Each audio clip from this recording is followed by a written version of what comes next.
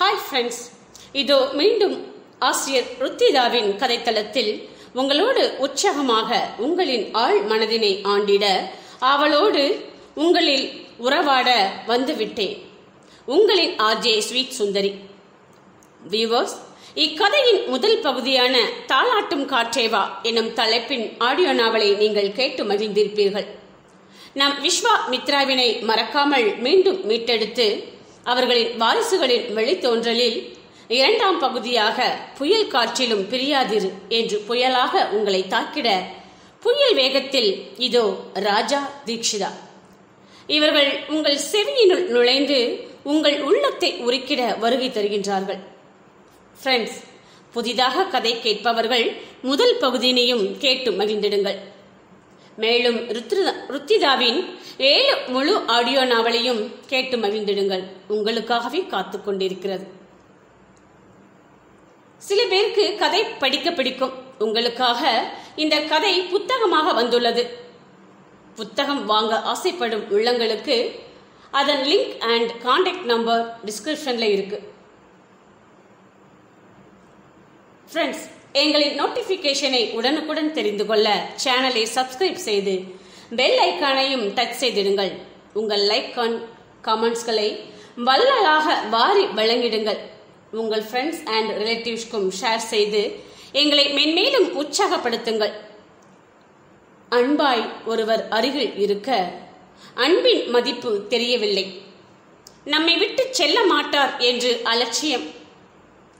அன்பை தரும் இடத்தில் கோபத்தை காட்டிவிட்டு அந்த அன்பை அனர்த்தமாய் நிராகரித்துவிட்டு பின்பு அதே அன்பிற்காகவே ஏங்கி தவிக்கின்றாள் தீக்ஷிதா அப்படி என்ன செய்தாள் என்பதை கேட்டு தெரிந்து கொள்ள புயல் காற்றிலும் பிரியாதிரு எனும் நாவலை கேட்டு மகிழ வாருங்கள்.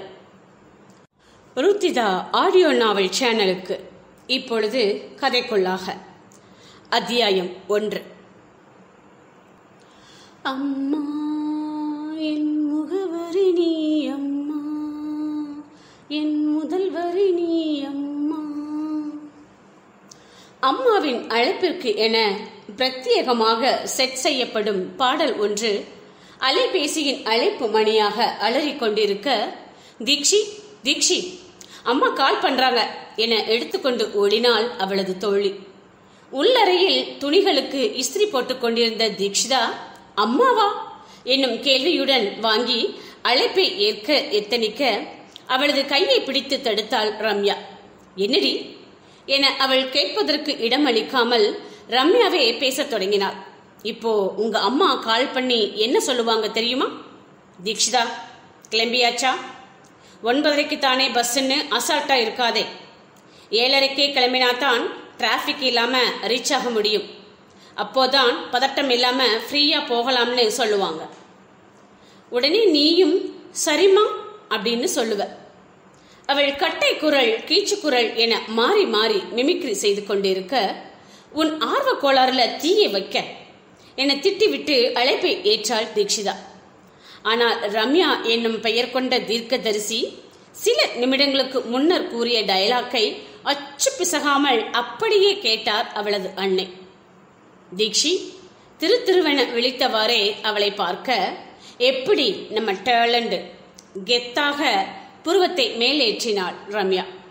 அத்தோடு நிறுத்தாமல் சரிம்மா ஆல்ரெடி பேக்கை தூக்கி தோளில் வச்சிட்டேன். புறப்பட வேண்டியதுதான் பாக்கி என தீக்ஷிதாவின் குரலிலேயே குழைய ஏய் என முறைத்தாள் அவள். சரிடா காந்திபுரம் ரீச் ஆகி பஸ்ல ஏறி உட்கார்ந்ததும் அம்மாவுக்கு ஃபோன் பண்ணு என கூறிவிட்டு அழைப்பை துண்டித்து விட ஆனாலும் உங்க வீட்டில் பயங்கர ஸ்ட்ரிக்ட் தான்ப்பா. என உதட்டை புதுக்கினார் ரம்யா. அதெல்லாம் இல்லப்பா. எல்லாத்திலேயும் கரெக்டா இருந்துட்டா பிரச்சனை வராதுன்னு நினைப்பாங்க. அவ்வளோதான். தோலை குலுக்கி கொண்ட தீக்ஷிதா தனது ஆடைகளை மடித்து பேக்கிற்குள் பிதுங்கும் அளவிற்கு புகுத்தி வெகு பாடுபட்டு சிப்பை கொண்டு காவல் வைத்துவிட்டு நிமிர நெற்றியில் முத்து முத்தாக வியர்த்து போயிருந்தது. ச்சே பிள்ளைக்கு எப்படி வியர்த்திருக்குது பாரு. போ. போய் குளிச்சிட்டு கிளம்பு தீக்ஷி. என்றவாறு ரம்யாவின் தாயார் வர மா அவளுக்கு பஸ்ஸுக்கு டைம் ஆச்சுதுமா இப்பவே அவ அம்மா கால் பண்ணிட்டாங்க என குறுக்கிட்டாள் ரம்யா. ஆமா ஆமா டைம் ஆச்சுது என்ற தீக்ஷிதா இரவு உணவை அங்கேயே முடித்துக்கொண்டு புறப்பட முடிவெடுத்தாள். பாய் ரம்யா. பாய்மா யூஸ்வலா எங்க வீட்டில் எங்கேயும் தங்குறதுக்கு அலோ பண்ண மாட்டாங்க. ரம்யானதும் விட்டுட்டாங்க. இங்கே இருந்த ரெண்டு நாளும் ரொம்பவே என்ஜாய் பண்ணினேன் நான். இனி எப்போ வருவேன்னு தெரியலை. But I am longing for that என கூறிவிட்டு விடை பெற்றாள் தீக்ஷிதா பிஇ முடித்துவிட்டு எம்இ சேர்க்கைக்காக காத்திருந்தவளுக்கு ரம்யாவின் கல்லூரியில் இரண்டு நாட்கள் நடக்கும் ஒர்க் ஷாப் சற்றே ஆசுவாசமானதாக தோன்ற தன் பெற்றோரின் அனுமதியுடன் கலந்து கொண்டார். ரம்யாவின் வீட்டில் தங்கிவிட்டு அங்கிருந்தே நேரடியாகத்தான் எம்இ பயில போகும் கல்லூரிக்கு சென்று விடுவதாக தெரிவிக்க அரை மனதுடன் சம்மதித்தனர் அவளது பெற்றோர். கல்வீரம்பாளையம் பேருந்து நிறுத்தம் வரை கொண்டு வந்து விட்ட ரம்யா நானும் காந்திபுரம் வரைக்கும் வரவா? என கேட்க இவ்வளோ டிராஃபிக்ல உனக்கு எதுக்கு சிரமம்? நான் பார்த்துக்கிறேன் நீ கிளம்பு. என தவிர்த்தவள் ஒரு வழியாக காந்திபுரம் நகர பேருந்து நிறுத்தத்தை அடைந்து விட்டாள் வெளியூர்களுக்கு செல்லும் பேருந்துகள் நிற்கும் இடம் அதன் எதிரிலேயே அமைந்திருக்க தன் தோல்பையை மாட்டிக்கொண்டு ஆடைகள் வைத்திருந்த ட்ராலியை இழுத்தவாறே நடந்தாள் அவள் தூரமாக வரும்போதே ஒருவன் ஓடி வந்து கேட்டான் மேடம் சென்னையா? என.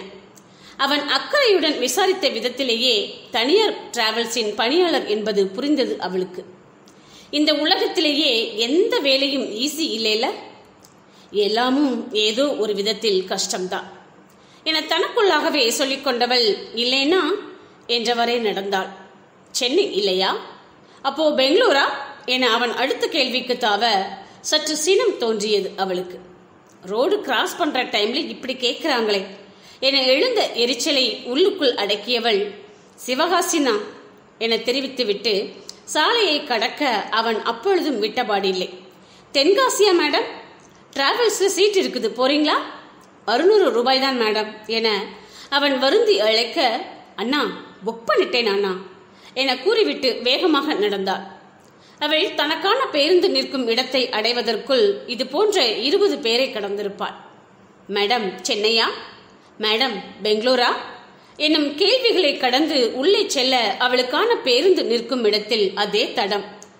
என் கொண்ட வேறொரு பேருந்தும் நின்றிருந்தது. என்னோட டிக்கெட்டில் bus number six three nine ஜின்னு போட்டிருக்குது. ஆனால் இங்கே சிக்ஸ் த்ரீ நைன் இ நிற்குதே என்னும் யோசனையுடன் ஏறியவள் தனக்கான பதிமூன்றாம் இருக்கையை தேட அதில் ஒருவன் அமர்ந்திருந்தார் அஹோ பஸ்ஸு மாறி ஏறிட்டோமா? என்ன நாக்கை கடித்து கொண்டவள் இது ஒன்பதரைக்கு எடுக்கிற செங்கோட்டை பஸ் தானே? என கேட்க இல்லை இல்லை இது எட்டரை பஸ் என்றான் அவன். ஓ தேங்க்யூ என்றவாறே இறங்கியவள் சிரமத்துடன் ட்ராலியையும் இறக்கிக் கொண்டு அங்கிருந்த ஓட்டுநரிடம் விசாரிக்க இந்த பஸ் போனதுக்கு அப்புறம்தான் அந்த பஸ் வருமா என்றார் அவர். தேங்க்ஸ் சார் என்றவள் அருகில் கழிப்பறைகள் ஏதேனும் இருக்கின்றதா என கண்களை சுழல விட்டார். அந்த பிளாட்பாரத்தின் இறுதியில் ஆண் பெண் உருவங்கள் பொறிக்கப்பட்ட அறைகள் தென்பட அப்பாடா! என பெருமூச்சு விட்டு கொண்டாள். பஸ் கிளம்புறதுக்கு ரெண்டு நிமிஷத்துக்கு முன்னாடி ஓடி போயிட்டு வந்துடலாம் என நினைத்த தீக்ஷிதாவிடம் இது ஒரு வியாதி அவளுக்கு. எடுத்ததற்கெல்லாம் சிறுநீர் கழிக்க வேண்டும். பயமோ சந்தோஷமோ கோபமோ இன்பமோ எதுவாகிலும் சிறுநீர் கழித்த பின்னர்தான் ஆயாசமாக உணர்வாள் அவள். சென்ற வாரம் எதேச்சியாக யூடியூப் வீடியோவில் ஏதாவது புதுசா விஷயங்கள் செய்யறப்போவோ இல்லை முக்கியமானவங்களோட பேசுறதுக்கு முன்னாடியோ ரெஸ்ட் ரூம் போயிட்டு வந்தே ஆகணும்னு உங்களுக்கு தோணுதா? அப்படின்னா நிச்சயமா நீங்க மனசளவுல அமைதி இல்லாம இருக்கிறீங்கன்னு அர்த்தம். உங்களுக்கு உங்க மேலேயே ஒருவித அசௌகரியம் இருக்குது. தன்னம்பிக்கை இல்லாம இருக்கிறீங்க. இதை ஓவர் கம் பண்ணணும்னா நீங்களாகவே உங்ககிட்ட நிறைய பேசணும். எல்லாத்தையும் தனியாவே ஃபேஸ் பண்ண ட்ரை பண்ணணும். என பார்த்த பின்னரே இந்த கல்லூரியில் சேர்வதற்கு சம்மதித்திருந்தார். எட்டரை மணிக்கான பேருந்து புறப்பட்டு சென்ற பின்னர் ஒன்பதரை பேருந்து வர தனக்கான இடத்தில் சென்று அமர்ந்து கொண்டார். ஜன்னல் ஓர இருக்கையை தான் தேர்வு செய்து முன்பதிவு செய்திருந்தார். ஜன்னலோரம் அமர்ந்திருந்தவளின் அருகே வந்து நின்றவன் தயக்கத்துடன் எக்ஸ்கியூஸ் மீ என அழைக்க எஸ் என்றாள்.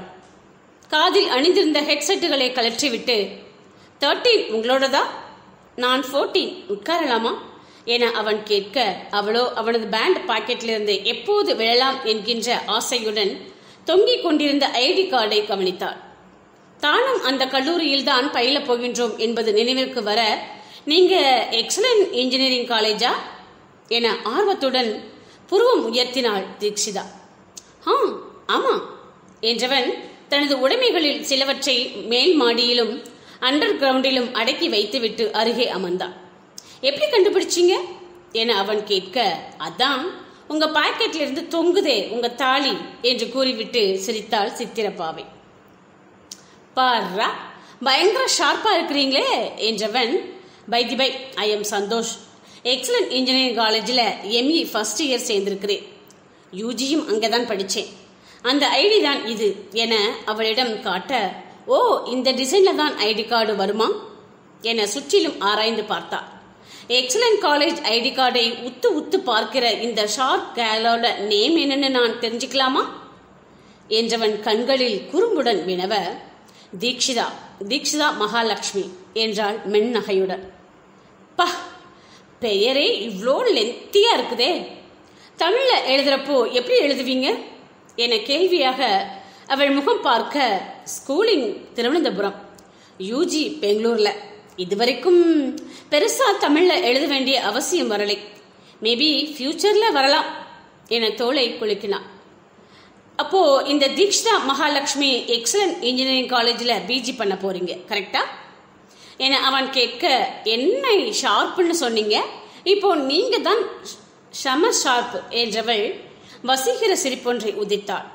என்ன டிபார்ட்மெண்ட் என ஒரு சேர வினவிய இருவரும் தங்களது கோ இன்சிடென்ட்ஸை நினைத்து கிக்லிங் செய்ய மெக்கானிக்கல் என்றான் சந்தோஷ். நான் ஈசி. என்னை தீக்ஷிதா அடையாளப்படுத்த கெத்துதான் டூட் என்றான் அவன். அட நீங்க வேற. இருக்கிறதுலயே இதுதாங்க கஷ்டமான பிரான்ச். என அவள் அழுத்துக்கொள்ள அதான் கெத்துன்னு சொன்னேன் டூட். என ஆமோதித்தான் சந்தோஷ். ஆனாலும் மெக்கானிக்கல் தான் கெத்து என இவள் கூற அதற்குள் அங்கே நடத்துனர் வந்துவிட்டார். பொதுவாக வெகு தூரம் செல்லும் எஸ்இடிசி பேருந்துகளில் இருக்கைகள் வழங்குகையில் நடத்துனர்கள் மிகவும் விழிப்புடன் இருப்பர். தங்களை நம்பி பயணிப்பவர்களின் பாதுகாப்பில் வெகு சிரத்தை எடுத்துக்கொள்வர் அதிலும் பெண்களை ஆண்கள் அருகில் அமர வைப்பதில் சற்றே தயக்கம் கொள்வர். முடிந்த வரையில் தவிர்க்கவே முயற்சிப்பர். தம்பி ரிசர்வேஷனா பேக்கை எடுத்துட்டு வாங்க. வேற சீட் மாத்தி விடுறேன் என அவர் அழைக்க அவனோ தீக்ஷிதாவை பார்த்தான். சார் இட்ஸ் ஓகே மாத்திவிட வேண்டாம். என்று அவள் கூற உனக்கு பிரச்சனை எதுவும் இல்லையாமா? என கேட்டார் அவர். இல்லை சார் இவர் என்னோட ஃப்ரெண்டு தான் என்றவள் அவனை பார்த்து புன்னகைத்து விட்டு இவர் இங்கேயே இருக்கட்டும் எனக்கு எந்த பிரச்சனையும் இல்லை என உறுதியாக தெரிவித்து விட்டார். சரிம்மா பார்த்துக்கோங்க என கூறிவிட்டு அவர் நகர்ந்து விட முதன் முதலாக கிடைச்சிருக்கிற பொண்ணு ஃப்ரெண்டு நீங்க என்றான் அவன். அது என்ன பொண்ணு ஃப்ரெண்டு பின்ன கேர்ள் ஃப்ரெண்டுன்னு சொன்னா அது தப்பான அர்த்தமாக போயிடும். அதான் பொண்ணு ஃப்ரெண்டுன்னு சொன்னேன். நல்லா பேசுறீங்க சந்தோஷ். அட நிஜமாவே எனக்கு இருக்கிற எல்லாம் பசங்க ஃப்ரெண்டு தான். பொண்ணு ஃப்ரெண்டு நீங்க தான் முதல்ல. ஆல்ரெடி பசங்களுக்குன்னு ஸ்பெசிஃபிக்காக உருவாக்கப்பட்ட பாவப்பட்ட டிபார்ட்மெண்ட் எங்களோடது. இதில் பொண்ணுங்க கூட பேசக்கூடாதுன்னு காலேஜில் ரூல்ஸ் வேற. அது யூஜி பசங்களுக்கு தானே? பிஜிக்கும் உண்டா என்ன? அட நீங்க வேற தீக்ஷிதா ஸ்டாப்ஸே லிமிட்டா தான் பேசிக்கணும் என அவன் கூற மூக்கின் மீது விரல் வைத்தாள் அவள். இப்பத்தானே அந்த கொடிய மிருகங்கள் வாழ்ற காட்டுக்குள்ள என்டர் ஆகுறீங்க? இன்னும் பல சம்பவங்கள் காத்திருக்குது பாருங்க என சந்தோஷ் திகிலாக கூற அட என்னங்க ஆரம்பத்திலேயே ரிவீட் அடிக்க வச்சிருவீங்க போல? என்றாள் முகத்தை பாவமாக வைத்தவாறே. அம்மா நீங்க ஹாஸ்டல் தானே என அவன் அடுத்த கேள்விக்கு தாவ ஆமா ஹாஸ்டல் தான் ஆனா பக்கத்திலேயே மாமா வீடு இருக்குது என்றார் தீக்ஷிதா அப்போ மாமா வீட்டில் தங்கி படிக்க வேண்டியது தானே ஏன் மாமா பசங்க யாராவது இருக்கிறாங்களா? என அவன் வலுக்கட்டாய கிச்சு கிச்சு மூட்ட முயற்சிக்க இல்லை இல்லை நான் தனியாக சர்வை பண்ணணும்னு தான் ஹாஸ்டலில் தங்க போறேன். அதுவும் இல்லாமல் மாமாவோட பெருசாக டச்சில் இல்லை. என்றாள் அமைதியாக. ஓ சரி சரி. நான் டே ஸ்காலர் தான். இங்கே ரிலேட்டிவ் வீட்டுக்கு வெக்கேஷன் வந்தேன். உங்களுக்கு ஏதாவது தேவைன்னா சொல்லுங்க. என்னால் முடிஞ்ச அளவுக்கு வாங்கிட்டு வந்து ஒரு நூலில் கோர்த்தாவது உங்ககிட்ட கொண்டு வந்து சேர்த்துடுறேன். என அவன் கையால் பாவனையுடன் பேச கலகலவென சிரித்தாள் தீக்ஷிதா இவளது சிரிப்பொலி மூன்று இருக்கைகள் தாண்டி அமர்ந்திருந்த ராஜாவின் உறக்கத்தை கலைக்க யாருடா அது? என்னும் விதமாக உற்று நோக்கினான். இரண்டு இருக்கைகளுக்கு இடையே இருந்த இடைவெளியில் அவளது மூக்கும் அவ்வப்பொழுது கைகளும் மட்டுமே தென்பட கொஞ்சம் அமைதியா சிரிச்சாதான் என்ன? பஸ்ல போறோம்னு விவஸ்தை இல்லாம என மனதிற்குள் வசைப்பாடினான். அமைதியாக இருந்த அந்த பேருந்தில் இருவர் பேசிக்கொள்ளும் ஓசை மட்டுமே வியாபித்திருக்க அவர்களது சம்பாசனை தெளிவாகவே கேட்டது. ஆனாலும் எக்ஸலன்ட் காலேஜில் படிச்சுக்கிட்டு உங்களுக்கு பயங்கர தைரியம் தான்ப்பா. என தீக்ஷிதா அவனை கேலி செய்ய பாருங்க போக போக உங்களுக்கும் தைரியம் தானே வந்துடும் என்றான் அவன். எக்ஸலன்ட் காலேஜா நம்ம காலேஜுக்கு யாரடா புது பொண்ணு? என யோசித்த ராஜா அவளது முகத்தை பார்த்துவிட முயற்சிக்க தோல்வியே கிட்டியது. அதற்குள் விளக்குகள் அனைத்தும் அணைக்கப்பட்டு மெலிதான இருள் நிரம்பியது. அந்த விளக்கின் ஒளியில் அவளது இருக்கை இறக்கப்படும் தடம் தெரிந்தது. மெல்ல சாய்ந்து கொண்டவள் டிராவல்னாலே பெரிய டென்ஷன் சந்தோஷ். நிம்மதியாக காலை நீட்டி கூட தூங்க முடியாது. ஸ்லீப்பர் தேடினேன் இந்த ரூட்டுக்கு அவைலபிளா இல்லை என குறைப்பட்டு கொண்டா இந்த பஸ்ல வரலைன்னா என்னை மாதிரி ஒருத்தனை மீட் பண்ணியிருக்க முடியாதே என சந்தோஷ் கூற பா என்ன உருட்டு. தன்னிச்சையாக கவுண்டர் அடித்தது ராஜாவின் மூளை. மெலிதாக சிரித்துக் கொண்டவள் இருக்கையில் சாய்ந்த இரண்டு ஒரு நொடிக்குள் உறக்கத்தை தழுவியிருந்தார் சில மணி நேர பயணத்திற்கு பின் ஒரு மோட்டலில் வண்டியை நிறுத்தியவர்கள் பாத்ரூம் போகணும்னா போய்க்கோங்க என அறிவிக்க தீக்ஷிதா ரெஸ்ட் ரூம் போகணுமா என விசாரித்தான் சந்தோஷ். தூக்க கலக்கத்தில் விழித்துக் கொண்டவள் தட்டு தடுமாறி எழுந்து சென்று கடமையை முடித்துவிட்டு வர எதிர்பட்டான் ராஜா. ஹே ஹே நீங்களும் எக்ஸலன் காலேஜா? நானும் தான் என உற்சாகத்துடன் கையை நீட்ட பாதி தூக்கத்தில் ஸ்வட்டரை மூடியவாறே நடந்து வந்தவள் ம் ம் என உணகியவாறே சென்றுவிட ஏமாற்றம் அடைந்தான் அவன். அத்தியாயம் இரண்டு.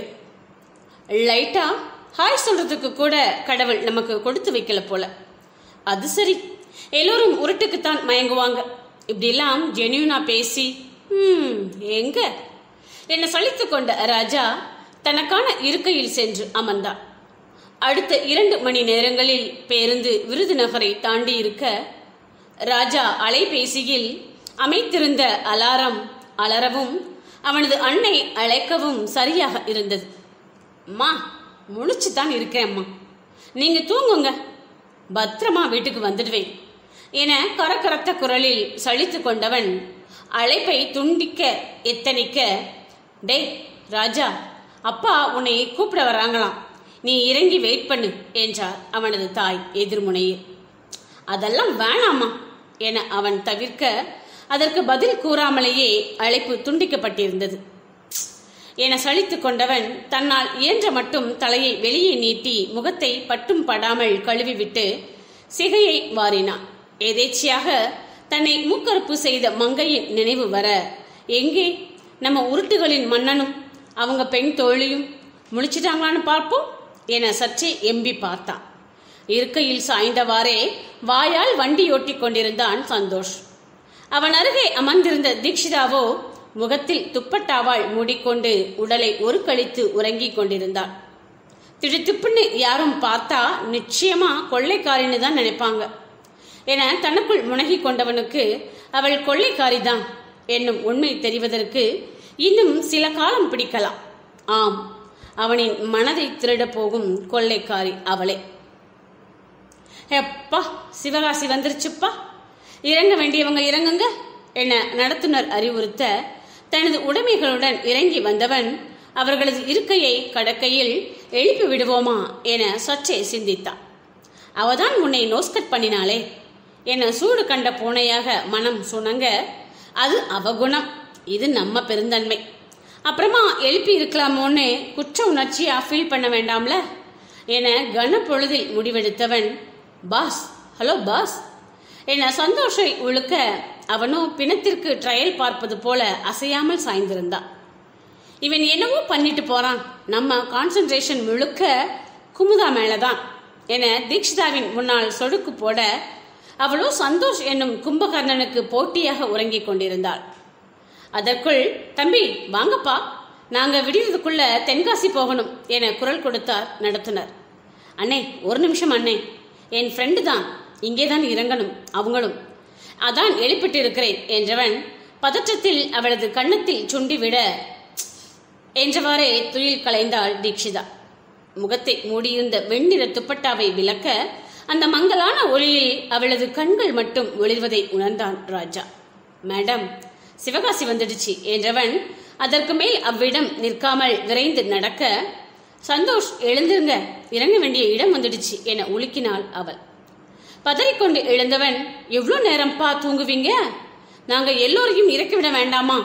என்னும் வசைமொழிகளுக்கு இடையில் அவளுடன் இறங்கினான். அங்கே அவளுக்காக ஒரு படையே திரண்டு வந்திருந்ததைப் போல் இருந்தது. பா பெரிய ஆளுதான் போலையே. என்ன சந்தோஷ் அவளிடம் கிசுகிசுக்க மாமா தான் இந்த தொகுதியோட எம்எல்ஏ என்றால் எவ்வித பகட்டும் இன்றி. அப்போ கேர்ஃபுல்லா பழகணும் என அவன் குறும்பாக கூற நான்கடி தள்ளி நின்றிருந்த ராஜா இவற்றை கவனித்துக் கொண்டிருந்தான். ஓ இந்த பொண்ணு எம்எல்ஏவோட ரிலேட்டிவா? என தனக்குள் சொல்லிக் கொண்டான். சொல்லியிருந்தா கார்லேயே கூட்டிட்டு வந்திருப்போமே. எதுக்கு சிரமத்தோட வந்தம்மா நீ என அந்த கும்பலில் ஒரு நடுத்தர வயதுடைய பெரியவர் பேச அப்போ தினமும் சினிமாட்டிக் சீன்ஸ் பார்க்கலாம் போலவே? ஆர்வமானான் ராஜா. பரவாயில்ல மாமா எனக்கு சேஃபா தான் இருந்துச்சு என்று தீக்ஷிதா கூற இவர் சந்தோஷ் எனக்கு பஸ்ல கிடைச்ச ஃப்ரெண்டு என அறிமுகம் செய்து வைக்க முற்பட்டார். அதற்குள் கூட்டத்திற்கு உள்ளிருந்து முளைத்து வந்த ராகவ் நன்றி ப்ரோ என்பதோடு முடித்து கொண்டான். போகலாமாப்பா? என ராகவ் தீக்ஷிதாவை பார்க்க போகலாம் அத்தான் என்றாள். ரைட்டு. எம்எல்ஏவோட பையன் ராகவுக்கு இந்த பொண்ணு முறை பொண்ணு அண்ட் இவனுக்கும் இவ மேல இன்ட்ரெஸ்ட் இருக்குது. அநேகமாக சீக்கிரமே ரெண்டு பேருக்கும் மேரேஜ் ஃபிக்ஸ் பண்ணுவாங்க.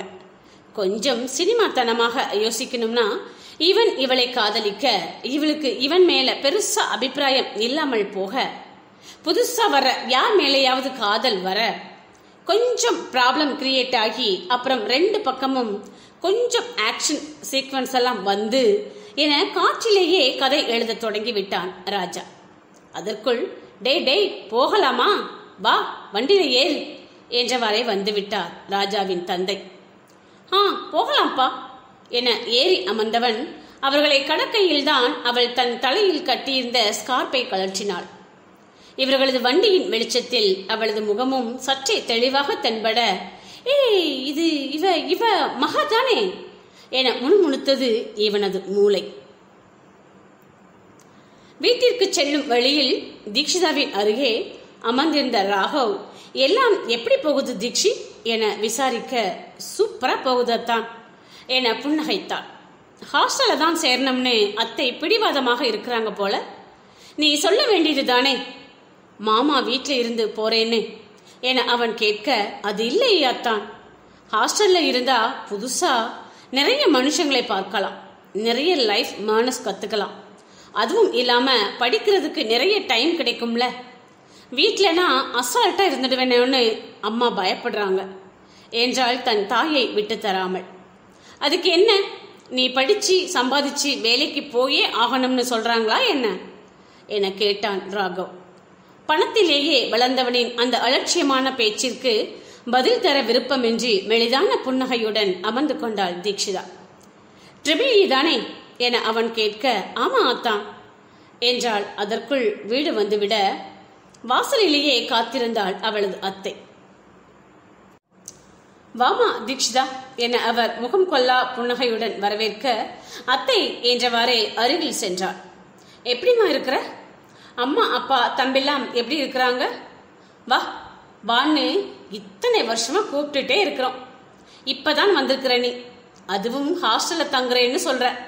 என அவர் அங்கலாய்க்க மா அதுக்கெல்லாம் ஒரு பதிலை ரெடி பண்ணி தான் அத்தை அனுப்பி விட்டுருக்குறாங்க. நாம அப்புறமா அதை பத்தி பேசுவோம். டயர்டா இருப்பா. முதல்ல ரெஸ்ட் எடுக்க சொல்லுங்க. என மீட்டு அனுப்பி வைத்தான் ராகவ்.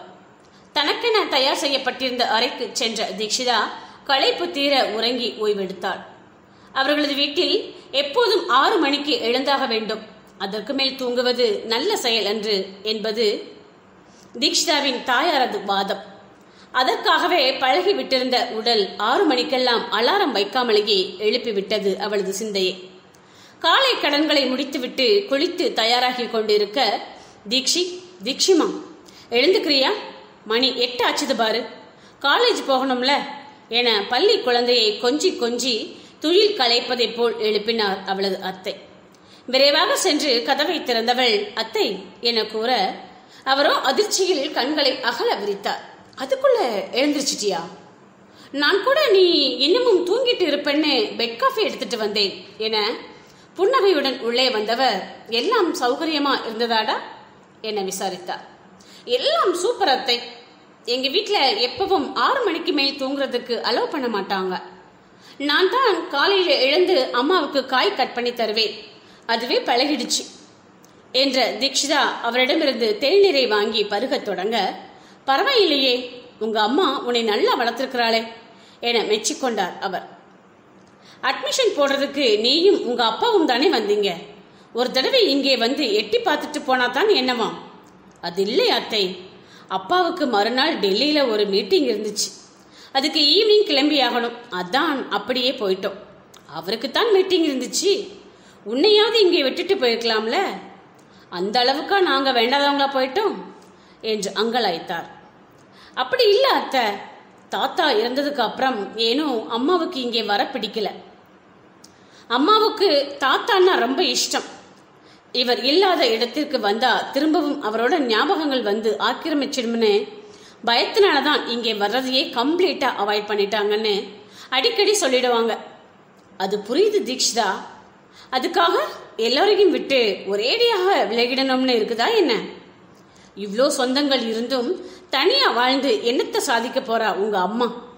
யாரா இருந்தாலும் அப்பாவோட இழப்புங்கிறது ஈடு செய்ய முடியாத இழப்பு தான் ஆனா அது தவிர்க்க முடியாத ஒன்று தானே எப்படியும் ஒரு காலகட்டத்தில் நம்மை பெத்தவங்களை நம்ம விட்டுட்டு போகத்தானே செய்வாங்க. நம்மளால அவங்கள பிடிச்சு கூடவே வச்சுக்க முடியுமா என்ன? ஒரு விஷயம் போயிடுச்சுன்னு நாமளே நம்மோட எல்லைக்குள்ள சுருக்கிக்கிட்டோம்னா கடைசி வரைக்கும் அப்படியே இருக்க வேண்டியதுதான். எதுவா இருந்தாலும் அதை ஓவர் கம் பண்ணித்தானே ஆகணும். உங்க அப்பா தான் அம்மா மேல இருக்கிற காதல்ல அவ இஷ்டப்படியே விட்டுட்டான். நீ பெரிய பொண்ணு தானே நீயாவது எடுத்து சொல்லக்கூடாதா? என அவர் ஆதங்கத்துடன் பேச அமைதியாக கேட்டுக்கொண்டிருந்தாள் தீக்ஷிதா அவளது முகத்தில் தெரிந்த மாற்றத்தை அவதானித்தவர் நான் ஒரு விவஸ்த கட்டவ.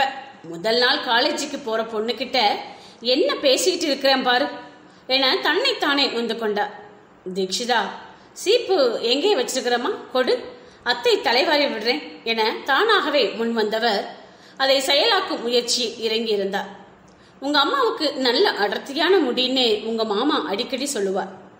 என்றவாறே அவர் தலைவாரி கொண்டிருக்க அத்தை நீங்களும் சொந்தம் மாமாவும் சொந்தமா அத்தை? என புரியாமல் கேட்டாள் தீக்ஷிதா அப்படின்னா புரியல தீக்ஷி அது வந்து ஆ, இப்போ நீங்க மாமாவை கட்டிக்கிட்டதால மட்டுமில்லாம நேரடியா வேற விதத்திலையும் எங்களுக்கு சொந்தமான்னு கேட்டேன் என அவள் விளக்கம் அளிக்க பரவாயில்லையே இவ்வளோ தெளிவா பேசுறியே என தோளில் தட்டி ஆமோதித்தார் ஆமாடா நானும் சொந்தம் உங்க மாமாவும் சொந்தம் என்றவர் முந்தைய காரியங்களை கூறத் தொடங்கினார். உங்க அம்மாவோட அப்பா இங்கே லோக்கல்ல அரசியல்வாதி பஞ்சாயத்து தலைவர் சேர்மன் இந்த மாதிரி பதவிகளில் இருந்தவர். என் அப்பா எம்எல்ஏ என் அப்பாவோட தம்பி பையன்தான் உங்க அப்பா. எதேச்சியா பேச்சு வர்றப்போ உங்க அம்மாவுக்கும் என் தம்பிக்கும் கல்யாணம் பண்ணிக்கலாம்னு பேச என் தம்பிக்கு உங்க அம்மாவை பார்த்ததுமே காதல் வர அப்புறம் என்ன? கெட்டி மேளம்தான். அதுக்கு முன்னாடியே ஒரு அரேஞ்ச் மேரேஜ் நடந்துச்சு. அதுதான் எனக்கு நடந்த சம்பவம். என் அப்பாவுக்கு நான் ஒரே பொண்ணு. தனக்கு பின்னாடி எல்லாத்தையும் காப்பாத்தணும்னு உன் அம்மாவோட பெரியப்பா பையனான உன் மாமாவுக்கும் எனக்கும் கல்யாணத்தை பண்ணி வச்சுட்டாங்க. இப்போ என் அப்பா இருந்த இடத்துல என் புருஷன் எம்எல்ஏவாக இருக்கின்றார். ஆக மொத்தத்துல ஒரு கல்லுல ரெண்டு மாங்காய். அவர் கலகலப்புடன் அனைத்தையும் விவரிக்க சூப்பர் அத்தை என்றாள் தீக்ஷிதா தீக்ஷி எடுத்த எடுப்பிலேயே அத்தை இப்படி சொல்றேன்னு தப்பா நினைக்காதே. ஆனா சொல்ல வேண்டியது என்னோட கடமை. என்ன நடந்தாலும் உனக்கு ராகுவுக்கும் தான் கல்யாணம்னு சின்ன வயசுலயே நாங்க யோசிச்சு முடிவு பண்ணிட்டோம். உங்க தாத்தாவோட ஆசையுமே அதுதான். அவ்வளோ தூரத்துல இருந்து படிக்க வந்திருக்கிற நீ. உங்க காலேஜ்ல பாய்ஸ் கேர்ள்ஸ் பேசிக்க கூடாதுதான். இருந்தாலும் விதின்னு ஒன்று இருக்குதுல்ல. எத்தனை இடத்துல கேள்விப்படுறோம். சுதந்திரம்ங்கிறது ரெஸ்பான்சிபிலிட்டியோட தொடர்புடையது. காதல் வர்றது எல்லோருக்கும் இயல்புதான். ஆனா அந்த காதல் வந்தா என்னவெல்லாம் விளைவுகள் வரும்னு நான் சொல்லி உனக்கு தெரிய வேண்டியதில்லை. அநேகமா உன் அம்மா உன்னை சொல்லி சொல்லித்தான் வளர்த்திருப்பான்னு நினைக்கிறேன். அதனால பார்த்து பக்குவமா நடந்துக்கும் அதுக்காக அத்தை உன்னை ராகவை காதலிக்க சொல்லலை. இப்பவே பழகவும் சொல்லலை. படிக்க வந்திருக்கிற நீ அந்த வேலையை மட்டும் கவனி. மேற்படி விஷயங்களை நாங்க பெரியவங்க பார்த்து பேசி முடிவு பண்ணிக்கிறோம். என அவர் நீண்ட நெடியதொரு விளக்கம் கலந்த அறிவுறுத்தலை முன்மொழிந்து நிறைவு செய்ய செய்வதறியாது திகைத்தாள் தீக்ஷிதா அத்தியாயம் மூன்று. தீக்ஷிதா விழிகளை அகல விரித்து அதிர்ச்சியை வெளிப்படுத்துவதை கவனித்த அவளது அத்தை டேய் பயந்துட்டியா? நான் எதிர்ச்சியாகத்தான் சொன்னேன். நீ அப்படியெல்லாம் தப்பு பண்ணவன்னு சொல்லலை. வெள்ளம் வரும் முன்னே அணை போடுன்னு சொல்லுவாங்கல்ல? அந்த மாதிரிதான் என தலையை கோத புரிந்தும் புரியாமல் தலையசைத்தாள் அவள். அதற்குள் வாசலில் நின்றவாறே கதவை தட்டினான் ராகவ். தீக்ஷி உள்ளே வரலாமா? என சற்று முன்னர் அவனது அன்னை கூறிய காரியத்தால் மிரட்சியில் இருந்தவள் ஆ ஆ ஆ வாங்க என படபடக்க இப்போ ஏன் இவ்வளோ பயப்படுற? அதான் சொன்னேனே. இதெல்லாம் நாங்க பார்த்துக்கிறோம் நீ படிக்கிறதை மட்டும் கவனின்னு என மென்மையாக அவளது கரத்தை அழுத்தம் தந்தார் அத்தை. உள்ளே வந்த ராகவ் இந்த ரூம் பிடிச்சிருக்குதா தீக்ஷி பேசாம இங்கிருந்தே போகலாமே. இருபது நிமிஷம் தான் டிராவல் நான் கடைக்கு போற வழிதான். அப்படியே உன்னை கொண்டு விட்டுடுவேன். எதுக்கு தேவையில்லாம ஹாஸ்டல்ல ஸ்டே பண்ணிக்கிட்டு? அங்கே சாப்பாடு தண்ணி என்விரான்மெண்ட் எல்லாமே செட் ஆகணும்ல? என அக்கறையுடன் பேசியவாறே நாற்காலியில் அமர எவ்ரி வீக்கெண்ட் இங்கே வந்துடுறேன் அத்தான் வீக் டேஸ் மட்டும் அங்கே தங்கிக்கிறேன் ப்ளீஸ் என சமாதானம் செய்யும் விதமாக கூறிவிட்டு கண்களை குறுக்கினார் அதில் சமாதானம் ஆனவன் ஓகே உன் இஷ்டம். வீக்கெண்டு வருவல்ல. அப்போ உன்னை வெளியே கூட்டிட்டு போறேன். என மென்னகை புரிய ராகவ் தீக்ஷி ஹாஸ்டலுக்கு கொண்டு போறதுக்கு பக்கெட் பில்லோ எல்லாம் எடுத்து வைக்க. சொன்னேன்ல. அது எல்லாமே கார்ல எடுத்து வை. நான் இவளை சாப்பிட வச்சு கூட்டிட்டு வரேன். என வெளியே அனுப்பிவிட்டார் அவனது அன்னை. சரி தீக்ஷி. எல்லா ட்ரெஸ்ஸும் ஹாஸ்டலுக்கு எடுத்துட்டு போக வேண்டாம். அவசியமான தேவையானதை மட்டும் எடுத்துட்டு போ. மற்ற எல்லாம் இங்கேயே இருக்கட்டும். ஏதாவது தேவைன்னா சொல்லு. ராகவ் வந்து கொடுத்துட்டு போவான். என தீக்ஷிதாவிடம் கூற சரி அத்தை என தலையாட்டி கொண்டார் கீழே அழைத்து வந்தவர் உனக்கு என்ன பிடிக்கும்னு தெரியல.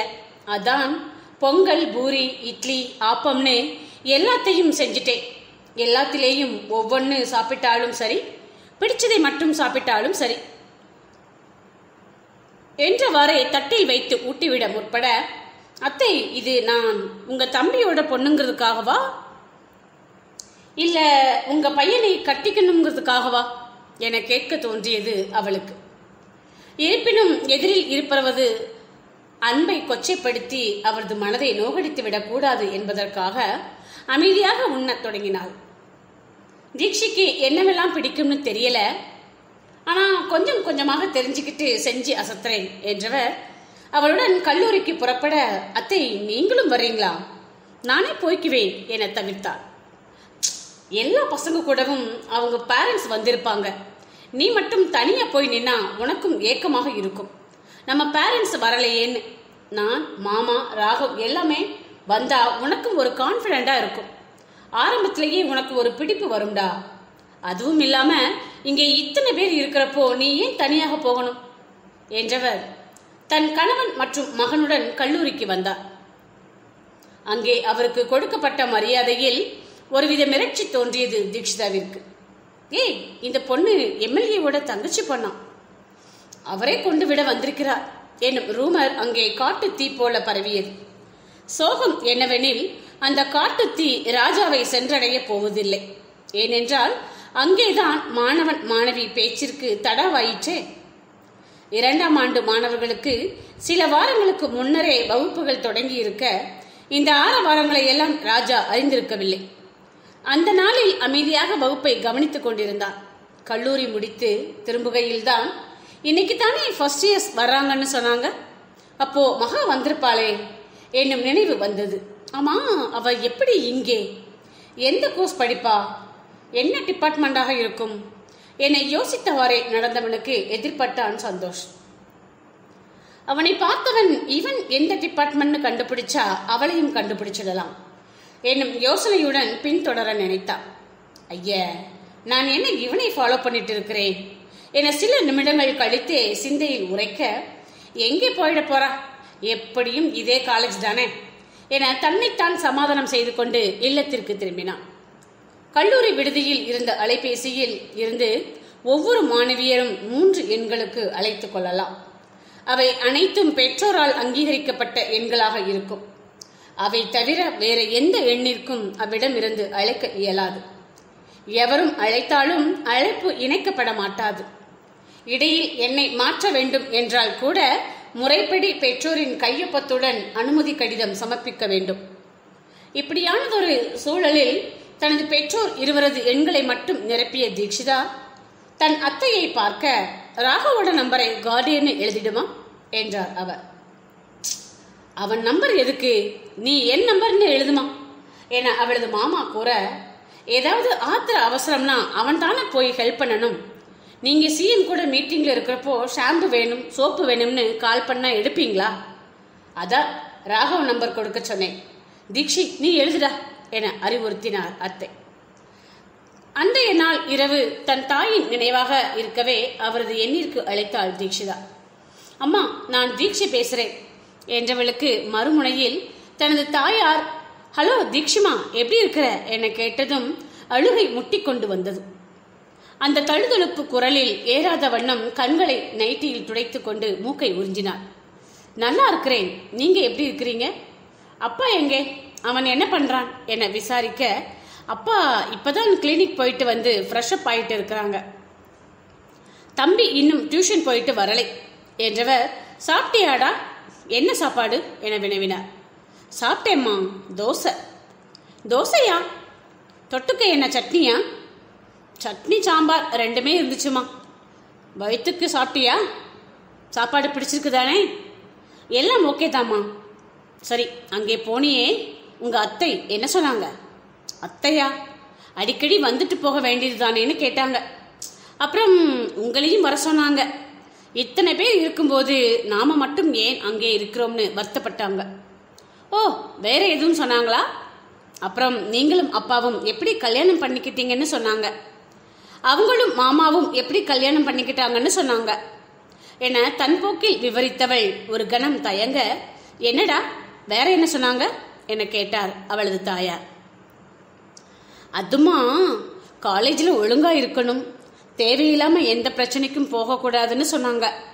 அப்புறம் அப்புறம் ராகவுக்கும் எனக்கும் தான் கல்யாணம்னு சொன்னாங்க. என தீக்ஷிதா குறிப்பிடவும் அவருக்கு கோபம் வந்துவிட்டது. அப்படியா சொன்னாங்க? அதை நான் பார்த்துக்கிறேன். நீ எது பத்தியும் யோசிக்காத சரியா? ஒழுங்கா படிக்கணும். வரும்போது நல்ல வேலையோட வரணும். புரிஞ்சுதா?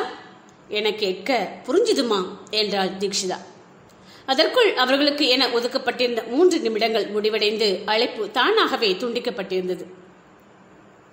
தன் மகளிடம் பேசி முடித்த மறுநொடியே தனது அண்ணிக்கு அழைத்து விட்டார் தீக்ஷிதாவின் அன்னை. என்னம்மா திடீர்னு கால் பண்ணிருக்கிற? உன் பொண்ணை பத்தி விசாரிக்கிறதுக்கு கால் பண்ணினியா? அதெல்லாம் கவலையே படாத. அவ எங்க வீட்டு பொண்ணு. நாங்க நல்லாவே பார்த்துக்குவோம்.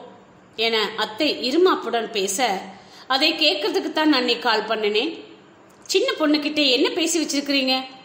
எதிர்முனையில் சீறினார். நான் என்ன சொல்லக்கூடாததை சொல்லிட்டேன்? ராகவுக்கும் தீக்ஷிதாவுக்கும் கல்யாணம் பண்ணி வைக்கணும்னு எப்பவோ உங்க அப்பாவும் என் மாமனாரும் முடிவு பண்ணிட்டாங்க. இவர் உறுதியுடன் பேச என் பொண்ணோட வாழ்க்கையை நான் முடிவு பண்றதா இருந்தாலும் அவளுக்கு விருப்பம் இருந்தா மட்டும்தான் ப்ரொசீட் பண்ண முடியும். நீங்க யாரு? உங்க இஷ்டத்துக்கு எல்லாத்தையும் டிசைட் பண்றது? என கேட்க தோன்றியது. இருப்பினும் கோபத்தை அடக்கி கொண்டு புரியுது அண்ணி. ஆனா படிக்கிற பொண்ணுகிட்ட இதெல்லாம் பேசினா அவ மைண்ட் டிஸ்ட்ராக்ட் ஆகிடாதா? அவ முதல்ல டிகிரியை முடிச்சுக்கிட்டும். அப்புறமா அன்னைக்கு என்ன சூழ்நிலை வருதோ அப்போ பார்த்துக்கலாம் என பொத்தாம் பொதுவாக பேசிவிட்டு வைத்து விட்டார் பேருந்தில் பயணிக்கும் போதே தீக்ஷிதா மற்றும் சந்தோஷ் இருவரும் தத்தமது அலைபேசி எண்களை பரிமாற்றம் செய்திருந்தனர்.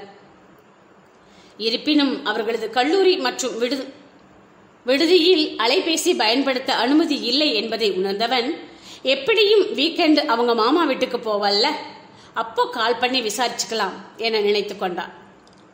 மறுநாள் சந்தோஷ் நடந்து செல்கையில் எதிரில் வந்தாள் தீக்ஷிதா ஹே சந்தோஷ் என சுய நினைவின்றி கூறி விட்டவள் இடத்தை உணர்ந்து நாக்கை கடித்துக்கொள்ள ஹே இது கேம்பஸ். இங்கே பாய்ஸ் கேர்ள்ஸ் பேசிக்க கூடாது.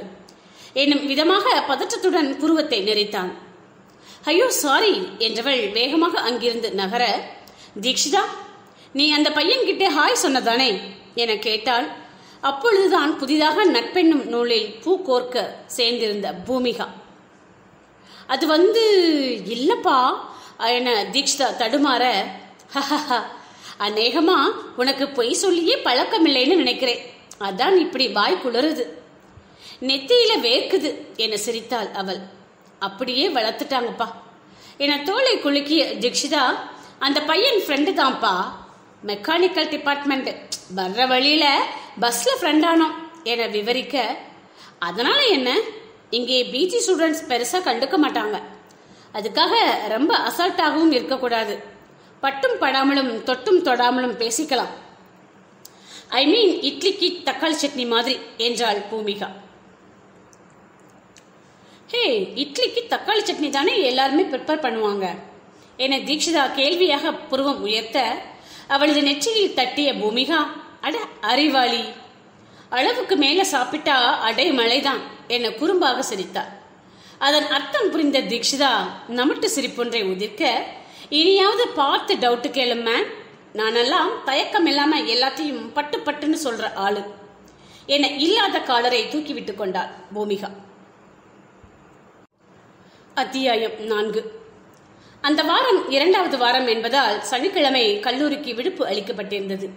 எனவே விடுதி மாணவர்களும் தத்தமது வீடுகளுக்கு செல்ல அனுமதி அளித்து விட்டிருந்தனர். தீக்ஷிதாவிற்கு தனது மாமன் வீட்டிற்கு செல்வதில் பெரிதாக ஈடுபாடு இல்லாவிட்டாலும் அலைபேசியில் சற்றே சுதந்திரமாக பெற்றோர் மற்றும் நண்பர்களுடன் பேசி மகிழலாம் என்பதற்காக உற்சாகத்துடன் புறப்பட்டு விட்டார். மிகச் சரியாக கல்லூரி வேலை நேரம் நிறைவரும் நேரத்தில் வாசலில் காத்திருந்தான் ராகவ். இன்னைக்கு எல்லோருக்கும் வீக்கெண்டு தானே? நிச்சயமா மகாவும் வருவா. அவகிட்ட பேசிடணும் என முடிவு செய்து கொண்டு வேகமாக ஓட ஆயத்தமாக இருந்த ராஜாவை அவர்களது துறையின் பொறுப்புகள் வா வா என அழைத்தது. அவற்றை தற்காலிகமாக தள்ளி வைத்துவிட்டு ஓடுபாதையில் மீண்டும் ஷூவை மாட்டிக்கொண்டு தயாராக அடுத்த அழைப்பு. அவர்களது துறை தலைவரிடம் இருந்து தம்பி ராஜா உங்க அப்பா கிட்டே ஒரு டவுட் கேட்டிருந்தேன். புக்கு தரேன்னு சொல்லியிருந்தாரு. மறக்காம மண்டே வாங்கிட்டு வந்துடுப்பா என்றவர் அத்தோடு நிறுத்தாமல் உங்க அப்பா பயங்கரமான ஜீனியஸ் தெரியுமா? கெமிஸ்ட்ரியில் அவரை மிஞ்ச ஆளே கிடையாது என அவனது தந்தை மீது பிள்ளை தமிழ் பாடத் தொடங்கிவிட்டார். அவரை சமாளித்துவிட்டு வேகமாக ஓடி வந்தவனுக்கு ராகவனது வண்டியின் தூர தரிசனமும் தீட்சியின் பின்புற தரிசனமுமே கிட்டியது. ச்சே! என சலித்து கொண்டவன் எம்எல்ஏ வீட்டுக்குத்தானே போறா. எப்படியாவது நாளைக்கு காலையில போய் பார்த்து பேசணும். என் முடிவுடன் இல்லத்திற்கு திரும்பினான். படுக்கையில் புரண்டு படுத்த ராஜாவிற்கு தூக்கம் தூரமாகி போனது. வீட்டிற்கு வந்தவகிட்ட மொபைல் இருக்குமா? அப்போ நிச்சயமா சோசியல் மீடியாவில் ஆக்டிவா இருப்பா தானே புதுசா ப்ரொஃபைல் பிக்சர் மாத்துறது காலேஜ் ஸ்டேட்டஸ் அப்டேட் பண்றது இன்ஸ்டாகிராம்ல ஸ்டோரி போடுறதுன்னு ஏதாவது ஒரு ஆக்டிவிட்டி இருக்கும் தானே? நிச்சயமா இருக்கும். அதுல ஏதாவது ஒன்னை கண்டுபிடிக்கணும் என்னும் முடிவுடன் எழுந்து கொண்டவன் அந்த இரவை அவளை தேடி தீர்த்து நேரத்தையும் நிம்மதியையும் தொலைக்க ஆயத்தமானான். முதல்ல இன்ஸ்டாகிராம்ல தேடுவோம். நேம் என்னவா இருக்கும் மகாலட்சுமி மகா லக்ஷ்மி இல்லைனா மகாலட்சுமி என தனக்குள்ளாகவே வகுத்து கொண்டவன் ஒவ்வொன்றாக தேடி பார்க்க ஒன்றுமே பிடிபடவில்லை. சே என்ன இவ? கொஞ்சம் கூட பொறுப்பே இல்லாம இருக்கிறா? என திட்டியவனுக்கு அப்போதுதான் ஆமா நீ ஐடி தேடி கிடைக்காததற்கும் அவ பொறுப்பா இல்லாததற்கும் என்ன சம்பந்தம்? என சிந்தையில் உரைத்தது. அது ஒரு ஃப்ளோல என நாக்கை கடித்து கொண்டவன் அதே வேகத்துடன் அடுத்த சமூக வலைத்தளத்தில் நீந்தி முத்தெடுக்க வேண்டி குதித்தான். இன்ஸ்டாகிராம்லேயே கிடைக்கல. இதுல ஃபேஸ்புக்ல பூரா பேரும் அவரவர் அப்பா பெயர்ல சஃபிக்ஸா வச்சுக்கிட்டு சுத்துவாங்க. நமக்கு வேற அவங்க அப்பா பெயர் தெரியாதே. என அங்க எப்படியும் நம்மை காலேஜை மென்ஷன் பண்ணியிருப்பா. அட்லீஸ்ட் இங்க இருக்கிற மீம் குரூப் மீம் பேஜின்னு எதையாவது லைக் பண்ணியிருப்பாள்ல? என கண் போக்கில் கண்களை மேய விட்டுக் கொண்டிருந்தான். இவனது சிந்தனை குதிரையை கடிவாளமின்றி அவிழ்த்து விட்டவளோ அங்கே எவ்வித கவலையும் இன்றி நிம்மதியாக துயில் கொண்டிருந்தாள் மறுநாள் காலையில் விரைவாகவே விழித்து கொண்ட தீக்ஷிதாவை இன்னும் கொஞ்ச நேரம் தூங்குடா. லீவு தானே என வற்புறுத்தினார் அவளது அத்தை. வேணாம் அத்தை. ஒரு நாள் ரெஸ்ட் எடுக்க ஆரம்பிச்சா சோம்பேறி ஆகிடுவோம். அதான் எழுந்துட்டேனே. வேலை ஏதாவது இருந்தா பார்க்கிறேன் என சமையலில் அவருக்கு உதவ தொடங்கினார் சமையல் முடிஞ்சதுடா. நீ போய் குளிச்சு ரெடி ஆகிட்டு வா. அத்தான் உன்னை கோவிலுக்கு கூட்டிட்டு போவான் என அவர் தெரிவிக்க அவரது சொற்படி செய்தார். தீக்ஷிதா காலை உணவருந்த அமரும் பொழுதே ராகவும் வந்துவிட்டார். வாடா உட்காரு. சாப்பாடு எடுத்து வைக்கிறேன் என அவனது அன்னை கூற தீக்ஷிதாவை பார்த்து புன்முறுவல் பூத்த வண்ணமே அமர்ந்தான். இருவரும் ஒன்றாக உண்டு முடித்த பின்னர் ராகவ் தீக்ஷியை ஸ்ரீவி வரைக்கும் கூட்டிட்டு போயிட்டு வாயே என்றார் அவனது அன்னை. சரிம்மா என்றவன் அவளை காரில் அழைத்துச் செல்ல அமைதியான பாடலுடன் நகர்ந்தது. ஸ்ரீவில்லிபுத்திரை நெருங்குகையில் அத்தான் கொஞ்சம் இங்கே ஸ்லோ பண்றீங்களா? என் ஃப்ரெண்ட்ஸ் நம்மளோட ஜாயின் பண்ணிக்கிறேன்னு சொன்னாங்க என்றாள் தீக்ஷிதா சரிம்மா என்றவன் அது நிச்சயம் பெண் தோழியாகத்தான் இருக்கும் என்கின்ற மெத்தனத்தில் அமர்ந்திருக்க பூமிகாவுடன் சந்தோஷம் வந்தான். அவனை பார்த்ததும் ராகவிற்கு எரிச்சல் மண்டியது. சந்தோஷ் முன் இருக்கையில் அமர தீக்ஷிதா பின் இருக்கையில் பூமிகாவுடன் சென்று அமர்ந்து கொண்டார். ஏய் இவனையும் வர சொல்லியிருக்கிறியா? யாராவது பார்த்தா சங்குதான். என பூமிகா தீக்ஷிதாவின் காதில் கிசுகிசுக்க என்ன தீக்ஷி நான் வந்தது உங்க ஃப்ரெண்டுக்கு பிடிக்கலை போலவே? என கேட்டான் சந்தோஷ். அப்படியெல்லாம் இல்லை சந்தோஷ். திடுத்திப்புன்னு எல்லாரையும் ஒன்னா வர சொன்னதும் ஷாக் ஆகிட்டா. அவ்வளோதான். என தீக்ஷிதா சமாளிக்க இவர் எம்எல்ஏவோட பையன் தானே என அவன் புறம் திரும்பினாள் பூமிகா. ஆமா என்ற தீக்ஷி சாரிப்பா எனக்கு இங்கெல்லாம் சுத்தி பார்க்கணும்னு ரொம்ப ஆசை. பொதுவா எனக்கு ஃப்ரெண்ட்ஸ் கூட டிராவல் பண்றது பிடிக்கும். ஆனா பெங்களூர்ல அந்த வாய்ப்பு கிடைக்கல. அட்லீஸ்ட் இங்கேயாவது என்ஜாய் பண்ணலாமேன்னு என இழுக்க கவலையே வேணாம் Dikshi I am always there ஒரு மிஸ்டு கால் கொடுங்க ஓடோடி வந்துடுறேன் என தாராள மனதுடன் பேசினான் சந்தோஷ். தோழர்கள் மூவரும் தங்களுக்குள் பேசிக் கொண்டிருக்க ராகவ் தான் அமைதியாக வண்டி ஓட்டி கொண்டிருந்தார் சே அத்தான் அமைதியாக இருக்கிறாரு அவர் ஏதோ டிரைவர் மாதிரி இருக்குது என தனக்குள் வருந்தினாள் தீக்ஷிதா அத்தான் ஒரு நிமிஷம் வண்டியை நிறுத்துங்களேன் என அவள் கூற வண்டியை நிறுத்தியவன் என்னம்மா என கேட்டான். சந்தோஷை பின்னிருக்கையில் அமர வைத்துவிட்டு மீண்டும் முன் இருக்கையில் சென்று அமர்ந்தாள் தீக்ஷிதா ஏன்பா நம்ம காலேஜில் மட்டும் பசங்களும் பொண்ணுங்களும் பேசிக்க கூடாதுன்னு ரூல்ஸ் போட்டிருக்கிறாங்க? நாடு எவ்வளோ முன்னேறிடுச்சு? இவங்க இன்னமும் மெட்ரிகுலேஷன் ஸ்கூல் மாதிரி ட்ரீட் பண்ணுறாங்க தி- தீக்ஷிதா சலித்து கொள்ள புன்னகையுடன் பேசத் தொடங்கினான் ராகவ். நாங்கள் படிக்கிறப்போ எல்லோரும் பேசிக்கலாம்னு தான் இருந்துச்சு. எல்லோரும் கேஷுவலாக தான் பேசினோம். அதிலேயும் ஒரு கடன்காரன் காதலிச்சு பிரின்சிபால் பொண்ணையும் இழுத்துட்டு ஓடிட்டான். டிரான்ஸ்ஃபார்மர்லேயே கை வச்சா சும்மா விடுவாங்களா? அதான் ஒட்டு மொத்தமாக எல்லா வயரையும் உருவி விட்டுட்டு கனெக்ஷனை கட் பண்ணிட்டாங்க. அவன் நகைச்சுவையாக கூறி முடிக்க நீங்க கூட செம்ம ஜாலியா பேசுறீங்க தான் என ஆமோதித்தாள் அவள். அது மட்டும் இல்ல தீக்ஷி வைஃபை கூட கேர்ள்ஸ் ஹாஸ்டலுக்கு வேற டைமிங் ஜென்ஸ் ஹாஸ்டலுக்கு வேற டைமிங் எப்படியெல்லாம் இருக்குது பாரு? நம்ம காலேஜோட தில்லுமுள்ளு ரூல்ஸ். என பூமிகாவும் ராகவின் பேச்சை வழிமொழியும் விதமாக கல்லூரியின் புகழ் பாட ஆக்சுவலி இவ்வளோ ரூல்ஸ் வச்சாதான் எல்லோருக்குமே தப்பு பண்ணணும்னு தோணும். அடக்கி வைக்க வைக்க அழுத்தம் அதிகமாகி சீக்கிரமே வெடிக்கிறதுக்கு வாய்ப்பு அதிகம் என தன் கருத்தை எடுத்து வைத்தாள் தீக்ஷிதா. ஆயிரம் தான் சொன்னாலும் இங்கே girls girls yes talk boys boys no talk boys girls என சந்தோஷ் அந்த விவாதத்திற்கு நகைச்சுவையுடன் முடிவுரை எழுத மூவரும் சிரித்து விட்டனர் ஒன்றாக கோவிலுக்கு சென்று வழிபட்டவர்கள் பின்னர் நகரத்தின் பிரபலமான ஜவுளி கடைக்கு சென்று தங்களுக்கு தேவையான பொருட்களை வாங்கினர். மதிய உணவை முடித்துக்கொண்டு ஸ்ரீவில்லிபுத்தூர் நகரத்தின் சிறப்பான பால்கோவாவை ருசித்தனர். வரும் வழியில் தோழர்கள் இருவரையும் இறக்கிவிட்ட பின்னர் தொண்டையை செருமிக்கொண்டு பேசத் தொடங்கினாள் தீக்ஷிதா அத்தான் இன்னைக்கு ஜாலியா இருந்தீங்களா? ம் நல்லா இருந்துச்சு என அவன் மெளிதாக புன்னகைக்க அத்தான் நான் ஒன்று கேட்டால் தப்பா எடுத்துக்க மாட்டீங்க தானே பீடிகை போட்டான் ஏதோ லம்பா சம்பவம் இருக்கும் போலவே என்றவன் அவளை பார்த்து புருவம் உயர்த்த தான் தெரிவிக்க போகும் விஷயங்களை தெளிவுடன் பேச தயாரானான் அத்தான் உங்களுக்கு என் மேலே இன்ட்ரெஸ்ட் இருக்குதா? இன்ட்ரெஸ்ட்னா புரியல தீக்ஷி. ஐ மீன் மாமா பொண்ணு அப்படிங்கிறதை தாண்டி தனிப்பட்ட அபிப்பிராயம் இருக்குதான்னு கேட்டேன். இல்ல வேணாம் நான் சுத்தி வளைச்சு கேட்க விரும்பல. நேரடியாகவே கேட்டுடுறேன். இப்பவோ இல்லை இதுக்கு அப்புறமோ உங்களுக்கு என் மேல காதல் வரும்னு தோணுதா? நெற்றி பொட்டில் அடித்தார் போல் கேட்டுவிட ஒரு கணம் தடுமாறினான் ராகவ். ஹே என்னம்மா ஏதேதோ கேட்குற என அவன் பதற்றத்துடன் பேச இல்லையாத்தான் உங்கள் நடவடிக்கைகள் எனக்கு சந்தேகமாக இருக்குது. அதான் இதை மட்டும் தெளிவுபடுத்திட்டீங்கன்னா நான் கொஞ்சம் ரிலாக்ஸ்டாக இருப்பேன் தீர்க்கமாக தெரிவித்தான் என்னை உனக்கு பிடிக்கும் தீக்ஷி எனக்கு உன்னை பிடிக்கும் தீக்ஷி. ஆனா நீ கேட்குற மாதிரி விஷயங்கள் பத்தி பதில் சொல்லணும்னா நான் இன்னும் யோசிச்சு செல்ஃப் அனலைஸ் பண்ணணும் உண்மையை பேசினான் அவன்.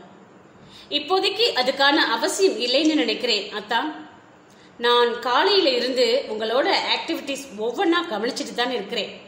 உங்களுக்கு ஏனோ நான் சந்தோஷ் கூட பேசுறது பிடிக்கல. இதை பொசசிவ்னு எடுத்துக்கவா? என்னன்னு கூட எனக்கு தெரியல. அத்தை சொன்னாங்க நம்ம ரெண்டு பேருக்கும் தான் கல்யாணம்னு. ஒருவேளை அதுதான் நம்மளோட விதினா அப்படியே நடந்துட்டு போகட்டும். பட் அதை ஒரு சாக்கா வச்சுக்கிட்டு என் மேல நீங்க ஆதிக்கம் செலுத்துறதை என்னைக்கும் அக்செப்ட் பண்ணிக்க முடியாது. ஒரு பொண்ணுக்கு தெரியும் ஒருத்தன் எந்த நோக்கத்தோட தன்கிட்டே பழகுறான்னு அவனை எந்த எல்லையில் நிறுத்தணும்னு. நல்லாவே புரியும் சந்தோஷ். ஒரு நல்ல ஃப்ரெண்டு அவ்வளோதான். அதுக்காக அவன் என் கூட நடக்கிறப்போ குறுக்கே வர்றது அவன் என்கிட்ட பேசுறப்போ இன்டர்ஃபியர் ஆகுறதெல்லாம் கொஞ்சம் அபத்தமா இருக்குது அத்தான் இதுவே தொடர்ந்தா நிச்சயமா என்னால் உங்களோட கேஷுவலா பேச முடியாது.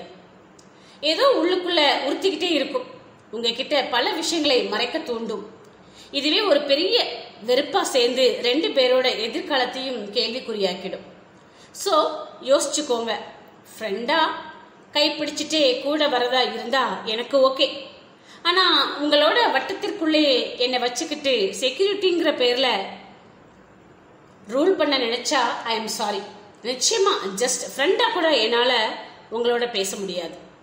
தீர்க்கமாக பேசி முடித்தவள் இறங்கி தனது அறைக்கு சென்று விட சிலையாக அமர்ந்திருந்தான் ராகவ். அன்றைய தினம் காலை பத்து மணி அளவில் ராகவின் வீட்டிற்கு எதிரில் அமைந்திருந்த டீ கடையில் காத்திருந்தான் ராஜா. ஆனால் இவர்களோ ஒன்பதரைக்கே புறப்பட்டு சென்றிருந்தனர். நெடுநேரம் காத்திருந்தவன் பொறுமை இழந்து அவ்விடம் விட்டு சென்றிருந்தான். மறுநாள் காலை அவள் பால்கனியில் அங்கும் இங்கும் நடந்தவாறே தன் பெற்றோர் மற்றும் தோழிகளுடன் அலைபேசியில் உரையாடி கொண்டிருக்க ராஜாவோ சலிப்பின் மிகுதியால் வருகை புரிந்திருக்கவில்லை. ஒருவேளை அவன் வந்திருந்தான் ஆனால் ஆற்றல் நேரம் நேசம் என அனைத்தும் விரயமாகாமல் காக்கப்பட்டிருக்கும். வழிகளையும் பிரச்சனைகளையும் கடந்துதான் காதலில் வெற்றிக்கனியை ருசிக்க வேண்டுமென விதி வகுக்கப்பட்டிருந்தால் அவ்வாறுதானே நிகழ்ந்தாக வேண்டும்? அத்தியாயம் ஐந்து.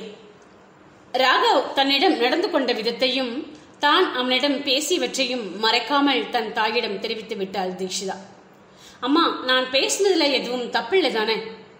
பொண்டாட்டியாவே இருந்தாலும் ஓவர் அட்வான்டேஜ் எடுத்துக்க கூடாதுன்னு நீங்க தானே சொல்வீங்க. எனக்குமே ராகவ் அத்தான் இப்படி நடந்துக்கிறது பிடிக்கல. அதான் முன்னாடியே தெளிவாக சொல்லிட்டேன். ஹர்ட் இருப்பாரோ? என அவரிடம் கேட்க அதெல்லாம் எதுவும் இருக்காது தீக்ஷி. நீ ரொம்பவே ஜென்யூனா தான் சொல்லியிருக்கிற. ராகவ் பிராட் மைண்டட் பர்சன் தான். நிச்சயமாக புரிஞ்சுப்பான். நீ அதை பற்றியே யோசிச்சுட்டு இருக்காம படிப்பில் கான்சென்ட்ரேட் பண்ணு என முடித்து விட்டார் அந்த வாரத்திலேயே முதலாம் ஆண்டு மாணவர்களுக்கு ஃப்ரெஷர்ஸ் டே ஏற்பாடு செய்யப்பட்டிருந்தது. அவர்களது கல்லூரியில் புதிய வரவுகள் நாள் என்பது அவரவர் தத்தமது இருக்கையில் அமரலாம். விருப்பம் இருப்பவர்கள் முன்னால் வந்து ஆடலாம் பாடலாம். அனைவரும் கை தட்டலாம் அவ்வளவுதான். அவ்வளவே அவ்வளவுதான். இந்த அடுக்கடுக்கான அதீத சுதந்திரம் கொண்ட என்ஜாய்மெண்ட் ஸ்டெப்ஸ்களில் தப்பித் தவறி கூட இரண்டாம் ஆண்டு மாணவர்களுக்கு இடமில்லை. பின் எப்படித்தான் இரண்டாம் ஆண்டு படிக்கும் ராஜா தனது ராணியை கண்டுகொள்வது? இவர்கள் சதி செய்தால் என்ன? இறைவன்தான் இவனுக்கென இனிதே விதி வகுத்திருக்கிறாரே. அங்கே கலை அரங்கத்தில் இவர்களது கலை நிகழ்வுகள் அரங்கேறிக் கொண்டிருக்க துறை தலைவர் அழைப்பதாக ராஜாவுக்கு தெரிவிக்கப்பட்டது.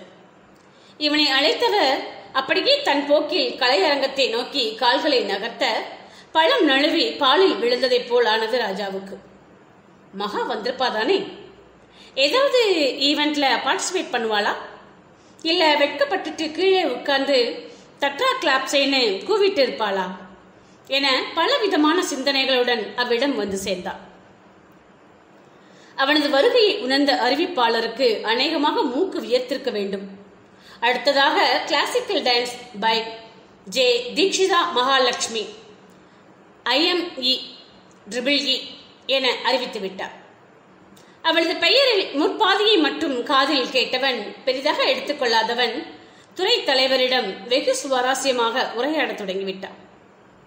அதற்கென பிரத்யேகமாக வடிவமைக்கப்பட்ட ஆடைகள் உடுத்தாமல் எவ்வித அலங்காரமும் செய்து கொள்ளாமல் தான் உடுத்தியிருந்த சாதாரண ஆடைகளுடன் மேடை ஏறினாள் தீக்ஷிதா அவனின் மகாலட்சுமி துப்பட்டாவை மட்டும் மார்பை மறைக்கும் வண்ணம் குறுக்காக கட்டியிருந்தவள் முகத்தை நன்றாக கழுவி ஒற்றை பொட்டுடன் மிதமான அளவில் கண்மையும் உதட்டு பூச்சும் மட்டும் சேர்த்திருந்தார்.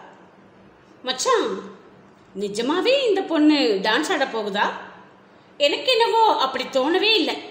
ஒருவேளை இப்பதான் கிளாஸ்க்கு போயிட்டு இருக்கோமோ என அருகில் அமர்ந்திருந்த மாணவர்கள் இருவர் தங்களுக்குள் பேசிக்கொள்ள யாருடா அது? என அறிந்து கொள்வதற்காக நிமிர்ந்த ராஜா ஒரு கணம் அசையாமல் அமர்ந்து விட்டார். மகா இது மகா தானே இத்தனை நாள் தேடி அலைந்தவனின் தரிசனம் கிட்டிய மகிழ்ச்சியில் ஆனந்த கூத்தாடியது அவனது மனம். ஆனா வேற ஏதோ பெயர் சொன்னாங்களே. அச்சோ கிளாஸ் கூட கவனிக்கலையே. என தன்னைத்தானே நொந்து கொண்டவன் இப்போ அதுவாடா முக்கியம்? முதல்ல டான்ஸை பாரு என தன்னை நிலைப்படுத்தினான்.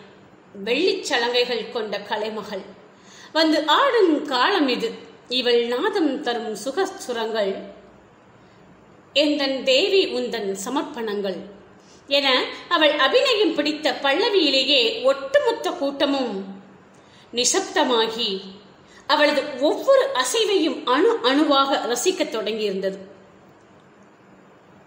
கை கால்களை அசைத்தவளின் கண் அசைவுகள் பேசா மொழிகளையும் எடுத்து எம்ப மொத்தமாக வீழ்ந்துவிட தயாரானது ராஜாவின் இதயம். பா என்னமா ஆடுறா? அந்த கண்ணை உருட்டி ஆக்ஷன் பண்றப்போ ஒரு நிமிஷம் மூச்சு விடவே மறந்துடுது. மானசீகமாக அவளுக்கு பாராட்டு பத்திரம் வாசித்தான். சூப்பரா ஆடுதில்ல இந்த பொண்ணு. என முன்பு கேலி செய்த இருவர் பாராட்ட சற்றே கேலியாக உதடு வளைத்தான். அவளது நடனம் முடிந்த பின்னர் காதுகளை கூர்மையாக தேட்டிக்கொண்டு கேட்க ஆயத்தமானான் ராஜா. தேங்க்யூ தீக்ஷிதா மகாலட்சுமி என அறிவிப்பாளர் கூற வாவ் தீக்ஷிதா மகாலட்சுமி நல்லா இருக்குதே என தனக்குள் சொல்லி பார்த்து கொண்டார் அருகில் அமர்ந்திருந்தவனிடம் ப்ரோ இந்த பொண்ணு எந்த டிபார்ட்மெண்ட்? என வினவ ட்ரிபிள் இ ப்ரோ என்னும் பதில் கிட்டியது. கூடவே என்ன ப்ரோ இம்ப்ரெஸ் ஆயிட்டீங்களா? இனி ஃபாலோ பண்ண போறீங்களா? பார்த்து ப்ரோ இங்கே மாட்டுனா டின்னு கட்டிட்டு வாங்க அதுவும் இல்லாம இந்த பொண்ணு எம்எல்ஏ ரிலேட்டிவா என்னும் கேலி கலந்த அறிவுரையும் கிடைத்தது இலவசமாக. அடே பிளடி பிஸ்கட்ஸ் நான் இங்கே செகண்ட் இயர்டா கிட்டத்தட்ட அஞ்சு வருஷமா இங்கே தான் குப்பை கொட்டிட்டு கிடக்கிறேன். நேத்து வந்துட்டு எனக்கே அட்வைஸ் பண்றானுங்க. என நினைத்த ராஜா புருவம் நெறித்து உதடு வளைத்தான். மேடையை விட்டு கீழே இறங்கியவளை சூழ்ந்து விட்டனர் மாணவிகள். ஹே சூப்பப்பா! தூள் பண்ணிட்டீங்க என அனைவரும் பாராட்ட தேங்க்ஸ்பா என்றாள் முகம் கொள்ளாத புன்னகையுடன். மா தூக்க மரலை கதை சொல்லுமா என அடம் பிடிக்கும் குழந்தைகள் மத்தியில் மா நீ டான்ஸ் ஆடு அப்பத்தான் தூங்குவேன் என சிணுங்கும் ரகம் ராஜா. அப்போதெல்லாம் டே வேணும்னா நல்ல டான்ஸ் ஆடுற பொண்ணு பொண்டாட்டியா வரணும்னு வேண்டிக்கும் விடிய விடிய அவளை ஆட வச்சு பார்த்துக்கிட்டே இரு. என்னை சலித்துக் கொள்வார் அவர். இப்போது அந்த நினைவுகள் முன்னுக்கு வந்து தன் இருப்பை காட்டிக்கொண்டு இழிக்க ஹிஹி ஹிஹி என்றவாறே தலையில் தட்டி கொண்டான். விழா முடித்து வெளியே வந்த தீக்ஷிதா விடுதிக்கு செல்ல எத்தனிக்க வேண்டுமென்றே எதிர்பட்டான் ராஜா.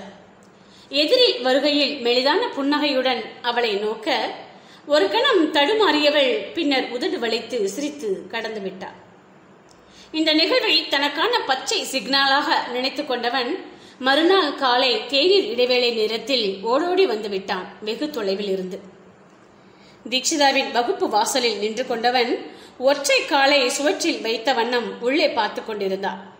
இடைவேளைக்காக வெளியே வந்த தீக்ஷிதாவை கண்டதும் புன்னகைக்க திக்கென்றது அவளுக்கு. இவன் நேத்து பார்த்து சிரிச்சவன் தானே. ஃபர்ஸ்ட் இயரா இல்லை செகண்ட் இயரான்னு தெரியலையே. வராண்டாவில் கேமரா இருக்குதுன்னு கூட தெரியாம இப்படி நின்றுட்டு இருக்கிறான்? இவன் மாட்டினா நானும் தானே மாட்டுவேன். என்னும் பதற்றத்துடன் நகத்தை கடித்தவாறே வெளியே செல்ல ஹே டான்ஸ் சூப்பர் என கூவினான் ஐயோ மானத்தை வாங்குறானே. யாராவது பார்த்துட்டா? என்னையும் தானே தப்பா நினைப்பாங்க. என நினைத்தவள் வேகமாக அங்கிருந்து கழிப்பறை நோக்கி ஓடினாள். உள்ளே சென்று முகத்தில் தண்ணீர் பீச்சி அடித்தவள் இவன் சினிமாவில் காட்டுற மாதிரி காலேஜ் இருக்கும்னு கற்பனையில் வந்திருப்பான் போல. அதான் இப்படியெல்லாம் நடந்துக்கிறான்.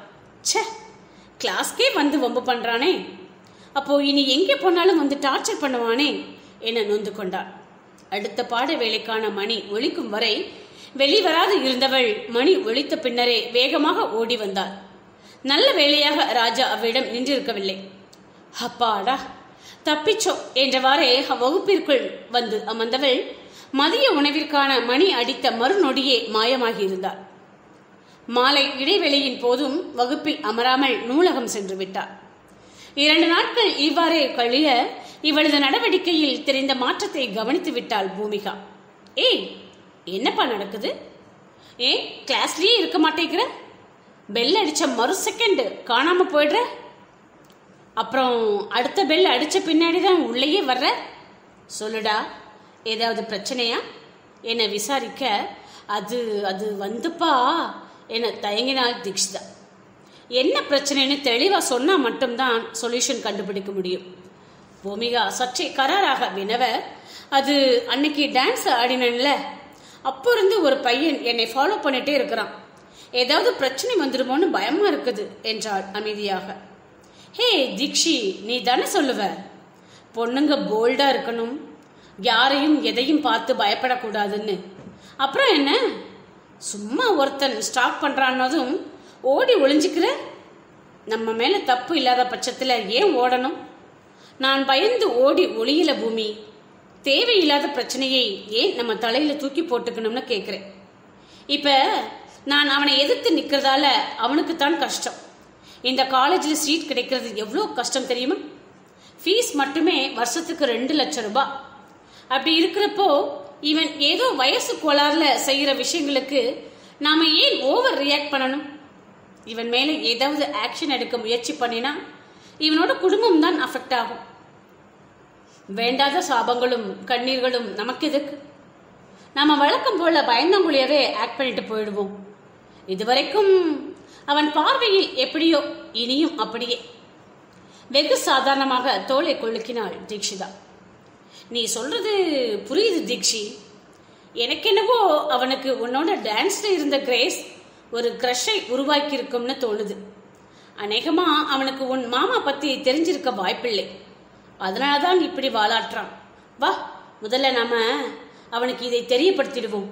அதுக்கும் அசராம நின்னான்னு வச்சுக்கோ. நிஜமாவே அவன் கெத்துதான் ஓர்த்துதான் என தானே முடிவரை எழுதி கொண்டாள் பூமிகா.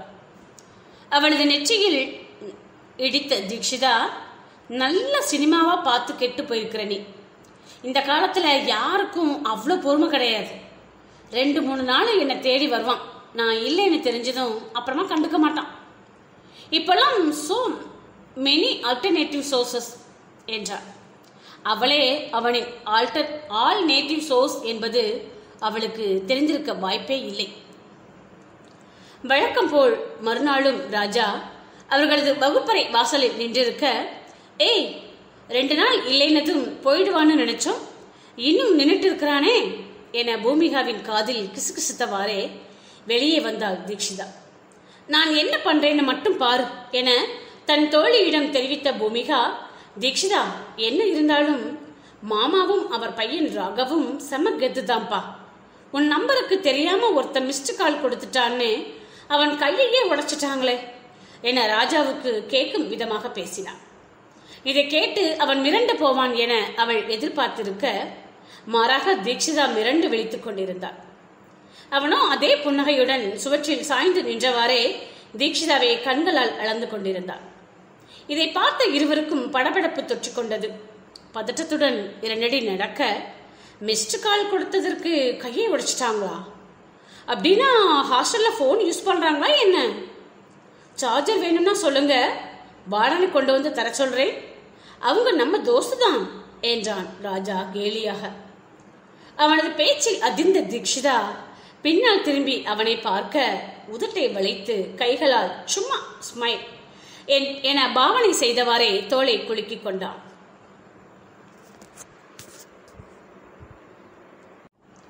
அத்தியாயம் ஆறு.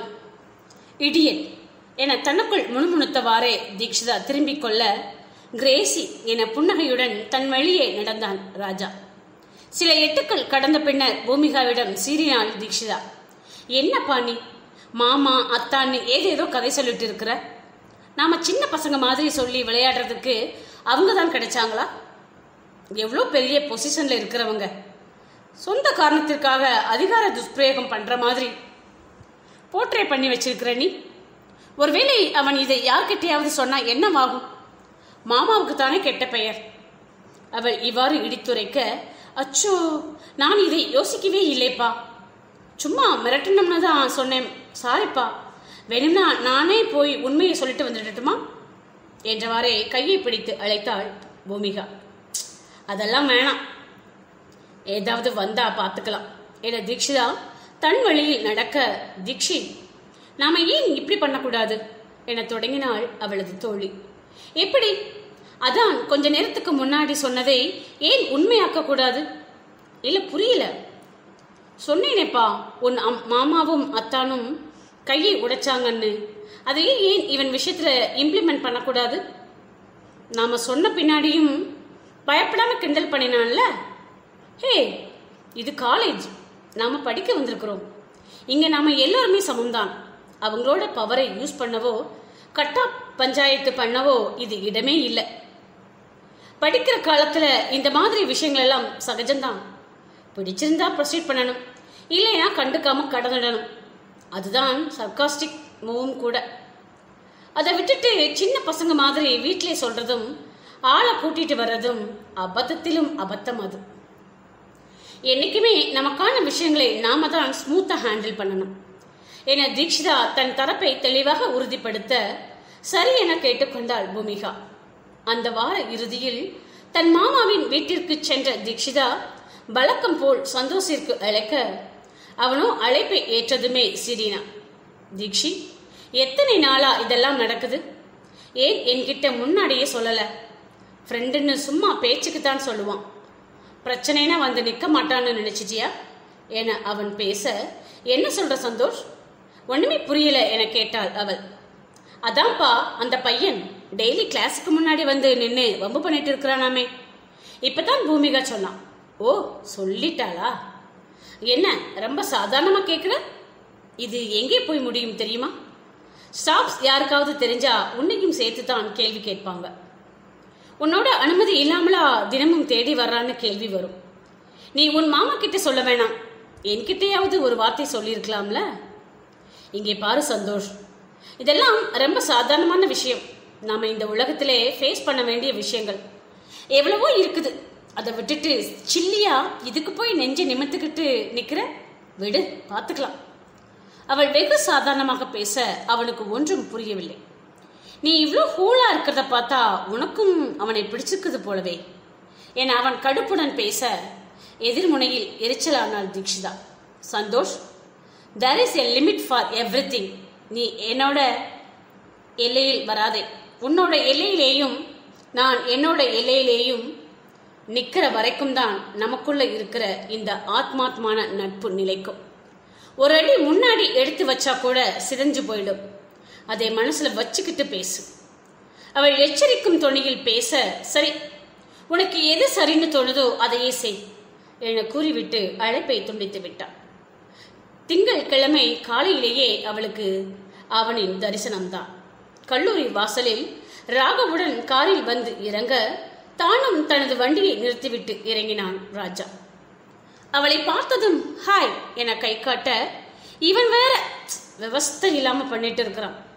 ராகவத்தான் பார்த்தா பிரச்சனை ஆகிடுமே என பதறினார் நல்ல வேளையாக தீக்ஷாவிடம் பயமா ஃப்ரைடே ஈவினிங் பார்க்கலாம்.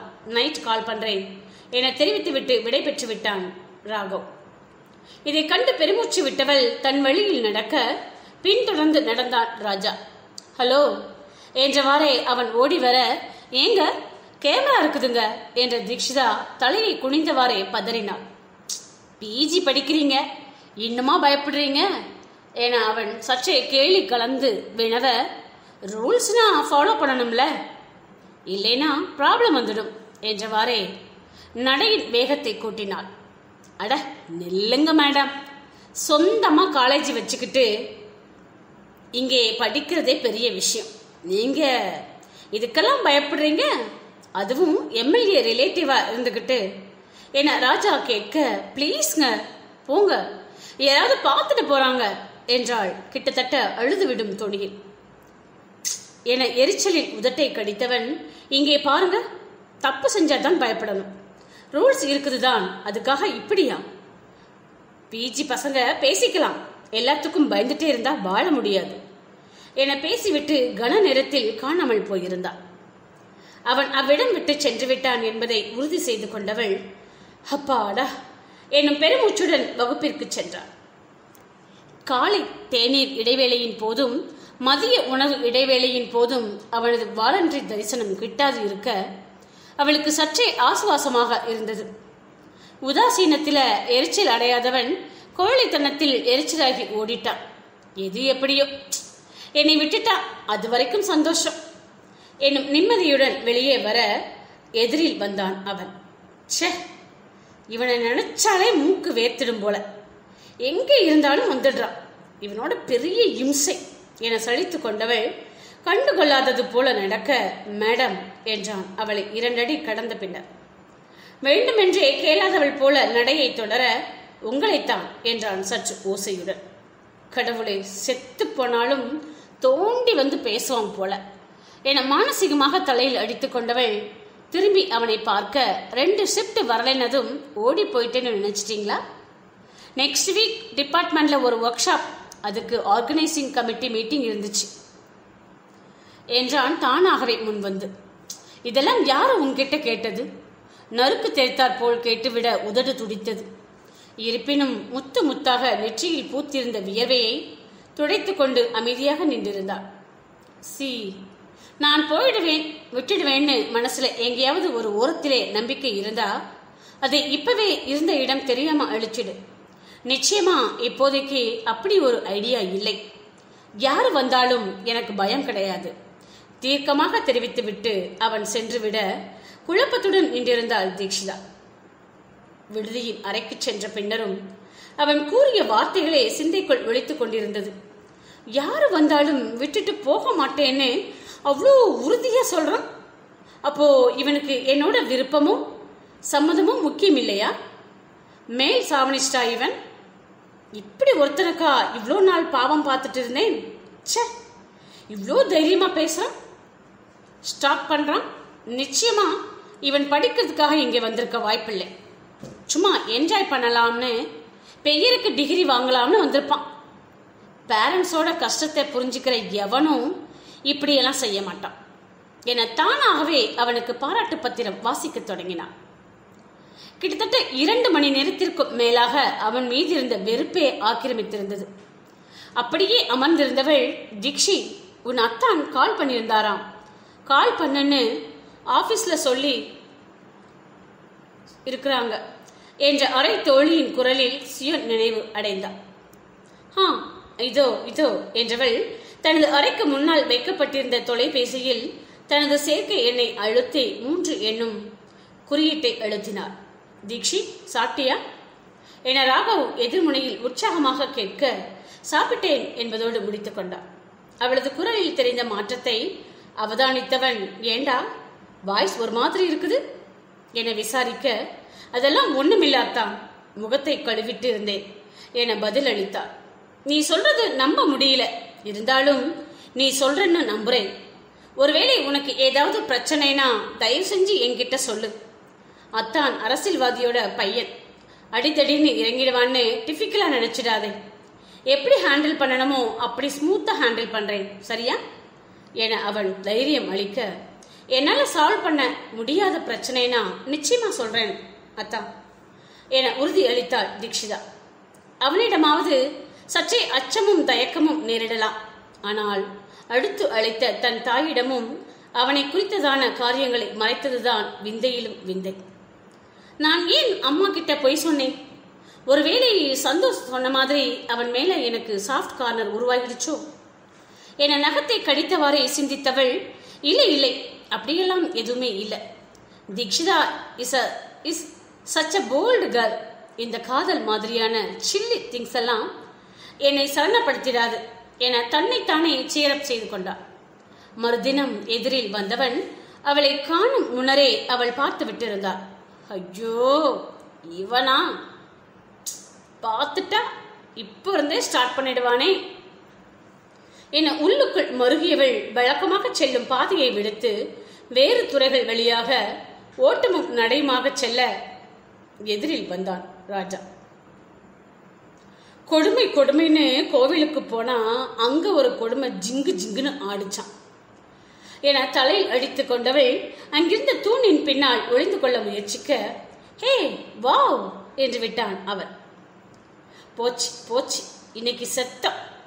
என் டிபார்ட்மெண்ட் முன்னாடி வந்து நின்று மானத்தை வாங்கினது போதாதுன்னு இங்கேயும் பேசி பிரச்சனை பண்ண போறான். என மானசீகமாக தலையில் அடித்து கொண்டவள் தளர்ந்த நடையுடன் முன்னேற நீங்களே என்னை தேடி வந்துட்டீங்களா? என இழுத்தவன் அவளது மிரட்சியான பார்வையில் அப்படின்னு கேட்பேன்னு நினைச்சிடாதீங்க என முடித்தான். அவனது பேச்சில் அப்பாடா என அவள் பெருமூச்சை வெளியேற்ற எனக்கு பயந்துதான் இந்த பக்கமா ஓடி வந்துட்டீங்கன்னு எனக்கு நல்லா தெரியும். ஏன்னா நீங்க அப்காண்ட் ஆகிறதை நான் நோட் பண்ணினேன். அதான் சரி கொஞ்சம் விட்டு பிடிப்போம்னு வந்தேன் என மீண்டும் கிடுக்கு பிடி போட்டான். நிமிர்ந்து அவனது முகத்தை பார்த்து முறைத்தவள் இங்கே பாருங்க நீங்க பண்றது டூ பேட். எனக்கு இதெல்லாம் பிடிக்காது என பேச ஆஹா என தாடியை நீவினான் இது தப்புன்னு உங்களுக்கு தெரியாதா? அவனது அலட்சியத்தால் அவள் எரிச்சலுடன் வினவ அதற்கும் ஆஹா என்றான்.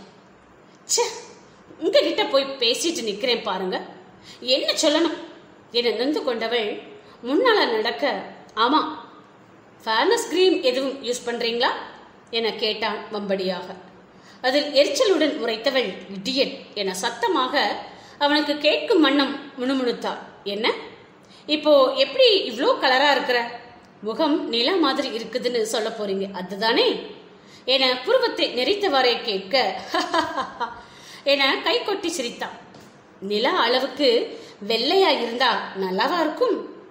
நீ அம்மா சுட்ட தோசை மாதிரி வட்டமாகவும் இருக்கும். அதே சமயத்துல பரிபூர்ணமான நிறத்திலேயும் இருக்கும். என அவன் பேச உள்ளுக்குள் அட என தோன்றியது அவளுக்கு.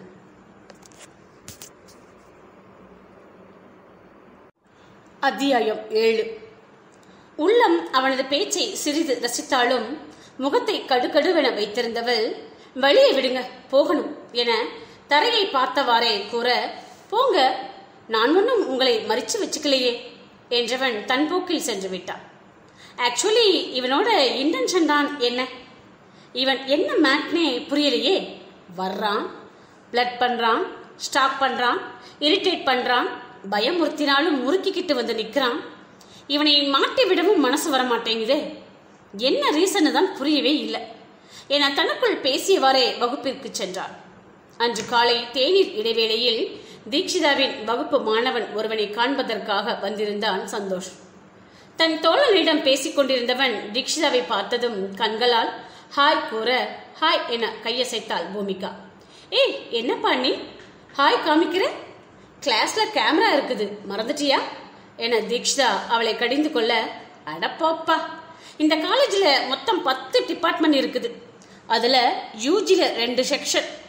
ஸோ எட்டு கிளாஸ் பிஜியில் ரெண்டு கிளாஸ் ஆக மொத்தம் நூறு கிளாஸ் ரூம் போதா குறைக்கு லேப் காரிடார் கேம்பஸ்னு இருக்கிற எல்லாத்தையும் உட்காந்து பார்த்துட்டே இருக்கிறாங்களாக்கும்.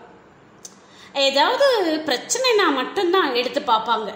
மற்றபடி கேமரா இருக்குங்கிற பயத்திலேயே யாரும் தப்பு பண்ண மாட்டாங்க.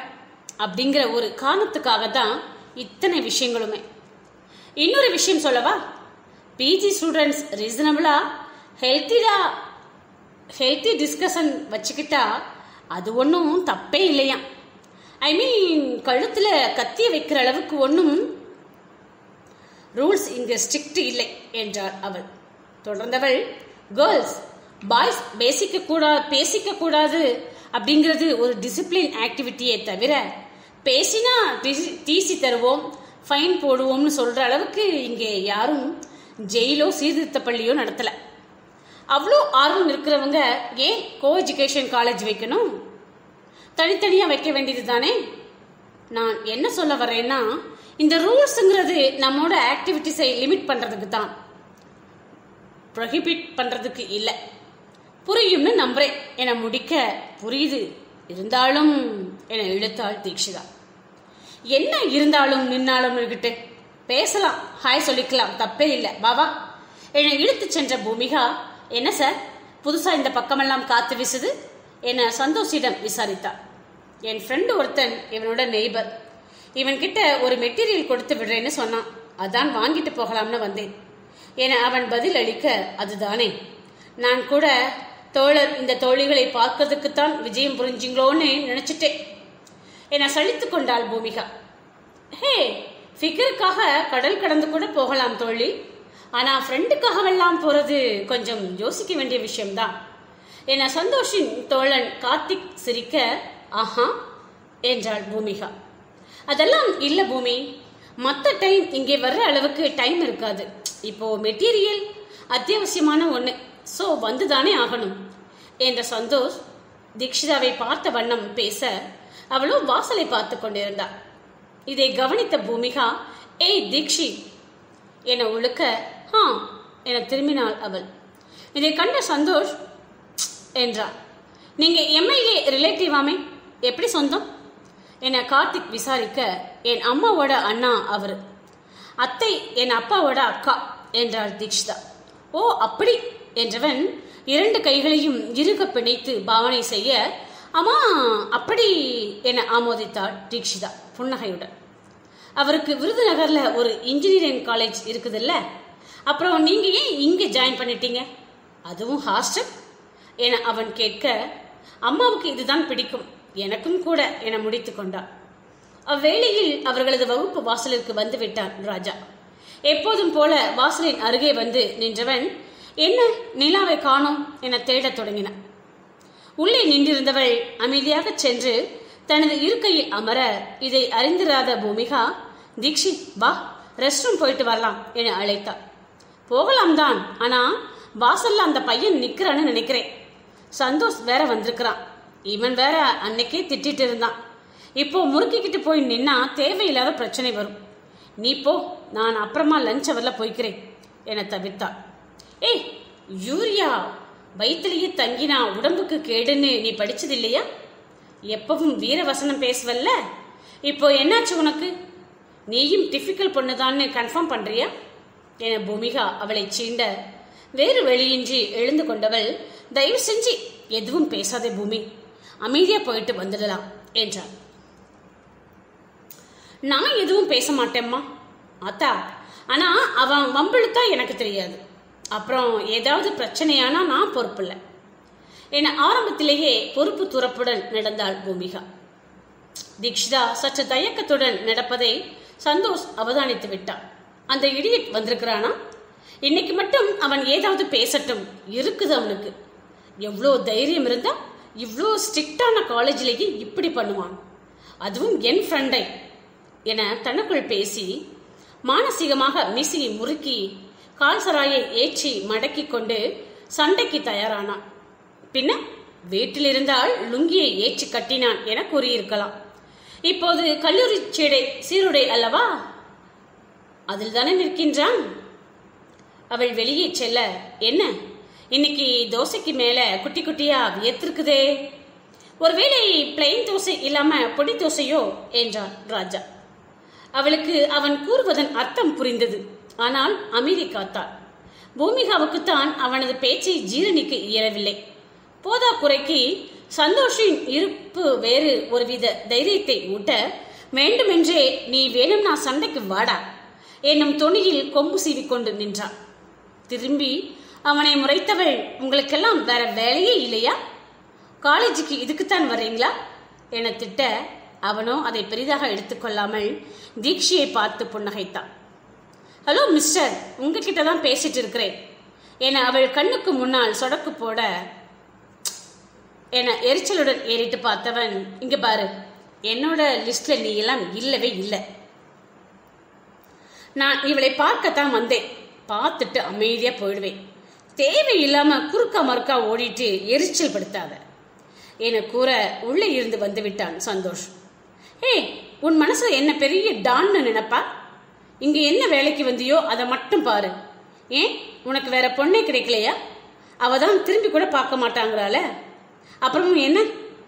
உங்கள் வீட்டில் ரைஸ் வைக்கிறப்போ சோடியம் குளோரைடு ஆட் பண்ணுறது இல்லையா? ஓ சோடியம் குளோரைடுன்னா தெரியாதுல்ல? காலேஜுக்கு படிக்க வந்தா தானே இதெல்லாம் தெரியும். உன்ன மாதிரி ஆளுங்களுக்கு சொல்லணும்னா சோத்துல உப்பு போட்டு சாப்பிட்றது இல்லையா? என பேசி முடித்த மறுநொடி ராஜாவின் கை சந்தோஷின் கன்னத்தை பதம் பார்த்திருந்தது. ஒருமையில் பேசியதையே தீக்ஷிதாவிற்காக பொறுத்து கொண்டிருந்தான். அவள் முன் தன்னை முரடனாக காட்டிக்கொள்ள விருப்பமில்லை. இம்முறை சந்தோஷ் வார்த்தையை விட்டுவிட பொறுமை தகர்ந்திருந்தது. சீறிவிட்டான் அவன். அடிப்பட்டவன் அமைதியாக இருக்க வேண்டுமென எந்த விதியும் இல்லையே. அனைவரது முன்னிலையிலும் அவனை அடித்தது ஒருவித யூகோ சிதைவதாகவும் மாறிப்போனது. கன்னத்தில் வெகுமதி பெற்ற மறுநொடி ராஜாவின் சட்டையை கொத்தாக பற்றியிருந்தான் சந்தோஷ். என்னடா பொறுக்கி நாயே. என்னையவே அடிக்க பார்க்குறியா? என அவன் கர்ஜிக்க தீக்ஷிதாவை ஒரு முறை பார்த்தான் ராஜா. பதற்றத்தில் இருந்தவள் சந்தோஷ் விடு ப்ளீஸ் பிரச்சனை வேணாம் என அவனை தடுக்க பார்க்க ராஜாவின் கோபம் உச்சத்தை அடைந்திருந்தது. நீ மரியாதையா பேசுற வரைக்கும் தான் நானும் அமைதியாக இருப்பேன். ஒரு தடவை லிமிட்டை கிராஸ் பண்ணிட்டேன்னா அவ்வளோதான் என தானும் சட்டையை பற்றிவிட்டான். இதில் விதிர் விதிர்த்து போனவள் ப்ளீஸ் பா சண்டை வேண்டாம். என கெஞ்ச தொடங்க அதற்குள் அருகில் இருந்த வகுப்பு மாணவர்கள் அனைவரும் அவ்விடம் குழுமி இருந்தனர் சில மாணவர்கள் ஓடிச் சென்று பேராசிரியர்களை அழைத்து வந்துவிட்டனர் அனைவரும் ராஜாவை அவ்விடம் எதிர்பார்த்திருக்கவில்லை. ராஜா நீங்க ஏன்பா இங்கே வந்தீங்க? என்ன பிரச்சனை இங்கே? என அவனிடம் விசாரிக்க பதட்டத்துடன் தலையை குனிந்து நின்றிருந்தாள் தீக்ஷிதா அவன் எங்கே தன்னை குறித்து கூறி விடுவானோ என பயந்தவளின் கண்களில் கண்ணீர் வெளிவர தயாராக இருந்தது. அவனும் சர்க்காஸ்டிக்காக காய் நகர்த்தினான் ஜஸ்ட் ரிலாக்ஸேஷனுக்காக இந்த பக்கமாக வந்தேன் சார் இந்த பையன் என்னை வா போன்னு பேசி டெம்ப்ட் பண்ணிட்டான் என்றான் அவன். இம்முறை எவருக்கும் பாதகம் ஏற்படாத விதத்தில் பதில் சொல்ல வேண்டிய கட்டாயம் சந்தோஷிற்கு ஒரு வார்த்தை அதிகமாக பேசிவிட்டாலும் அது தீக்ஷிதாவை தாக்கிவிடும். என்ன செய்வது என சில நொடிகள் யோசித்தவன் சில விஷயங்களை வெளிப்படையாக சொல்ல முடியாது சார். இவர் இன்டீசெண்டாக பிஹேவ் பண்ணினாரு. அதனால வான் பண்ணினேன் என்றான் எல்லாம் ஓகே. ரெண்டு பேரும் ஏன் இங்கே வந்தீங்க? நீங்க வேற வேற டிபார்ட்மெண்ட் தானே? என்னும் கேள்வி எழ இருவரும் அமைதி காத்தனர். இங்கே பாருங்கப்பா. உங்களோட தனிப்பட்ட வன்மத்தை தீர்த்துக்க ஆயிரம் இடங்கள் இருக்குது. ட்ரிபிள் இ டிபார்ட்மெண்ட் தான் அதுக்கு கிடைச்சதா? இங்கே எல்லோரும் எவ்வளோ டிசிப்ளின்டா இருக்கிறாங்க? அதை குலைக்கணும்னே வர்றீங்களா? என ஒரு பேராசிரியர் பேச சாரி சார் என முன் வந்தார் ராஜா. நீங்க சாரி சொல்லணும்னு அவசியம் இல்லை ராஜா. இந்த காலேஜில் எவ்வளோ மரியாதையான ஸ்டூடெண்ட் நீங்க? உங்க ஃபேமிலிக்குன்னு எவ்வளோ நல்ல பெயர் இந்த சொசைட்டியில் ஆனால் உங்ககிட்ட இருந்து இதை நான் எதிர்பார்க்கலை என அவர் வருத்தத்துடன் பேச சார் எதுவா இருந்தாலும் நடுநிலைமையா பேசுங்க. இவரோட குடும்பத்துக்கு ப்ரிஃபரன்ஸ் கொடுக்க வேண்டிய அவசியமில்லை. இடையில் புகுந்தான் சந்தோஷ். அவனது நடவடிக்கையில் எரிச்சல் வந்தது தீக்ஷிதாவிற்கு. ரெண்டு பேரும் டிபார்ட்மெண்ட் வாங்க என அழைத்து சென்ற பேராசிரியர் இருவரையும் ஒரு வாரத்திற்கு டிஸ்மிஸ் செய்து கட்டளை பிறப்பித்தார். சட்டத்தின் முன் அனைவரும் சமம். நாங்க நினைச்சிருந்தா அப்பாலஜி லெட்டரோட விட்டிருந்திருக்கலாம். ஆனா இது எதுக்குன்னா இனி யாரும் இந்த மாதிரி விஷயத்தை செய்யக்கூடாதுன்னு வான் பண்றதுக்காகத்தான். காலேஜுக்குள்ள வன்மத்தை கொண்டு வரக்கூடாதுங்கிறதுக்காக என்னும் எச்சரிக்கையுடன் இருவரிடமும் அந்த காகிதத்தை நீட்ட தீக்ஷிதாவை பார்த்தவாறே பெற்ற ராஜா எதுவும் பேசாமல் சென்று விட்டான் அவனது பார்வை அவளிடம் ஏதேதோ பாஷைகள் பேசியது. ஆனால் பாவைதான் அதன் பொருள் தெரியாமல் தடுமாறினாள். முதன்முறையாக அவனுக்காக பரிதவித்தவது பாவையின் பாவி மனம். அடுத்து ஒரு வாரத்திற்கு அவன் வரமாட்டான் என்பது அவளுக்கு தெரியும். ஆனால் நிச்சயமாக அதன் பின்னரும் வரமாட்டான் என்பதையும் நன்கு அறிந்தார் தன்னை பின்தொடர்ந்து வந்து தொந்தரவு செய்யும் ஒருவன் மீது அப்படி என்ன பொல்லாத சாஃப்ட் கார்னர் என்றெல்லாம் கூட தன் மனதிடம் கேட்டு தோற்றான் அவன் வரட்டும். போய் சாரி கேட்டாதான் மனசு நிம்மதியாகும். இல்லைனா இப்படியே நினைச்சு நினைச்சு புழுங்கிட்டு இருக்க வேண்டியதுதான் என சுய தேறுதல் செய்து கொண்டாள் தீக்ஷிதா எப்போதும் அதிகாலையிலேயே எழுந்து உடற்பயிற்சி செய்து சுறுசுறுப்பாக கல்லூரிக்கு தயாராகும் ராஜா இன்று அமைதியாக அறைக்குள் முடங்கி கிடக்கவும் பா தம்பி இன்னும் எழுந்துக்கலேப்பா என்றவாறே அவனது தந்தையிடம் வந்தாள் அவனது தமக்கை செல்வராணி. ஏய் நைட்டு முழுக்க கண்ணு முடிச்சு படிக்கிறான். காலையில கொஞ்ச நேரம் தூங்கினா உனக்கு பொறுக்காதே. உடனே அப்பா கிட்ட கம்ப்ளைண்ட் பண்ணிடணும் என அவளை கடிந்து கொண்ட அவனது அக்கா செல்வராணி அப்பா அவனே எழுந்திருப்பான் யாரும் அவனை டிஸ்டர்ப் பண்ணாதீங்க என அவனுக்காக பரிந்து பேசினார். ராஜாவிற்கு மூத்தவள் இளையவள் என இரண்டு சகோதரிகள். இருவரும் அன்பில் சளைத்தவர்கள் இல்லை என்றாலும் அக்காவிற்கும் தங்கைக்குமான வித்தியாசத்தை தங்களகத்தே கொண்டவர்கள். அக்கா என்பவள் தாயின் மினியன் என்றால் தங்கை என்பவள் குட்டி பிசாசின் லைட் வேர்ஸ் இவர்களது வீட்டிலும் அப்படியே. ராஜாவின் தங்கை சுஜாதா அருகில் இருக்கும் அரசு ஆரம்ப சுகாதார நிலையத்தில் மருத்துவராக பணியாற்றுகின்றார். அவனது தமக்கை செல்வராணி அவர்களது பெற்றோர் பணிபுரியும் கல்லூரியிலேயே பேராசிரியராக பணிபுரிகின்றார். உடன் பணிபுரியும் பேராசிரியருக்கும் இவளுக்கும் இருந்த ஒத்த தன்மைகள் ஒருவித புரிதலை ஏற்படுத்த அவரையே திருமணம் செய்து இப்போது குழந்தை பேர்காலத்திற்காக தாயகத்திற்கு வந்திருந்தார். இவர்களது பெற்றோர் இருவரும் அருகில் இருந்த எக்ஸலன்ட் கலை மற்றும் அறிவியல் கல்லூரியில் வேதியியல் பேராசிரியர்களாக பணிபுரிகின்றனர். அந்த துறையின் பெயரில் இருக்கும் கவர்ச்சி கலந்த சூட்சுமம் அவர்களுக்குள் வெளிப்படாமல் போகுமா? பேராசிரியராக பணிபுரிந்த அவனது தந்தைக்கு எதிர்பாராத விதமாக திருமணம் நிச்சயிக்கப்பட அவரது மனைவியோ அதே பிரிவின் மாணவி. இளங்கலை முடித்துவிட்டு குழப்பத்துடன் நின்றிருந்தவரை கைப்பிடித்த ராஜாவின் தந்தை தொடர்ந்து கையை பிடித்து இதோ அந்த துறை தலைவருக்கு அடுத்த நிலைக்கு கொண்டு வந்திருந்தார். நாட்டின் பல நிறுவனங்கள் பல்கலைக்கழகங்களில் இருந்து அழைப்பு வந்தும் இருவரும் தங்களை உருவாக்கிய மண்ணிலேயே தொடர்ந்து பணியாற்றி கல்வி சேவை புரிய சித்தம் கொண்டனர். கற்பித்தல் என்பதே ஒருவித சேவை என கொண்டாலும் கற்பித்தலையும் தாண்டி பல சேவைகளை செய்தனர் தம்பதியர். ஆண்டுதோறும் பொருளாதாரத்தில் பின்தங்கிய குடும்பத்தைச் சார்ந்த மாணவர்கள் குறைந்தது பத்து பேருடைய கல்வி கட்டணத்தையாவது ஏற்றுக்கொள்வர். மேலும் பலருக்கு குறிப்பிட்ட பங்கு கல்லூரி கட்டணத்தையும் செலுத்துவர். அந்த சுற்று வட்டாரத்தில் அவர்களால் கல்வி அறிவு பெற்று பற்பல பணிகளில் சிறந்து இருப்பவர்கள் பலர். முன்னர் ராஜாவிற்கு சஸ்பென்ஷன் கொடுத்த ஆசிரியர் கூட இவர்களது பொருளாதார உதவியால் பயின்றவரை. இருப்பினும் தனது நன்றி கடனை வெளிப்படுத்துவதாக நினைத்து அந்த தவறை ஊக்குவித்துவிடக் கூடாது என்பதற்காகவே தக்க நடவடிக்கை எடுத்திருந்தார். இப்போதும் ராஜா அறைக்குள் முடங்கி கிடக்க அவராகவே அழைத்து விட்டார். அவனது தந்தைக்கு அப்பா உங்களுக்கு போன் மணிகண்டன் அண்ணா கால் பண்றாரு என்றவாறே சமைத்துக் கொண்டிருந்த விஸ்வாவிடம் எடுத்து வந்து கொடுத்தாள் சுஜாதா. தலையில் துண்டை கட்டிக்கொண்டு தன் மனைவி மித்ரகுமாரிக்கு உதவி கொண்டிருந்த விஸ்வா கொடுடா என்றவாறே துண்டை அவைத்து கழுத்தில் போட்டுக்கொண்டார் நெற்றியில் வெளிந்த வியர்வையை துடைத்தவாறே ஹலோ மணி சொல்லுங்க. ஏ என அவர் கேட்க குட் மார்னிங் சார். எப்படி இருக்கிறீங்க? என விசாரித்தார் எதிர்முனையில். ரொம்ப நல்லா இருக்கிறேன்ப்பா. இந்நேரம் ஃபோன் பண்ணியிருக்கிறீங்க? காலேஜ் போகலையா? என அந்த நேரத்திலும் அக்கறையாக விசாரித்தார் விஸ்வா. கிளம்பிட்டே இருக்கிறேன் சார். உங்ககிட்ட ஒரு முக்கியமான விஷயம் சொல்லணும். ஆனா அதை எப்படி தொடங்குறதுன்னு தான் தெரியல. எப்படியும் சொல்லித்தானே ஆகணும். மணி தயங்காம சொல்லுங்க. ரெண்டு பேருக்கும் டைம் ஆகுதுல்ல? ஆ அது வந்து சார். நம்ம ராஜா தம்பி இருக்கிறாருல. ஆமா ராஜாவா? அவனுக்கு என்ன மணி? அவன் உங்க டிபார்ட்மெண்ட் இல்லையே. வேற எதுவும் பிரச்சனையா? சார் பதறாதீங்க ப்ளீஸ் பிரச்சனை தான் ஆனால் நீங்கள் நினைக்கிற அளவுக்கு இல்லை.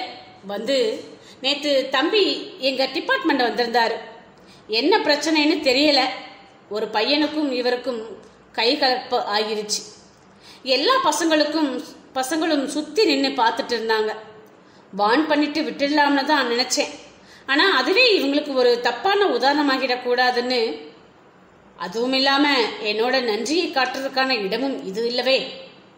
அதான் தம்பியை ஒரு வாரம் சஸ்பெண்ட் பண்ணியிருக்கிறேன் சார் அவர் உங்ககிட்ட சொல்லிட்டாரா என்னன்னு தெரியல. ஆனால் சொல்ல வேண்டிய கடமை எனக்கு இருக்குது சார் அதான் சொல்லிட்டு அப்படியே சாரி கேட்கலாம்னு கால் பண்ணேன். வருத்தத்துடன் முடித்தார் மணிகண்டன். நீங்க செஞ்சது சரிதான் மணி. நானாக இருந்தாலும் இதைத்தான் பண்ணியிருப்பேன். என்றைக்குமே ஸ்டூடெண்ட்ஸ்க்கு நாம தப்பான உதாரணமாகிடக்கூடாது என்னோட மாணவனா? நீங்க சரியா நடந்திருக்கிறீங்க. ஒரு தகப்பனா வருத்தம் வரத்தான் செய்யும். ஆனா ஒரு ஆசிரியரா வழிகாட்டியா நிச்சயமா பெருமைப்படுறேன். ராஜா கிட்ட நான் பேசிக்கிறேன். நீங்க எதை பத்தியும் ஒரி பண்ணிக்காதீங்க. சரி சஸ்பென்ஷன் பீரியட் முடிஞ்சதும் பேரண்ட்ஸ் வரணுமா? இல்லை ஸ்டூடெண்ட் வந்தா மட்டும் போதுமா? விசாரித்தார் விஸ்வகாந்தன். இல்ல சார் இது just disciplinary action within the college தான். ஸோ தம்பி மட்டும் வந்து ரீஜாயின் பண்ணிக்கலாம். சரிப்பா அப்புறம் பார்ப்போம். ரொம்ப நன்றி. என அழைப்பை துண்டித்தவர் கோபத்துடன் தனது மனைவியை பார்க்க அவரை புரியாமல் பார்த்தார். என்னாச்சுங்க? என்னமா என அவர் கேட்க சஸ்பெண்ட் ஆகிட்டு வந்து படுத்திருக்கிறான் நம்ம பெத்த செல்வம். என்றார் கோபம் மேலிட. சஸ்பெண்ட் ஆகிற அளவுக்கு இவன் என்னங்க பண்ணான்? அவ்வளோ ஹாசா பிஹேவ் பண்ற ஆள் இல்லையே இவன். என மித்ரகுமாரி தனது மகனுக்காக பரிந்து பேச இல்லாமலா சஸ்பெண்ட் பண்ணியிருக்கிறாங்க? சீரினார் விஸ்வகாந்தன். சரி இப்போ சஸ்பெண்ட் பண்ணிட்டாங்க. அதுக்கு என்ன பண்ண முடியும்? இனி அப்படி பண்ணாதேன்னு அமைதியா சொல்லி புரிய வைக்கணும். அதுதான் நம்மளோட கடமை. இப்படி கத்திக்கிட்டு கண்டிப்பு பண்ணினா நிச்சயமா அவனுக்கு நம்ம மேல வெறுப்பு தான் வரும். கூடவே தான் செஞ்சது தப்புன்னு கடைசி வரைக்கும் புரியவே புரியாது. நீங்க ஹூலா இரு- இருங்கங்க. நான் அவங்கிட்ட பேசிக்கிறேன். என தன் கணவனை சமாதானம் செய்தவர் தனது மகனது அறை நோக்கி நடந்தார். அப்பா நானும் பேசுறேன்ப்பா என செல்வராணியும் தனது மேடிற்ற வயிற்றை பிடித்துக்கொண்டு படியேறினார். ராஜா டேய் தம்பி கதவை திறடா என மித்ரா கதவை தட்ட வரேம்மா என்றவாறே கதவை திறந்தவனின் கண்கள் கலங்கி இருந்தது நிச்சயமாக இரவு முழுவதும் தூங்காமல் விழித்திருந்திருக்க வேண்டும். மனதின் போராட்டம் விழிகளிலேயே தென்பட காலேஜ் போகலையா ராஜா? டைம் ஆச்சுதே என கேட்டாள் செல்வா.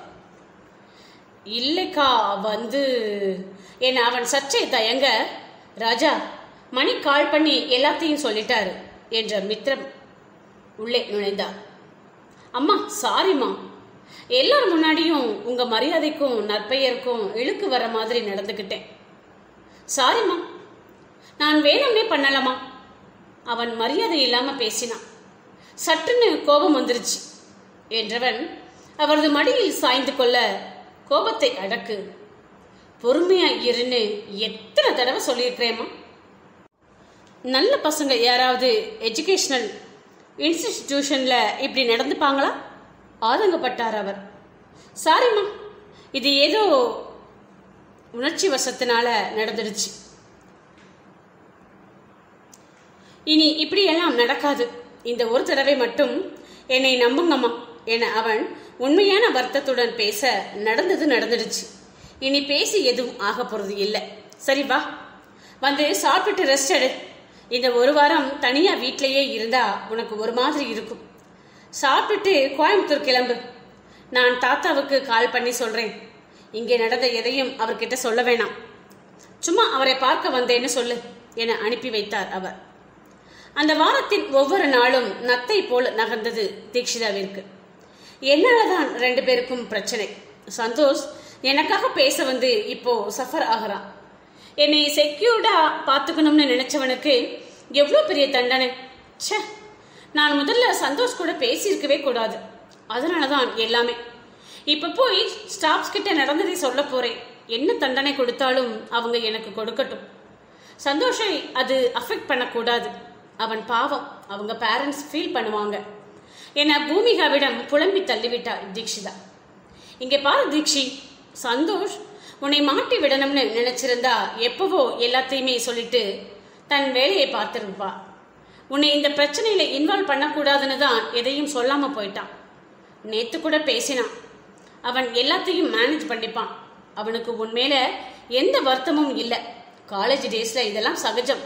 நீ ஃப்ரீயா விடு என அவளை தேற்றினாள் பூமிகா. அந்த வார இறுதியில் சந்தோஷிற்கு அழைத்து பேசிய பின்னரே சற்று நிம்மதியாக இருந்தது தீக்ஷிதாவிற்கு. ஆனாலும் உள்ளுக்குள் சிறு உறுத்தல். ராஜாவிற்கு என்னவாயிற்றோ என. தண்டனை காலம் முடிந்து அவன் கல்லூரிக்கு வருகை தரும் தினத்தன்று காலையிலேயே வண்டி நிறுத்தகத்திற்கு ஓடோடி வந்தாள் தீக்ஷிதா அவனோ முன்னரே வண்டியை நிறுத்திவிட்டு சென்றிருந்தாள் மாலையிலும் அவள் வகுப்பு முடித்து வருவதற்கு முன்னர் புறப்பட்டு சென்றிருந்தாள் இரண்டு நாட்கள் இவ்வாறே கழிந்து வெள்ளிக்கிழமையும் வந்துவிட்டது. காலையில் கல்லூரி வளாகத்தில் இருக்கும் விநாயகர் கோவிலுக்கு சென்று வழிபட்டுவிட்டு வகுப்பறைக்கு வந்தவளுக்கு காத்திருந்தது அதிர்ச்சி. அவளது இருக்கையில் ஒரு சிறிய பாலித்தீன் பை வைக்கப்பட்டிருந்தது. ஒரு இது என்ன கவர்? யார் வச்சிருப்பாங்க? என்னும் யோசனையுடன் எடுத்து பார்க்க டு மகாலட்சுமி என எழுதப்பட்டிருந்தது. மகாலட்சுமியா? எல்லோரும் என்னை தீக்ஷின்னு தானே சொல்றாங்க? என சிந்தித்தவாறே பிரித்து பார்க்க உள்ளே இரண்டு சிறிய சிகை கிளிப்புகள் இருந்தன. சற்று நிறம் மங்கி புதிதாக ஏறிய துருவுடன் அவை காட்சி தர இதையா கிஃப்ட்னு வச்சுட்டு போனாங்க? என்னும் கேலி தோன்றியது. உடன் வைக்கப்பட்டிருந்த சிறு பெட்டியை திறந்து பார்க்க மூச்சே நின்றுவிடும் போல் இருந்தது ஆம் உள்ளே இருந்தது ஒரு விலை உயர்ந்த கை கடிகாரம் சில வருடங்களுக்கு முன்னர் அவளது தந்தை பிறந்த நாளுக்காக பரிசளித்தது. இது இது என தனக்குள் முனகியவளது காதுகளில் மகா மகாலட்சுமி என்னும் பெயர் ஒழித்தது ராஜாவின் குரலில். அத்தியாயம் ஒன்பது. அவர்தானா இது? இதுக்காகத்தான் என்னை டீஸ் பண்ணிட்டே தெரிஞ்சாரா? ஐயோ முன்னாடியே சொல்லியிருக்கலாமே. நான் வேற ஏதேதோ பண்ணி வச்சுட்டேனே. என தலை அடித்து கொண்டவளுக்கு அவனை எங்கே சென்று தேடுவது என தெரியவில்லை. அவர் பெயர் ராஜான்னு தெரியும். ஆனால் எந்த கிளாஸ் எந்த டிபார்ட்மெண்ட்னு தெரியலையே. அவங்க பேரண்ட்ஸ் மரியாதையான ஆளுங்கன்னு சொன்னாங்க. அவங்களை பற்றியும் எதுவும் தெரியாது. இப்போ நான் என்ன செய்வேன்? உள்ளுக்குள் மருகினாள் மங்கை. கண்கள் அவளையும் அறியாமல் நீரை சொரிந்தது. கைக்குட்டையால் கண்ணீரை துடைத்துக் கொண்டவளது உதடு துடித்தது. விம்மலுடன் முன்னால் போடப்பட்டிருந்த டெஸ்கில் சாய்ந்து படுத்தாள் ஹே என்ன கேர்ள்? வந்ததுமே குடை சாஞ்சிடுச்சு? என்றவாறே வந்த பூமிகா தீக்ஷிதாவின் சோர்ந்த முகத்தை கண்டதும் திடுக்கிட்டா. என்னாச்சுப்பா? உடம்புக்கு முடியலையா? ஸ்டாஃப் அட்வைசர் கிட்ட சொல்லிட்டு லீவ் போடுறியா? என அவள் அக்கறையுடன் விசாரிக்க இல்லைப்பா ஐ ஆம் ஓகே என நிமிர்ந்து அமர்ந்தாள். இடைவேளையின் போது பூமி எனக்கு ஒரு டவுட்டு. அவர் இருக்கிறாருல்ல? அதான் சந்தோஷ் கிட்ட பிரச்சனை பண்ணினவர். அவர் நிஜமாகவே இன்ஃப்ளூயன்ஸ்ட் கேண்டிடேட்டா என மெதுவாக பூமிகாவிடம் பேச்சு கொடுத்தாள் ஏன் கேட்குற என அவள் சந்தேகமாக பார்க்க இல்லைப்பா என் மாமாவை விட பெரிய ஆளா என்னன்னு தெரிஞ்சுக்கத்தான் என மழுப்பினாள் தீக்ஷிதா அதெல்லாம் தெரியலைப்பா நான் பெருசா விசாரிக்கலை. எம்பிஏ செகண்ட் இயர்னு சந்தோஷ் சொன்னான். அது வரைக்கும் தான் தெரியும். அதுக்கு மேலே எதுவும் தெரிஞ்சுக்க விருப்பமில்லை. என பூமிகா முடிக்கும் முன்னரே அவ்விடம் விட்டு சென்றிருந்தாள் அவள். ஓட்டமும் நடையுமாக வணிக மேலாண்மை துறையை அடைந்தவள் மூச்சு வாங்கியவாறே அங்கிருந்த தூணில் சாய்ந்தாள். அருகில் இருந்த தண்ணீர் தொட்டியில் இருந்து தண்ணீர் பிடித்து பருகியவள் எதிர்ப்பட்ட மாணவனிடம் எக்ஸ்கியூஸ் மீ அண்ணா. எம்பிஏ செகண்ட் இயர்ல ராஜான்னு ஒருத்தர் என இழுத்தார் ராஜாவாமா எதுவும் அசோசியேஷன் சம்பந்தமா பார்க்கணுமா? அவன் இன்னைக்கு ஓடிமா? காலேஜ் அட்மினிஸ்ட்ரேஷன் கமிட்டியோட மீட்டிங் போயிரு போயிருக்கிறான்.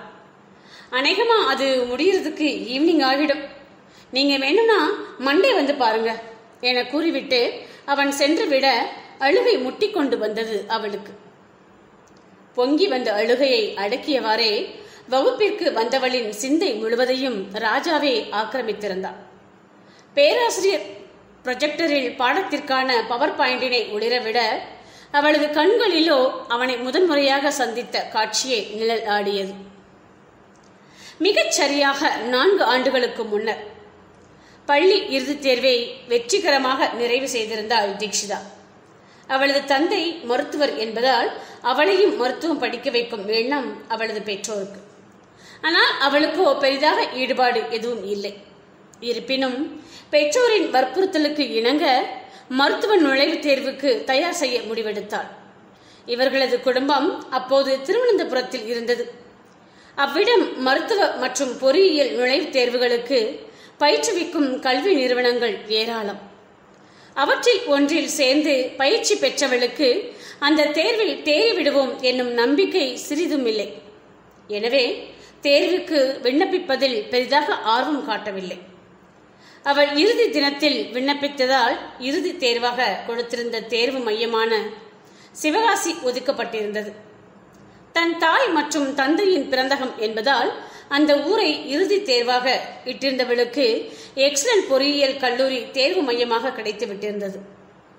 அக்கல்லூரியில்தான் இளங்கலை பொறியியல் மூன்றாம் ஆண்டு படித்து வந்தான் ராஜா. தேர்வு தேர்தல் என கல்வி சாரா பிற செயல்பாடுகளுக்கு என கல்லூரியில் அனுமதி அளிக்கையில் அதற்காக வென்று அருகில் இருக்கும் ஊர்களில் இருந்து பயிலும் மாணவர்களை வாலண்டியர்களாக அழைப்பது வழக்கம். அவ்வாறே ராஜாவும் வந்திருந்தார். மதியம் இரண்டு மணிக்கு தேர்வு என குறிக்கப்பட்டிருக்க திருவனந்தபுரத்தில் இருந்து அதிகாலை ஐந்து மணிக்கே தன் தந்தையுடன் காரில் புறப்பட்டு விட்டாள் தீக்ஷிதா அதிகாலை நேரத்தில் தான் கண்ணை விட்டால் தனது தந்தையின் கவனமும் சிதறிவிடுமோ என அஞ்சியவள் உறங்காமலேயே தரித்திருந்தாள் வரும் வழியில் முன்னாடியே அப்ளை பண்ணிருக்கலாம்டா. இப்ப பாரு இவ்வளோ தூரம் பறந்து பறந்து ஓடி வர வேண்டியதா இருக்குது. அங்கேயே சென்டர் கிடைச்சிருந்தா ஃப்ரீயா ரிலாக்ஸ்டா கிளம்பி வந்திருக்கலாம். என அங்கலாய்த்தார் அவளது தந்தை.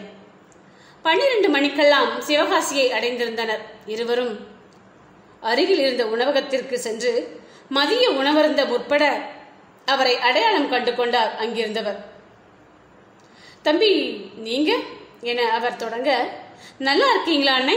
என கேட்டுவிட்டார் அவளது தந்தை. இவர்களுக்குள் பேச்சு சுவாரஸ்யமாக தொடங்க தன் மகளை நினைவு கூர்ந்தார். அண்ணே பாப்பாவுக்கு பரீட்சைக்கு வந்தோம். அவளை கொண்டு காலேஜில் விட்டுட்டு வந்து பேசுறேன் என்றவர் அவளை கல்லூரிக்கு அழைத்து வந்தார். பொதுவாக மத்திய அரசாங்கத்தால் நடத்தப்பெறும் தேர்வுகளில் கட்டுப்பாடுகள் அதிகம். ஆண்கள் என்றால் ஷூ அணியக்கூடாது. முழுக்கை சட்டை அணியக்கூடாது. உலோகத்தால் ஆன உடைகள் அணியக்கூடாது என்னும் விதிமுறைகள் உண்டு. பெண்கள் என்றால் தலையில் கிளிப்புகள் பொருத்தக்கூடாது. கை கடிகாரங்கள் உட்பட எந்த ஆபரணங்களும் அணியக்கூடாது என நீளும். இப்படியானதொரு சூழலில் பெற்றோருமே ஒரு அடுக்கிற்கு மேல் உள்ளே நுழைய அனுமதி இல்லை. வாசலில் இருந்து குறிப்பிட்ட தொலைவிலேயே நிறுத்தப்படுவர். தீக்ஷி நல்லா எழுதுமா? ஆல் தி பெஸ்ட் என்ற தனது தந்தையிடம் விடை பெற்றவள் தேர்வறைக்கு செல்லும் அவசரத்தில் முன் நெற்றியில் பொருத்தி இருந்த கிளிப்புகளையும் கையில் அணிந்திருந்த விலை உயர்ந்த கடிகாரத்தையும் கலற்றி அவரிடம் கொடுக்க மறந்துவிட்டிருந்தாள். தேர்வு கூடத்தை நோக்கி நடக்கும் வழியில் இரண்டு மாணவிகள் அடையாள அட்டைக்கான ஒளி அச்சு நகலை தங்களுடன் வைத்திருந்ததை பார்த்தவளுக்கு ஒருவித பதற்றம் தொற்றிக்கொண்டது. அச்சோ ஜெராக்ஸ் கொண்டு வரணுமோ? நான் ஒரிஜினல் மட்டும்தானே எடுத்துட்டு வந்திருக்கிறேன். ஒருவேளை எக்ஸாம் எழுத அலோவ் பண்ண மாட்டாங்களோ? அப்பாவுக்கு தெரிஞ்சா கொன்னே போட்டுடுவாரே. பொறுப்பில்லைன்னு திட்டுவார். என அஞ்சியவள் பதற்றத்துடன் நடக்க மா ஹால் டிக்கெட் காட்டுங்க என கேட்டான் வாலண்டியராக நியமிக்கப்பட்டிருந்தவர்களின் ஒருவர். அவள் இருந்த பதற்றத்தில் அவன் கேட்பதற்கு என்ன பதில் கூறுவது என தெரியவில்லை. ஆ என விழித்தாள். அடுத்த கவுண்டரில் சோதனைக்காக நின்றிருந்த ராஜா அவளது முகத்தை பார்க்கவில்லையாயினும் மனதிற்குள் ஒருவித இரக்கம் பிறந்தது. அருகே வந்தவன் எக்ஸ்கியூஸ் மீ என அழைக்க நிமிர்ந்தாள் மடந்தை மருட்சியுடன். அவள் கண்களில் தெரிந்தது மிரட்சியோ மின்னலோ என அவனே குழம்பி போகும் அளவிற்கு தொலைய தயாரானான். கண்ணே பேசுதே என தனக்குள் கூறிக்கொண்டவன் பிருந்தாக்கா டென்ஷனாக இருக்கிறாங்கன்னு நினைக்கிறேன். நீங்கள் அடுத்தவங்களை பாருங்க. நான் டீல் பண்ணிக்கிறேன். என தெரிவிக்க ஆஹா பொண்ணுங்களுக்கு ஹெல்ப் பண்ணுறதுன்னா உடனே ஓடி வந்துடுவீங்களே. சரி சரி நடத்துங்க என்றாள் சர்ச்சை வேலியுடன். அதெல்லாம் இல்லக்கா பதட்டமா இருந்தாங்க அதான். என்றவன் அவளை அழைத்துச் சென்று அங்கிருந்த நாற்காலியில் அமருமாறு கூறினான். ஓடிச் சென்று புட்டியில் தண்ணீர் பிடித்து வந்தவன் குடிங்க என நீட்டினான்.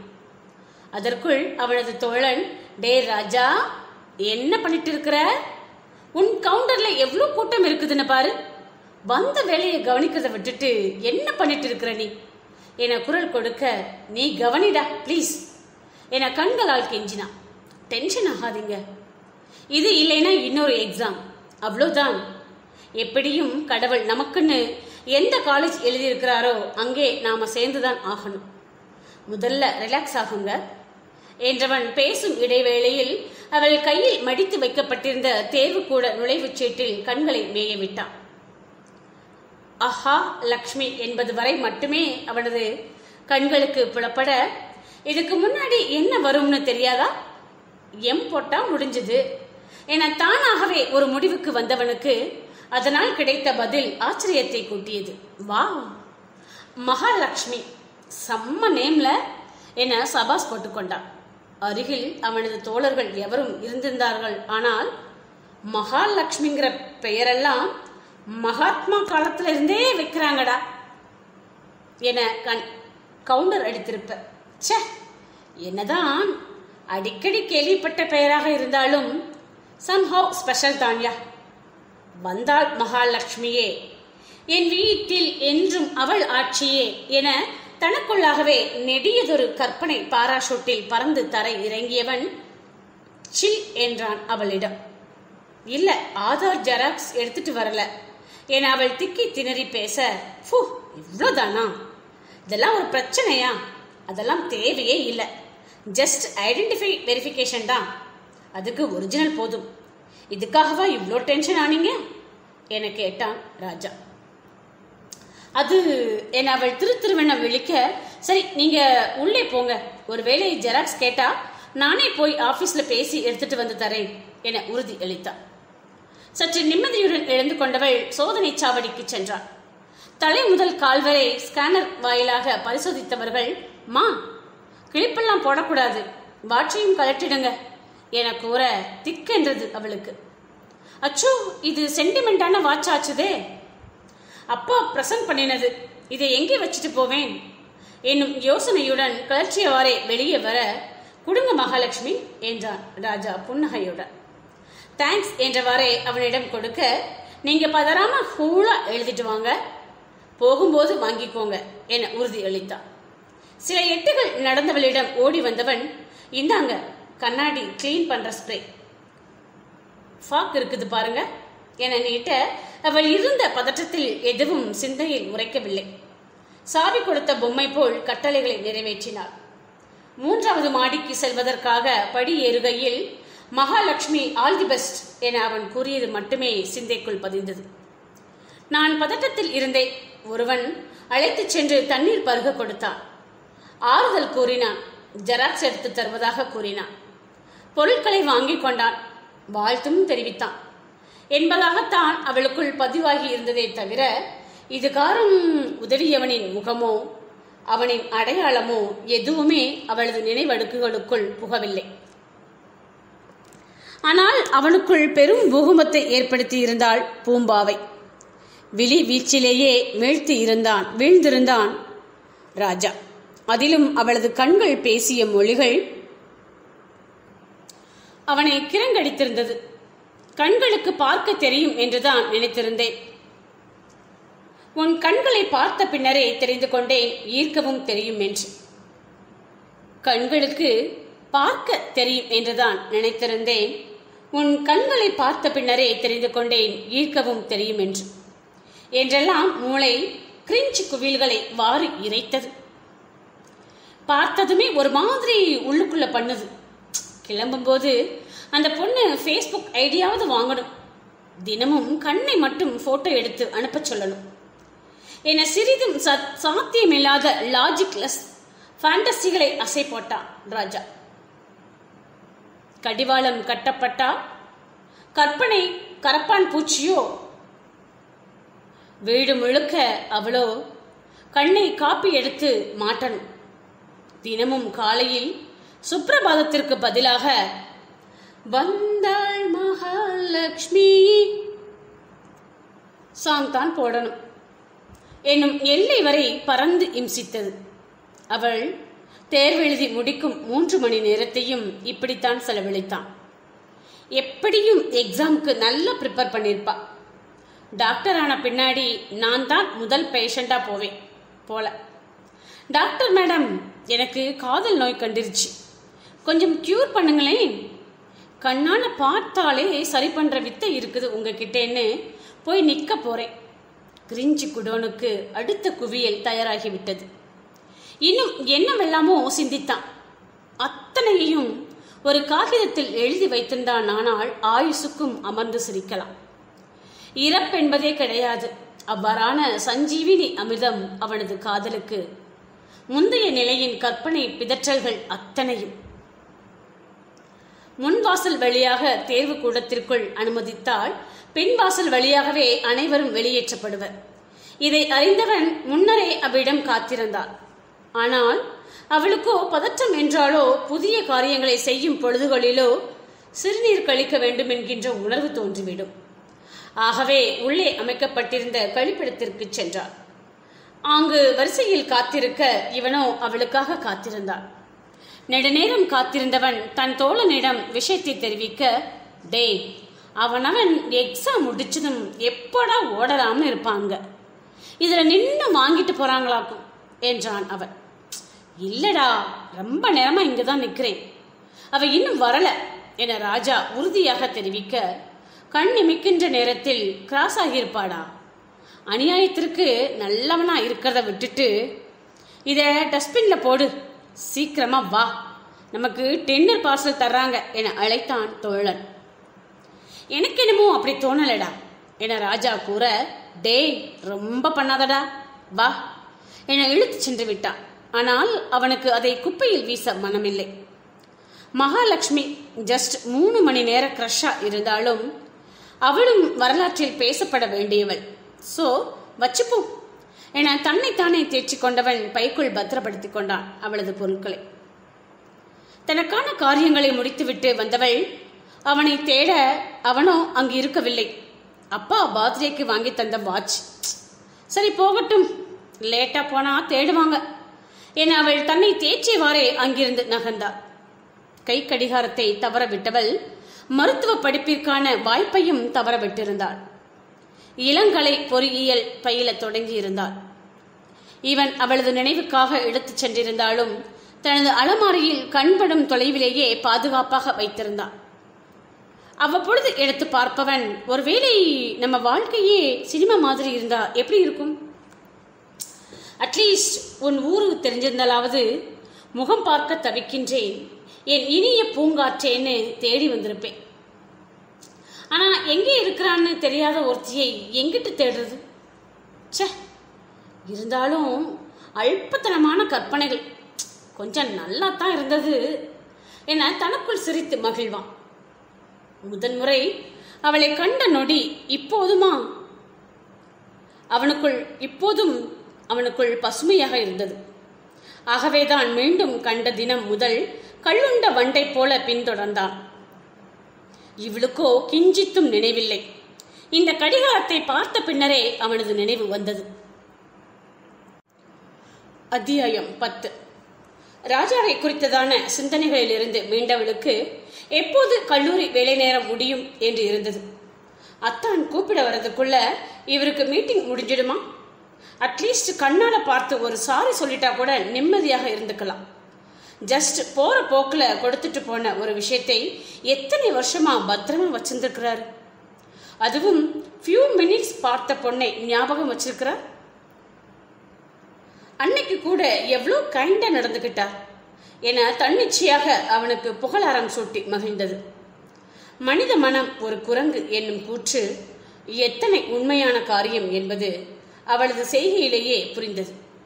இங்கு பலரும் அப்படியே எவரை குறித்தும் ஆரம்ப அபிப்பிராயம் என்பது வேறாக இருக்கும். பின்னர் வேறு ஒன்றாக மாறி நிற்கும். தீக்ஷிதாவிற்குள்ளும் மாறி நின்றான் இம்சிப்பவனில் இருந்து மா மனிதனாக.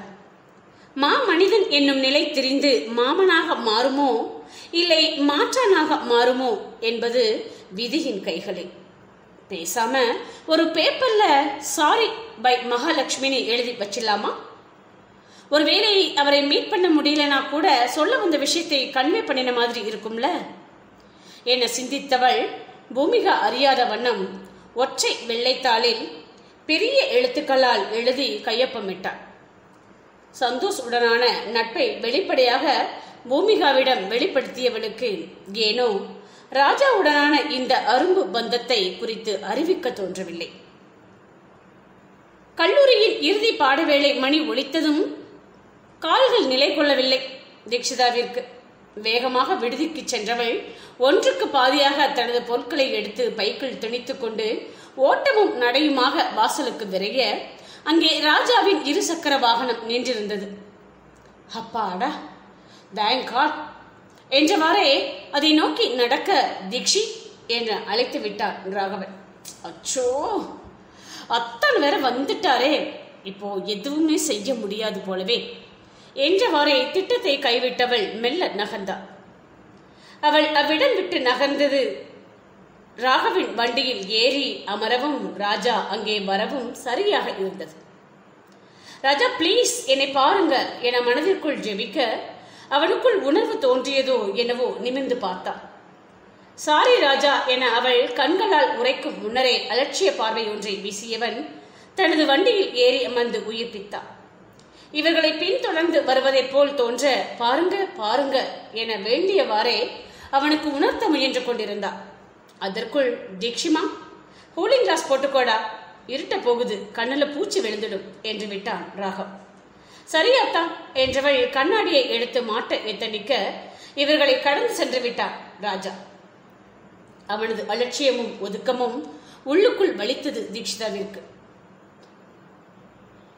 இவரும் தானே சொல்லலை. நேரில் வந்து எல்லாத்தையுமே சொல்லியிருந்தா நான் கேஷுவலாக பேசியிருக்க போகிறேன் நூதனமாக பண்ணுறேன்னு கடைசியில் பிளட் பண்ணிட்டு பெரிய பிரச்சனையிலே முடிஞ்சு போச்சு. எவ்வளோ நேரம் பேசினார் டீஸ் பண்ணினார் ஒரு வார்த்தை ஒரே ஒரு ஒரு வார்த்தை. இந்த வாட்ச் பற்றி சொல்லியிருக்கலாம்ல? அட்லீஸ்ட் எக்ஸாம் எழுத வந்தப்போ உன்னை முன்னாடியே பார்த்துருக்கனாவது சொல்லியிருக்கலாம். வாயில் என்ன பழமாக வச்சிருந்தா என்னை வசைப்பாடவும் மறக்கவில்லை. குழப்பத்துடன் கலவையான மனநிலையில் கட்டிலில் விழுந்தவளுக்கு தூக்கம் தூரமாகி போனது. முன்பொரு முறை அவன் இவளை தேடியதைப் போல இவள் அவனை தேடி அந்த இரவை தொலைக்க ஆயத்தமானாள். வித்தியாசமான விசித்திரம் என்னவெனில் இவளது தேடலில் அவன் கிடைத்து விடுவான் என விதியில் வகுக்கப்பட்டிருந்தது. இடியன் படுத்த உடனே தூங்கிடுற பிள்ளைய தூங்காம தேட வச்சிட்டான். இப்போ தேடி தேடி தீபம் வான்னு நான் தேடணும்.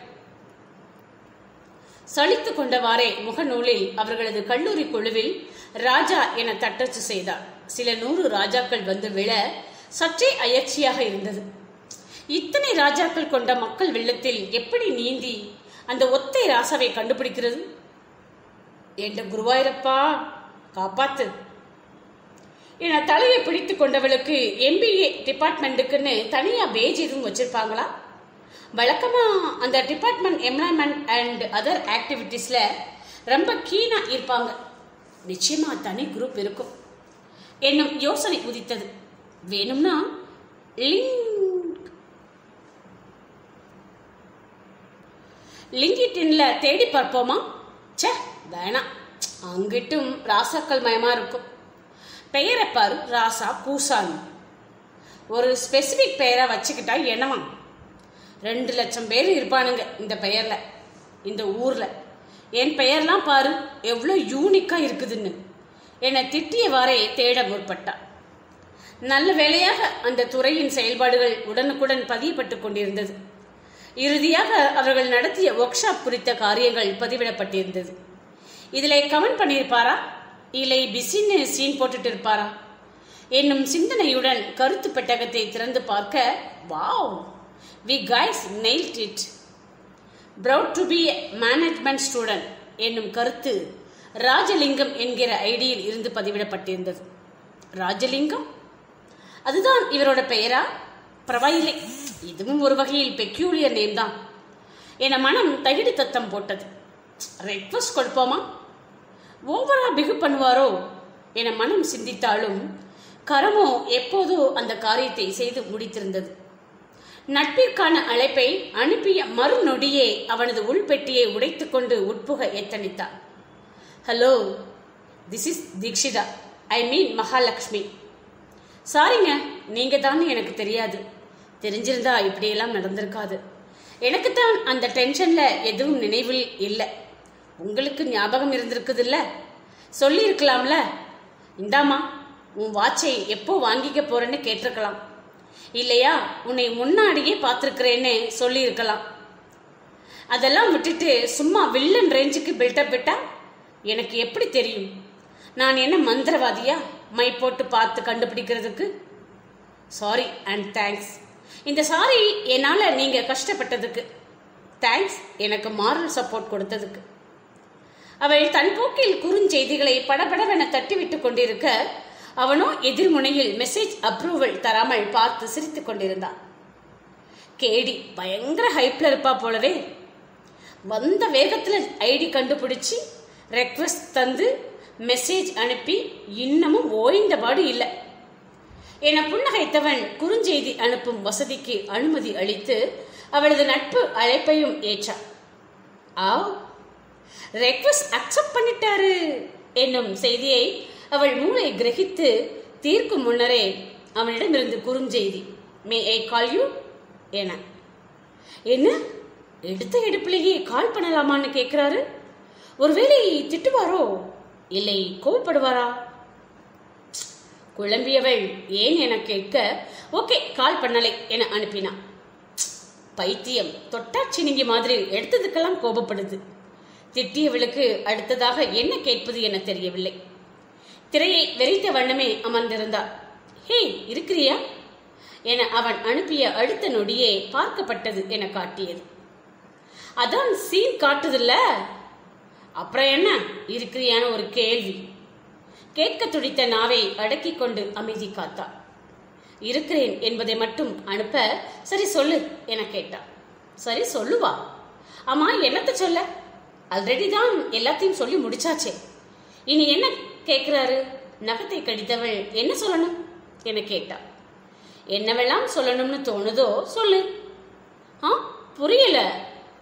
ஒண்ணுமில்ல. குட் நைட் என அனுப்பியவன் அடுத்த நொடியே ஆஃப்லைன் சென்று விட சப்பென்றாகிவிட்டது தீக்ஷாவிற்கு ச்சே இடியன் இவர் குட் நைட் சொல்றதுக்காகவா இவ்வளோ கஷ்டப்பட்டு தேடி கண்டுபிடிச்சி சாகசம் எல்லாம் பண்ணனேன்? நாமளா தேடி போனா இப்படித்தான். அலட்சியமாக ட்ரீட் பண்ணுவாங்க. ஆரம்பத்தில் நடந்துக்கிட்ட மாதிரி கராராக நடந்திருக்கணும். எல்லாம் என்னோட தப்பு தான் என ஆரம்பத்தில் நினைத்தவளின் நிலைப்பாடு நேரம் கடக்க கடக்க ஒருவேளை கோபமாக இருக்கிறாரோ அதனால தான் பாதியிலேயே போயிட்டாரோ எனும் பரிதவிப்பில் முடிந்தது. மறுநாள் காலையில் விழித்து கொண்டவள் நொடிக்கு ஒரு முறை அவனது பெயருக்கு அருகே பச்சை விளக்கு ஒளிர்கிறதா என பார்த்து கொண்டுதான் இருந்தாள். முற்பகல் பதினொன்றரை மணி அளவில் அவனிடமிருந்து குறுஞ்செய்தி. நீங்க சொல்லாம கொள்ளாம போவீங்களாம் நாங்க மட்டும் உடனே ரிப்ளை பண்ணணுமா?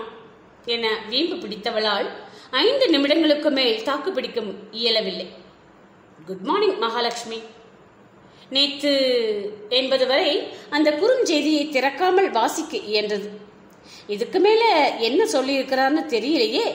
ஒரே ட்விஸ்டா இருக்குது என்றவள் தன் பிடிவாதத்தை விடுத்து திறந்து விட்டிருந்தாள் குட் மார்னிங் மகாலட்சுமி. நேத்து நைட் நீங்க ரொம்ப ஆர்வமா பேச வந்தீங்க. பட் நான் மேனஸ் இல்லாம ஆஃப்லைன் போயிட்டேன். அதுக்கு பெரிய பெரிய சாரி யூஸ்வலா நான் லேட் நைட் மொபைல் யூஸ் பண்ண மாட்டேன். அதிலேயும் பொண்ணுங்க கூட பத்து மணிக்கு மேல பேச மாட்டேன். நாட்டில் பாதி கிரைம்ஸ் இந்த டைமிங்ல தான் நடக்குது. உணர்ச்சிகள் எல்லாம் ஒன்னா குவியிற ரொம்ப ஆபத்தான நேரம் இது. அது மட்டும் இல்லாமல் உங்கள் வயசில் எனக்கு ஒரு தங்கச்சி இருக்கிறா. அவகிட்ட இப்படி யாராவது பேசினா? என்னால் அக்செப்ட் பண்ண பண்ணிக்க முடியாது. அதனாலேயே நான் பொதுவாக பொண்ணுங்க கிட்ட வரம்பு மீறி பேசுறது கிடையாது. ஐநோ உங்களுக்கு என் மேலே கோபம் இருக்கும். எல்லாத்துக்கும் சேர்த்து மொத்தமாக சாரி இந்த எல்லாம் அப்படிங்கிற வார்த்தைக்குள் உங்களை டார்ச்சர் பண்ணினது ஸ்டாக்கிங் அட்டம் டு பிளட்னு எல்லாமே அடக்கம். எல்லாத்துக்கும் சேர்த்து ஒன்ஸ் அகைன் சாரி என அவன் அனுப்பி இருக்க உள்ளுக்குள் ஒருவித வெறுமையை உணர்ந்தாள் மகாலட்சுமி. எல்லாத்துக்கும் ஒரே மெசேஜில் சாரின்னா என்ன அர்த்தம்? இனி பேசுறதுக்கு எதுவும் இல்லைன்னு சொல்றாரா?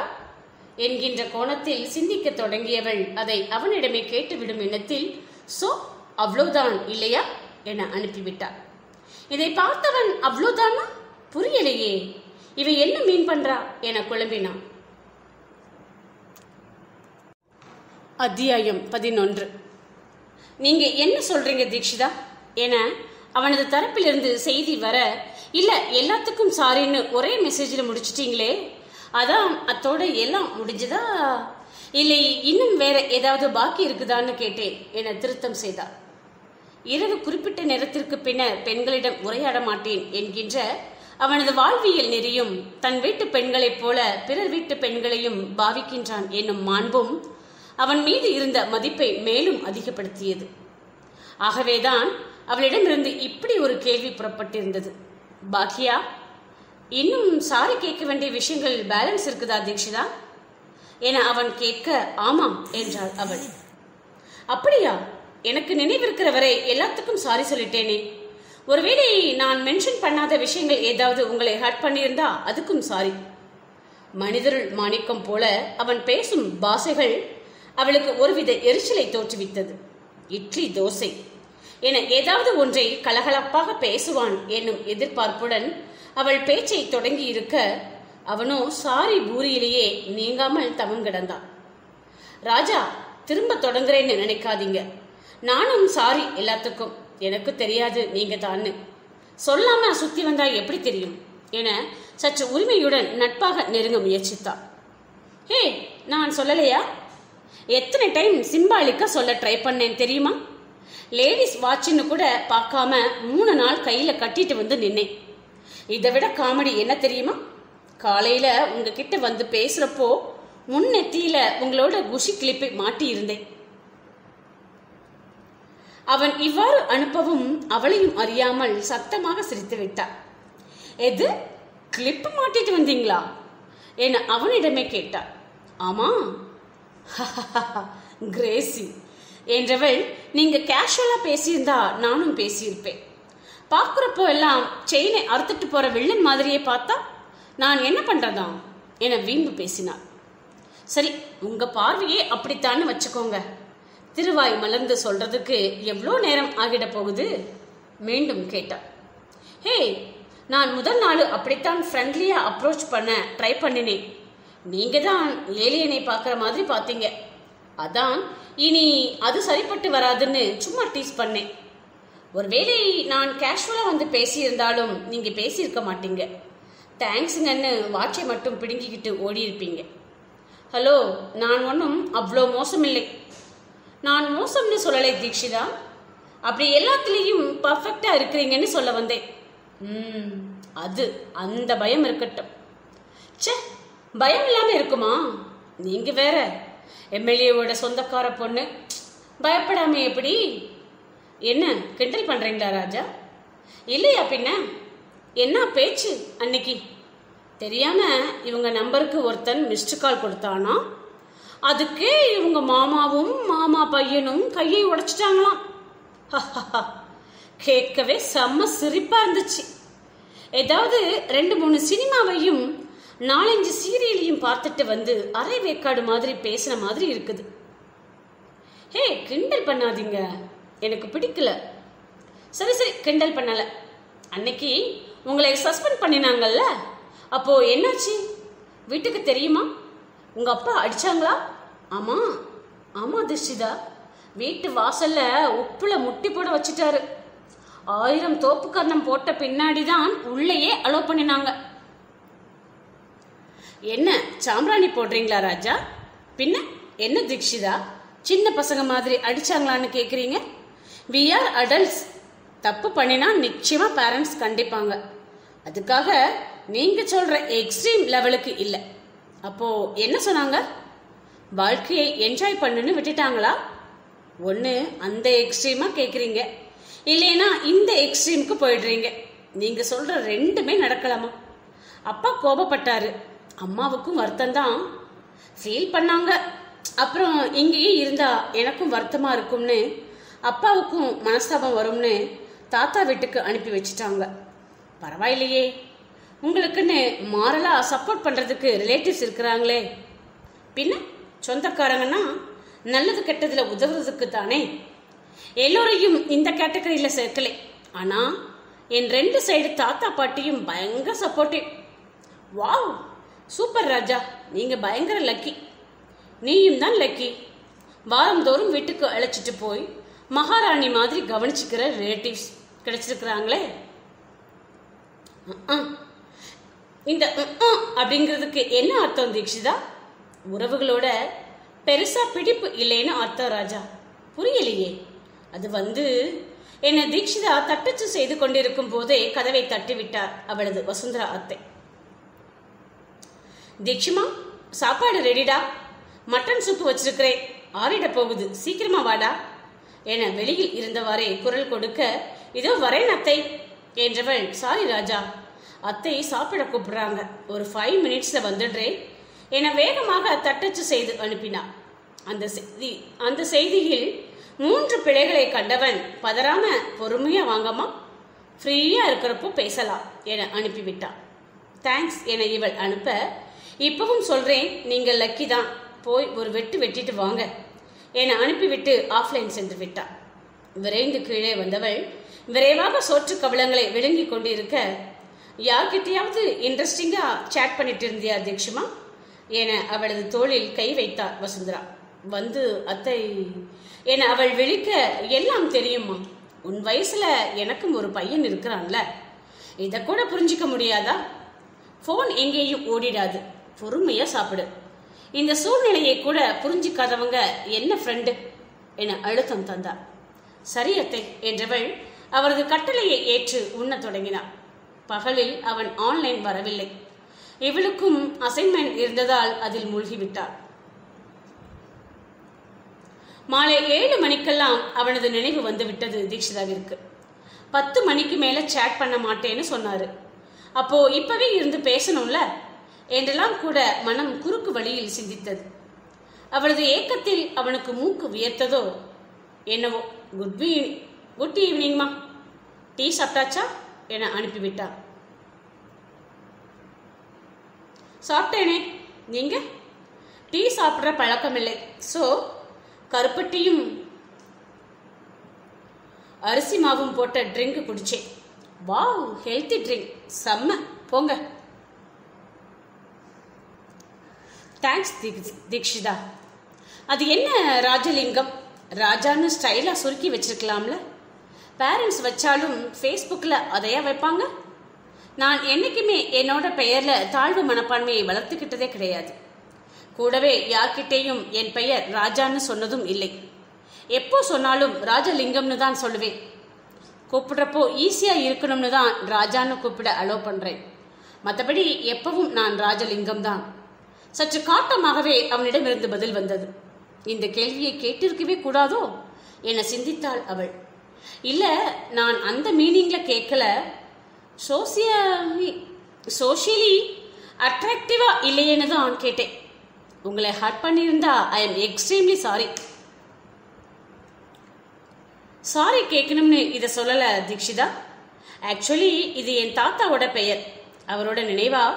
அப்பா கிட்ட எஞ்சி இருக்கிறது இந்த பெயர் மட்டும்தான். அதனால தான் எனக்கு ராஜலிங்கம்னு வச்சிருக்கிறாங்க. சின்ன வயசுலேயே எனக்கு தெளிவாக புரிஞ்சிடுச்சு. இந்த பெயருக்கு பின்னாடி இருக்கிற சென்டிமெண்ட் அண்ட் எமோஷனல் ஸோ யார் என்ன சொன்னாலும் I won't bother and I want let them to make fun of this எனக்கு உங்களோட ஃபீலிங்ஸ் புரியுது ராஜா. தீக்ஷிதா பெயருங்கிறது பெத்தவங்க நமக்காக தேர்ந்தெடுத்து வைக்கிறது. அதை சுருக்கவும் பிடிக்கலைன்னு சொல்லி மாற்றவும் நமக்கு உரிமை கிடையாது. என்னை கேட்டா வித்தியாசமான பெயர்கள் கொண்டவங்க தான் என்னைக்கும் மக்கள் மனசுல நிலைச்சு நிற்பாங்க. இப்போ பிரியான ஒரு பெயர் எடுத்துக்கோங்க. இது வரைக்கும் நாம ஒரு ஐம்பது பிரியாவை கடந்து வந்திருப்போம். பிரியான்னு சொன்னதும் நாம ஒரு செகண்ட் யோசிச்சு அவளா இவளான்னு டிசைட் பண்ணணும். பட் பெக்குலியர் நேம்ஸ் கொண்டவங்க ரொம்ப ரேர் அந்த பெயரை சொன்னதுமே டக்குன்னு மைண்ட்ல பிளிங்க் ஆகிடும். அவ்வளோதான் சிம்பிள் அவன் நீண்ட நெடியதொரு உரையாற்றி முடிக்க இதை இப்படி கூட பாசிட்டிவா அப்ரோச் பண்ணலாமா? வாவ் என மானசீகமாக தட்ரா கிளாப்ஸ மொமெண்ட் நிகழ்ந்து கொண்டிருந்தது அவள் மனதினுள். உங்க அப்பாவுக்கு தாத்தானா அவ்வளோ பிடிக்குமா ராஜா? ம் பிடிக்கும். ரொம்ப ரொம்ப. தாத்தா எப்போ இறந்தாங்க? அதெல்லாம் ரொம்ப பெரிய கதை தீக்ஷிதா அவ்வளோ பெரிய கதையை குட்டியா டீசர் டீசர் மாதிரி சொல்லுங்களேன். என அவள் ஆர்வமாக கேட்க இன்னொரு நாள் சொல்றேம்மா என்று விட்டாள். அதான் ஃப்ரெண்ட்ஸ் ஆகிட்டோமே ஏன் தீக்ஷிதா வாங்க போங்கன்னு சொல்றீங்க? சும்மாவே கூப்பிடலாமே. அவள் அவனுக்கு சலுகை அளிக்க அதை மிகச் சரியாக பயன்படுத்தி கொண்டான் அவன். பெயர் சொல்லலாம் தான் ஆனால் தீக்ஷிதான்னு சொல்ல மாட்டேன். மகாலட்சுமின்னு தான் சொல்லுவேன். டீலா? ஆஹா டபுள் ஓகே. அப்போ நீங்களும் என்னை ராஜாவா ராஜா வா போன்னு தான் சொல்லணும். உங்களுக்கு டீலா ஹஹா ஆல்ரெடி மைண்ட் வாய்ஸ் திட்டுறப்போ எல்லாம் அப்படித்தான் சொல்லிட்டு இருக்கிறேன். பாரா பயங்கர கேடியா இருப்ப போலவே. வாடா போடா மட்டும்தானா?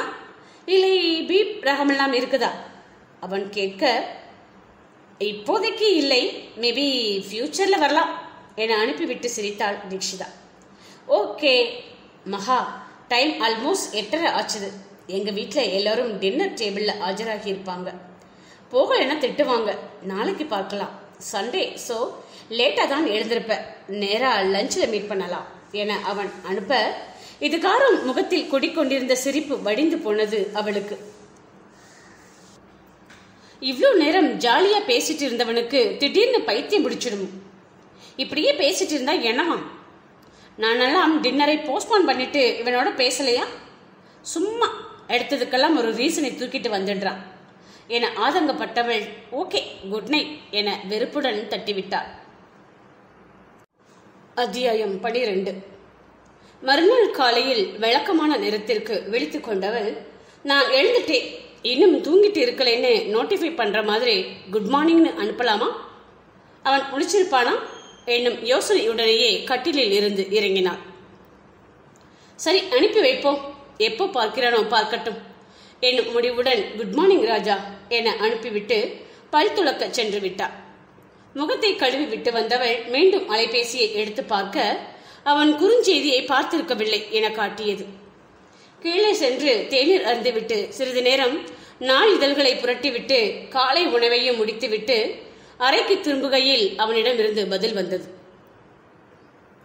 ஆர்வத்துடன் திறந்து பார்த்தாள் தீக்ஷிதா குட் மார்னிங் மகா இப்பவே எழுந்துட்டியா?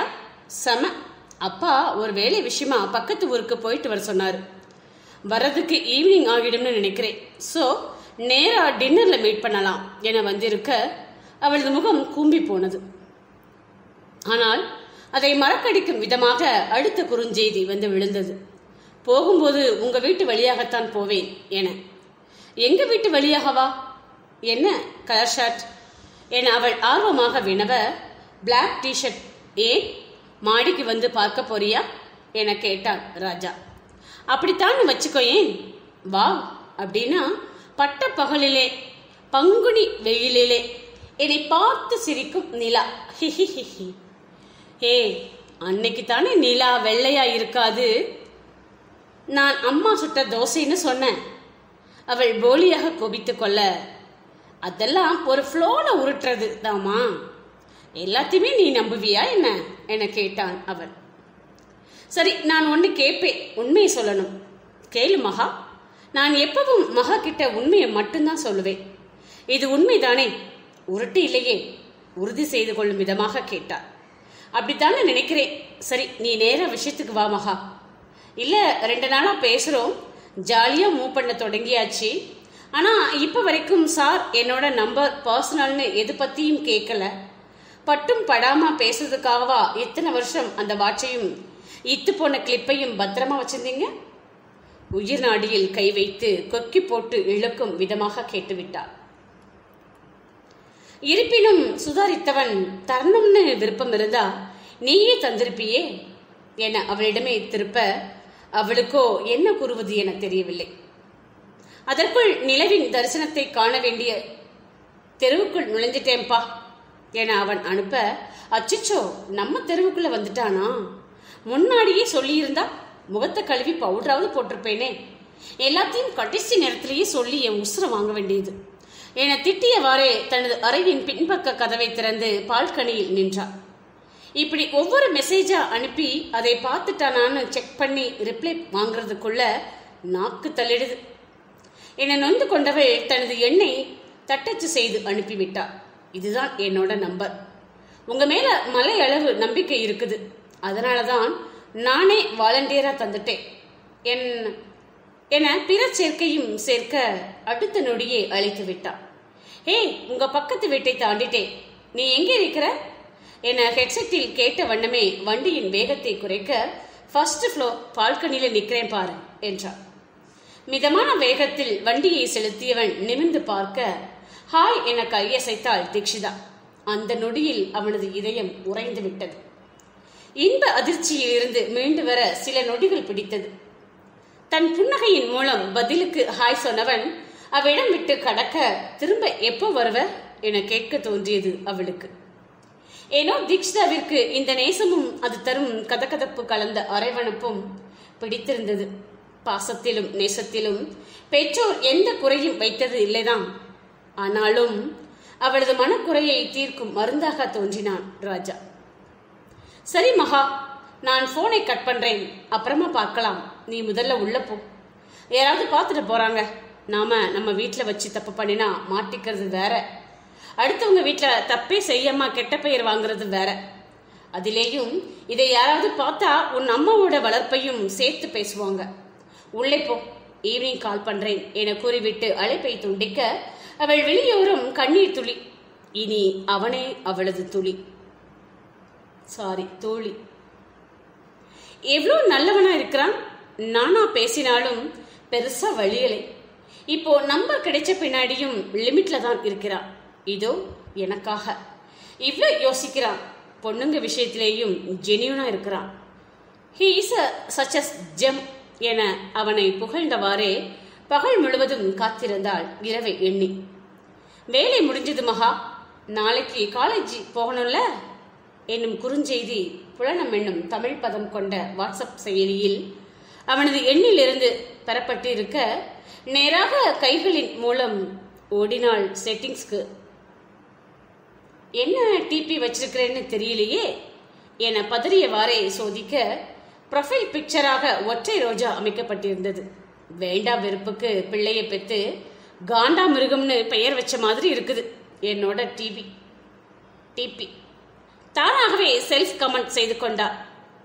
கேலரியில் சென்று தேடியவள் சற்று மிதமான ஒப்பனையுடன் வீற்றிருந்த புகைப்படத்தில் ஒன்றை தேர்வு செய்து டிபியாக அமைத்த பின்னரே குறிப்பிட்ட செய்தியை திறந்தார்.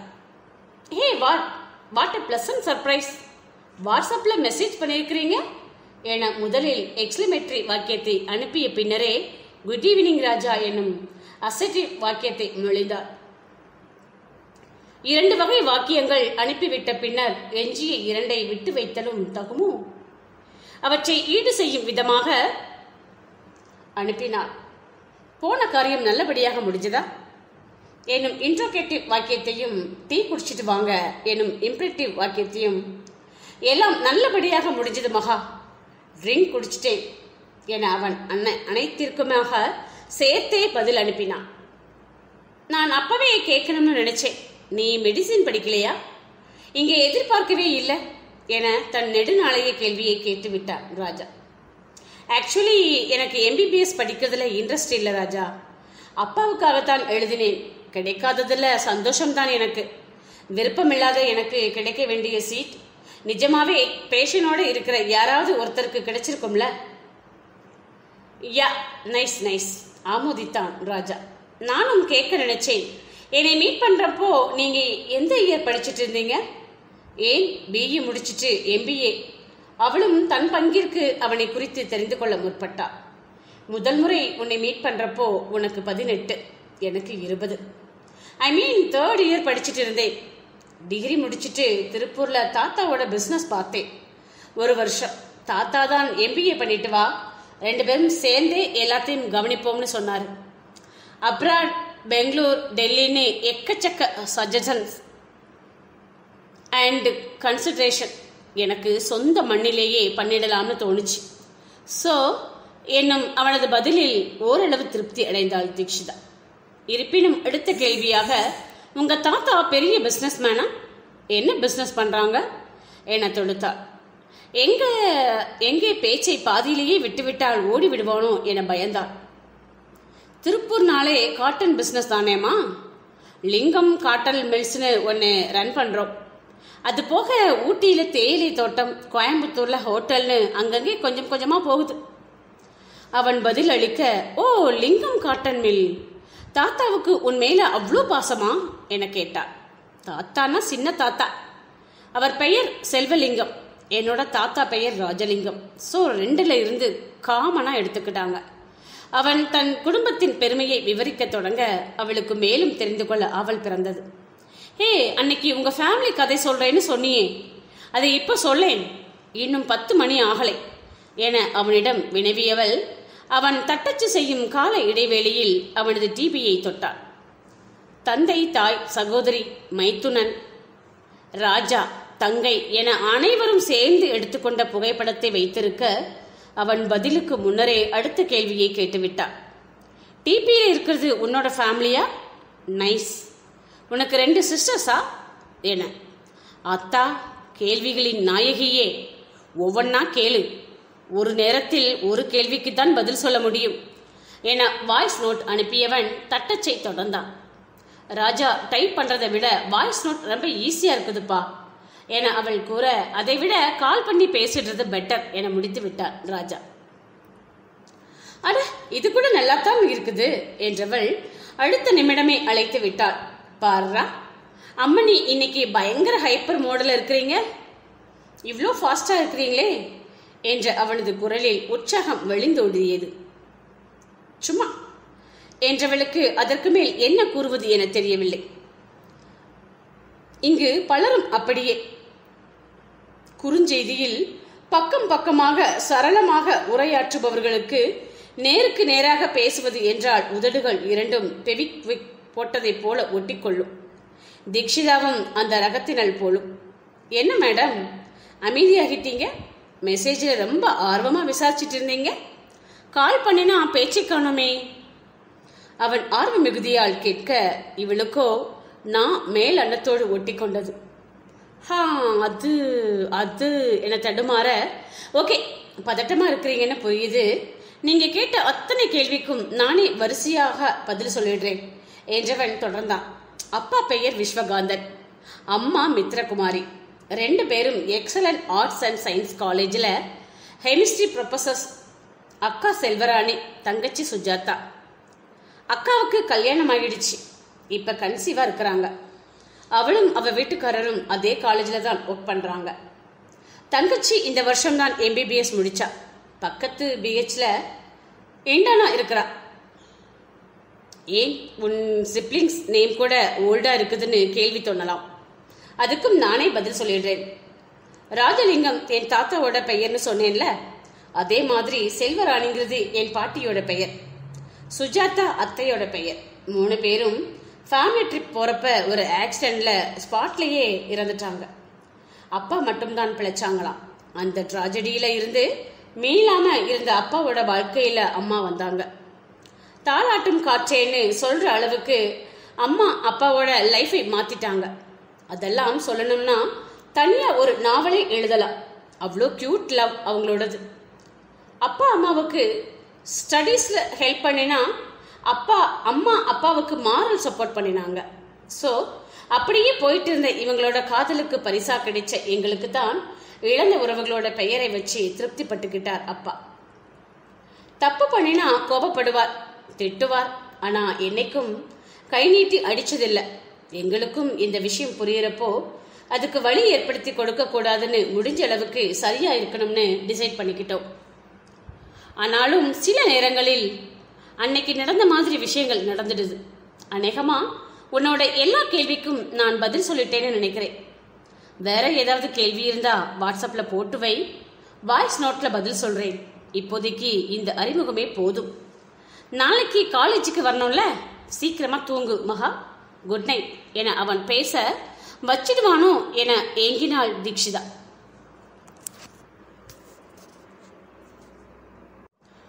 அத்தியாயம் பதிமூன்று. என்ன? பேச்சையே காணோம்? இன்னுமா ஸ்டார்டிங் ட்ரபிள் உனக்கு? என ராஜா சற்றே உரிமையுடன் கேட்க இல்லை அன்னைக்கு உங்க குடும்பம் மரியாதையான குடும்பம்னு சொன்னாங்க.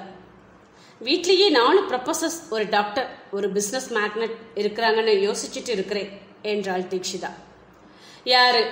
நான் நான் பிஸ்னஸ் மேக்னட்டா நல்ல காமெடி போ. நான் சீரியஸாக தான் சொல்கிறேன் ராஜா. படிச்சிருந்தா எங்கே போனாலும் மரியாதை தான்ல? அதை உன் ஃபேமிலி விஷயத்தில் கண் கூட பார்க்குறேன் ஆக்சுவலி மரியாதைக்கு காரணம் இது மட்டும் இல்லை இன்னொன்றும் இருக்குது. அதை சொன்னால் நீ அன்னி தெரசா அளவுக்கு பில்டப் பண்ண மாட்டேன்னு ப்ராமிஸ் பண்ணு சொல்கிறேன் என்னை நிபந்தனை விதித்தா? ஓகே பில்டப் பண்ண மாட்டேன் என அவள் உறுதி அளித்த பின்னர் அவனது பெற்றோரின் கல்வி சேவை குறித்தும் சுற்று வட்டாரத்தில் உள்ளோருக்கு அவர்கள் புரிந்த உதவிகள் குறித்தும் சுருக்கமாக விளக்கினான். வா செம. என்னை ஆமோதித்தவள் நீ உன் பேரண்ட்ஸ் சொல்றதை கேட்குறப்போ எனக்கும் என் பேரண்ட்ஸ் ஞாபகம் வருது. என்னை உணர்ச்சி வசப்பட்டா. ஹேய் சாரி உனக்கு வீட்டு ஞாபகம் வர மாதிரி பேசிட்டேனா? என அவன் வருந்த நோ ராஜா என் பேரண்ட்ஸ் கூட இதே மாதிரி தான் சர்வீஸ் பண்ணிட்டு இருக்கிறாங்க. ஐ மீன் நிறைய ஸ்டூடெண்ட்ஸ்க்கு மெடிசின் படிக்கிறதுக்கு ஃபினான்சியலாக ஹெல்ப் பண்ணுறாங்க அப்பா டாக்டர் அம்மா சீனியர் கெமிஸ்ட் ஸோ ரெண்டு பேரும் எங்கள் ஃபேமிலி எக்ஸ்பென்சஸ் போக எல்லாத்தையும் சேவ் பண்ணி ட்ரஸ்ட்டுக்கு கொடுப்பாங்க. அப்பா ஈவினிங் டைமில் ஃப்ரீ கன்சல்டேஷன் நடத்துவார். இவங்களால் படித்த ஸ்டூடெண்ட்ஸும் இந்த மாதிரியே சர்வீஸ் பண்ணணும்னு சொல்லுவாங்க. சிலருக்கு அதில் விருப்பம் இருக்காது. அப்படியே காண்டாக்டை கட் பண்ணிட்டு ஃபாரினுக்கு பறந்துடுவாங்க. அப்பாவுக்கு அதில் வருத்தம் இருந்தாலும் என்னைக்கும் சுணங்கி போனதே கிடையாது. தொடர்ந்து பண்ணிட்டே தான் இருக்கிறாங்க. என தன் பெற்றோரை குறித்து விளக்கியவள் நீ முன்னாடி சொன்ன டிஸ்கிளைமரை லாஸ்டா சொல்றேன். நீயும் மதர் தெரசா அளவுக்கு பில்டப் பண்ணக்கூடாது என சிரித்தார் பதிலுக்கு அவனும் சிரிக்க மூக்கு வியத்ததை போல அழைத்து விட்டார் வசுந்தரா. தீக்ஷிமா சாப்பிட வாடா என வரேன் அத்தை என்றவள் அவனிடம் சோ இனி டைரக்டா குட் நைட் தான்ல. அடுத்த வாரம் தான் பேச முடியும் இல்லையா? என சற்றே சோகம் கலந்த குரலில் வினவினார். ஏய் ஏதோ ஆண்டாண்டு காலமா கூடவே இருந்துட்டு பிரிஞ்சு போற மாதிரி சென்டிமெண்டா பேசிட்டு இருக்கிற? ஒரே காலேஜ்ல தானே படிக்க போறோம். ஜஸ்ட் அஞ்சு நாள் கழிச்சு திரும்ப பேச போறோம். என வெகு சாதாரணமாக கூறிவிட்டாலும் மனதிற்குள் ஒருவித வெறுமை பரவியது ராஜாவிற்கு. ரெண்டு நாள் போனது தெரியாமலே போயிடுச்சு. இன்னும் அஞ்சு நாள் வெயிட் பண்ணணுமோ? இவளோட பேசுறதுக்கு லூஸ் இவளாவே வந்து பேசிட்டு என்னை லூஸ் ஆக்கிடுவா போல? என அவளை சாடினான் பார்க்கலாம் மகா. கண் இமைக்கிறதுக்குள்ள ஓடிடும். அஞ்சு நாளும். என அவன் பேச மிஸ் யூ என அவனுக்கு கேட்காத வண்ணம் முணுமுணுத்தன அவளது இதழ்கள்.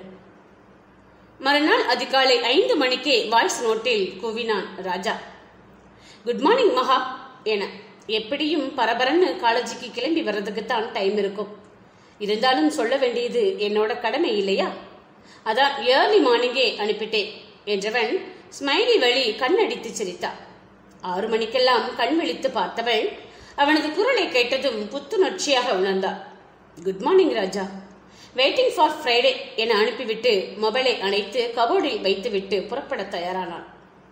எப்போது பார்ப்போம்? என்னும் கேள்வியுடன் கிடையாக தவம் இருந்தவளது புத்தி விழித்து கொண்டது நள்ளிரவில்.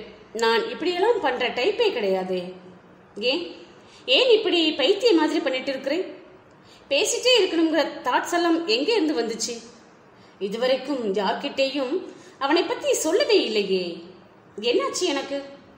குழம்பி தவித்தவளுக்கு விடையாக கண்ணீரே கிடைத்தது. ஷிட். நானும் டிஃபிகல்ட் கேலா மாறிட்டேனா? பேசி ரெண்டாவது நாள்லேயே இப்படியெல்லாம் ஃபீலிங்ஸ் வருமா என்ன? நோ நோ இது தப்பு. புத்தி மழுங்கி ஏதேதோ பண்ணிட்டு இருந்திருக்கிறேன் இனி இப்படியெல்லாம் பண்ணக்கூடாது. கண்ட்ரோலா இருக்கணும் என தன்னைத்தான் தேற்றிக் கொண்டவள் அந்த வார இறுதியில் அலைபேசியை ஆன் செய்யவே இல்லை. வாட்ஸ்அப் மற்றும் குறுஞ்செய்தி அனுப்பியவன் அவளிடமிருந்து பதில் கிட்டாததால் அழைக்க முயற்சித்தான் அது அணைத்து வைக்கப்பட்டிருக்கவே எதுவும் பிரச்சனையா இருக்குமோ? இல்லை பேச விருப்பம் இல்லையோ சரி இனி டிஸ்டர்ப் பண்ண வேண்டாம். இத்தனை நாள் ஜஸ்ட் லைக் தட்னு அந்த வாட்சை பார்த்துட்டு கடந்துட்டு தானே இருந்தேன். இப்போ என்ன? காவிய காதலா? தோத்து போச்சுது. ரெண்டு நாள் ஜாலியா பேசினான் அவ்வளோதான் இப்போதான். அந்த வாட்ச் கூட இல்லையே. சோ ஞாபகம் கூட வராது. போகட்டும். என தன்னைத்தானே சமாதானம் செய்து கொண்டான் எதிரில் அவளை கண்டாலும் பேச முயற்சிக்கவில்லை. அமைதியாக விலகிச் சென்று விடுவான். இருவருக்குமே உள்ளுக்குள் வலித்தது. இருப்பினும் மிக சாதாரணமாக வலம் வந்தனர். இவ்வாறே மூன்று வாரங்கள் கடந்து விட்டிருந்தது. இம்முறை அவளது சிந்தையை கலைத்தவள் பூமிகா. தீக்ஷி நான் ஒரு பெரிய தப்பு பண்ணிட்டேன்டி. அதுக்கு சாரி சொல்லணும். நீயும் என்னோட வரியா என அவள் கேட்க சாரியா? யார்கிட்ட? என்றவாறே ஏறிட்டு பார்த்தாள் தீக்ஷிதா. அதான் அன்னைக்கு சந்தோஷ் கிட்ட பிரச்சனை பண்ணினாருல்ல ராஜா சார். அவர்கிட்ட தான்.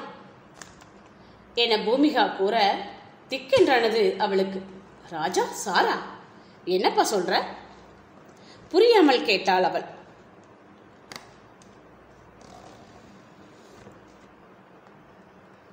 ஆமாப்பா அவர் வேற யாரும் இல்ல. விஸ்வாசாரோட பையனா? விஸ்வாசார் யாருன்னு தெரியுமா? இந்த ஏரியாவோட கல்வி வள்ளல்னு சொல்ற அளவுக்கு நல்லவர். என் அக்கா அவர் கொடுத்த ஃபினான்சியல் சப்போர்ட்ல தான் படிச்சு வேலைக்கு போய் இப்போ எனக்கு ஃபீஸ் கட்டுறா. சந்தோஷோட அப்பாவுக்கும் நிறைய ஹெல்ப் பண்ணியிருக்கிறார் விஸ்வாசா. ஆக்சுவலி சந்தோஷ் அன்னைக்கு வார்த்தையை விட்டுருக்க கூடாது. அதனால தான் ராஜா சார் கோபப்பட்டார். நேற்று தான் சந்தோஷ் விஷயத்தை சொன்னான். அதான் ரெண்டு பேரும் சாரி சொல்லலாம்னு இருக்கிறோம். நீ சாரி கேட்க வேணாம். ஏன்னா அவர் உன்கிட்ட கொஞ்சம் இன்டீசெண்டா நடந்துக்கிட்டார்ல அது வயசு கோளாறாக கூட இருக்கலாம். மேபி அவருக்கு உன் மேலே இன்ட்ரெஸ்ட் கூட வந்திருக்கலாம். அதை ஜஸ்டிஃபை பண்ணவோ கிளாரிஃபை பண்ணவோ நான் விரும்பலை. அது உன்னோட விருப்பு வெறுப்பு சம்மந்தப்பட்டது உங்கள் ரெண்டு பேரோட தனிப்பட்ட விஷயம். பட் நான் வெறுப்பை கொட்டினதுக்கும் சந்தோஷ் வரம்பு மீறி பேசினதுக்கும் சாரி கேட்டாகணும். அதுக்கு தான் போகிறோம் நீயும் வர்றியா? என பூமிகா பெரிதான விளக்க உரை வழங்க போகவா வேண்டாமா என சிந்தித்தாள் தீக்ஷிதா போனா அவனை திரும்பவும் பார்க்க வேண்டியது வருமே? அப்படின்னாலும் எத்தனை நாளைக்கு ஓடி ஒளிஞ்சுக்க முடியும்? என்னைக்கும் ஃபேஸ் பண்ணித்தானே ஆகணும். ஸோ போவோம். என் முடிவுடன் உடன் வந் நடந்தவளது உறுதி அத்தனையும் காற்றில் பறக்கப் போகிறது என தெரிந்திருக்க வாய்ப்பில்லை. அண்ணா ராஜாண்ணா இருக்கிறாரா?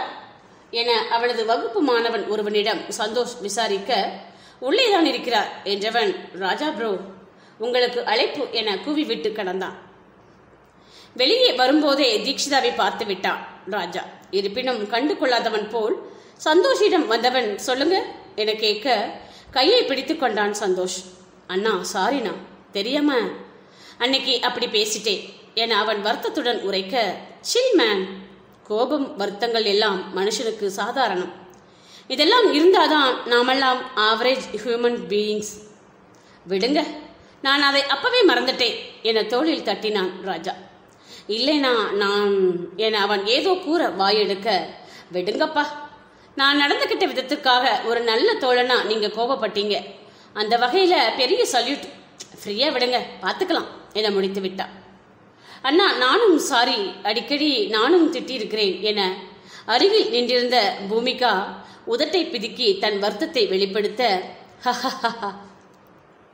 அநியாயத்துக்கு கிரிஞ்சு பண்ணாதீங்கடா. ஒழுங்க கிளாஸ்க்கு போங்க என சிரித்தான் ராஜா. இத்தனை பேசியவன் கிஞ்சித்தும் அவளை ஏறெடுத்து பார்க்கவில்லை. இதுவே அவளுக்குள் ஒருவித வெறுமையையும் ஏமாற்றத்தையும் விதைத்தது. இதுகாரம் வைத்திருந்த வைராக்கியங்கள் எல்லாம் தகர்ந்து மீண்டும் அவனிடம் யாசித்துவிட தயாராகும் நிலைக்கு தாழ்ந்திருந்தாள். நோ நோ தீக்ஷி வேணாம் செல்ஃப் கண்ட்ரோல் முக்கியம் என தன்னைத்தானே தேற்றியவள் மௌனமாகவே நின்றாள். சரி கிளாஸ் போங்க. டைம் ஆச்சுது. ஸ்டாஃப் வந்துட போறாங்க என ராஜா அவசரப்படுத்த சரிண்ணா வர்றோம் என விடை பெற்றனர். சிறிது தொலைவு நடந்த பின்னர் தீக்ஷிதா திரும்பி பார்க்க அவனும் இவளை பார்த்தவாறே நின்றிருந்தான். இவளது பார்வையை உணர்ந்தவன் வேறுபுறம் பார்ப்பதைப் போல காட்டிக்கொண்டு உள்ளே சென்று விட பேசி இருக்கவே கூடாதோ? தேவையில்லாத ஹோப் கொடுத்து அவரையும் ஹட் பண்ணிட்டு இருக்கிறேன் என வருந்தினான். நடக்கையில் தீக்ஷி நான் ஒன்னு கேட்பேன் உண்மையை சொல்வியா என தொடங்கினாள் பூமிகா. கேளுப்பா. என தீக்ஷிதா அனுமதி அளிக்க ராஜாண்ணா உன் மேலே இருந்த இன்ட்ரெஸ்ட்ல தான் டெய்லி வருவாரு. இப்போ உன் பக்கமே திரும்பல? ஒரு மனுஷியாக கூட கேர் பண்ணிக்கல? ஏன்? நீ ஏதாவது திட்டிட்டியா? இல்ல உன் அத்தான் கிட்ட சொல்லி மிரட்டினியா? உன் பர்சனலை கேட்கக்கூடாது தான் இருந்தாலும் ஒரு ஆர்வத்துல கேட்டுட்டேன். சொல்ல விருப்பம் இல்லைன்னா சொல்ல வேணாம் என கேட்டாள் அவள். கேட்க வேண்டியதெல்லாம் கேட்டுட்டு அப்புறமா இஷ்டம் இல்லைன்னா சொல்ல வேணாம்னு ஒரு டிஸ்க்ளைமர் போட்டு எல்லாரும் நல்லவளா ஆகிடுறாங்கப்பா இப்போ இவளுக்கு நான் என்ன பதில் சொல்லுவேன்? என்னை சிந்தித்து தடுமாறியவள் எனக்கே தெரியலப்பா அவர்கிட்ட தான் கேட்கணும். அவரே வந்தார் திரும்ப வராம போயிட்டார். நான் என்ன பண்ணட்டும்? என்னை சர்க்காஸ்டிக்காக பேசிவிட்டு தோளை குலுக்கினார். அதுவும் சரிதான். ஆனா ராஜாண்ணா ரொம்ப நல்ல மனுஷன். முன்னாடியே என் ஃப்ரெண்டு இவரை பத்தி சொல்லி இருக்கிறா ஆனா இவர்தான்னு தெரியாது. அவளுக்கு ஸ்கூல் டைம்ல இருந்தே ஒரு க்ரஷ் இவர் மேல. அதை சொன்னதுக்கு ரொம்ப டீசெண்டா புரிய வச்சு அனுப்பிட்டாராம். அடிக்கடி சொல்லுவா இந்த மாதிரி ஒரு ஆண்மகன் லைஃப்ல இருந்துட்டா பாதி பிரச்சனையை சால்வ் ஆகிடும்னு. என பூமிகா பேசிக்கொண்டே போக தீக்ஷிதாவின் கட்டுப்பாட்டு சுவர்கள் ஒவ்வொன்றாக தகர்ந்து கரைந்து கொண்டிருந்தது. வெள்ளிக்கிழமை வீட்டிற்கு வந்த தீக்ஷிதா நேராக சென்று அலைபேசியை உயிர்ப்பித்து பார்க்க அவனிடமிருந்து குறுஞ்செய்திகள் வந்திருந்தன.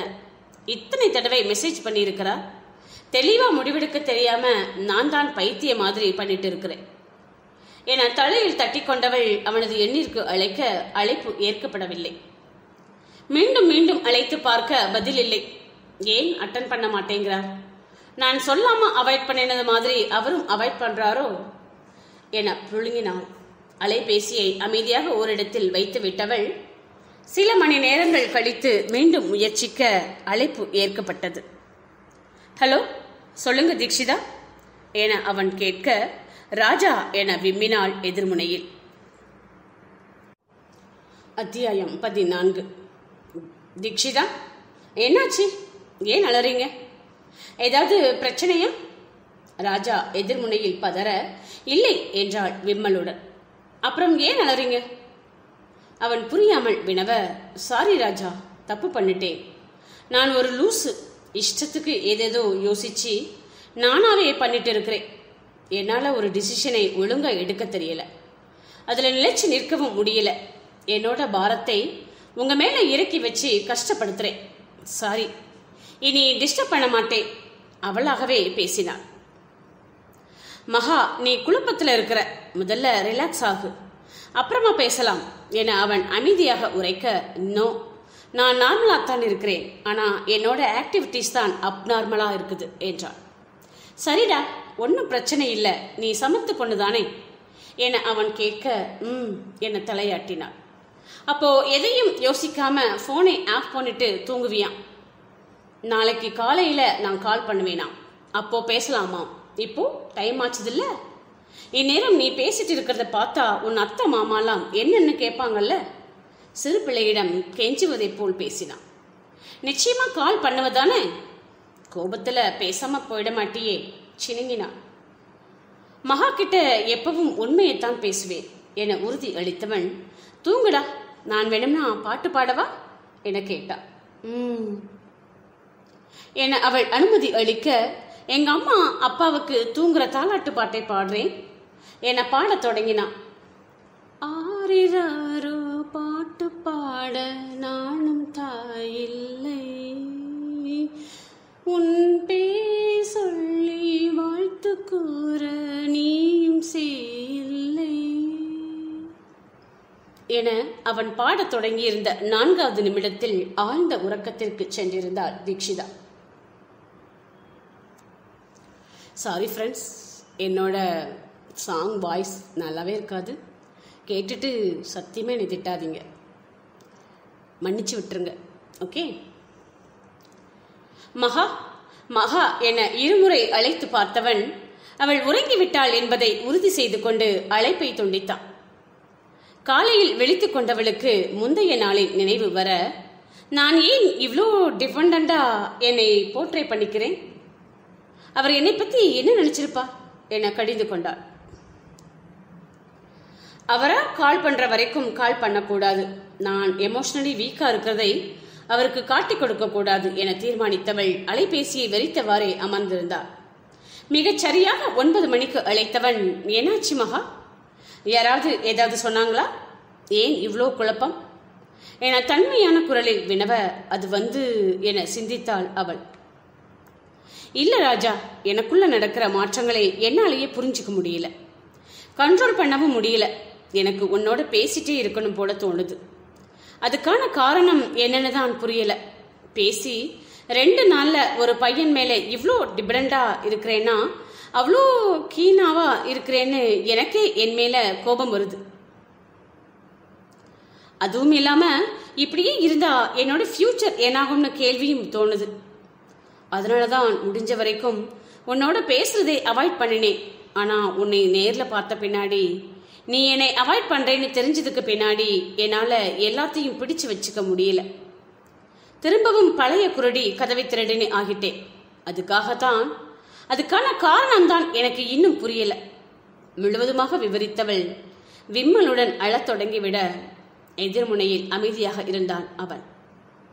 சில நிமிடங்கள் அழுது தீர்ந்த பின்னர் தேவையில்லாம உன்னையும் கஷ்டப்படுத்துறேன்னு புரியுது?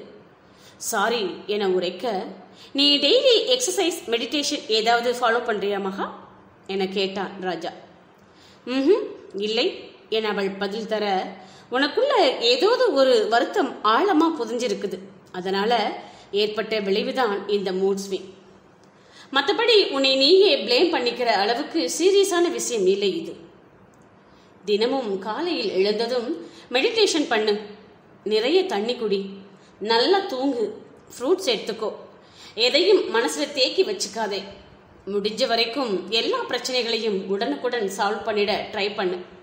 இதெல்லாம் செஞ்சிட்டாலே நார்மல் ஆகிடுவ என அறிவுறுத்தினான் தொடர்ந்தவன் யார் மேலேயாவது வருத்தம் கோபம்னு இருந்தா உடனுக்குடன் வெளியே கொட்டிடு. அடுத்த நொடியே மறந்துடு. அவ்வளோதான். கொஞ்ச நாள் வாழ போறோம். ஏன் தேவையில்லாம எல்லாத்தையும் சுமந்துட்டு திரியணும். அங்கங்கே இறக்கி வச்சுட்டு ஃப்ரீயா சுத்தலாமே. மனசுல ஏதாவது வருத்தம்? பாரம்னா உன் பேரண்ட்ஸ் கிட்ட சொல்லு. இல்ல பூமிகா கிட்ட சொல்லு.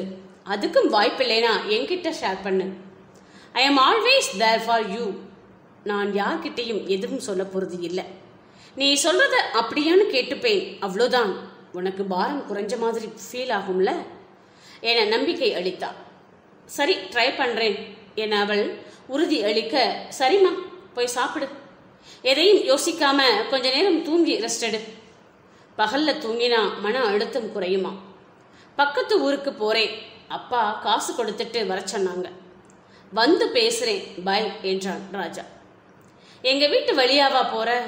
என ஒரு வேகத்தில் கேட்டு விட்டவள் "ஸ்" என நாக்கை கடித்து கொள்ள மறுமுனையில் சிரித்தவன் ஆமா என்றான். வீட்டில இருந்து கிளம்பிட்டேன். அநேகமா இன்னும் பதிமூணு நிமிஷத்துல அந்த பக்கமா வந்துடுவேன். என அவன் புள்ளி விவரம் பேச ஓகே என்றவள் ராஜா என்னை எங்கேயாவது வெளியில கூட்டிட்டு போறியா? நேர்ல பார்த்து மனசு விட்டு பேசணும் போல தோணுது ப்ளீஸ் என கேட்டாள் ஏக்கம் தோய்ந்த குரலில்.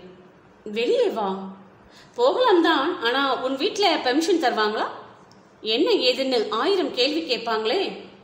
எப்படியும் உன் அத்தான் தனியா அனுப்ப மாட்டாரே என அவன் யோசிக்க அத்தான் இன்னைக்கு ஊர்ல இல்ல திண்டுக்கல் போயிருக்கிறாரு. நைட்டு தான் வருவாருன்னு அத்தை சொன்னாங்க. நான் பூமிகாவோட போறேன்னு சொல்லிட்டு வரேன் என தெரிவித்தாள் தீக்ஷிதா எல்லாம் ஓகே தான் ஆனா பூமிகா கூடன்னு சொல்லிட்டு வந்தா சரியா இருக்குமா?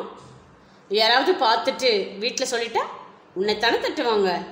அவன் சற்றே தயங்கி பின்வாங்க எல்லாத்தையும் வெளிப்படையாக சொல்லிட்டு இருக்க முடியாது ராஜா. ஐ கேன் மேனேஜ் நீ உன் வேலையை முடிச்சிட்டு சொல்லு என்றாள் அசட்டு தைரியத்துடன். அப்படியா சொல்ற? பிரச்சனை வராதுன்னா ஓகே தான். எதுக்கும் இன்னொரு தடவை யோசிச்சுக்கோ. என்றவன் அவளிடம் இத்தனை நேர்மையாக இருக்க வற்புறுத்தியதைப் போலதான் தான் இருக்கப் போவது இல்லை. தாய் தந்தையர் நண்பர்கள் போல உரிமை கொடுத்திருந்தாலும் அவர்களிடம் இதுவரை தன் மகாவை குறித்து ஒற்றை வார்த்தையும் உரைத்திருக்கவில்லை. செல்வாவிடம்தான் அக்கா ஒரு பொண்ணோட பேசிட்டு இருக்கிறேன் அவளே அம்மா கிட்ட உரிமை போருக்கு வர்றதுக்கும் வாய்ப்பு இருக்குதுன்னு நினைக்கிறேன் என ஒரு முறை சூகசமாக கூறினான் அதை புரிந்து கொண்டவள் டேய் என்ன லவ்வா? என காதை திருக என் தரப்புல அது ஆமாதான். அவ தரப்புலேயும் ஆமானா? ஃபர்தரா ப்ரொசீட் பண்ணுவேன் என்றார்.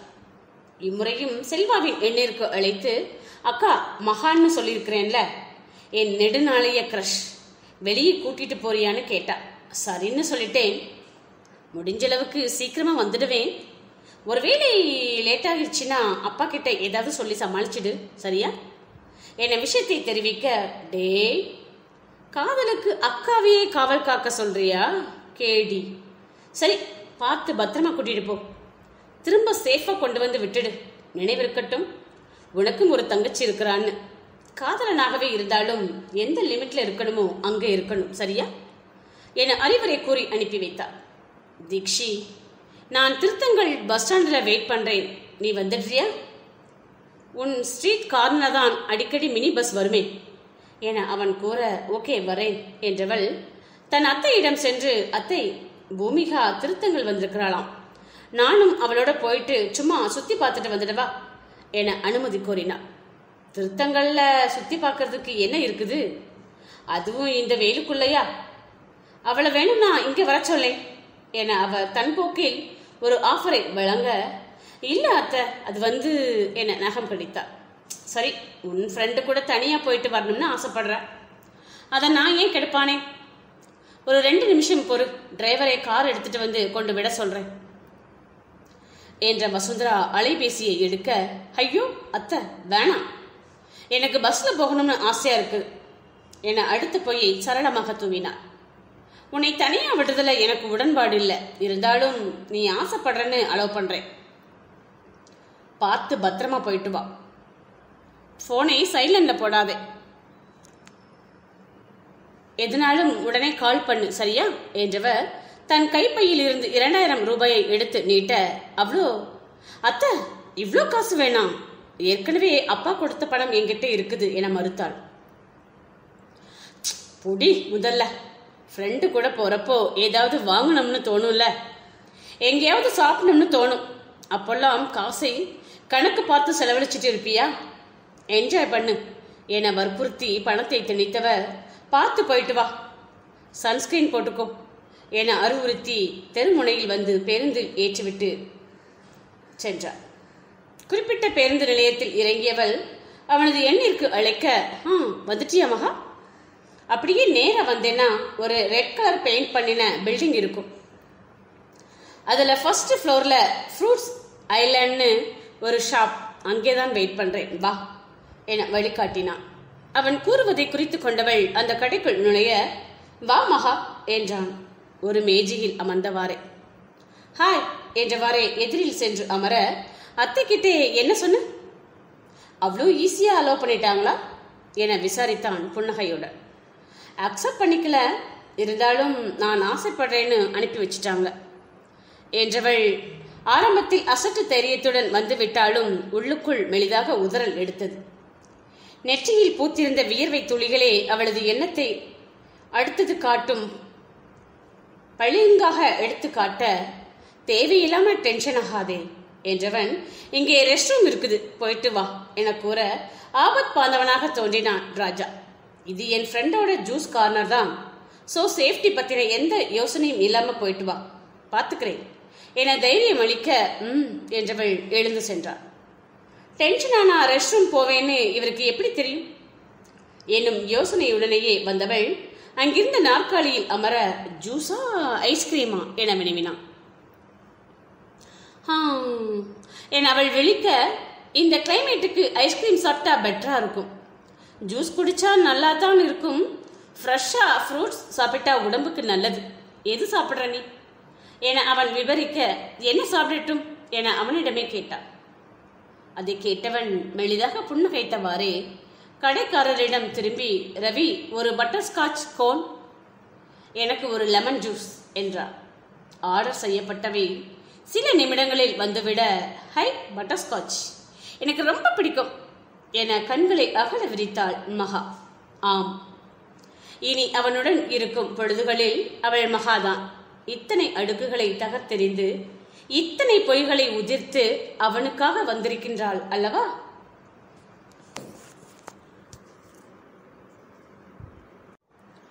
அத்தியாயம் பதினைந்து.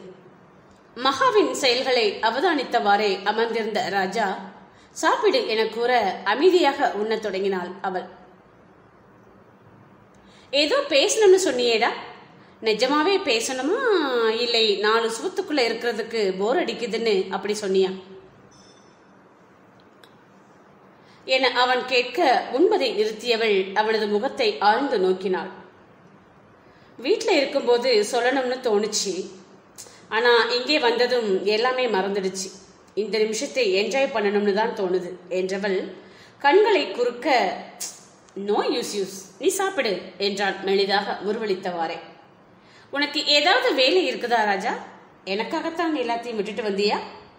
அவள் கண்களில் ஆர்வம் மின்ன கேட்க சேச்ச அப்படியெல்லாம் எதுவும் இல்லைன்னு சொல்றதுக்கு ஆசைதான். ஆனாலும் கொஞ்சம் வேலைகளை ஒத்தி வச்சுட்டு தான் வந்திருக்கிறேன் என்றார் மாறாத புன்னகையுடன். ஏ என்றவள் கேள்வியாக பார்க்க ஏன்னா? மகா கூப்பிட்டா அதனால வந்திருக்கிறேன் என்றான் தோலை குலுக்கியவாறே. அதில் அவளது இதழோரம் மெலிதான புன்னகை தவழ்ந்தது. நிஜமாவா சொல்ற? உருட்டலையே என உறுதி செய்து கொள்வதற்காக மீண்டும் கேட்க மகா கிட்ட உண்மையை மட்டும்தான் சொல்வேன் என பதில் உரைத்தான் ஏன் மகா கிட்ட மட்டும் மகாக்காக மட்டும்? அவன் இதயத்தை கழித்து ஆழம் பார்த்துவிடும் ஆர்வத்தில் அவள் கேட்க ஏன்னு தெரியல but she is something special for me என்றான் கண்களில் குறுக்குறுப்புடன். தேங்க்ஸ் என்றவளின் கண்கள் மெளிதாக பணிக்க அட அசடே எதுக்கு இதுக்கெல்லாம் அலற? அவ்வளோ பெரிய உருட்டா இது. லிட்டில் பிட்டு தான் என கலகலப்பூட்ட முயன்றான். போடா என்றவள் தான் கூறியதன் பொருள் உணர்ந்து நாக்கை கடித்துக் கொள்ள பரவாயில்ல அப்படியே கூப்பிடு என அனுமதி தந்தான். அப்போ வாடா போடானே கூப்பிடவா? என அவள் ஒற்றை கண்ணடித்து வினவ அண்ணாங்கிறதை தவிர வேற என்ன சொல்லி கூப்பிட்டாலும் எனக்கு பிரச்சனை இல்லை என்றான் குறும்பாக. அம்மாடி அதுக்கும் ஏன்னு திரும்ப ஆரம்பிச்சிடாதே. சத்தியமா என்கிட்ட பதில் இல்லை என்றவன் தோல்வியை ஒப்புக்கொள்ள கலகலவென சிரித்தாள் மகா. ரவி ஒரு பூஸ்ட் மகாவுக்கு என ஆர்டர் செய்தவன் கூலா சாப்பிட்டதும் அதை காம்பன்சேட் பண்ற மாதிரி சூடா சாப்பிடணும் என தானாகவே விளக்கம் அளித்தான் அவள் பானத்தை அருந்த தொடங்க சுற்றுமுற்றும் பார்த்த ராஜா மெல்ல அவளது காலை தன் காலால் உரசினான். எதேச்சியாக நிகழ்ந்திருக்கும் என நினைத்தவள் அதிர்ச்சி அடையாமல் அவனை பார்க்க அவனோ எதுவும் நடவாதது போல் புன்னகைத்தான் அதை கண்டவளுக்கு உள்ளுக்குள் உறுத்தியது. இருப்பினும் வெளிக்காட்டிக் கொள்ளாமல் பருகத் தொடங்கினான் மீண்டும் இரண்டு முறை இது நிகழ விழித்துக் கொண்டது அவளது மனம். சம்திங் ரா என உணர்ந்தவள் விழிப்புடன் சுற்றிலும் அவதானிக்க அவ்விடம் எவரும் இல்லை. அவனோ இயல்பாக இருப்பதைப் போல காட்டிக்கொண்டே அவளது காலை தன் காலால் வருடத் தொடங்கினான். கண்களை காலியாக உருட்டியவள் Raja what's wrong with you என எச்சரிக்கும் தொனியில் வினவ அவனோ நத்திங் என்றவாறே அவளது கையை பிடிக்க முயன்றான். வெடுக்கென பறித்து கொண்டவள் எழுந்த வேகத்திலேயே கன்னத்தில் பல்லாரண ஒன்று அறைய ஒரு கணம் திடுக்கிட்டான் ரவி. ஆனால் ராஜாவோ அமைதியாக அவளை பார்த்தவனம் அமர்ந்திருந்தான். என்ன நினைச்சிட்டு இருக்கிற உன் மனசுல? சிரிச்சு பேசினா ஃப்ரெண்டா நம்பி வெளியே வந்தா என்ன வேணாலும் பண்றதுக்கு அனுமதி தந்துட்டேன்னு அர்த்தமா? பி கேர்ஃபுல் உன்னோட எல்லையில நிக்கிற வரைக்கும் தான் அமைதியாக இருப்பேன். இல்லைனா நெருப்பா மாறி எரிச்சு சிதைச்சிட்டு போயிட்டே இருப்பேன். என அவள் கத்த தொடங்க மா மா மா. ராஜா அப்படிப்பட்ட பையன் இல்லம்மா. ஏதோ தெரியாம நடந்திருக்கும் என ஓடி வந்து தடுத்தான் ரவி. இல்லைனா உங்களுக்கு தெரியாது. இவன் என்கிட்ட மிஸ்பிஹேவ் பண்ண ட்ரை பண்ணான். ஐ கேன் ஃபீல் இவனோட தொடுகையில் ஒரு வித தப்பான இன்டென்ஷன் இருந்தது. ஜெனியூனா பேசி நம்பிக்கையை ஏற்படுத்திட்டு அப்புறமா லீலையை காட்ட வேண்டியது என்றவள் அங்கிருந்த முள்கரண்டியை எடுத்து அவனை குத்த முயற்சிக்க ஹே ஹே ஹே மகா சில் சில் சில் நான் ஜஸ்ட் உன்னை டெஸ்ட் பண்ணேன் என்றவாறே எழுந்தான் ராஜா. என்ன டெஸ்ட் பண்ணனியா? என அவள் சீர ரவியிடம் திரும்பியவன் நீ போடா நான் பார்த்துக்கிறேன் என்றான். உட்கார்ந்து பேசினா கொஞ்சம் ஃப்ரீயா பேசலாம் என அவன் இருக்கையை காட்ட அப்படி என்னத்தை பேச போற? கடுகெடுத்தாள் மகா.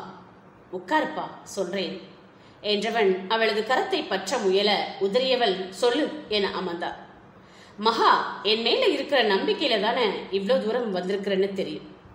பட் ஒருத்தரை நம்பி இவ்வளோ ஸ்டெப் எடுத்து வைக்கிறது ரொம்ப டேஞ்சர்டா ஆக்சுவலி நீ ரொம்ப மூட் ஸ்விங்ல இருக்கிற.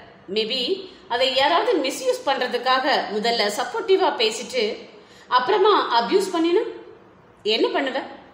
இல்லை இந்த மாதிரி யாரும் இல்லாத தனி இடத்துல மிஸ்பிஹேவ் பண்ணினா? அதை எப்படி ஹேண்டில் பண்ணுவ? அடிப்பேன் உதைப்பேன். கத்துவேன்னு வாயால சொல்றதெல்லாம் ரொம்ப ஈஸி பட் அந்த சுச்சுவேஷன்ல இருக்கிறப்போ நம்ம மூளை வேலை செய்யுதா? எதிர்வினை ஆற்றுற அளவுக்கு நாம தயாராக இருக்கிறோமான்னு டெஸ்ட் பண்றதுக்காகத்தான் இப்படி பண்ணினேன். பரவாயில்ல. எதிர்த்து போராடுற தைரியம் உனக்கு இருக்குது. என்னைக்கும் யாரையும் ஈஸியா நம்பிடாத மகா. அது ஆணாக இருந்தாலும் சரி பெண்ணாக இருந்தாலும் சரி. நானா இருந்ததால ஓகே. ஒருவேளை இந்த மாதிரியான சம்பவம் நிஜமாகவே நடந்திருந்தா? கொஞ்சம் கேர்ஃபுல்லா பழகுடா. வெளுத்ததெல்லாம் பால்னு நம்பிடாத. நியூஸ் சோசியல் மீடியான்னு எத்தனை நியூஸ் கேள்விப்படுறோம்? காதலிக்கிறேன்னு சொல்லிட்டு ஆசை வார்த்தை காட்டி சீரழிச்சிட்டு கொன்னுடுறான். இல்லை ஃப்ரெண்ட்ஸுக்கும் பகிர்ந்து கொடுக்க முயற்சிக்கின்றான். இதெல்லாம் இப்போ நடந்துட்டு இருக்கிற கசப்பான உண்மைகள். நீ கவனமா இருக்கணும்னு தான் செஞ்சேன். சாரி உன் அனுமதி இல்லாம தொட்டதற்கு. மனமாற மன்னிப்பு கேட்டவன் வருத்தத்துடன் நெஜையை பார்த்தவாறே அமர்ந்திருக்க இன்னமும் நம்பாமல் பார்த்து கொண்டிருந்தார் மகா. எனக்கு உன் மேல நிறைய நம்பிக்கை இருந்துச்சு ராஜா. அதனாலதான் முதல் தடவை நடந்ததை கேஷுவலா எடுத்துக்கிட்டேன். ரெண்டாவது மூணாவது தடவையில சந்தேகம் வந்தது. கூடவே நம்பினவன் இப்படி பண்ணிட்டானேன்னு கோபமும் வந்துச்சு. எமோஷனலா விஷயத்துக்கு இடம் தரக்கூடாதுன்னு தான் பலார்னு அரைஞ்சிட்டேன் என்றவள் கிஞ்சித்தும் தன் செயலுக்கு மன்னிப்பு கோரவில்லை. நீ சாரி சொல்லுவன்னு நினைச்சேன். பரவாயில்ல. போல்டு பொண்ணுன்னு ப்ரூஃப் பண்ணிட்ட. என அவன் பாராட்ட எல்லாம் அம்மாவோட ட்ரைனிங் ஃபிசிக்கலி யாராவது அத்து மீறினா அடிச்சுடு. அப்புறம் ஆகுறத பின்னாடி பார்த்துக்கலாம்னு சொல்லுவாங்க. என்றாள் பெருமிதத்துடன். நைஸ் சரி பூஸ்டே குடி. ஆல்மோஸ்ட் ஆறு இருக்கும். என்றவன் தனது அலைபேசியை எடுத்து எவருக்கோ குறுஞ்செய்தி அனுப்ப போன் எப்பவும் உன்கிட்டே தானே இருக்குது. ஏதாவது பேசலாம்ல? என்றாள் மகா. புன்னகையுடன் நிமிர்ந்தவன் ஒருவேளை இந்த டிராமாவுக்கு பின்னாடி நான் ஒரு லென்த்தி டயலாக் பேசி என்னை ஹீரோவா எஸ்டாப்ளிஷ் பண்ணினேன்ல? அதுவும் உன்னை நம்ப வைக்கிறதுக்கான ட்ரிக்ஸ்ல ஒன்னா இருந்தா என்ன பண்ணுவ? என கேட்க ராஜா மேல நம்பிக்கை இருக்குது. ஒருவேளை நீ சொல்ற மாதிரி இருந்தாலும் ஐ கேன் மேனேஜ் என்றாள் தீர்க்கமாக. குட் என்றவாறே எழுந்து கொண்டவன் கிளம்பலாம் என்றான். அவளுடன் நடந்தவன் என்னைக்குமே ஒரு விஷயத்தை மைண்ட்ல ஃபிக்ஸ் பண்ணிக்கோ மகா. ஒரு பொண்ணை உண்மையாக காதலிக்கிறவனும் கடைசி வரை துணையாக வாழணும்னு நினைக்கிறவனும் அவளை தனிமையான சந்தர்ப்பத்தில் சந்திக்க நினைக்கவே மாட்டான் மனம் விட்டு பேச ஆயிரம் விஷயங்கள் இருந்தாலும் தனக்கு தெரியாத மக்கள் இருக்கின்ற வெளிப்படையான இடத்திற்கு தான் போவானே தவிர ரகசியமான இடத்திற்கு கூட்டிட்டு போக மாட்டான் ஒருவேளை அப்படி யாராவது உன்னை அழைச்சிட்டு போனா அப்பவே நீ உஷாராகிக்கோ. அநேகமா உங்க அம்மா இந்த ட்ரிக் சொல்லி தந்திருக்க மாட்டாங்க. ஏன்னா இதெல்லாம் மாடர்ன் திங்ஸ் உன் டேட்டா பேஸ்ல ஸ்டோர் பண்ணிக்கோ என அறிவுறுத்தினான் ஓகே ராஜா என்றவள் இந்த ஊர் உனக்கு தெரிஞ்ச ஊர் தெரிஞ்ச மனுஷங்க. இருந்தாலும் தைரியமா என்னை அழைச்சிட்டு வந்திருக்கிற. அதுவும் பட்ட பகல்ல. இதை எந்த கேட்டகரியில எடுத்துக்கணும்? என்னும் கேள்வியை கண்களில் ஆர்வம் நின்ன தொடுக்க அவனுக்கு என்ன பதில் உரைப்பது என தெரியவில்லை. ஆ? அது வந்து என தடுமாறியவன் சுற்றுமுற்றும் கண்களை சுழல விட நீ நிதானமா இல்ல. உன் கால் தரையில படல. முதல்ல நில்லு. அப்புறமா பதில் சொல்லு என கூறிவிட்டு முன்னே நடந்தாள் மகா. அவளது கவுண்டரில் சிரித்து விட்டவன் இதுவும் ஒரு வகை வெளிப்படைத்தன்மையில் சேர்த்திதான் என கூற படிகளில் இறங்கிக் கொண்டிருந்தவள் ஒரு கணம் நின்றவள் திரும்பி பார்க்க ஆனா இதுவரைக்கும் அம்மா அக்கா தங்கச்சி தவிர எந்த பொண்ணையும் வெளியே அழைச்சிட்டு போனதில்லை. அநேகமா முதல் பொண்ணும் நீதான் கடைசி பொண்ணும் நீதான் என்றான் குறும்பாக. அண்ணாந்து பார்த்தவள் ஏய் இதுக்கப்புறம் கூட்டிட்டு வர மாட்டீங்களா பில் அமௌண்ட் அதிகமாகுதா என்ன? உங்க தோழரோட பழமுதிர்ச்சோலை தானே டிஸ்கவுண்ட் எல்லாம் தரமாட்டாரா? என கேலியுடன் சிரிக்க இல்ல. கரண்ட் பில் அதிகமாகுது. அதான் அடிக்கடி உன்னையே அழைச்சிட்டு வரலாம்னு நினைக்கிறேன் என்றான். நாக்கை கடித்து நமட்டு சிரிப்பொன்றை உதித்தவாறே. அவன் கூறுவது புரிந்தாலும் புரியாததைப் போல காட்டிக்கொண்டவள் என்னை நிலான்னு சொல்றியா ராஜா? ஆனா அது பகல்ல தெரியாதே? என சோகமாக முகத்தை வைத்துக்கொள்ள நிலா இல்லை. டியூப்லைட்னு என் வாயாலேயே சொல்ல வச்சிருவ போலேயே என போலியாக போலியாக வருந்தியவன் நெஞ்சில் கை வைத்துக் கொண்டான். சிரித்த அவனது நகைச்சுவை திறத்தை ஆமோதித்தவள். ஒரு வேகத்துல ஃப்ரீயா பேசணும்னு சொல்லிட்டேன். ஆனா இங்கே வந்ததுக்கு அப்புறம் சின்ன ஹெசிடேஷன் நைட் கால் பண்ணும்போது சொல்றேன். அட்லீஸ்ட் என்னைக்காவது சீக்கிரமா வேலையை முடிச்சிட்டு மெசேஜ் பண்ணு. நீ வேற ஸ்ட்ரிக்டா பத்து மணிக்கு மேல பேச மாட்டேன்னு சொல்ற. என்றவாறே படிகளில் இறங்க உத்தரவு மகாராணி என்றார் இப்பவே கிளம்புறியா? இல்ல வேற எங்கேயாவது சுத்தி பார்க்க போறியா? என அவன் கேட்க இதுவே போதும்னு நினைக்கிறேன். ரொம்பவே ரிலாக்ஸ்டா ஃபீல் பண்றேன். என பதில் அளித்தாள் மகா. சரி வா பஸ் ஏற்றி விடுறேன். என்றவன் அவளை அனுப்பி வைத்த பின்னரே தனது பணிகளை கவனிக்க சென்றான். எதிர்பாராத விதமாக அன்று இரவு அவனது தாத்தா வந்துவிட்டார். அவருடன் சில முக்கியமான காரியங்கள் குறித்து விவாதித்ததால் மகாவுக்கு வாக்களித்த நேரத்திற்கு வர இயலாமல் போய்விட்டது. ஏழரைக்கு தொடங்கிய உரையாடல் ஒன்பதை தாண்டி தொடர்ந்து கொண்டிருக்க தாத்தா ரெஸ்ட் ரூம் போயிட்டு வந்துடுறேன் என எழுந்தவன் விரைவாக அறைக்கு ஓடி அவளுக்கு குரலில் குறுஞ்செய்தி அனுப்பினான். மகா சாரிடா திடீர்னு தாத்தா வந்துட்டாங்க. கம்பெனி விஷயமா? நான் அப்பா அத்தான்னு எல்லாருமே பேசிட்டு இருந்ததால டைம் ஆகிடுச்சு முடிஞ்சா நாளைக்கு காலையில் கால் பண்ணுறேன் பட் நான் ஷுவர் நாட் ஷுவர் ஏன்னா தாத்தாவை மதுரைக்கு கூட்டிட்டு போகணும். ஃப்ரீ டைமில் கால் பண்ண ட்ரை பண்ணுறேன் ரொம்ப ரொம்ப சாரிடா நீ கோபமாக இருப்பேன்னு தெரியும். ஆனாலும் புரிஞ்சு பண்ண நம்பிக்கை இருக்குது. பை என படப்படவென பேசி அனுப்பியவன் எதுவும் நடவாததைப் போல மீண்டும் உரையாடலில் கலந்து கொண்டான் அத்தியாயம் பதினாறு. ராஜாவிடம் பேச வேண்டும் என ஐந்தரை மணியிலிருந்தே காத்திருந்த மகாவிற்கு இந்த குறுஞ்செய்தி பேரிடியாக இருந்தது. இட்ஸ் ஓகே அவன் ஃபேமிலி மெம்பர்ஸ் கூட பேசுறேன்னு சொல்லிட்டு தானே போனான். பொழுதனிக்கும் என்னோட மட்டுமே பேசிட்டு இருக்க முடியுமா என்ன? என தன்னைத்தானே சமாதானம் செய்து கொண்டாள். ஆனால் மறுநாளும் அவனால் அவளிடம் உரையாட இயலவில்லை. குட் மார்னிங் மகா என்பதாக தொடங்கிய காரியம் அந்த நாளின் இறுதியில் குட் நைட் மகா சாரிடா நெக்ஸ்ட் வீக் பேசலாம் என்னும் குறுஞ்செய்தியில் முடிந்து விட்டிருந்தது ஏமாற்றத்துடனும் வருத்தத்துடனும் கல்லூரிக்கு சென்றவள் வண்டிகள் நிறுத்தும் இடத்தில் அவனது வாகனத்தை தேட அவ்விடம் காலியாக இருந்தது. ஒருவேளை இன்னைக்கு வரலையோ? பிஸியா இருப்பானோ? என தனக்குள் யோசித்தவாறே வகுப்பிற்கு சென்றாள் அன்னைக்கு நான் அவாய்ட் பண்றப்போ அவனுக்கும் இப்படித்தானே இருந்திருக்கும். அவனாவது இன்ஃபார்ம் பண்ணினான். நான் சொல்லாம முறுக்கிக்கிட்டு திரிஞ்சேனே அதுக்கு இது எவ்வளவோ பெட்டர் என தன்னையே கடிந்து கொண்டார். சோகமே உருவாக அமர்ந்திருந்தவளிடம் வந்த பூமிகா தீக்ஷி இன்னைக்கு ராஜாண்ணா லீவாம். உனக்கு கால் பண்ணினப்போ அட்டன் பண்ணல போல. காலேஜுக்கு கிளம்பி இருப்பேன்னு நினைச்சிட்டு என்கிட்ட சொன்னார். என்றார். கால் பண்ணினானா? மேபி நான் வீட்டிலிருந்து இருந்து கிளம்பினதுக்கு அப்புறமா பண்ணியிருப்பான் என்றவள் அம்மா உன்னை எங்கே பார்த்தா? என கேள்வி எழுப்பினார் பஸ் ஸ்டாப்பில் நின்றுட்டு இருந்தேன் அப்போ சொல்லிட்டு போனாரு. அவங்க தாத்தாவை கோவிலுக்கு அழைச்சிட்டு போறாராம் என பதில் கிட்ட ஓ என கேட்டுக்கொண்டாள் தீக்ஷிதா மனம் அமைதியாக அவள் கூறுவதை கேட்டுக்கொண்டாலும் ஏன் எப்ப பார்த்தாலும் தாத்தாவோடவே சுத்திட்டு இருக்கிறான்? என்னை விட அவர் அவ்வளோ முக்கியமா என மனம் குமைந்தது. அடுத்த நாளும் இன்னைக்கு ராஜாண்ணா காலேஜ் சேர்மனோட மீட்டிங் போறாராம். அதனால வரமாட்டாராம். என்னும் செய்தி கிடைக்க அப்படியே போயிட சொல்லு. இவனெல்லாம் காலேஜுக்கு வரலைன்னு எவன் அழுதான்.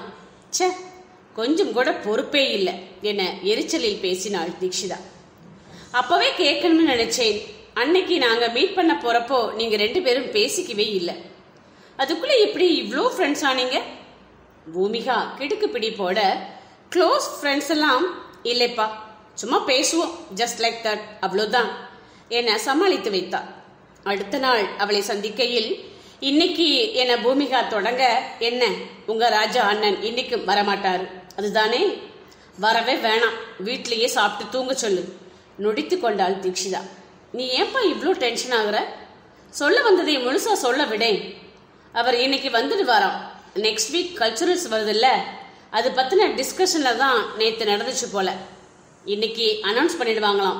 இந்த வீக் மூணு நாளும் ஆஃப்டர்நூன் பர்மிஷன் கேட்டுட்டு ஆடிட்டோரியத்தில் ப்ராக்டிஸ் பண்ணிக்கலாமா குறிப்பாக உன்னை கிளாசிக்கல் டான்ஸில் சேர சொன்னார். என்னை பூமிகா கூறி முடிக்க "ம்" சளித்து சலித்து கொண்டாள் அவள். நான் பார்ட்டிசிபேட் பண்ணவே போகிறதில்ல அப்படியே பண்ணினாலும் வெஸ்டர்ன் தான் சேர்வேன். இவர் சொல்லிட்டாருங்கிறதுக்காகலாம் கிளாசிக்கல் ஆட முடியாது என அவள் முகத்தை திருப்பிக் கொள்ள சொல்ல வேண்டியதை சொல்லிட்டேன். அதுக்கு மேல உன்னிஷ்டம் என்று விட்டாள் பூமிகா. போட்டிகளுக்கான அறிவிப்பு கொடுக்கப்பட்டு பங்கு பெறுபவர்கள் பட்டியல் தயார் செய்யும் பணி ராஜாவுடையது. கிளாசிக்கல் பிரிவில் தன் மகாவின் பெயரை ஆர்வமாக தேட அங்கே இடம் பெற்றிருக்கவில்லை. ராங்கி. கோபத்தில் இருக்கிறா போல. அதான் வேணும்னே பார்ட்டிசிபேட் பண்ணலை. என மனதிற்குள் திட்டிக் கொண்டவன் நேராக அவள் வகுப்பை நோக்கி சென்றான் எப்போதடா ஃப்ரீ அவர் கிடைக்கும் என காத்திருந்த மாணவர்களுக்கு இந்த சலுகை ஒருவித வரப்பிரசாதமாகி போகவே அனைவரும் வகுப்பை விட்டு வெளியே பறந்திருந்தனர் ராஜா வகுப்பிற்குள் நுழைகையில் சில மாணவிகளும் தீக்ஷிதாவும் மட்டுமே அமர்ந்திருந்தனர் அவளை முறைத்தவாறே உள்ளே நுழைந்தவன் யாராவது கல்ச்சுரல்ஸ்க்கு பார்ட்டிசிபேட் பண்ண விரும்புறீங்களா? என கேட்க அவளோ என முகத்தை திருப்பிக் கொண்டாள். கேடிக்கு கோபம் கெஞ்சணும்னு எதிர்பார்க்கிறாளோ? என எண்ணியவன் மிஸ் தீக்ஷிதா நீங்க கிளாசிக்கல் நல்லா ஆடுவீங்கன்னு மொத்த காலேஜும் சொல்லுது. நேம் கொடுக்கலையா? என நாக்கை மடித்து சிரித்தவாறே கேலியுடன் வினவ வெகுண்டு எழுந்து விட்டாள் அவள். இங்கே பாருங்க தீக்ஷிதான்னு கூப்பிடுற வேலையெல்லாம் வச்சுக்காதீங்க. என அவள் கத்திவிட ஏங்க அதுதானே உங்க பெயர்? கூப்பிடுறதுக்கு தானே வச்சிருக்கிறாங்க? என்றான் நக்கலாக. ஆ அது கூப்பிடத்தான் வச்சிருக்கிறாங்க. ஆனா நீங்க கூப்பிடக்கூடாது. பொய் கோபத்துடன் முறைத்தவன் வகுப்பை விட்டு வெளியேறி நடக்க மகா மகா என்றவாறே பின்னால் ஓடினான் ராஜா.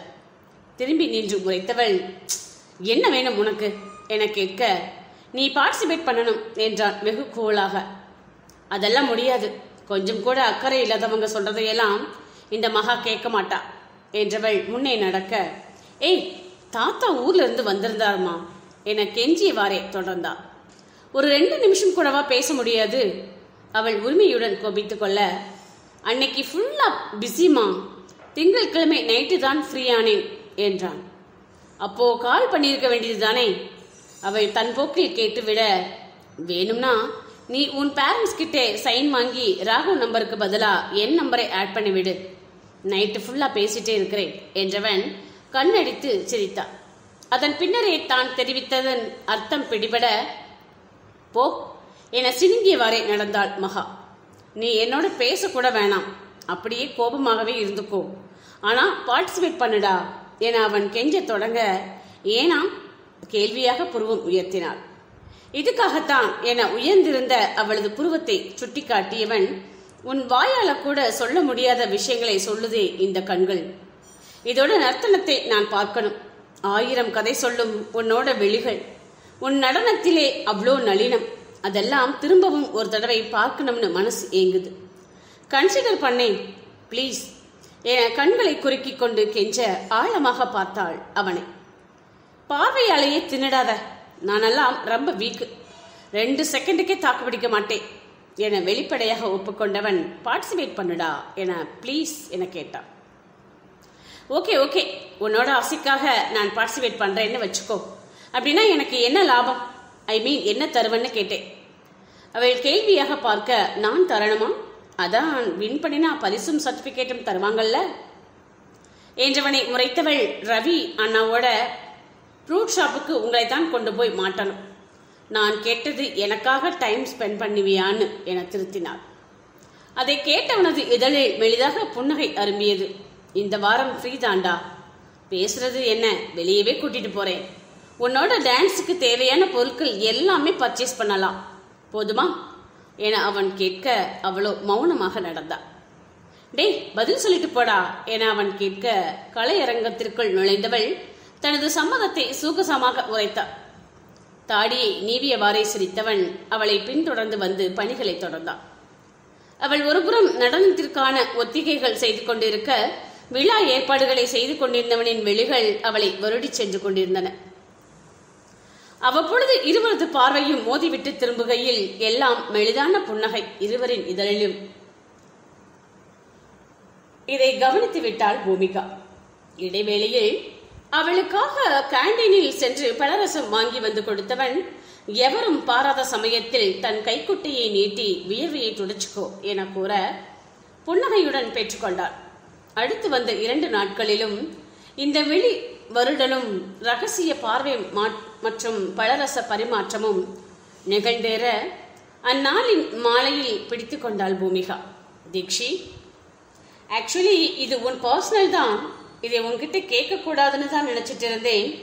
ஆனால் இந்த மூணு நாளாக சில விஷயங்களை கண்ணால் பார்த்த பின்னாடி கேட்காம இருக்க முடியல என்றவள் நீயும் ராஜானாவும் லவ் பண்ணுறீங்களா என வெளிப்படையாகவே கேட்டுவிட்டாள் இதை கேட்ட தீக்ஷிதா முதலில் தடுமாறினாலும் பின் சுதாரித்து கொண்டார் ஏன் ஏன் இப்படியெல்லாம் கேட்குற?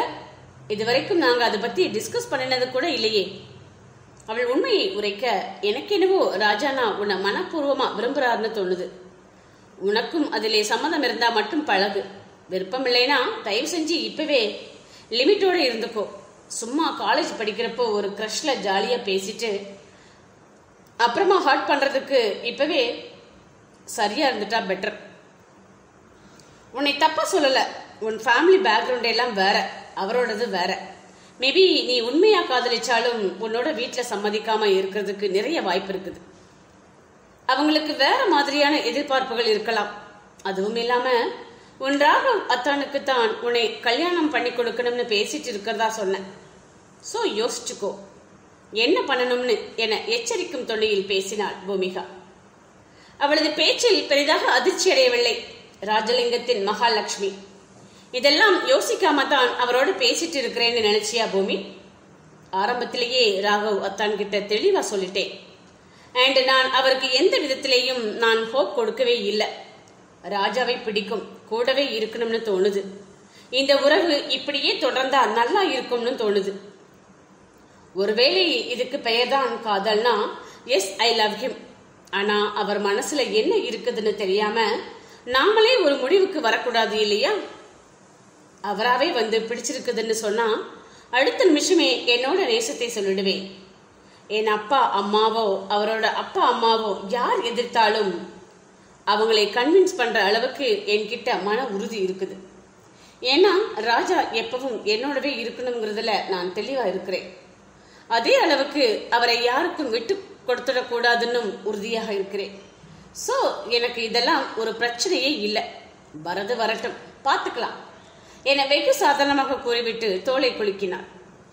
நினைப்பதெல்லாம் அப்படியே நிகழ்ந்துவிடின் இறைவனுக்கும் அவர் வகுத்த விதிக்கும் வேலை என்பது இல்லையே. அவளது கூற்றுகள் நிகழுமோ?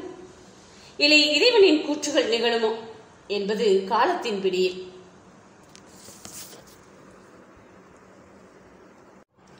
அத்தியாயம் பதினேழு.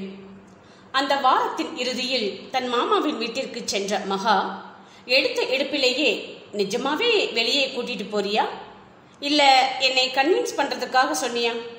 என ராஜாவின் எண்ணுக்கு அனுப்ப அடப்பாவி ஒரு ஹாய் ஹவ்வாரியூலாம் கிடையாதா? எடுத்த எடுப்பிலேயே கேள்விதானா? என பொய் கோபத்துடன் ஸ்மைலியில் சிவந்தான். பின்ன லஞ்சம் தரேன்னு சொன்னவன் ஒழுங்கா தருவானா? இல்லை ஏமாத்திடுவானான்னு கன்ஃபார்ம் பண்ணிக்க வேணாமா? ஆல்ரெடி சொன்னதுதான். நான் எப்பவும் மகா கிட்ட போய் சொல்ல மாட்டேன். நம்பலாமா? நிச்சயமா. அப்போ ஓகே. மகா சொல்லுடா. அம்மா கூப்பிடுறாங்க. காலையில கால் பண்ணவா? என அவன் அனுப்பிய அடுத்த நிமிடமே ஒரு குரல் குறுஞ்செய்தியை அனுப்பி விட்டிருந்தாள் ஆமா இப்படித்தான் கூப்பிடுறாங்கன்னு போவ. அப்புறமா அங்கே போனேன் இங்கே போனேன்னு சொல்லி தட்டி கழிச்சிடுவ. நானும் உன்னை நம்பி வெயிட் பண்ணிட்டு இருக்கணும். போடா. அவளது குரலில் தெரித்த கோபத்தில் மெளிதாக புன்னகை அரும்பியது அவனது இதழில் கேடி. இப்பவே உரிமை போருக்கு தயாராகிட்டா போல என எண்ணியவாறே அழைத்து விட்டார் அழைப்பை ஏற்றவள் எதிர்முனையில் அமைதியாக இருக்க ஏய் மகா என அழைத்தான். உன்னை தாண்டா என அவன் மீண்டும் அழைக்க அவளோ மௌனம் சாதித்தாள். மகா தங்கம் அம்மாவோட ஃப்ரெண்டு ஒருத்தங்க அவங்க பொண்ணை அழைச்சிட்டு கெஸ்டா வந்திருக்கிறாங்கம்மா. என் வீட்டுக்கு வந்த கெஸ்டை நான் தானே கவனிக்கணும். சிறு பிள்ளைக்கு எடுத்து கூறுவதைப் போல கெஞ்ச சரி பொழைச்சு போ. நாளைக்கு மட்டும் வரலைன்னா நிச்சயமா பேசவே மாட்டேன் ராஜா. என தீர்க்கமாக தெரிவித்துவிட்டு அழைப்பை துண்டித்தாள். தனது அறையில் தனியாக அமர்ந்தவள் சிந்திக்க தொடங்கினாள். இவ்வளோ தைரியமா எல்லாத்தையும் முடிவு பண்ணிட்டு இருக்கிறேனே. அம்மா இதுக்கு சம்மதிப்பாங்களா? இந்த ஊரே வேணாம்னு இருக்கிறவங்க இந்த ஊர் பையனை கட்டிக்கிறதுக்கு ஓகே சொல்லுவாங்களா? நிச்சயமா ஓகே சொல்லுவாங்க. ஏன்னா ராஜாவோட பேரண்ட்ஸ் அப்பா மாதிரியே எஜுகேஷனல் சர்வீஸ் தானே பண்ணுறாங்க அதனால ஈஸியாக அக்செப்ட் பண்ணிக்குவாங்க.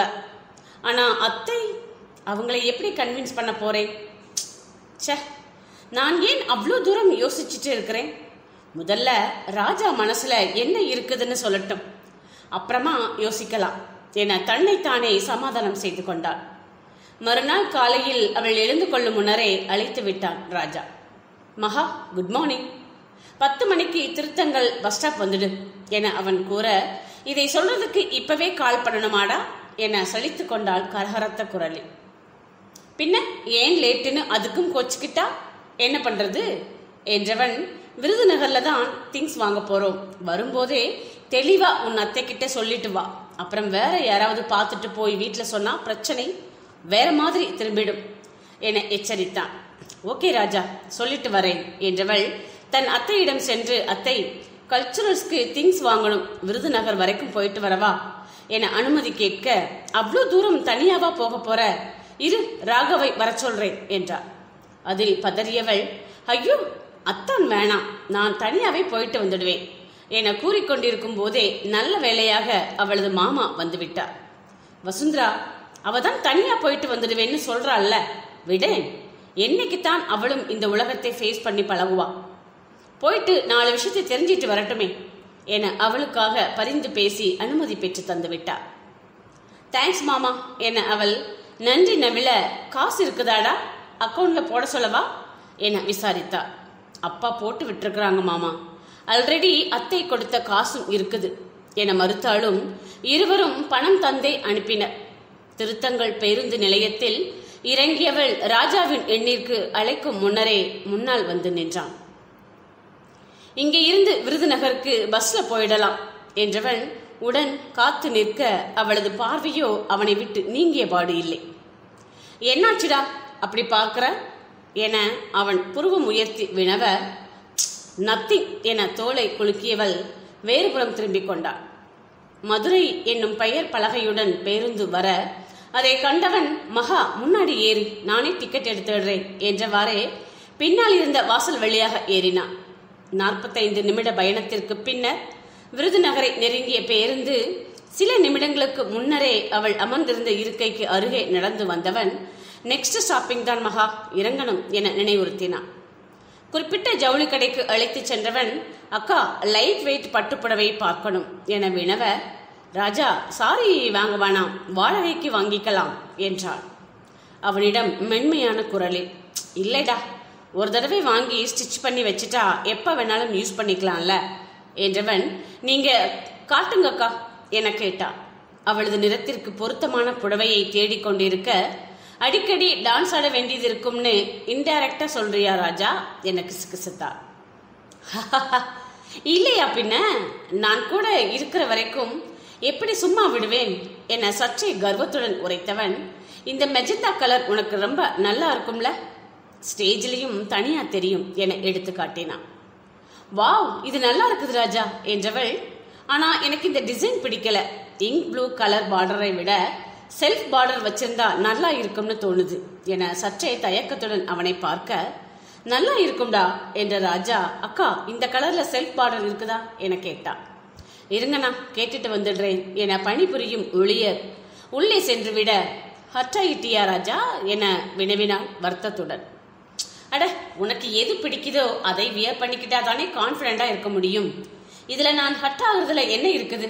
ஃப்ரீயா விடு என்றார் மாறாத புன்னகையுடன் ம் என்றவள் அக்கா அதிலேயே ரெண்டு பீஸ் வேணும் என கேட்டார் அப்புறம் மகா உனக்கு தேவையான மற்ற எல்லாத்தையும் வாங்கிடும் எல்லாத்தையும்னா எல்லாத்தையும். என மறைமுகமாக உரைத்தவன் நான் அங்கே வெயிட் பண்றேன் என காத்திருப்போர் இருக்கையில் சென்று அமர்ந்தான் உள்ளாடை உட்பட அனைத்து ஆடைகளையும் தேர்வு செய்துவிட்டு அவன் அருகே வந்தவள் ராஜா எல்லாம் வாங்கியாச்சு என கூற பில் போடும் இடத்திற்கு அழைத்துச் சென்றான். அண்ணா நாலாயிரத்தி எண்ணூற்றி முப்பது என்ற பெண் நிமிர்ந்து அவனை பார்க்க கேஷா இல்ல காதா மகா என அவளிடம் கேட்டான். இதை எதிர்பார்த்து எதை எதிர்பார்த்திராதவள் நெற்றி சுருங்க காட்டுதானே என அழுத்த ஆம் என்றவள் பணத்தை செலுத்தினாள். ஆக்சுவலி என்கிட்ட பணம் இருந்துச்சு. பட் நான் பே பண்ணியிருந்தா நாளைக்கு சண்டை வர்றப்போ இல்லை நீ பேசாம போகிறப்போ இவ்வளோ வாங்கி கொடுத்தேன் விட்டுட்டு போயிட்டான்னு உன்னை திட்டுறதுக்கு ஏதுவாக போயிடும். டிஃபிக்கலாக நடந்துடக்கூடாதுன்னு தான் உன் பொருட்களுக்கு உன்னையே பே பண்ண சொன்னேன். புரிஞ்சு பண்ண நம்புறேன் என தையல் கடைக்கு நடக்கும் வழியில் விளக்கம் அளித்தான் ராஜா. இதுவும் பெட்டர் தான் ராஜா. நானுமே உன்னை திட்டணும்னா எந்த தயக்கமும் இல்லாம திட்டலாம். இல்லைனா எனக்காக எவ்வளோ செலவு பண்ணினான்னு யோசிச்சு யோசிச்சு பேசணும். என்றவள் குறும்புடன் சிரிக்க ஆக உன் நினைப்பெல்லாம் என்னை திட்டுதலே தான் இருக்குது என பொய்யாக கோபித்து கொண்டான். தையல்காரரிடம் துணிகளை வழங்கியவள் எப்போ கிடைக்கும்க்கா என கேட்க அக்கா எனக்கு தெரிஞ்சவர் தான் மகா மண்டே காலேஜ் வரப்போ வாங்கிட்டு வந்துடுறேன் என உறுதி அளித்தான் டைம் பன்னிரெண்டு தான் ஆகுது. திருத்தங்கள் போய் சாப்பிட்டுக்கலாமா? என ராஜா அவளை பார்க்க யா ஷோர். எனக்கு பசிக்கல என்றாள் மகா. விருதுநகர் பேருந்து நிலையத்தில் ஸ்ரீவில்லிபுத்தூர் என்னும் பலகை தாங்கிய பேருந்து நின்றிருக்க அவளுடன் ஏறியவன் மகா நீ முன்னாடி உட்கார்ந்துக்கோ நான் பின்னாடி இருக்கிறேன் என கூற புன்னகையுடன் இரண்டடி முன்னால் நகர்ந்தவள் அவனது இருக்கையில் அ- அவன் அருகே வந்து அமர்ந்துவிட கேள்வியாக பார்த்தான் அவளை. ஏ உட்காரக்கூடாதா? என மகா கேள்வியாக பா- புருவம் உயர்த்த ஆ அதெல்லாம் இல்லையே உட்காரலாமே என்றான் சிறிது நானும் அடர்ந்த புன்னகையுடன். செல்லும் வழியில் இருவரின் விருப்பு வெறுப்புகள் கல்லூரி பருவம் பால்ய கால நினைவுகள் என பொதுவான பல காரியங்கள் குறித்து விவாதித்தனர். மனதளவில் வெகுவாக நெருங்கி விட்டதைப் போல் உணர்ந்தாள் மகா. குறிப்பிட்ட உணவகத்தில் உண்ணுகையிலும் எதிரில் அமர்வதற்கு பதிலாக அருகிலேயே அமர்ந்தாள் உண்ணும் போதும் வெகு உரிமையுடன் அவளது இலையிலிருந்து உணவை எடுப்பது தன் இலையிலிருந்து இடம் மாற்றுவது போன்ற செயல்களை எவ்வித தயக்கமும் இன்றி அவளால் செய்ய முடிந்தது. இறுதியாக அவள் பாயசத்தை பருகத் தொடங்க அவனும் மோரை குடிக்க எத்தனித்தான்? மோர் நல்லா இருக்குதா ராஜா? என கேட்டவள் அவனிடமிருந்து பெற்று வாயில் வைக்க அவனோ சற்று தயக்கத்துடன் பார்த்தான் ஹே என்னாச்சு? என்ற மகாவின் வேகத்திற்கு ஈடு கொடுக்க தன்னால் இயலாது என உணர்ந்தான். இரு தோள்கள் உரசுகையிலும் விரல்கள் வருடுவதிலும் அவள் தரப்பில் எதிர்வினை எதுவும் தென்படாமல் போகவே சீரியஸ்லி அவ இதெல்லாம் பெருசா பாதர் பண்ணிக்கிட்ட மாதிரி தெரியலையே. ஒருவேளை க்ளோஸ் ஃப்ரெண்டா மட்டும்தான் நினைக்கிறாளோ? நானா அவசரப்பட்டு வேற எதையும் உளறி வச்சு. ஆண் பெண் நட்பு மேல் அவ வச்சிருக்கிற மரியாதையையும் ஆண்கள் மேல் கொண்டிருக்கின்ற நம்பிக்கையையும் கெடுத்திடக்கூடாது. என முடிவு செய்து கொண்டான் பேருந்து நிறுத்தத்தில் காத்திருக்கையில் அவனது கரத்தை இறுக்கமாக பற்றி கொண்டாள் மகா. பேருந்து வந்த பின்னரே விடுவித்தவள் இருக்கையில் அமர்ந்து வெகு தூரம் செல்லும் வரை அவனை திரும்பி பார்த்த வண்ணமே சென்றான் அந்த வாரத்தில் கல்ச்சுரல்ஸ்கான தினமும் நெருங்- நெருங்கிவிட்டது. முந்தைய நாள் விடுதியின் அறையில் மேலடுக்கில் தனது பையில் மருதாணி கோன் ஒன்றை பத்திரப்படுத்தியிருந்தவள் அதை எடுப்பதற்காக கீழடுக்கில் கால் வைத்து எம்பி எடுக்க முயன்றாள். துரதிருஷ்டவசமாக அவள் கால் வைத்த இடத்தில் எண்ணெய் பு- புட்டி ஒன்று வைக்கப்பட்டிருக்க அதன் மீது காலை வைத்து விட்டிருந்தாள். அதன் மீது கொடுக்கப்பட்ட அழுத்தத்தில் உள்ளிருந்த எண்ணெய் பீச்சி அடிக்கப்பட்டு வழுக்கி விட்டிருந்தது. நிலை தடுமாறி கீழே விழப்போனவள் அங்கிருந்த சுவற்றை பிடித்து நிற்க முயன்றாள். விழுந்த வேகத்தில் பெரிதாக அடிபடவில்லை என்றாலும் காலில் சிறு சுழுக்கு ஏற்பட்டு அவ்விடம் கன்றி போய்விட்டது. சில எட்டுக்கள் எடுத்து வைப்பதே சிரமமாகி போக தாமதமாகவே வகுப்பிற்கு வந்தார். ஆனால் ராஜாவோ அவளுக்கு தேவையான அத்தனை பொருட்களுடனும் ஆர்வமாக முன்னரே காத்திருந்தார். இரவிலேயே மல்லிகை பூவை வாங்கிச் சென்று தன் தமக்கையினிடத்தில் கொடுத்தவன் அக்கா நாளைக்கு அவளுக்கு கிளாசிக்கல் டான்ஸ் காம்படிஷன் இருக்குது. கொஞ்சம் கட்டி கொடேன் ப்ளீஸ் அட்லீஸ்ட் கத்து கொடுக்கவாது செய்யேன். நானே ட்ரை பண்றேன். என கெஞ்ச அவனது முதுகில் அடித்த செல்வா அநியாயம் பண்றடா. ஒரே நாள்ல எல்லாம் பரதத்துக்கு பூ பூ கட்டுற அளவுக்கு எக்ஸ்பர்ட் ஆக முடியாது. வேணும்னா சாமிக்கு போடுற சரம் கட்டுற அளவுக்கு தேரலாம் என கேலி செய்தார் நான் கட்டித்தரேன் ஆனா ஒரு கண்டிஷன் முதல்ல அவ போட்டோவை எனக்கு காட்டு. என் அம்மா கிட்டேயே சண்டை போட போற அந்த அழகான அறைக்கு யாருன்னு நானும் பார்க்கறேன் என அவள் கேட்க போக்கா. என நாணத்தில் நெளிந்தவன் பேருந்தில் பயணிக்கையில் இருவரும் சேர்ந்து எடுத்துக்கொண்ட புகைப்படத்தை காட்டினான். இவளா? என உற்று பார்த்து புருவத்தை சுருக்கியவள் அடிக்கடி பார்த்த முகம் மாதிரி இருக்குது ராஜா என கூற சும்மா உருட்டாதக்கா. பிறந்து வளர்ந்தது எல்லாம் திருவனந்தபுரம். இப்போ இருக்கிறது பெங்களூர். இப்பதான் இங்கேயே வந்திருக்கிறா. அப்புறம் எப்படி அடிக்கடி பார்த்துருப்ப? வேற யாரையாவது பார்த்துருப்ப நீ. சரி சரி. அதெல்லாம் விடு. யாருக்கும் தெரியாம ரூம்ல எடுத்துட்டு போய் கட்டு என காரியத்தில் கண்ணாக இருந்தாள். சாக கிடந்தாலும் என் ஆளுக்கு பூ கட்டி கொடுத்துடுன்னு கொடுத்துட்டு சாவுன்னு சொல்லுவ போலயே. சரி பொழைச்சு போ. கட்டி ஃப்ரிட்ஜில் வைக்கிறேன். காலையில் யாரும் பார்க்கறதுக்கு முன்னாடி எடுத்துட்டு போயிடு என அவள் தெரிவித்திருந்ததன் பேரில் பத்திரமாக எடுத்து வந்திருந்தாள். ஆனால் மகாவோ சோகமாக களை இழந்து உள்ளே நுழைந்தாள்.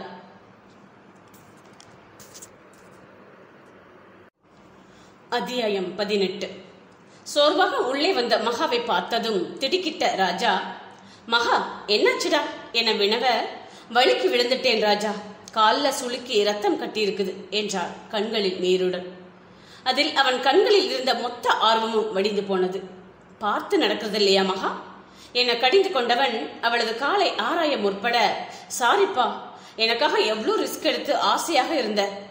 ஆனால் என்னோட அவசர புத்தியால் இப்படி ஆகிடுச்சு. சாரி என்றாள் வருத்தத்துடன். இதெல்லாம் ஒன்றுமே இல்லை. இப்படி நடக்கணும்னு விதி. அதுக்கு என்ன செய்ய முடியும்? விடு நெக்ஸ்ட் டைம் பார்த்துக்கலாம். என அவன் மனதில் தோன்றிய ஏமாற்றத்தை மறைத்து கொண்டு அவளை தேற்ற no Raja I have to do this என்றாள் உறுதியாக. மகா என்ன பேசுறேன்னு புரிஞ்சுதான் பேசுறியா? எப்படி ஆடுவ? என அவன் அதிர்ச்சியுடன் பார்க்க நான் ஆடுறேன் ராஜா. உன்னோட ஆர்வத்தை கெடுக்க விரும்பல என்றான் ச்சே என்ன பெருசா ஆர்வம்? இதோட எல்லாம் முடிஞ்சு போச்சுதான் என்ன? பார்த்துக்கலாம் விடு. முதல்ல நீ ரெஸ்ட் எடு என ராஜா வற்புறுத்த ராஜா நான் ஆடுறேன் என தீர்க்கமாக பேசினாள். அவளது ஆசையை கெடுக்க விரும்பவில்லை ஆயினும் தனக்காக அவள் துன்பம் உறுவதை அவனால் ஏற்றுக்கொள்ள இயலவில்லை. இருப்பினும் சரி என அரை மனதுடன் சம்மதித்தான். பூமிகாவை அழைத்து கொஞ்சம் அவர் ரெடியாகிறதுக்கு ஹெல்ப் பண்ணுமா? என்றவன் அந்த இடைவேளையில் நிகழ்ச்சி நடக்கும் அரங்கிற்கு சென்று அவளுக்கான லாட் எண்ணை இறுதி எண்ணாக மாற்றி பெற்றான். வேதியியல் துறை ஆய்வகத்திற்கு சென்றவன் தனக்கு தெரிந்த நண்பர்கள் மூலம் பனிக்கட்டிகளை வாங்கினான். வழியிலேயே கல்லூரியின் மருத்துவ உதவி மையம் அமைந்திருக்க இரத்த கட்டிற்காக போடப்படும் பேண்டேஜ் வாங்கி கொண்டு ஓடோடி வந்தாள் மூச்சு வாங்கியவாறே அவள் முன் வந்து மண்டியிட்டவன் மகா காலை காட்டு என தானாகவே தூக்கி தொடையின் மீது வைத்து ஒத்தடம் கொடுக்க தொடங்கிவிட்டான். ராஜா வேணாம் என அவள் மறுக்க சும்மா இரு மகா என்றவன் தனது பணியை தொடர ஆ என்றாள் வலி தாழாமல். ரொம்ப வலிக்குதாடா? வலிக்காது மெதுவா பண்றேன் என்றவன் மென்மையாக பனிக்கட்டி கொண்டு வருட அவளது கண்களில் நீர் திரண்டது. ஒத்தட நீரால் ஆக்கிரமித்திருந்த பகுதியை துடைத்து சுத்தம் செய்தவன் பேண்டேஜை அவ்விடம் ஒட்டினான். வாழ்க்கையில் ஃபேஸ் பண்ண வேண்டிய விஷயங்கள் எவ்வளவோ இருக்குது மகா. இதெல்லாம் ஒரு மேட்டரே இல்லை. சோ தைரியமா நீ ஆடு என்றவன் அவளது பாதத்தில் அழுத்தமாக முத்தமிட விழி நீர் கன்னத்தில் உருண்டோடியது. டேய் கண்ணை கசக்காத அப்புறம் கண்ணுமை கலஞ்சிடும் என்றவன் பட்டும் படாமல் கைக்குட்டையால் துடைத்தான். பூமிகா நீ இவளை கூட்டிட்டு வரியா? நான் முன்னாடி போய் அங்கே என்ன நடக்குதுன்னு பார்த்துட்டு இருக்கிறேன். எனக்கு வேற ஈவெண்ட்ஸ் இன்சார்ஜும் இருக்குது. என பூமிகாவிடம் கேட்க நீங்க போங்கண்ணா நான் பார்த்துக்கிறேன் என்றாள் அவள். மகாவிடம் நிமிர்ந்தவன் யூ கேன் டூ இட்டா மாஸ் காட்டு என கைகளில் அழுத்தம் தர பயமில்ல ராஜா அதான் பெரிய சப்போட்டா. நீ இருக்கிறியே. சப்போட்டா நீ இருக்கும் பொழுது எனக்கு என்ன கவலை? என்றாள் கண்களில் காதல் தந்த தைரியம் மின்ன. மேடை ஏறுகையில் மெளிதாக வலித்தாலும் மாணவர்கள் எழுப்பிய கர ஓசையில் ஒருவித தன்னம்பிக்கை பிறந்தது. போதாக்குறைக்கு ராஜாவும் அவ்விடம் வந்துவிட்டிருந்தார் அறிவிப்பாளருக்கு அருகில் சென்று அமர்ந்தவன் பிரசாந்த் இந்த ஈவெண்ட் முடிஞ்சதும் ஜட்ஜஸ் கொடுக்கிற ஸ்கோர் ஷீட்டை கலெக்ட் பண்ணிடுங்க என மைக்கேல் கேட்கும் விதமாக பேசி தனது இருப்பை அவளுக்கு தெரியப்படுத்த யானை பலம் கிடைக்க பெற்றதை போல் இருந்தது காதல் என்பது இதுதானோ?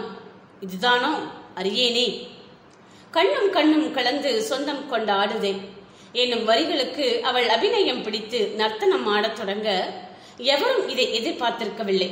போட்டியில் பங்கேற்றவர்களில் பலர் மார்கழி திங்களலவா தாளத்தில் நீ சேரவா என்ற பாடல்களை தேர்ந்தெடுத்து நடனமாடியிருக்க இந்த பழம்பெரும் பாடலில் ஸ்தம்பித்து நோக்கினர்.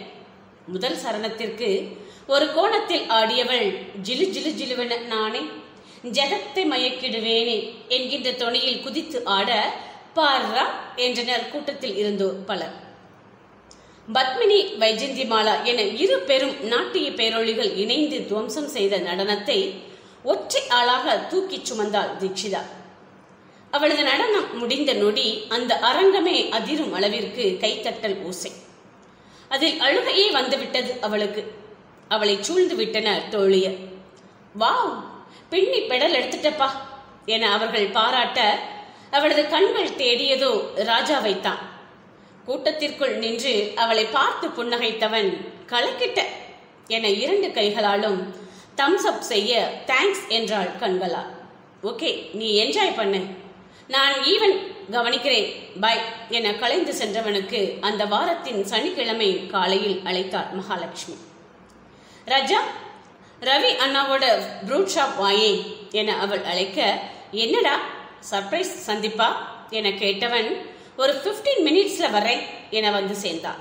குட் மார்னிங் மகா என்றவன் கூறியதுதான் தாமதம். அலைபேசியிலிருந்து பார்வையை விலக்கியவள் ஓடி வந்து கட்டிக்கொண்டாள் இதை எதிர்பார்த்திராதவன் திடுக்கிட்டு சிலையாக சமைய அவ்வளோ தேங்க்ஸ்டா என அழத் தொடங்கிவிட்டார் நல்ல வேளையாக அந்த கடையில் சில காதல் ஜோடிகள் மட்டுமே அமர்ந்திருந்தனர் அவரவர் தத்தமது இணைகளுடன் நேரம் செலவழிப்பதில் பிஸியாக இருந்ததால் இவர்களை பெரிதாக பாவிக்கவில்லை. கைத்தாங்களாக அழைத்துச் சென்று அமர வைத்தவன் தண்ணீரை எடுத்து நீட்டி முதல்ல தண்ணி குடிடா. ஏன் இவ்வளோ எமோஷனல் ஆகிற என வினவ ரொம்ப தேங்க்ஸ் ராஜா என்றாள் மெலிதான குரலில். அட அறிவாளி இதுக்கு தானா இவ்வளோ பில்டப் நான் கூட வேற என்னவோன்னு நினைச்சிட்டேன். என அவளது நெற்றியில் தட்டியவன் ரவி எனக்கு ஒரு ராகி மால்ட் மகாவுக்கு ஒரு டீ என ஆர்டர் செய்தார் உன் ஃப்ரெண்டுக்கு உடம்பு சரியில்லைன்னா நீ இதெல்லாம் செய்ய மாட்டியா மகா? எப்படி அம்மா அப்பாவை கவனிச்சுக்க வேண்டியது நம்மளோட கடமையோ? அப்படித்தான் இதுவும். ஒருவேளை உன்னை கேர் பண்ணாம போயிருந்தா எனக்குத்தான் பின்னாடி கில்ட்டியா இருந்திருக்கும். பெருசா ஃபீல் பண்ணாத ஃப்ரீயா விடு என அவன் தேற்ற அவளோ அமைதியாக அமர்ந்திருந்தா. அவளது கையை மென்மையாக வருடியவன் மகா எதுவும் என்கிட்ட சொல்லணுமா? என கேட்க அவனை ஏறிட்டு பார்த்தவள் you made me feel special என்றாள். ஸ்பெஷல்னா புரியல மகா. அவன் கேள்வியாக புருவம் நெரிக்க ஸ்பெஷல்னா யாரும் இதுவரைக்கும் உணர வைக்காத உணர்வை உணர்த்தி இருக்கிற நீ யாரும் உணர்த்தாத உணர்வுன்னு நீ எதை மென்ஷன் பண்ற மகா? நட்பை தாண்டின நம்மளோட உறவையா? கேள்வியாக அவளை பார்த்தாள் என்னை மறுத்தவள் ஒரு மகாராணி மாதிரியான உணர்வு. எனக்கே எனக்கான நான் கர்வமாக உணர்கின்ற உணர்வு. வேற எதுவும் தேவையில்லை. இது போதும்னு சொல்ற அளவுக்கு திருப்தியான உணர்வு. இப்படி சொல்லிட்டே போகலாம் என விளக்கம் அளித்தார் அவனுக்கோ இன்னும் அவளது பேச்சில் இருந்த மர்மத்திரை விலகவில்லை. நீ சொல்றது இன்னும் பிடிபடலை மகா எனக்கு. கர்வமா ஃபீல் பண்றேன்னா எதை சொல்ற நீ?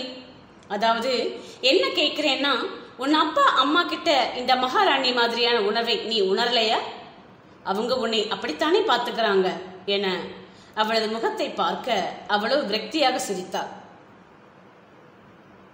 மகாராணியாவா? ம்ஹும். அவங்களோட ராஜ்யத்துல எல்லோரும் சாதாரண பிரஜைகள் தான் மகா இப்படியெல்லாம் பீடிகை போடாம சொல்ல வந்ததை சொல்றியா ப்ளீஸ் அவன் கெஞ்சுதலாக கேட்க புன்னகைத்தவள் விசாரணையை தொடர்ந்தார் அம்மாவும் அப்பாவும் நிறைய பேருக்கு ஹெல்ப் பண்ணுவாங்கன்னு சொல்லியிருக்கிறேன்ல ராஜா. எனக்கு அவங்க பண்றதுல ரொம்பவே சந்தோஷம். ஹாப்பியா இருக்கிறேன்.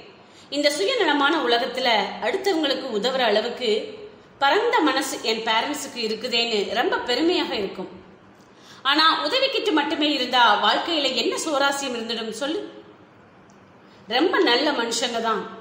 ரொம்ப அன்பானவங்க தான். நிறைய நல்ல விஷயங்கள் சொல்லி கொடுத்து எங்களை நல்ல விதமாக வளர்த்துருக்குறாங்க. ஆனா ஆனா அவங்க கிட்ட இருக்கிற ஒரே ஒரு குறை எல்லோரையும் சமமாக நடத்துறது. வெளியே இருந்து பார்க்குறவங்களுக்கு வேணும்னா அது ஒரு பெரிய விஷயமாக தெரியலாம்.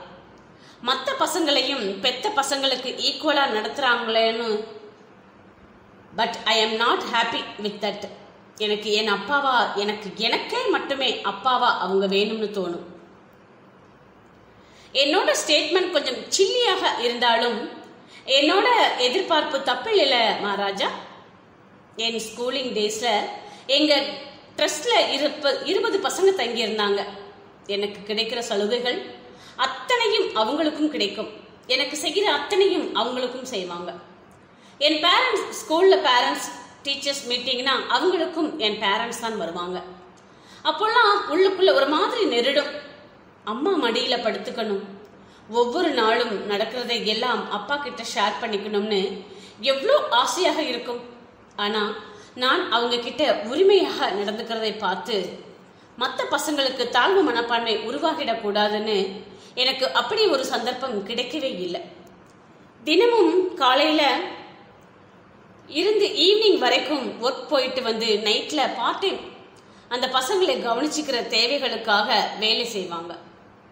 ஏதாவது ஃபங்க்ஷன் வந்துட்டா எல்லோருக்கும் ஒரே ஸ்டாண்டர்டில் ட்ரெஸ்ஸஸ் தனியாக அதுக்கும் சேர்த்து அவங்க ஏர்ன் பண்ணணும். தனியாக என்னை அழைச்சிட்டு போ எனக்கு தேவையானதை செலக்ட் பண்ண சொல்லி வாங்கி தரணும்னு ஏங்கி இருக்கிறேன். பட் நடக்கவே இல்லை. பரதம் டைப்ரைட்டிங்னு எல்லாமே கற்றுக் கொடுத்தாங்க. ஆனா எனக்கு எது பிடிக்கும்? எது வரும்னு கேட்டு சொல்லித்தரலை எனக்கு என்ன பிடிக்கும்? என்ன பிடிக்காதுன்னு கூட தெரியாதுன்னு தான் நினைக்கின்றேன். ரொம்ப நாளா நிறைய ஏக்கங்கள். அவங்க பண்றது ரொம்ப நல்ல விஷயம்தான். அதை தப்பு சொல்ல வரலைனா. ஆனா தனக்கு போகத்தானே தானமும் தர்மம்னு அவங்களுக்கு தோணாதது தப்புன்னு சொல்றேன். அப்பா அம்மா நான் தம்பின்னு ஒரு அழகான குட்டியான குடும்பமாக வாழணும்னு ஆசைப்படுறேன். ஆனா அவங்க எங்களுக்கான உரிமைகளை சரிசமமா பிரிச்சு கொடுக்க நினைக்கிறாங்க. தனிப்பட்ட உணர்வுகளை ஷேர் பண்ணிக்கிறதுக்கு உறவுகள்னு கூட யாருமே இல்லை. அம்மாவோட அப்பா இங்கே சிவகாசியில லோக்கல் பொலிட்டீஷியனா இருந்தவர். ஏதோ ஒரு பிரச்சனையில ஹார்ட் அட்டாக் வந்து இறந்துட்டார் அவர் ஐசியூவில் இருந்தப்போ எப்படியாவது பார்த்துடணும்னு அம்மா வந்தாங்க. ஆனா அதுக்கு முன்னாடியே உயிர் போயிடுச்சு. அதில் இருந்து அம்மாவுக்கு இந்த ஊருக்கு வரவே பிடிக்கல. அம்மாவுக்கு பிடிக்கலைங்கிறதால அப்பாவும் கம்ப்ளீட்டா அவாய்ட் பண்ணிட்டாங்க. அம்மாவோட சொந்தங்களும் அப்பாவோட சொந்தங்களும் சேம் தான் எனக்கு. ஸோ இங்கே இருக்கிற யாரோடவும் பழகுற வாய்ப்பு கிடைக்கல. பகிர்ந்துக்கவும் வாய்ப்பு கிடைக்கல. தனியாகவே தான் எல்லாத்தையும் ஓவர் கம் பண்ணியாக வேண்டிய சூழல். அப்போதான் ஸ்ட்ராங்காக ஒரு டிசிஷன் எடுத்தேன். எப்படியாவது இங்கே பிஜி படிக்க வந்து இவங்களோட பழக ஆரம்பிச்சா கொஞ்சம் ரிலாக்ஸ்டா இருக்கும்னு நினைச்சு அடம் பண்ணி இங்கே வந்தேன். அத்தை ஆரம்பத்திலேயே சொல்லிட்டாங்க ராகவ் அத்தான் கூட தான் கல்யாணம்னு. ஆனா அவங்களோட பாசத்துல என்னைக்கும் போலியை பார்த்ததில்லை. ஒருவேளை ராகவ் அத்தானை கட்டிக்கலைனா இந்த அன்பையும் இழந்துடுவேனோன்னு பயம். ஒருவேளை இவங்களோட அன்பு நிபந்தனைக்கு உட்பட்டதாக இருந்தா ஓவர் எக்ஸ்பெக்டேஷன் வச்சு ஏமாந்திடுவேனோன்னு தயக்கம் இன்னொரு பக்கம். இப்படி பல பயம் டென்ஷன் டிப்ரெஷனாலேயே மனசளவில் நிறைய பதற்றங்கள் மூட் ஸ்விங்ஸ் இந்த சமயத்திலே தான் நீ என்னோட பேச ஆரம்பிச்ச. ஐ மீன் என்னை ஸ்பெஷலாக உணர வச்ச. எனக்கே எனக்கா நிறைய விஷயங்களை நீ செய்கிறப்போ ஆட்டோமேட்டிக்காக நான் உன்னை டிபெண்ட் பண்ண ஆரம்பிச்சிட்டேன். என்னை பார்த்துக்கிறதுக்காகவே தினமும் நீ வந்த என்னை ராணியா ஃபீல் பண்ண வச்சது. அப்புறம் என்னை மறக்காம பொருட்களை பத்திரமாக வச்சிருந்தது. என்னைக்கோ கடந்து போனவளோட முகத்தை கூட நினைவில் வச்சிருந்தது. அவளுக்காக நேரம் ஒதுக்கினது. எனக்கு தேவையான பொருட்கள் வாங்குறதுக்கு உன்னோட வேலைகளை விட்டுவிட்டு வந்தது. எனக்கு பிடிச்சதை கேட்டு கேட்டு செலக்ட் பண்ணினது. எனக்காகவே பூவெல்லாம் ரெடி பண்ணி கொண்டு வந்தது. என் காலை பிடிச்சு கன்சோல் பண்ணினது. எனக்காக சப்போர்ட் பண்ணினதுன்னு இத்தனையும் நான் என் பேரண்ட்ஸ் கிட்டே எதிர்பார்த்த விஷயங்கள். ஆனா எதிர்பாராம உன்கிட்டே இருந்து எனக்கு கிடைச்சது. இது எல்லாத்தையும் மீன் பண்ணித்தான் ஒத்தை வார்த்தையில் சொன்னேன். யூ மேட் மீ ஃபீல் ஸ்பெஷல்னு அவன் தோளில் சாய்ந்தவாறே மனதில் கனன்று கொண்டிருந்த ஏக்கம் சோகம் ஆற்றாமை அனைத்தையும் கூறி முடிக்க அவனது கை விரல்கள் அவளது கேசத்தை கோதியது. சில நிமிடங்கள் கழிந்த பின்னர் சமநிலைக்கு மீண்டவள் எழுந்து சென்று எதிரில் அமர பட்டர்ஸ்காட்ச் ஓகேவா? என கேட்டான் ராஜா. ம் ஸ்ட்ராபெரி என்றவள் ரவியிடம் திரும்பி அண்ணா எனக்கு ஸ்ட்ராபெரி கோன் என கூற நான் ஒன்று சொல்லலாமா? என கேட்டான் அவன். சொல்லு ஏன் பெர்மிஷன் கேட்குற என அவள் அனுமதி வழங்க ஆக்சுவலி நீ சொன்ன விஷயம் ரொம்ப கரெக்ட் நம்மோட பேரண்ட்ஸ் பண்ணுறது பெரிய புண்ணியம் தான் எல்லோருக்கும் இந்த தாட்ஸ் வந்துடாது. எல்லா குழந்தையையும் தன்னோட குழந்தையாக பாவிக்கிற மனசு எத்தனை பேருக்கு வரும் சொல்லு. வெளியே இருந்து பார்க்கறதுக்கு பாசிட்டிவா தெரிகிற விஷயம் இன்னொரு சைடுல நெகட்டிவா தெரியுது. சகஜம்தான். ஏன்னா எல்லா இடத்துலையும் இரண்டு பக்கம் இருக்குது. ஈவன் காயினுக்கு கூட. நம்ம கொண்டாடுற பலருக்கு பக்கத்தில் இருக்கிறவங்களோட வழியைத்தான் நீ பிரதிபலிக்கிற. உதாரணமா இங்கே சாதனையாளர்கள்னு சொல்லப்படுறவங்களோட உறவுகள் கிட்டே கேட்டா தெரியும் அவங்க எத்தனை ஃபங்க்ஷன்ஸ் மிஸ் பண்ணியிருக்கிறாங்கன்னு. எத்தனை தடவை எதிர்பார்ப்புகள் பூர்த்தியாகாம புழங்கி மனதுக்குள்ளேக அழுதிருப்பாங்கன்னு. நீ சொல்ற வரைக்கும் இந்த கோணத்துல நான் யோசிக்கவே இல்லை. ஒருவேளை என் பேரண்ட்ஸ் ஜஸ்ட் ஹையர் எஜுகேஷனுக்கு மட்டும் கைடு பண்ணாம ட்ரஸ்டும் சேர்த்து நடத்தியிருந்தா நானும் இப்படி புலம்பி இருப்பேனோ என்னவோ. ஓகே போனது போகட்டும். இனி ஃபீல் பண்றதுல எதுவுமே ஆக போறது இல்லை. முடிஞ்சா அப்பா அம்மா கிட்ட எடுத்து சொல்ல ட்ரை பண்ணு. எங்களுக்கு டைம் ஸ்பெண்ட் பண்ணுங்கன்னு சொல்லு. இல்லையா விட்டுடு. அதான் நான் இருக்கிறேன்ல என்றவன் அவளது கையை பிடித்து தன் கைகளுக்குள் வைத்துக் கொண்டான். கைகளை எடுத்து கைகளுக்குள் புதைத்துக் கொள்ளல் காண்கின்றவர்களுக்கு மிகச் சாதாரணமாக இருக்கலாம். ஆனால் இரும்பாக இருக்கும் மனதையும் இறகாக மாற்றும் வித்தை அவ்வருடலுக்கு உண்டு. சொற்களால் உரைக்க வியலாத ஆறுதலை செயல்களால் உணர்த்தும் ஒரு உன்னத கருவி அந்த விரல் வெளி வெப்பம் கடத்தும் செயல். விடு ஐ ஃபீல் தேர் என்னும் நம்பிக்கையை சூகசமாக உரைக்கும் அந்த கதகதப்பு. முடிஞ்சது இனி எதுவுமே இல்லை. நோ. என்னால முடியாது என உளம் உடைந்த உறவுக்கு உடன் நிற்பதை உணர்த்தும் உயர்தர உரைக்கல். இதோ அத்தனை உணர்வையும் அவளுக்குள் கடத்திவிட்டான் ஒற்றை கையணைப்பில் மகாலட்சுமியின் ராஜா. அவனே இவளது மன சாம்ராஜ்யத்தின் ராஜா. அத்தியாயம் பத்தொன்பது. அவ்விடம் விட்டு புறப்படுகையில் மகாலட்சுமியை வழக்கத்தைப் போல பேருந்தில் ஏற்றி அனுப்ப மனம் ஒப்பவில்லை ராஜாவுக்கு. வா உன்னை ஸ்ட்ரீட் கார்னர்ல கொண்டு விடுறேன் என முன் வந்தான். என்னடா நான் சொன்ன பிளாஷ்பேக் கேட்டு சிம்பதி கிரியேட் ஆயிடுச்சா? என அவள் கேலியாக கேட்க ஏறு மகா என்றான் புன்முறுவலுடன். ராஜா இப்ப இருக்கிற மாதிரியே எப்பவும் இரு. கேர் பண்றேன் அது இதுன்னு ஏதாவது ஓவர் ரியாக்ட் பண்ணி சொதப்பிடாதே. அப்புறம் எனக்கும் இன்ஃபீரியாரிட்டி காம்ப்ளெக்ஸ் வந்துடும். என வண்டியில் பயணிக்கையில் அவள் பேச அவன் முகத்திலோ மாறாத புன்னகை. அவள் வீடு இருக்கும் தெருவிற்கு முன்னர் பெரிதாக ஆள் நடமாட்டம் இல்லாத தெருவில் வண்டியை நிறுத்தியவன் இறங்கு மகா என கூற ஏன் ஐயாவுக்கு கோபம் வந்துடுச்சா? என வினவியவாறு இறங்கினாள். ம் இல்லடா இங்கே இருந்தே நடந்து போனா யாருக்கும் தெரியாது. அங்கே யாராவது பார்த்துட்டா போச்சு என அவன் கூற முன்னொரு நாளில் அவனது வெளிப்படைத்தன்மை குறித்து புகழ்ந்து உரைத்தது நினைவிற்கு வந்த போனது. காதலால் அடர்ந்த கள்ளத்தனம் வகுத்து கடைபிடித்த விதிமுறைகள் அனைத்தையும் தகர்த்து சென்றிருந்தது. அவள் இரண்டடி முன்னே நடக்க மகா என அழைத்தான் ராஜா அவளது கையை பற்றி தன்னை நோக்கி இழுத்தவன் மென்மையாக நெற்றியில் புரண்டு கொண்டிருந்த கற்றை கேசங்களை ஒவ்வொன்றாக தன் ஒற்றை விரலால் பொறுக்கினான். அத்தனையும் விளக்கி அவளது பிறை நுதலை சுத்தம் செய்தவன் அழுத்தமாக மிதல் பதித்தான் அந்த சூழலில் இதை எதிர்பார்த்திராதவள் கண்களை அகல விரிக்க மகா உன் மனசுல என்ன இருக்குதுன்னு எனக்கு தெரியும். ஆல்மோஸ்ட் இங்கேயும் அதுதான் ஓடுது என தன் மார்பில் கை வைத்து இதயத்தை சுட்டிக்காட்டினான் ஆனா அதுக்கான கால நேரம் இது கிடையாது. ரெண்டு பேரும் படிச்சுட்டு இருக்கிறோம் இந்த சமயத்திலே நாம செய்யற ஆர்வ கோளாறுகள் எதிர்காலத்தையே அழிக்கிற அளவுக்கு ஆபத்தானது. சோ இன்னும் கொஞ்ச நாள் காத்திருப்போம். என் ஸ்டடீஸ் முடிஞ்சிட்டா கூட தைரியமாக வீட்டில் சொல்லிடுவேன். அப்புறம் உங்க வீட்டில் கன்வின்ஸ் பண்றது மேற்படி காரியங்கள்னு மூவ் பண்ணிக்கலாம். நான் என்ன சொல்ல வர்றேன்னா கொஞ்ச நாளைக்கு நாம அடிக்கடி மீட் பண்ணிக்க வேணாம். ஆனா வழக்கம் போல் பேசிக்கலாம். புரிஞ்சு பண்ண நினைக்கிறேன். என அவன் சற்றே சீரியஸான முகத்துடன் அவளை நோக்க அவளோ புன்னகையுடன் அவனை எதிர்கொண்டாள். என் ஏன் நீ என்னோட லைஃப்ல நீ இருக்கணும். அவ்வளோதான்.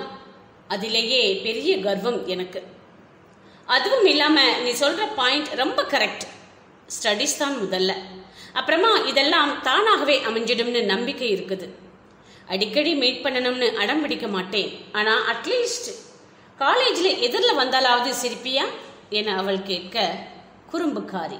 என கையில் கிள்ளினான் ராஜா. சரி நேரமாச்சுது கிளம்பு. யாராவது வந்துட போறாங்க.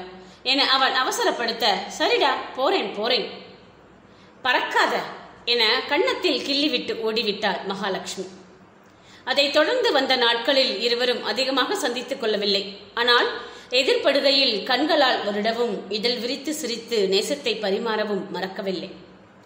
வார இறுதியில் அலைபேசியே கதி என கிடந்தனர்.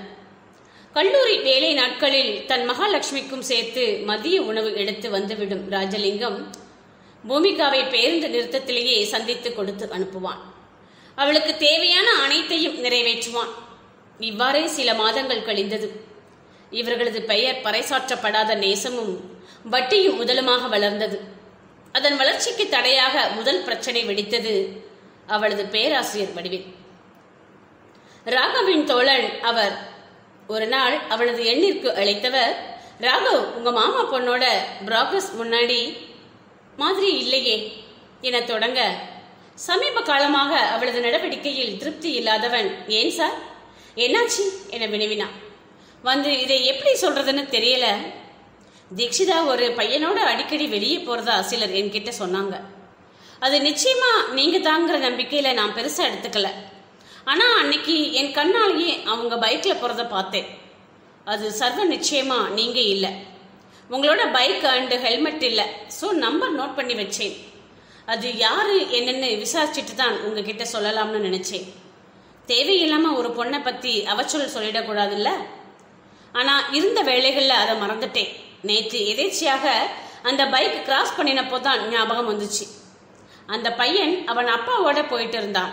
அவங்க அப்பா யாருன்னு தெரிஞ்சதுக்கு அப்புறம் பயங்கர ஷாக் எனக்கு. என்னை கூறிவிட்டு நிறுத்தினார் அவர். யாரு? ராகவ் ஆர்வமாக கேட்க அது வேற யாரும் இல்ல. கெமிஸ்ட்ரி ப்ரொஃபசர் விஸ்வாசார் தான். அவரோட பையன் ராஜாவோட தான் தீக்ஷிதா பழகிட்டு இருக்கிறா. அவன் காலேஜ் அட்மினிஸ்ட்ரேஷன் டீம்ல இருக்கிறதால கேர்ள்ஸ் பாய்ஸ்னு எல்லோரிடமும் பேசுறதுக்கு அனுமதி உண்டு. அந்த அட்வான்டேஜ் தான் யூஸ் பண்ணிட்டு இருக்கிறான். அதுவும் இல்லாம எங்க டிபார்ட்மெண்ட்டுக்கு வந்து பிரச்சனை பண்ணினதுனால ஒன் வீக் சஸ்பெண்ட் ஆகியிருக்கின்றார் இதெல்லாம் கேள்விப்பட்டப்போ எனக்கு என்னவோ சரியா படல. அதான் உங்ககிட்ட சொல்லிடலாம்னு கால் பண்ணினேன். என தான் கொண்டு வந்திருந்த அத்தனையும் சமர்ப்பித்து விட்டிருந்தார். ராகவின் தந்தைக்கும் ராஜாவின் தந்தைக்கும் முன்பகை இருந்தது.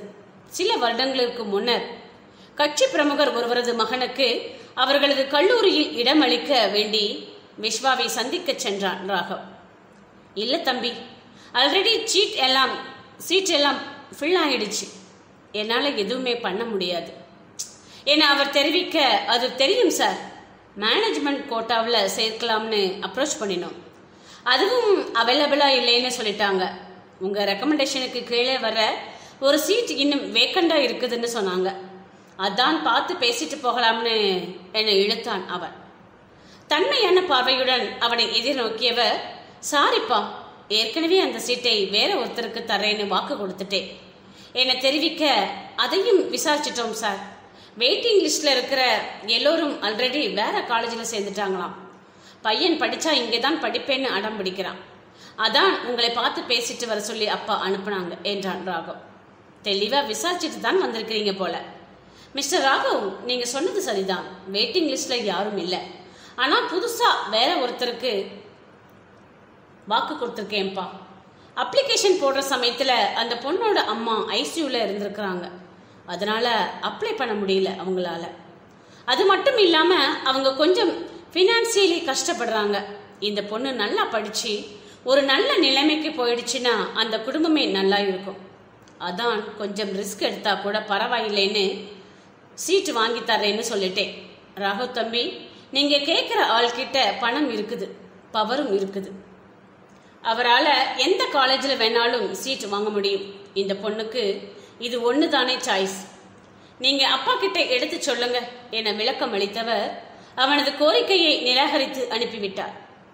ராகவின் தந்தை வந்து பேசியும் அவரது மனம் மசிவதாக தெரியவில்லை. வெகு உறுதியாக இருந்துவிட்டார் அன்று ஏற்பட்ட மனஸ்தாபத்தை நினைவு கூர்ந்தவன் இத்தனை நாளா மனசுல தேக்கி வச்ச வன்மத்தை கக்குறதுக்கு தீக்ஷியை யூஸ் பண்ண பார்க்கிறாரா அந்த ஆளு? இவ விஷயமா பேச போனாலும் அன்னைக்கு நடந்துகிட்ட மாதிரி தான் அவமானப்படுத்துவார் என எண்ணினா. தீக்ஷி கிட்ட இதை சொன்னா புரிஞ்சுப்பாளா? நிச்சயமா என்கிட்டே தானே கோவப்படுவா பிரைவேட் ஸ்பேஸ்க்குள்ள அத்து மீறாதே அப்படின்னு சண்டை போடுவா. இந்த விஷயத்தை ஹேண்டில் பண்ண வேண்டிய விதத்திலே தான் ஹேண்டில் பண்ணணும். சமயம் பார்த்து ஓபன் பண்ணணும் என முடிவு செய்தான் கல்லூரி ஆண்டு விழா நெருங்கிக் கொண்டிருந்தது. அவனது வேண்டுகோளின் பெயரில் வரவேற்பு நடனமாட ஒப்புக்கொண்டிருந்தார் ராஜாவின் மகாலட்சுமி. இப்போது ராஜா என்னும் பதம் மருகி மாமாவாகி விட்டிருந்தது. மகா என்னும் பதமும் திரிந்து குட்டிமாவாகி இருந்தது. மாமா அப் அம்மாவும் அப்பாவும் இங்கே வந்தா நல்லா இருக்கும்ல? நான் சூப்பரா பண்றேன்னு எல்லோரும் சொல்றதை அவங்க கேட்கிறப்போ ரொம்பவே ஹாப்பியா ஃபீல் பண்ணுவாங்கல்ல? என அவள் ஏக்கத்துடன் உரைக்க குட்டிமா நீ நினைச்சா இதை சாத்தியமாக்க முடியும் என்றான் அவன் நானா? எப்படி மாமா? ஆ முடியும். நீ அங்களுக்கு கால் பண்ணி விஷயத்தை சொல்லு. இத்தனை நாள் என்கிட்ட சொன்னேன்ல ஏக்கமா இருக்குது. என்னோட வளர்ச்சியை அவங்க பார்க்கணும்னு. ஆசையாக இருக்குதுன்னு. எல்லாத்தையும் அவங்க கிட்ட சொல்லு. மனசு விட்டு பேசு. அழு. கதறு. சண்டை போடு. அவங்களை ப்ளேம் பண்ணாதே. உன்னோட நியாயமான ஆசைகளை மட்டும் எடுத்து சொல்லு. நிச்சயமா புரிஞ்சுப்பாங்க. அவங்களோட கோபம் பிடிவாதத்தையும் தூக்கி போட்டுட்டு பொண்ணோட சந்தோஷத்திற்காக வருவாங்க. எனக்கு நம்பிக்கை இருக்குது. ட்ரை பண்ணு. என அவளுக்கு யோசனை கூறினான். மாமனின் மதிக்கு தப்பிய மாபெரும் காரியங்களும் இவ்வுலகில் உள்ளதோ? ஆம் அவனது அனுமானம் பொய்க்கவில்லை. நீ இவ்வளோ ஏங்கி இருப்பேன்னு எங்களுக்கு தெரியாது தீக்ஷி. நிச்சயமா வர்றோம். என்ன பொல்லாத வருத்தம்? இருபது வருஷம் ஆச்சுதே. காலத்தால் ஆறாத காயமா இது? வர்றோம் என அவர்கள் உறுதி அளித்தனர். யாரெல்லாம் காலேஜ் டேவுக்கு பேரண்ட்ஸ் அழைச்சிட்டு வரீங்க? முன்னாடியே சொல்லி டோக்கன் வாங்கிடுங்க. ஸ்டூடெண்ட்ஸ் நாங்கள் சீட் அலாட் பண்ணணும். டின்னர் அரேஞ்ச் பண்ணணும். ஸோ முன்னாடியே நேம் என்ரோல் பண்ணுறதுக்காக ஃபார்ம் ஃபில் பண்ணி ரெப்ரசன்டேட்டிவ் கிட்ட கொடுத்துடுங்க என பேராசிரியர் அறிவுறுத்தினார். ராஜாவின் பெற்றோரின் வருகை என்பது அறுதியான ஒன்று. எனவே படிவத்தை பெற்றவன் பெற்றோர் பெயர் என்னுமிடத்தில் விஸ்வகாந்தன் மித்ரகுமாரி என நிரப்பினான் அதே சமயத்தில் தீக்ஷிதாவும் தனக்கான படிவத்தில் நிரப்பினாள் ஜெகநாதன் வைஷாலி என்னும் பெயர்களை. பெற்றோர் பெயர் என்னும் கட்டத்தில் இவர் தம் வருகையே தெளிந்த நீரோடையாக சென்று கொண்டிருக்கும் இவர்களின் காதலில் கலவத்தை ஏற்படுத்த போகும் இரண்டாவது பிரச்சனை. அத்தியாயம் இருபது. விழா தொடங்குவதற்கு சில மணி நேரங்கள் முன்னரே வந்துவிட்டிருந்தனர் ராஜாவின் பெற்றோர். ஏனெனில் அந்த விழா ஏற்பாடுகளை கண்காணிக்கும் குழுவில் அவர்களும் ஓர் உறுப்பினர். விழாவிற்கு வருகை தரப்போகும் சிறப்பு விருந்தினர்களுள் ராகவின் தந்தை சிதம்பரமும் ஒருவர். தீக்ஷிதாவின் நடனம் இடம்பெறுகிறது என்பதால் தன் குடும்பத்தினருடன் வருகை தருவதாக ஒப்புக்கொண்டிருந்தார் அவர். மேலும் தனது தங்கையும் வருவதாக வாக்களித்ததில் இருந்து அளவுக்கு மீறிய உற்சாகத்தில் இருந்தார். காரில் வந்திறங்கிய தன் குடும்பத்தினரை காண ஓடோடி வந்தாள் ராஜா. வாங்கப்பா என்னை ஹாஸ்பிட்டலாலிட்டி கமிட்டில போட்டிருக்கிறாங்க. அக்காவை நானே பார்த்துக்கிறேன். நீங்க உங்க டியூட்டியை கவனிங்க. என அவன் கூற டே எங்கேடா அம்மாவோட மருமகளை? என காதை கடித்தாள் செல்வா. இதை கவனித்துவிட்ட அவனது தாயார் மித்ரகுமாரி என்னடா அங்கே குசு குசுன்னு கேர்ள் ஃப்ரெண்டு யாரையாவது இன்ட்ரோ கொடுக்குறேன்னு சொல்லியிருந்தியா? அப்படி இருந்தா எங்களுக்கும் இன்ட்ரோ பண்ணுடா. நாளை பின்ன ஷாக்கை தாங்கிறதுக்கு இப்பவே நாங்கள் ப்ரிப்பேர் ஆகிக்கிறோம். என கேலியாக கேட்க அதை உண்மை என நம்பிய செல்வா அம்மா எப்படிம்மா இப்படி புட்டு புட்டு வைக்கிறீங்க? தம்பிக்கு ஒரு கேர்ள் ஃப்ரெண்ட் இருக்குதுமா என உலரத் தொடங்க ராஜாவின் முறைப்பில் ஆனா ஃப்ரெண்டு மட்டும்தான். நீங்க நினைக்கிற மாதிரியெல்லாம் இல்லை என முடித்தார். ஃப்ரெண்டா? இருந்தா கூட பரவாயில்லை. வர சொல்லுனா என சுஜாதா கேட்க ஆ அது வந்து என அவன் மழுப்புவதற்குள் தீக்ஷிதாவே அவ்விடம் வந்துவிட்டார் ராஜா உன்னை கார்த்திகா மேம் கூப்பிடுறாங்க என்றவள் அதன் பின்னரே அருகில் நின்றிருந்த அவனது பெற்றோரை கவனித்தார் வாங்க அங்கிள் வாங்க ஆன்ட்டி எப்படி இருக்கிறீங்க? என இனிமையான முகத்துடன் வரவேற்க இருவரது முகமும் சுருங்கியது. ஒருவரை ஒருவர் பார்த்து கொள்ள முந்திக் கொண்டான் ராஜா. அம்மா இவங்க தான் தீக்ஷிதா என் ஃப்ரெண்ட் நம்ம எம்எல்ஏவோட தங்கச்சி பொண்ணு என அவன் உரைக்க உங்க அம்மா உடனே வைஷாலி தானே? என கேட்டார் மித்ரகுமாரி. ஆமா ஆண்டி. அம்மாவை தெரியுமா உங்களுக்கு? என தீக்ஷிதா ஆர்வமாக கேட்க தெரியுமாவா? பிஜி படிக்கும்போது நாங்க எவ்வளோ க்ளோஸ் ஃப்ரெண்ட்ஸ் தெரியுமா? என்றவர் நீங்க இப்போ எங்கே இருக்கிறீங்க? உங்க தாத்தாவோட டெத்துக்கு அப்புறம் யாரோடவும் காண்டாக்ட்லேயே இல்லையே உங்க அம்மா. உங்க மாமா கிட்ட விசாரிச்சாலும் பாசிட்டிவான பதில் கிடைக்கல என விசாரித்தார். முன்னாடி திருவனந்தபுரத்துல இருந்தோம். ஆன்ட்டி இப்போ பெங்களூர்ல இருக்கிறோம் என அவள் கூற நீ எந்த டிபார்ட்மெண்ட்ரா தங்கம்? எந்த இயர்? என கேட்டா. M E first year triple E என்றவளை திருஷ்டி சுற்றி வலித்தவர் அப்படியே உங்க அம்மா மாதிரி இருக்கிற அதே குண்டு கண்ணு கரு கருன்னு முடி தேவதை மாதிரி இருக்கிறம்மா என் ஃப்ரெண்டு பவி அடிக்கடி சொல்லுவா.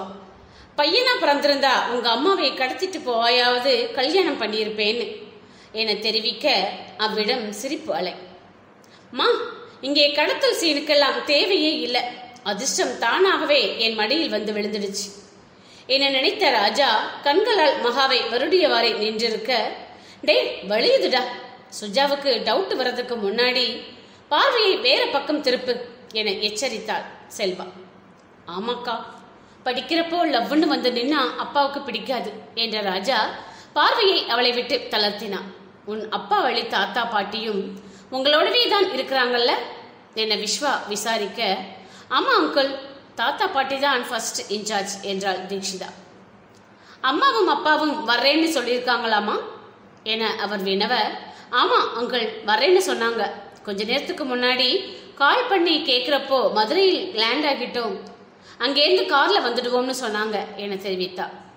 நீ ஏதாவது கமிட்டியில் இருக்கிறியாடா தங்கம்?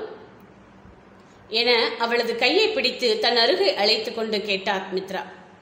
கமிட்டியில இல்ல ஆன்டி வெல்கம் பெர்ஃபார்மன்ஸ்ல இருக்கிறேன். என அவள் முடிக்கும் முன்னரே கிளாசிக்கல் நல்லா பண்ணுவாங்கம்மா என முந்திக் கொண்டான் ராஜா. நீ மாட்ட போறது உறுதி. மாமியாரும் மருமகளும் ஏதோ பேசிக்கிறாங்க. உனக்கு என்னடா? கொஞ்ச நேரம் வாயை மூடிக்கிட்டு தான் நில்லே என செல்வா ராஜாவின் காலில் மிதிக்க ஒற்றை விரலை வாய் மீது வைத்தான் அவன். கிளாசிக்கல் நல்லா ஆடுவியாடா? ராஜாவுக்கு ரொம்ப பிடிக்கும். எனக்கெல்லாம் இடுப்பை வளைக்கவே தெரியாது. என்ன போய் ஆடி தூங்க வையின்னு அடம் பண்ணுவான்.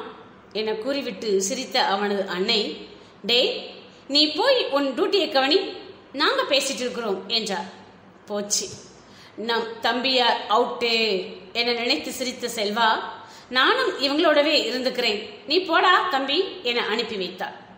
உன் அம்மா ரொம்ப நல்ல டைப்புடா எல்லோருக்கும் அவ்வளோ ஹெல்ப் பண்ணுவா. தன்னொரு பணக்கார வீட்டு பொண்ணு பெரிய குடும்பம்னு எந்த தலைக்கணமும் இல்லாம எல்லோரோடையும் நல்ல விதமாகவே பழகுவா.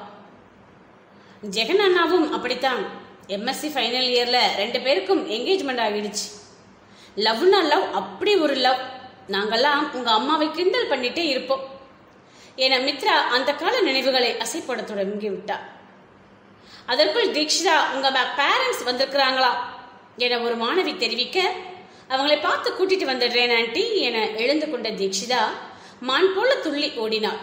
தன் தாயை கண்டதும் அம்மா என ஓடி சென்று கட்டிக்கொள்ள உச்சி முகந்து முத்தமிட்டவர் எப்படிடா இருக்கிற? என நலம் விசாரித்தார் நல்லா இருக்கிறேம்மா ரொம்ப தேங்க்ஸ் எனக்காக வந்ததுக்கு என்றவள் கண் கலங்க நாங்க தாண்டா தேங்க்ஸ் சொல்லணும். எங்களோட தப்பை புரிய வச்சதுக்கு. இனி முடிஞ்ச அளவுக்கு உனக்கான நியாயமான தேவைகளை நிறைவேற்ற முயற்சிக்கிறோம் என உறுதி அளித்தார். அம்மா மாமா ஃபேமிலியோட வர்றேன்னு சொல்லியிருக்கிறார் என அவள் கூற இப்ப தாண்டா பேசினார்.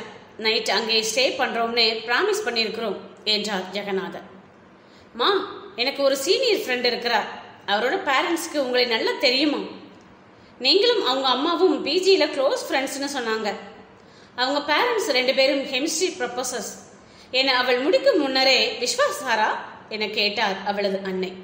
ஆமாமா என்றவள் அவர்களிடம் அழைத்துச் சென்றாள். வெகு நாட்களுக்கு பின்னர் சந்தித்துக் கொண்ட தோழியர் இருவரும் கட்டி அணைத்து ஆனந்த கண்ணீர் சிந்தினர்.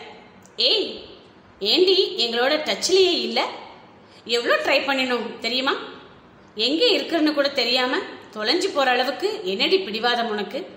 என மித்ரா உரிமையுடன் கோபித்துக் கொள்ள அப்பாவோட இழப்பை என்னால ஜீரணிக்க முடியல மித்ரா. இந்த பாலிடிக்ஸ் இதனால ஏற்பட்ட ப்ரெஷர்னால தான் அப்பாவுக்கு கார்டியாக் அரெஸ்ட் வந்துச்சுன்னு என் மைண்டு ரொம்ப உறுதியாக நம்பிச்சு. அதனாலேயே தான் அம்மாவையும் இவரோட பேரண்ட்ஸையும் எங்களோடவே கூட்டிட்டு போயிட்டோம். உறவுகளோட இல்லைதான் ஆனா ஒரு மாதிரி நிம்மதியாக போகுது வாழ்க்கை. தீக்ஷிதாவுக்கு தான் இந்த ஊர் மேல ஒரு பிடிப்பு வந்தே ஆகணும்னு பிடிவாதமா இருந்தா. பசங்களுக்காக நம்மளோட பிடிவாதத்தை விட்டு கொடுக்கறது தப்பு இல்லைன்னு தோணுச்சு. வந்துட்டோம். என தன் தரப்பை கூறினார் வைஷாலி. அப்பாடா. ஒரு வழியா நம்ம ரூட்டு கிளியர் ஆகிடுச்சு கண்ணீர் சிந்தி கன்வின்ஸ் பண்ண வேண்டிய அவசியமில்லை. என நிம்மதி அடைந்த தீக்ஷிதா நான் ரெடியாகணும் போறேன். என அவ்விடம் விட்டு நகர்ந்தார் முதல் நிகழ்வாக தீக்ஷிதாவின் நடனம் இடம்பெற அனைவரும் ஆர்வத்துடன் காணலாயினர். நாதம் இசைத்தே அழைக்கின்றேன். பாடலுக்கு அவள் நடனமாட இரண்டு கண்களால் ரசித்துக் கொண்டே பிற்காலத்திற்காக அலைபேசியில் பதிந்து கொண்டிருந்தான் ராஜா. அத்தனை கூட்டத்திலும் இதை கவனித்துவிட்ட அவனது தங்கை சுஜாதா மா அண்ணாவை பாருங்க என சுட்டி காட்ட அவனுக்கு கிளாசிக்கல் டான்ஸ்னா பைத்தியம் வைஷாலி. இதுக்காகவே தீக்ஷிதாவை ஃப்ரெண்டு படிச்சாலும் படிச்சிருப்பான் என கூறிவிட்டு விதர்ப்பம் என்று சிரித்தார். அவளுக்குமே ரொம்ப இன்ட்ரெஸ்ட் டான்ஸில் எல்லா விஷயத்திலையும் கலைநயமாக இருக்கணும்னு ஆசைப்படுவா. என அவளது அன்னையும் தன் மகளை விட்டு தராமலே பேசினார். அதன் பின்னர் விழாவிற்கு வந்திருந்த சிறப்பு விருந்தினர்கள் உரையாற்றத் தொடங்க இங்கே தோழியர்களின் சம்பாஷணை தொடங்கியது. இத்தனை ஆண்டுகளாக சேமித்து வைத்த அத்தனையையும் பகிர்ந்து கொள்ளத் தொடங்கினர். இருவரது தந்தையரும் தங்களுக்கு ஏற்றதொரு பாஷையில் உரையாடத் தொடங்க ராஜாவுக்கு பிரச்சனை இல்லை. இனி எல்லாம் நல்லபடியாக முடிஞ்சிடும் என நிம்மதி அடைந்தாள் செல்வா. நடனமாடி முடித்து விட்டவளை எவரும் பெரிதாக கண்டுகொள்ளவில்லை. அடுத்தடுத்த வேலைகளில் பிஸியாகி விட்டனர். இந்த சமயத்தை பயன்படுத்தி கொண்டவள் ராஜாவை தனியே அழைத்தாள். ஹே செம்ம குட்டிமா கலக்கிட்ட என அவன் கை குலுக்க மாமா நான் ரொம்ப ஹாப்பியா இருக்கிறேன்டா என்றாள் முகம் மலர. அம்மா ரொம்ப வருஷம் கழிச்சு இந்த ஊருக்கு வந்திருக்கிறாங்க. இனி எப்படியாவது மாமா அவங்களை கன்வின்ஸ் பண்ணிடுவாங்க. ஸோ எனக்கும் சொந்த பந்தம்னு நிறைய பேர் இருப்பாங்க. அதுவும் இல்லாமல் உன் அம்மாவும் என் அம்மாவும் க்ளோஸ் ஃப்ரெண்ட்ஸ் இதை யோசிக்கிறப்போ ஒரு மாதிரி உள்ளுக்குள்ள பட்டாம்பூச்சி பறக்கிற மாதிரி இருக்குது. குதூகலித்தாள் மகா. அவளது கண்ணத்தில் மெளிதாக தட்டியவன் எனக்கும் ஹாப்பிடா ஆனால் நாம இனிதான் ரொம்ப கவனமாக இருக்கணும். ரெண்டு பேரோட பேரண்ட்ஸும் ஃப்ரெண்ட்லி டைப் தான். ஆனால் ரொம்பவே டிசிப்ளின் எதிர்பார்ப்பாங்க. ஸோ நாம் இன்னும் கொஞ்ச நாளைக்கு வாளை சுருட்டிக்கணும். என கூற அதை உனக்கு நீயே சொல்லிக்கோ. நீதான் ஞான்னு என்னையே பார்த்துட்டு இருந்த என்றாள் மார்பின் குறுக்காக. கைகளை கட்டி முறைத்தவாறு குட்டிமா உன் கண்ணை பார்த்தா மாமா வீக் ஆகிடுவேன்னு உனக்கு தெரியும்ல? என அவன் குழைய போதும் போதும். விட்டா குழஞ்சி பாயாசம் ஆகிடுவ போல என மார்பில் குத்தினாள். ஆஹ் என அவன் பிடித்து கொள்ள இப்போ என்ன? மார்புக்குள் குடியிருக்கிற எனக்கு வலிக்கும்னு சொல்ல போற அதுதானே? தெரியும்டா உன்னை பத்தி என்றவள் அவனது கையில் செல்லமாக கிள்ளினாள். ஆக்சுவலி வரையறைக்குள் அடங்காத இயல்புகள் இயல்புகள் மீறாத தேவையற்ற உணர்வுகள் கலக்காத ஒரு ஆத்மார்த்தமான நேசத்தை உன்கிட்ட நான் உணர்கிறேன்டா என்றவள் அவனை பார்க்க ஹே நான் போறேன்ப்பா. இதுக்கு மேல இங்கே இருந்தா என் நல்ல பெயருக்கு ஆபத்து என்றார் ராஜா. போடா என போலியாக கோபித்து கொண்டவள் திரும்பி நிற்க சரி சரி சும்மா சொன்னேன். ஜீன்ஸ் தானே போட்டிருக்கிற? அந்த கேப்பை எடுத்து மாட்டிக்கிட்டு வா. இந்த இருட்டில் யாரும் யாரையும் மைண்ட் பண்ணிக்க மாட்டாங்க.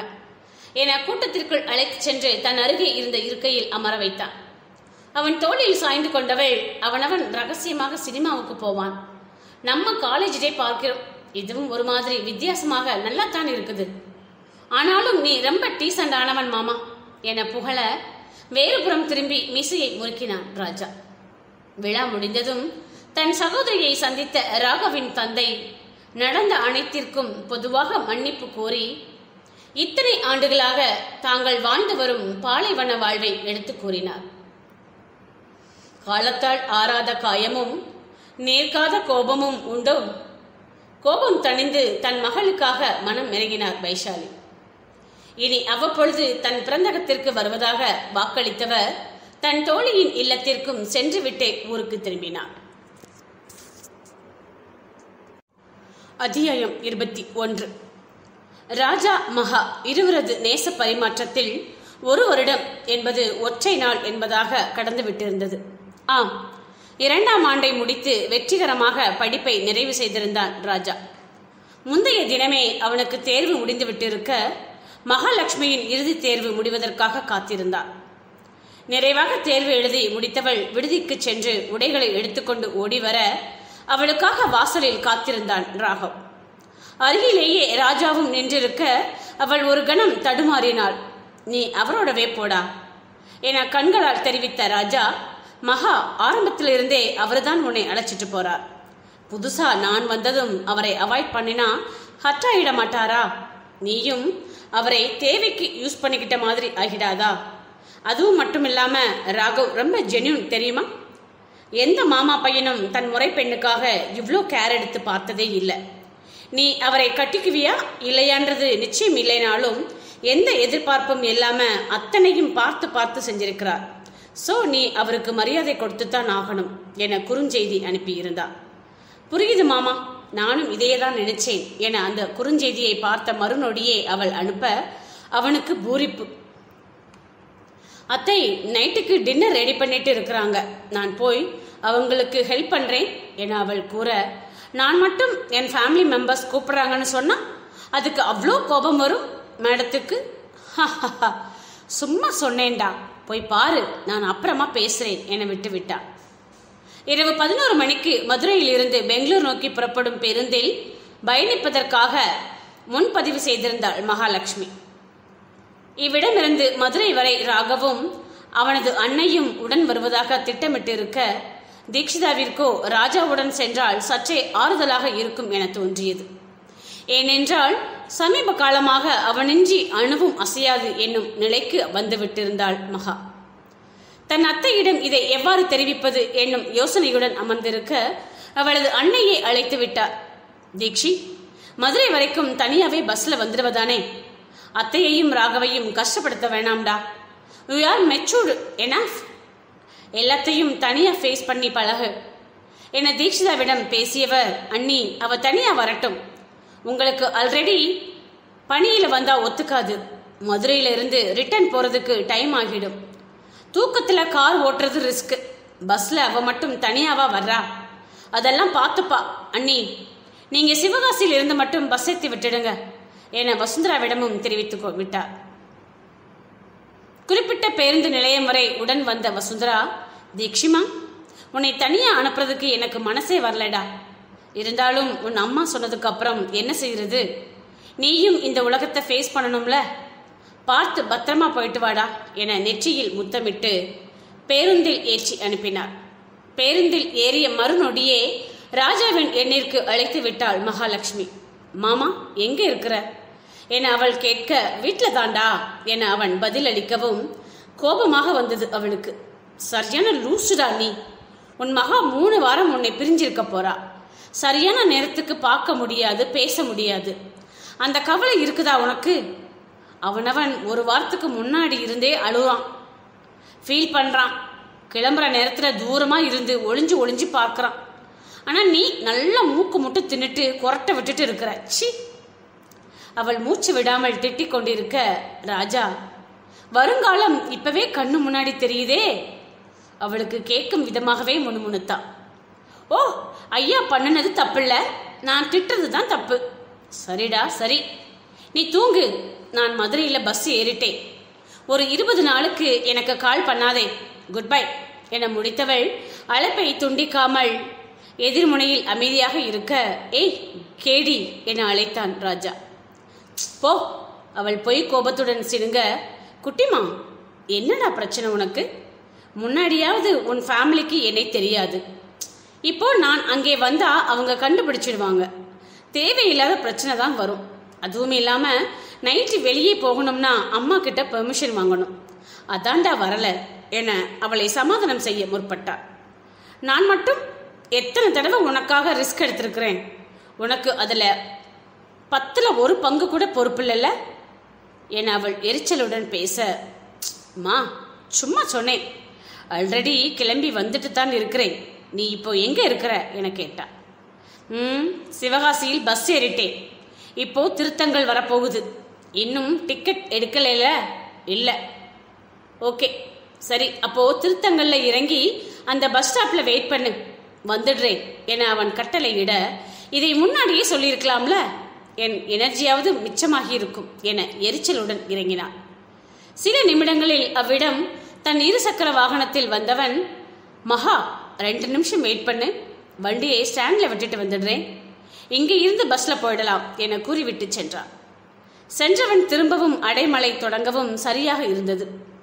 மணி எட்டை நெருங்க அவ்விடம் பெரிதாக மக்கள் நடமாட்டம் இல்லை. எதிரில் நிற்பவர் எவர் என அடையாளம் காணவியலாத அளவிற்கு அடைமழை பெய்தது.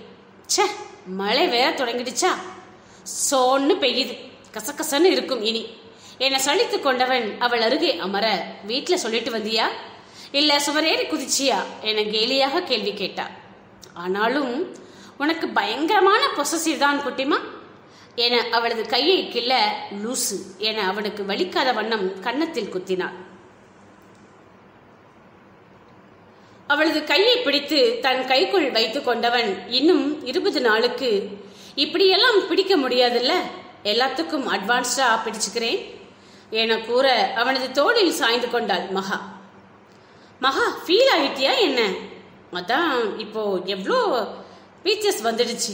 வீடியோ கால் அது இதுன்னு. என அவளை சமாதானம் செய்ய முற்பட ஆனா இப்படி நேர்ல பார்த்து பேசுற ஃபீல் எதுலேயுமே கிடைக்காதுல்ல என்றாள் ஏக்கத்துடன். வாழ்க்கையில் ஏற்ற இறக்கங்கள் மாதிரி பிரிவுகளும் சாதாரணம்தான். பிரிவுகளும் தூரமும் இல்லைன்னா நாம ஒருத்தரை எவ்வளோ நேசிக்கிறோங்கிறது நமக்கே தெரியாம போயிடும். இதுவும் வாழ்க்கையின் ஒரு அங்கம். ரொம்ப நாள் கழிச்சு ஊருக்கு போற அம்மா அப்பா தாத்தா பாட்டி தம்பின்னு எல்லோரோடவும் சந்தோஷமாக என்ஜாய் பண்ணு சரியா? என அவன் அறிவுரை வழங்கத் தொடங்க அதெல்லாம் நான் பார்த்துக்கிறேன். முதல்ல நம்மளை பத்தி பேசு என்றாள் எரிச்சலுடன். இந்த துளி பிரிவின் இடைவெளியிலாவது தன் காதலை வெளிப்படையாக கூறி பகிரங்க அங்கீகாரம் தந்துவிடுவான் என எதிர்பார்த்தாள் மகாலட்சுமி. அவனோ விஸ்வாவின் புதல்வனாயிற்றே. பறைசாற்றிய காதலில் நேசம் எவ்வாறு நீத்து போகும் என்பதையும் அதன் பின்னர் எவ்வாறு பாதை திரியும் என்பதையும் நன்கு அறிவானே.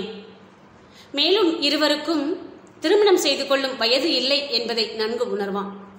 ஒரு கால் இந்த காதல் முன்மொழிவு இவர்களது திருமணத்தை முன்கூட்டியே நடத்துவதற்கான ஊக்கியாக அமைந்திரு.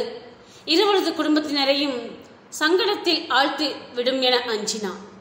எனவேதான் சொல்லாமல் காலம் தாழ்த்தினான் அவளது கேள்வியை புறக்கணித்து பதில் அளிக்காமல் மழுப்ப நினைத்தவன் அமைதியாக எழுந்து சென்று பேருந்து நிறுத்தத்தின் ஓரத்தில் நின்றான். ஓடிச் சென்று பின்னால் இருந்து அவனை அணைத்துக் கொண்டவள் மாமா என விசும்பத் தொடங்க செய்வதறியாது திகைத்தான் ராஜா. அவளது கண்ணீர் அவனது ஆடையை கடந்து முதுகை நடக்க நனைக்கத் தொடங்கியிருந்தது. முன்புறம் மழை நீரால் தேகம் நனைய பின்புறம் வெளிநீரால் நனைந்தது. இரண்டும் பெய்தும் கெடுக்கும் பெய்யாமலும் கெடுக்கும் தகமை அது. மென்மையாக அவளை தன்புறம் பற்றி திருப்பியவன் மார்போடு அணைத்துக் கொண்டான். உச்சியில் அழுத்தமாக முத்தமிட்டவன் மகா நான் எது செஞ்சாலும் அது நம்மோட நன்மைக்குத்தான்னு உனக்கு நம்பிக்கை இருக்குதுல்ல? என கேட்க இவளும் அணைப்பிலிருந்து விலகாமலேயே தலையாட்டினாள். இன்னும் கொஞ்ச நாள் உன்னோட மாமாவுக்காக பொறுத்துக்கோயின் ப்ளீஸ் என அவன் கெஞ்ச அவளுக்கோ அவனது பதிலில் திருப்தி இல்லை. ஏன் மாமா? உனக்கு உண்மையிலேயே நம்பிக்கை இல்லையா? வரம்பு மீறதும் கல்யாணத்தை நோக்கி நகரதும் மட்டும்தான் காதலா? ஒருத்தருக்கு ஒருத்தர் மாரலாவும் ஃபினான்ஷியலாவும் சப்போர்ட்டா இருந்து ஊக்குவிக்கிறது காதல் இல்லையா? என் நிலவில் அப்படித்தான் புரிஞ்சு வச்சிருக்கிறேன். ஒருவேளை இந்த உலகத்துக்காக நீ பயப்படுறியா? என கேட்டால் நிமிர்ந்து அவனை நோக்கியவாறேன் அது இல்ல மகா என்றவன் ஏதோ கூற முற்பட மதுரை நோக்கி செல்லும் அடுத்த பேருந்து வந்துவிட்டது. போயிட்டே பேசலாம்டா என்றவன் ஒரு இருக்கையில் சென்று அமர அவளோ முன்னால் இருந்த இருக்கையில் அமரப்போனாள் மகா இங்கே வா என அருகில் இருந்த காலி இடத்தை காட்ட முறைத்தவாறே அமர்ந்து விட்டார் நீ அங்கேயும் நான் இங்கேயும் உட்கார்ந்து டிராவல் பண்றதுக்காகவா? என்னை வர சொன்ன? சரி நீ பார்த்து பத்திரமா போ. நான் கிளம்புறேன் பை என ராஜா அவளுக்கு குறுஞ்செய்தி அனுப்ப எரிச்சல் படுத்துறான் என சலிப்புடன் அருகில் வந்து அமர்ந்தாள். அருகே அமர்ந்தவளின் கையை பிடிக்க முற்பட அவளோ வெடுக்கென பறித்து மார்புக்கு குறுக்காக கட்டிக்கொண்டு முகத்தை திருப்பினாள். குட்டிமா சாரிடா என அவன் கொஞ்சலாக கெஞ்ச என்ன உறவுன்னே சொல்லாம குட்டிமான்னு கூப்பிடுறதுல என்ன அர்த்தம் இருக்குது ராஜா? சொல்லால் அவனை தள்ளி நிறுத்தினாள். அப்போ உனக்கு என் மேல் நம்பிக்கை இல்லை. அதானே மகா? அவன் இயலாமையுடன் கேட்க உனக்கு தாண்டா உண்மையிலேயே நம்பிக்கை இல்லை. நம்பிக்கை இல்லாமலா இந்த நேரத்துல உன்னோட வர்றேன்? பதிலுக்கு சிறினாள் மகாலட்சுமி. அவளது கேள்விக்கு பதில் அளிக்க இயலாதவன் ஜன்னல் வழியாக வெளியே பார்க்க நல்லவங்களோட வாழ்றது கஷ்டம்னு இதுக்குத்தான் சொல்றாங்க போல. எல்லாத்துக்கும் யோசிச்சு காம்ப்ளிகேட் பண்ணிக்கிட்டு சத்தமாகவே முணுமுணுத்தாள் அவள். காதுகளில் ஹெட்செட் எடுத்து மாட்டியவாறே இருக்கையில் சாய்ந்து விட்டார். மகா அது இல்லடா. உனக்கு நான் என்ன சொல்ல வரேன்னு புரிய மாட்டேங்குது. சொல்லலைங்கிறதுக்காகவாவது நாம கொஞ்சம் கண்ட்ரோலாக இருக்கின்றோம். இப்போ நம்ம பேரண்ட்ஸ் ஃப்ரெண்ட்ஸ் என படிப்பு எனக்கு படிப்பு முடிஞ்சதுன்னு ஆயிரம் விஷயங்கள் இருக்குது. நாம வழி மாறி போறதுக்கு. ஏன்னா உணர்வுகளை சரிவர ஹேண்டில் பண்ண தெரியாத சுச்சுவேஷன்லையும் வயசிலேயும் நாம் இருக்கின்றோம். நான் சொல்றது உனக்கு கசப்பாக இருந்தாலும் அதுதான் உண்மை என அவன் பேசுவது அவள் காதுகளில் தெளிவாக கேட்டாலும் கேளாதவள் போல் இருந்தாள் தம்பி எங்க போகணும்? என நடத்துனர் கேட்க மதுரை ஒண்ணு என தன் பையிலிருந்து பணத்தை எடுத்து நீட்டினாள் தீக்ஷிதா அவளை முறைத்த ராஜா ரெண்டு மதுரை கொடுங்க என கூற இப்பவே சண்டையா? என சிரித்தவாறே பயண சீட்டுகளை வழங்கினார் நடத்தினர். அவர் சென்ற பிற்பாடு அவனை அடிக்கத் தொடங்கிவிட்டாள் மகாலட்சுமி. ஏண்டா என் மானத்தை வாங்குற? என அவள் அவனது தொண்டையை கிள்ள அவனும் கண்டு கொள்ளாமல் அமர்ந்திருந்தான். எருமை மாட்டில் மழை பெஞ்ச மாதிரி உட்கார்ந்திருக்கான் பாரு பைத்தியம் என திட்டியவள். ஒரு கட்டத்தில் தானாகவே சமாதான உடன்படிக்கையை முன்னெடுக்கும் நிலைக்கு தாழ்ந்து விட்டிருந்தாள். ராஜா என அவள் மெல்லிய குரலில் அழைக்க அத்தா மழை இறங்கிடுச்சு போல. நாம கண்டுக்காத மாதிரி இருப்போம் என கண்களை மூடிக்கொண்டான் ராஜா. நீ சொல்றதெல்லாம் எனக்கு புரியுதுடா. ஆனா எதிர்பார்ப்புகள் வரத்தானே செய்யும். மனுஷனா இருந்தா இதெல்லாம் சகஜம்தானே என ஆதங்கப்பட்டார். அவனோ அமைதியாக இருக்க மாமா ஐ வில் மிஸ் யூ எல்லா அவ்வளோ பிடிக்கும் உன்னை என உடைந்த குரலில் குறிப்பிட்டவள் அதற்கு மேல் தன்னிலையை விளக்கம் அளிக்காமல் இருக்கையில் சாய்ந்து விட்டாள். அத்தியாயம் இருபத்தி இரண்டு. வெளியே பெய்த மழையினோடே பேருந்து மிதமான வேகத்தில் நகர்ந்து கொண்டிருக்க கிட்டத்தட்ட அனைத்து விளக்குகளும் அணைக்கப்பட்டு விட்டன. ஏறத்தாழ பயணிகள் அனைவரும் உறங்கிய நிலை. தன்னிலையை விளக்கிய பின்னரும் அவனது பாரா முகத்தால் வேதனை அடைந்தாள் மகாலட்சுமி.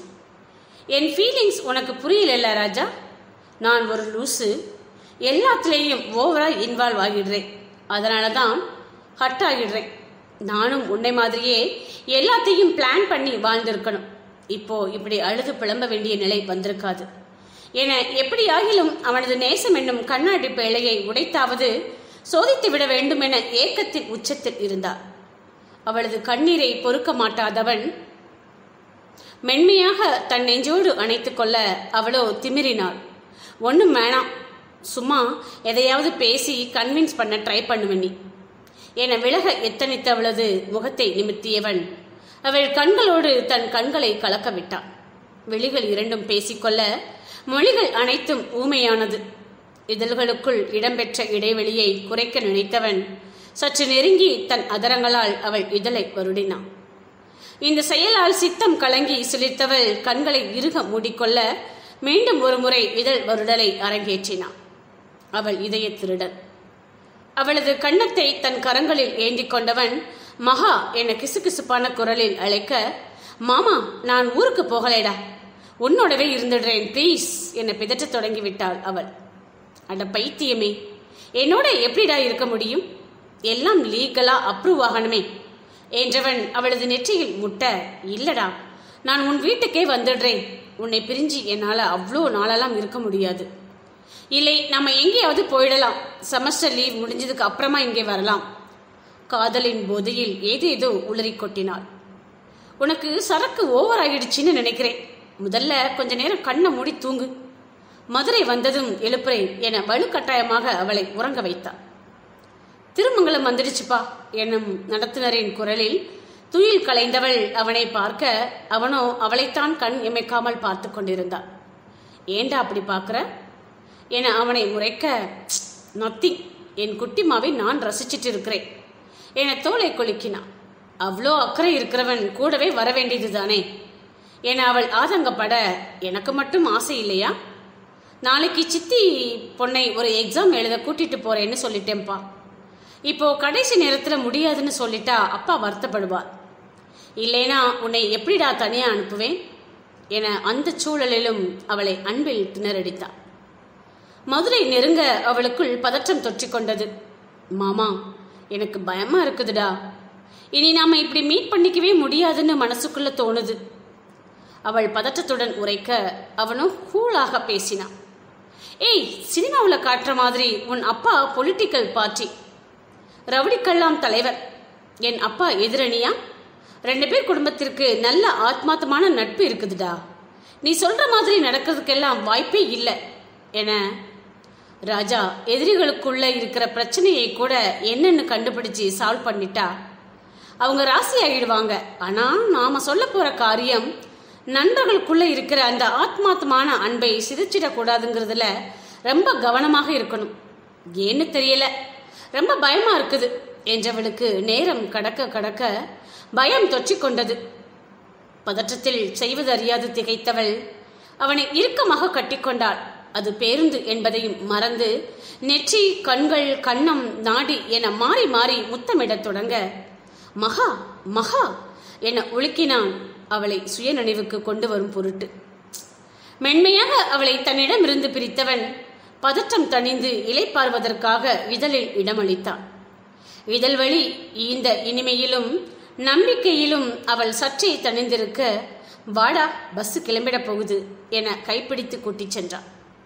பள்ளிக்கு செல்ல அடம்பிடிக்கும் நான்கு வயது பிள்ளையாய் அவனது மகாலட்சுமி சினுங்கியவாறே வர குட்டிமா பால்வாடி குழந்தை மாதிரி அடம் பண்ணாதேடா என தேற்றினான். ராஜா ஏன்னு தெரியல. உன்னை பிரியவே கூடாதுன்னு நினைக்கிற அளவுக்கு பைத்தியமாகிட்டேன்டா என அவள் பிதற்றத் தொடங்க புன்னகையுடன் திரும்பி அவளை தன் தோளோடு சேர்த்து அணைத்து அழைத்துச் சென்றான். தனியார் டிராவல்ஸ் ஒன்றில் அவள் முன்பதிவு செய்திருக்க டெய் என்கிட்டே சொல்லியிருந்தா நான் எஸ்டிசியில் புக் பண்ணி தந்திருப்பேன்ல என உரிமையுடன் கடிந்து கொண்டான் ராஜா. இல்லடா லாஸ்ட் டைம் நான் வர்றப்போ எல்லோரையும் அவங்க கூவி கூவி கூப்பிட்டது கஷ்டமா இருந்துச்சு அதான் என அவள் தெரிவிக்க சரிடா வா என குறிப்பிட்ட பேருந்தின் அருகே அழைத்துச் சென்றான். அவளது அடையாளத்தையும் படுக்கை எண்ணையும் உறுதி செய்து கொண்டவன் அண்ணா பஸ் எத்தனை மணிக்கு கிளம்பும் என கேட்க பத்தரை மணிக்கு என பதில் கிட்டியது. கையை திருப்பி கடிகாரத்தை பார்க்க பத்தை காட்டியது. இன்னும் அரை மணி நேரம் இருக்குதுல்ல என தனக்குள் பேசிக்கொண்டவன் வா மகா என அருகில் இருந்த உணவகத்திற்கு அழைத்துச் சென்று இட்லியும் சாம்பாரும் வாங்கி கொடுத்தார் இங்கேயே ரெஸ்ட் ரூம் போயிட்டு வந்துடுடா. பஸ் எங்கே ஸ்டாப் பண்ணுவாங்கன்னு தெரியாது என அவன் அக்கறையுடன் கூற இதெல்லாம் நல்லா பேசு. சொல்ல வேண்டியதை நீயும் சொல்லாதே என்னையும் சொல்ல விடாதே என திட்டியவாறே தலையில் கொட்டி விட்டு சென்றாள். தரைத்தளத்தில் அமைக்கப்பட்டிருந்த ஒற்றை படுக்கை அவளுக்கு ஒதுக்கப்பட்டிருக்க உட்கார மகா என்றவன் தானும் அருகே அமர்ந்தவன் பிற பயணிகள் ஏறுவதும் இறங்குவதுமாக இருக்க உள்ளே நகர்ந்து அமர்ந்தவள் திரையை இழுத்தாள். மகா என்ன பண்ற? யாராவது பார்த்தா தப்பா நினைக்க போறாங்க என அவன் பதற ஓவரா சீன் போட்ட கொன்னுடுவேன் என தொடையில் கிள்ளி வைத்தாள் அவள். இப்ப நான் என்ன உன்னை கடிச்சா தின்ன போறேன்? அவங்க போயிட்டு இருக்கிறது டிஸ்டர்பன்ஸா இருக்குது. அதனால ஸ்கிரீனை க்ளோஸ் பண்ணினேன். அதுக்கு ஓவரா பண்ற? சே உன்கிட்ட போய் பழகினேன் பாரு. என கத்தியவள் சில நிமிடங்கள் கழித்து சாரிடா என கொஞ்சினாள். அவளது இந்த செய்கையை கண்டு சிரித்தவன் ஹே கேடி முதல்ல நார்மலாக இரு. அதெல்லாம் எதுவும் ஆகாது. அப்படியே பிரச்சனை வந்தாலும் நான் அவ்வளோ சீக்கிரம் உன்னை விட்டு போயிட மாட்டேன். நீ யாரு என்னன்னு தெரியாமலேயே உன் வாட்சை நாலு வருஷம் பத்திரமா பொத்தி பொத்தி பார்த்துட்டு இருந்தவன் நான். மனசையே கொடுத்துட்டு போற. பார்த்துக்க மாட்டேனா? என்னை நெற்றியில் முட்டினான் யாராவது ஏதாவது சொன்னாங்கன்னு என்னை விட்டு கொடுத்துட மாட்டியே. கேட்டவளின் கண்களில் நீர் கோர்த்தது. நீரை துடைத்து அவளை நெஞ்சோடு அணைத்து கொண்டவன் மகா ஏன் உனக்கு இப்படிலாம் தோணுது? நல்லதே நடக்கும்னு நம்பிக்கையாயிரு. என்ன ஆனாலும் யார் தடுத்தாலும் உன்னை விட்டு கொடுத்துட மாட்டேன். போதுமா? என உச்சியில் முத்தமிட்டான் சத்தியமா? என அவள் கைகளை நீட்ட கன்னத்தில் முத்தமிட்டவன் சத்தியமா? என்றான். இதையே நான் கேட்கத் தொடங்கினா கத்துவா? என தனக்குள் முனகியவன் ஒரு கவரை அவளிடம் நீட்டினான் அதை பிரித்து பார்க்க மல்லிகைப்பூ இருந்தது. இது எப்போடா வாங்கின? என அவள் ஆச்சரியமாக பார்க்க அதெல்லாம் என்னோட சாமர்த்தியம். என காலரை தூக்கி விட்டு கொண்டவன் நீயே வச்சுக்குவியா? இல்லை நான் என்னை இழுத்தான் என அவளை அவனை பார்த்து முறைத்தவள் திரும்பி அமர அவள் கூந்தலில் பூச்சூடினான் அவளின் மணாளன். எம்பி அவனது நெற்றியில் முத்தமிட்டவளின் கண்களை நேருக்கு நேராக நோக்கியவன் நெற்றியில் வீற்றிருந்த ஒற்றை பொட்டிற்கு மேலே தான் கொண்டு வந்திருந்த குங்குமத்தை இடம் மாற்றினான். குங்குமச்சிமிழ் ஒன்றை அவளிடம் நீட்டியவன் நீ கேட்ட குழுவுக்கு நான் பதிலே சொல்லிட்டேன். என்னோட பாணியில இப்படித்தான் சொல்ல தெரியும். என தோளை கொழுக்க முத்தமெல்லாம் கொடுக்க மாட்டியா? பாவமாக முகத்தை வைத்துக்கொண்டு கேட்டாள் மகாலட்சுமி. எங்கே கன்னத்திலேயா? என வேண்டுமென்றே கேட்டுவிட்டு நாக்கை மடித்து சிரித்தவன் நெருங்கி அமர்ந்தாள். மாமா எவ்வளோ சண்டை வந்தாலும் நாம பிரியவே கூடாதுடா. காலையில சண்டை போட்டா ஈவினிங் சமாதானமாகிடணும் சரியா? என கேட்டவள் அவனது முகத்தை பார்க்க அவனது விழிகளோ அவளது தேனூரும் அதரங்களை வண்டாக மொய்த்து கொண்டிருந்தது. அதில் அவளுக்குள் நாணம் தோன்ற தலை கவிழ்ந்தாள். ஒற்றை விரலால் அவளது அழகு வதனத்தை நிமிர்த்தியவன் எந்தவித ஆர்ப்பாட்டமும் இன்றி இதழில் முத்தமிடத் தொடங்கினான். பஸ் இன்னும் அஞ்சு நிமிஷத்துல கிளம்பிடும் என்னும் நடத்துனரின் குரலில் விலகியவன் அடிக்கடி தண்ணீர் குடிக்காதே. எதையுமே யோசிக்காம நிம்மதியாக தூங்கு சரியா? என மென்மையாக அணைத்துவிட்டு எழுந்தான். மிஸ்யூ ராஜா என அவனது கையை பிடித்து முத்தமிட மிஸ்யூ குட்டிமா என தலைக்கோதி விடை பெற்றான். அவள் கூறியதைப் போலவே நிகழ்ந்துவிடப் போகிறது என்பதை இருவரும் அறியாமலேயே போனார்கள். ஆனால் பிழை எவர் மீது என்பதுதான் விதி அமைத்திருந்த விசித்திர முடிச்சின் சுவராசியமே. அவன் கீழே இறங்கியது முதல் பேருந்து புறப்பட்டு நிலையத்தை விட்டு வெளியேறும் வரை கை அசைத்தவாறு இருந்தாள் மகாலட்சுமி. உடன் அலைபேசியை எடுத்து status பதிவேற்றினாள். On the way to Bangalore. Miss you Sivakasi என. அடுத்த நொடியை பார்த்து விட்டவன் மிஸ் யூ மிஸ் பெங்களூர் என அனுப்பினான். நான் ராஜாவாக போகிறேன். திரைப்படத்திலிருந்து பாடலை தரவிறக்கம் செய்தவள் ஸ்டேட்டஸாக பதிவிட்டாள் எனக்கு எனக்கு அவன் ரொம்ப பிடிக்கும். அவனை நெருங்க மனம் சிறகடிக்கும். இதயம் முழுவதும் அவன் பெயர் துடிக்கும். ராஜா ராஜா. ஒருபுறம் காதல் இருக்கிறது மறுபுறம் நட்பும் இருக்கிறது. மதிலினில் நடக்கும் பூனையின் நிலைமை இவளுக்கு ஏனோ கொடுத்தானோ. ராஜா ராஜா என அவளது ஸ்டேட்டஸ் ஒழிக்க கிரேசி என நினைத்து சிரித்து கொண்டான் மாமா ஊருக்கு போறதுக்கு பஸ் ஏறிட்டியா? பார்த்து பத்திரமா போ. சரியா? அத்தை ஏதாவது கேட்டா என்னை டிராப் பண்றதுக்கு தான் வந்தேன்னு சொல்லு. என அழைப்பில் அவள் கட்டளையிட சரிங்க மகாராணி என்றான். தூங்கு மகா ஃபோனில் சார்ஜ் நிக்கணும்ல. எதுவா இருந்தாலும் அங்கே ரீச் ஆனதுக்கு அப்புறம் பேசிக்கலாம். என அவன் தேற்றும் தொனியில் பேச ஓகே உனக்கு ஒரு சாங் அனுப்புறேன். கேட்டுட்டு தூங்கு என முடித்தார் ராஜா என்னும் இந்தி படத்தில் இடம்பெற்ற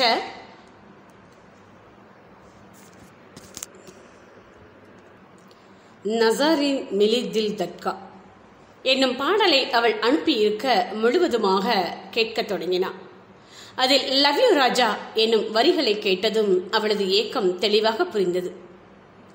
மீண்டும் ஒருமுறை அவளது எண்ணிற்கு அழைத்தவள் உனக்கு ஒரு வாக்கு தரேன் குட்டிமா. என் மேல ஆதிக்கம் செலுத்துறதுக்காக அம்மாவோட சண்டை போடுற உரிமை உனக்குத்தான் என உறுதி அளிக்க நானெல்லாம் என் மாமியாரோட சண்டையே போட மாட்டேன். நாங்க நல்ல ஃப்ரெண்ட்ஸ் ஆக்கும் என போலியாக கோபித்து கொண்டான் ஓகே ஓகே நீங்க சமத்து தான் இப்போ தூங்குங்க. என ஒருவாறாக தேற்றி சமாதானம் செய்தாலும் இருவரும் உறங்காமல் உரையாடியவாறே இருந்தனர். அத்தியாயம் இருபத்தி மூன்று. தீக்ஷிதா பெங்களூர் சென்ற முதல் வாரத்தில் பகல் பொழுதுகளை தன் குடும்பத்தினருடன் செலவழித்தாலும் இரவு முழுவதும் ராஜாவுடன் கதைப்பது வாடிக்கையாகி போனது. தனி அறை என்பதால் எவரும் பெரிதாக அவளை கண்டு கொள்ளவில்லை பத்தாவது நாள் இரவில் இருவருக்குள் மெலிதாக புகையத் தொடங்கியது.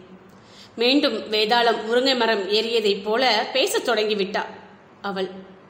ராஜா இன்னும் ஒரு வருஷத்துக்கு இப்படியே ரகசியமாகத்தான் பேசிக்கணும்ல? என அவள் தொடங்க எரிச்சலாக வந்தது அவனுக்கு. உன்னால அஞ்சு நிமிஷம் கூட சந்தோஷமாக பேச முடியாதுல்ல? அதையே பேசி பேசி சண்டை போடணும். அப்படிதானே என அவன் எரிச்சல் அடைய நான் என்ன இல்லாததையா கேட்டேன்? நம்ம உறவு என்னென்ன தெளிவுபடுத்துன்னு தானே கேட்கிறேன். இல்லை என்னையாவது தெளிவுபடுத்த விடு. நட்புக்கு அடுத்தபடி புருஷனுக்கு முந்தின படின்னு பீடிகை போடாம பட்டுன்னு சொல்லிடுன்னு சொல்றேன் என்றவள் ஒரு கட்டத்தில் உண்மையாகவே சொல்ல விடுவியா இல்லை இப்படியே மழுப்பிட்டு விட்டு விடுவியா? என கேட்டுவிட எதிர்முனையில் மூர்க்கமாகி விட்டான் ராஜா. ச்சே உன்கிட்ட போய் பேசினான் பாரு என்ன சொல்லணும்? நாளைக்கு ஒரு மீட்டிங் இருக்குது அதெல்லாம் விட்டுட்டு உன்கிட்ட பேசுறதுக்காக பொய் சொல்லிட்டு மாடிக்கு வந்தேன். எனக்கு இது தேவைதான். விட்டுட்டு போயிடுவேன் தேவைக்கு பேசினேன் யூஸ் பண்ணினேன்னு. உனக்கு என்னென்ன தோணுதோ உன் வாயில என்னவெல்லாம் வருதோ அத்தனையும் பேசிக்கோ. போ. என உக்கிரமாக கத்தியவன் அழைப்பை துண்டித்து விட்டான். இவளும் பதிலுக்கு முறுக்கி கொண்டாள். நான் கேட்டது நியாயம்தானே? காதலிக்கிறேன்னு சொல்றதுல என்ன ஆகிட போகுது? பாம்புன்னு சொன்னதும் கொத்திடவா போகுது? சைலண்டாக காதலிக்கிறதுல என்ன தப்பு? அவங்க அப்பாவுக்கு படிக்கிறப்போ காதலிக்கிறது பிடிக்காதாம் அதுக்கு நான் இப்படியே புழுங்கி சாகணுமா? என திட்டியவாறே அமர்ந்திருந்தார். மறுநாள் காலையில் கோபம் தணிந்து எழுந்தவன் இடியட் கோபத்தில் அவகிட்ட ஹார்ஸா பேசிட்டேன். என்ன இருந்தாலும் அப்படி பேசியிருக்க கூடாது. அவ ஏதோ ஆற்றாமையில் பேசுறா. சின்ன பொண்ணு. நான் தான் எடுத்து சொல்லியிருக்கணும். ஏதேதோ பேசிட்டேன். நிச்சயமா ஹர்ட்டாகி அழுதுட்டு இருப்பான். என தன்னைத்தான் திட்டிக் கொண்டான். முதல்ல கால் பண்ணி சாரி கேட்கணும். என்னும் முடிவுடன் அழைப்பை மேற்கொள்ள அணைத்து வைக்கப்பட்டிருந்தது. கோபமாக இருக்கிறாளா? இல்ல அழுதுட்டு இருக்கிறாளா? ஏன் சுவிட்ச் ஆஃப் பண்ணிட்டா? எதுவா இருந்தாலும் ஃபேஸ் பண்ண வேண்டியது தானே என திட்டியவாறே இரவு வரை காத்திருந்தான். இரவினில் மீண்டும் அழைக்க அலைபேசி உயிர்ப்பிக்கப்படவில்லை. இன்னுமா கோபம் குறையல? என பரிதவித்தவன் அவளது அன்னையின் எண்ணுக்கு அழைத்து விட்டான். அச்சோ என்னன்னு பேசுறது? திடீர்னு கால் பண்ணினா என்னன்னு கேட்பாங்களே? என பதறியவன் அழைப்பு ஏற்கப்பட்டதும் ஆ வைசு நீ கேட்ட டாக்குமெண்ட்ஸ் மெயில் பண்ணியிருக்கேம்மா சரியா இருக்குதான்னு ஒரு தடவை செக் பண்ணிக்கோ. என அதே பெயர் கொண்ட வேறொரு பெண்ணின் எண்ணிற்கு அழைத்ததை போல காட்டிக்கொண்டான் ஹலோ ராஜா நான் உன் ஃப்ரெண்டு வைஷாலி இல்லப்பா? உன் அம்மாவோட ஃப்ரெண்டு என அவர் திருத்த அச்சோ சாரி ஆண்டி என் ஃப்ரெண்டு ஒரு நோட்ஸ் கேட்டிருந்தா. அவளுக்கு கால் பண்ணுறதுக்கு பதிலாக உங்களுக்கு கால் பண்ணிட்டேன் போல என போலியாக நாக்கை கடித்தா. அதெல்லாம் ஒண்ணும் இல்ல ராஜா. எப்படி இருக்கிற? அம்மா என்ன பண்ணுறாங்க நல்லா இருக்கிறேன் ஆண்டி அம்மாவும் அப்பாவும் உட்காந்து பேசிட்டு இருக்கிறாங்க. உன் அம்மாவும் அப்பாவும் பேச ஆரம்பிச்சா உலகத்தையே மறந்துடுவாங்களா? டின்னர் முடிஞ்சதா? இப்போதான் முடிச்சோம் ஆண்டி என்ன ஆன்ட்டின்னு சொல்லிக்கிட்டு இருக்கிற? உரிமையா அத்தைன்னு சொல்லுப்பா? என அவர் கூற உள்ளுக்குள் நம்பிக்கை பிறந்தது அவனுக்கு. மாமா தூங்கிட்டாரா அத்தை? தீக்ஷிதா தினேஸ்லாம் என்ன பண்றாங்க? என இயல்பாக விசாரிப்பதைப் போல வினவினா. மாமா இப்பதான் ஃப்ரெஷ் ஆகிட்டு இருக்கிறா.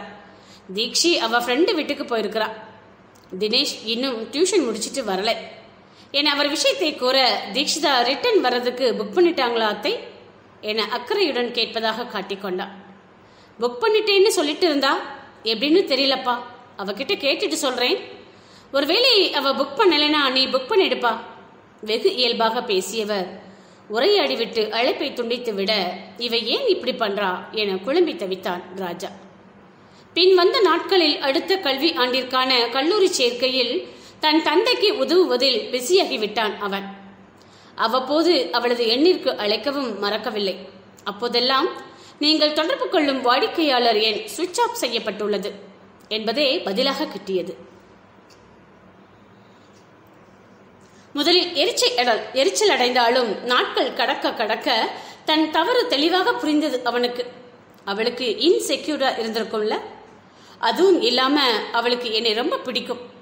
நான் தான் அவளை புரிஞ்சுக்காம தவிக்க விட்டுட்டேன் என்னை நொந்து கொண்டாள் அவ அப்படி என்ன கேட்டுட்டா? நானாவே காதலை சொல்லணும்னு எதிர்பார்த்தா அவ்வளோதானே அது அவ்வளோ கஷ்டமான காரியம் இல்லையே. இதுக்கு மேலும் அவளை வெயிட் பண்ண வைக்க கூடாது. அவ காலேஜ் வந்த முதல் நாள் நேரா போய் மகா உன்னை காதலிக்கிறேண்டான்னு சொல்லணும் என்னும் முடிவுக்கு வந்து விட்டான் ராஜா. அங்கே அவளோ இனி ராஜாவை பார்க்கவே கூடாது. அவனோடு பேசவே கூடாது. அவனை பத்தி நினைக்கவே கூடாது. இதுவரைக்கும் நடந்ததெல்லாம் கனவா நினைச்சு மறந்துடணும். என் வாழ்க்கையில் ராஜான்னு ஒரு கேரக்டர் இருந்த தடம் கூட இருக்கவே கூடாது என்னும் முடிவில் கல்லூரிக்கு பயணித்துக் கொண்டிருந்தார் அந்த கல்வி ஆண்டின் முதல் நாளான அன்று கல்லூரி வாசலில் சென்று நின்றான் ராஜலிங்கம். ராகவுடன் காரில் வந்து இறங்கினாள் தீக்ஷிதா மகாலட்சுமி. அவனை பார்த்ததும் முன்பின் அறியாதவள் போல பார்வையை வீசியவள் போயிட்டு வரேனத்தா என ராகவிடம் தெரிவிக்க பைடா ஆல் தி பெஸ்ட் என விடைபெற்றான் அவன். இரண்டடி நடந்தவளிடம் வந்தவன் மகா என அழைக்க அவளோ கேளாதவள் போல் நடந்தாள். ஏய் மகா உன்னைத்தான் நீ கோபமா இருக்கிறன்னு தெரியுது. ஒரு முக்கியமான விஷயம் சொல்றதுக்கு தான் வந்தேன் என அவன் அவளுடன் நடக்க திரும்பி நின்று முறைத்தாள். உங்களோட பேசுறதுக்கு எதுவும் இல்லை மிஸ்டர் ராஜா. இனி தேவையில்லாம இங்கே வந்து டிஸ்டர்ப் பண்ணாதீங்க என முகத்தை கடுகடுவென வைத்துக்கொண்டு பேச அவனும் புன்னகைத்தான். தெரியுதுமா? நீ கோபமா இருக்கிறேன்னு அதான் சமாதானம் பண்ணலாம்னு வந்தேன் என்றவன் அவள் முன் ஒற்றை ரோஜாவுடன் வாழ்த்து அட்டையை நீட்டி ஐ லவ் என முடிக்கும் முன்னரே ஓரமாக இழுத்துச் சென்ற வேகத்தில் பலாரென கன்னத்தில் அரைந்திருந்தார் இது எதிர்பார்த்திராதவன் கண்களில் அதிர்ச்சியுடன் அவளை நோக்க அதான் எதுவும் இல்லைன்னு சொல்றேன்ல அப்புறமும் என்ன? இனி எதையாவது சொல்லிட்டு என்னை பார்க்க வராதீங்க. நமக்குள்ள எதுவுமே இல்லை. அண்டர்ஸ்டாண்ட்? என கோபத்தில் பேசினார். சுற்றி நின்றவர்கள் உள்ளே செல்லாமல் அவர்களையே பார்க்க அவமானமாக இருந்தது ராஜாவிற்கு. தம்பி ராஜா என கல்லூரி காவலர் ஓடி வர அண்ணா விடுங்க என கை நீட்டி தடுத்தாள் இதுக்கு கிரீட்டிங் கார்டும் ரோஸும் ஒரு கேடு என திட்டியவள் கிழித்து முகத்தில் எரிந்துவிட்டு உள்ளே செல்ல கலங்கிய கண்களுடன் வீட்டிற்கு திரும்பினான் அவன். எல்லார் முன்னாடியும் அடிச்சு அவமானப்படுத்துற அளவுக்கா என் மேல கோபம்? ஏன் இப்படியெல்லாம் நடந்துக்கிறா? என சிந்தித்து குழம்பியவன் அந்த வாரத்தின் இறுதியில் அவளது எண்ணிற்கு அழைக்க முற்பட மீண்டும் அணைத்து வைக்கப்பட்டிருந்தது. எதேச்சியாக செல்வதைப் போல அவளது மாமாவின் வீட்டிற்கு சென்றவன் தீக்ஷிதா ஒரு நோட்ஸ் கேட்டாங்கம்மா. அதான் கொடுத்துட்டு போகலாம்னு வந்தேன். என கொடுக்க? அதை என்கிட்ட கொடு. நான் கொடுத்துடுறேன் என பறித்தான் ராகவன். அந்த நோட்டை புரட்டி பார்த்தவன் அது வெற்று தாளாக இருக்க ஹ என சற்றே கேலியுடன் சிரிக்க அமைதியாக தலை குனிந்தான் ராஜா. நீங்க பேசிட்டு இருங்க தம்பி ஜூஸ் எடுத்துட்டு வரேன். என வசுந்தரா உள்ளே சென்று விட என்ன பாஸ் தீக்ஷிதாவை பார்க்க வந்தீங்களா? உங்களை பார்க்கவோ பேசவோ விரும்பலைன்னு அப்பவே தெளிவா சொல்லிட்டா. இங்கே நீங்க வந்தாலும் மீட் பண்ண வரமாட்டேன்னு சொல்லிட்டா. பிடிக்கலன்னா விட்டுடுங்களேன் என பேசத் தொடங்கினான் ராகவ். இங்கே பாரு ராகவ் இது எங்க ரெண்டு பேருக்குள்ள இருக்கிற பிரச்சனை. தேவையில்லாம நீ உள்ள வராத. இன்னைக்கு சண்டை போடுவோம் நாளைக்கே பேசிப்போம். கொஞ்சம் தள்ளி நில்லு என ராஜா எரிச்சல் அடைய ஹே நான் ஒன்றும் உள்ளே நுழையல அவ சொன்னதைத்தான் சொன்னேன் என தோலை குலுக்கினான் ராகவ். ஓ அப்படியா? அப்போ அவளை வந்து சொல்ல சொல்லு போறேன். ராஜா உறுதியாக சாதிக்க அவ தான் சொல்லிவிட்டா. வேணும்னா உன் காது படவே கூப்பிடுறேன் நீயே கேட்டுக்கோ என்ற ராகவ் தீக்ஷிதாவின் எண்ணிற்கு அழைத்து ஸ்பீக்கர் ஆன் செய்தான். அத்தா தீக்ஷிமா உன்னை பார்க்கறதுக்கு ராஜா வந்திருக்கிறாருமா? எங்களுக்குள்ள இனி எதுவும் இல்லையா அத்தா. போக சொல்லுங்க என்றவள் அழைப்பை துண்டித்து விட அவளை நேர்ல வந்து என் கண்ணை பார்த்து சொல்ல சொல்லு என அடம் பிடித்தான் ராஜா. இங்கே பாரு ராஜா தீக்ஷிதாவோட கசினா இல்லாம உன்னோட காலேஜ் சீனியரா சொல்றேன். பிடிக்கலைனா விட்டுடுடா. திரும்ப திரும்ப தேடி போனா நாம தான் செல்ஃப் ரெஸ்பெக்ட் இழந்து ஹர்ட் ஆகணும். அன்னைக்கு அத்தனை பேர் முன்னாடி கன்னத்தில் அரைஞ்சிட்டதா சொன்னாங்க. ஒரு மாதிரி ஆகிடுச்சு. விடுடா போகட்டும் என ராகவ் அவன் தோளில் தட்ட போகணும்னு நினைச்சா எப்பவோ போயிருக்கலாம் ராகவ். விட்டுடாதேன்னு கண்ணை கசக்கினது இப்ப வரைக்கும் கண்ணுக்குள்ளேயே நிக்குது. ஏதோ ஒன்று நெகட்டிவா நடந்துட்டா கூட ஆயுசுக்கும் உறுத்தும் அதான் என்னோட லெவல் பெஸ்ட் ட்ரை பண்ணிட்டு இருக்கிறேன் என்றான் ராஜா சோகமாக. விட்டுட்டாதேன்னு கண்ணை கசக்கினவளுக்கு தெரியாதா? விட்டுட்டு போனா என்ன நடக்கும்னு? இவ்வளோ ரிஸ்க் எடுத்து ஒரு உறவை தக்க வச்சுக்கணும்னு நினைக்காதே. அதுதான் எல்லோருக்குமே நல்லது. என பொத்தாம் பொதுவாக அறிவுரை வழங்கிய ராகவ் ராஜாவை அனுப்பி வைத்தான் தீக்ஷிதாவிடமும் சென்று உன் பர்சனல்ல நான் இன்வால்வ் ஆக போறது இல்லை. ஆனா எந்த முடிவு எடுக்கிறதாக இருந்தாலும் எதிர்காலத்தை யோசிச்சு பண்ணு.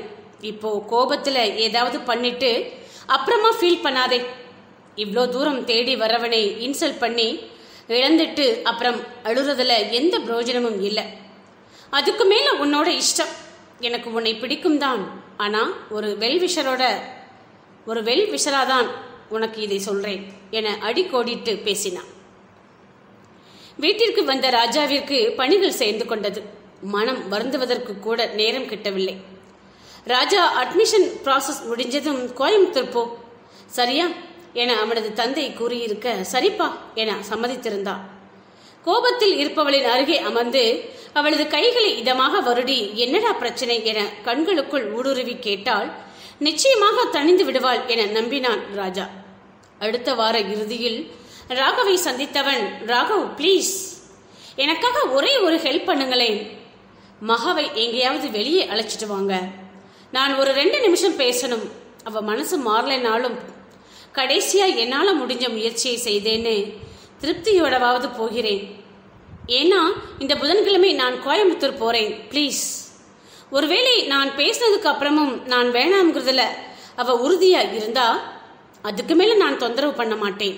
என வேண்ட சரியா தப்பான்னு கூட தெரியல. ஆனாலும் தீக்ஷிதாவுக்கு உன்னை பிடிக்குங்கிற ஒரே காரணத்திற்காக பண்றேன். என ஒப்புக்கொண்டான் அவன்.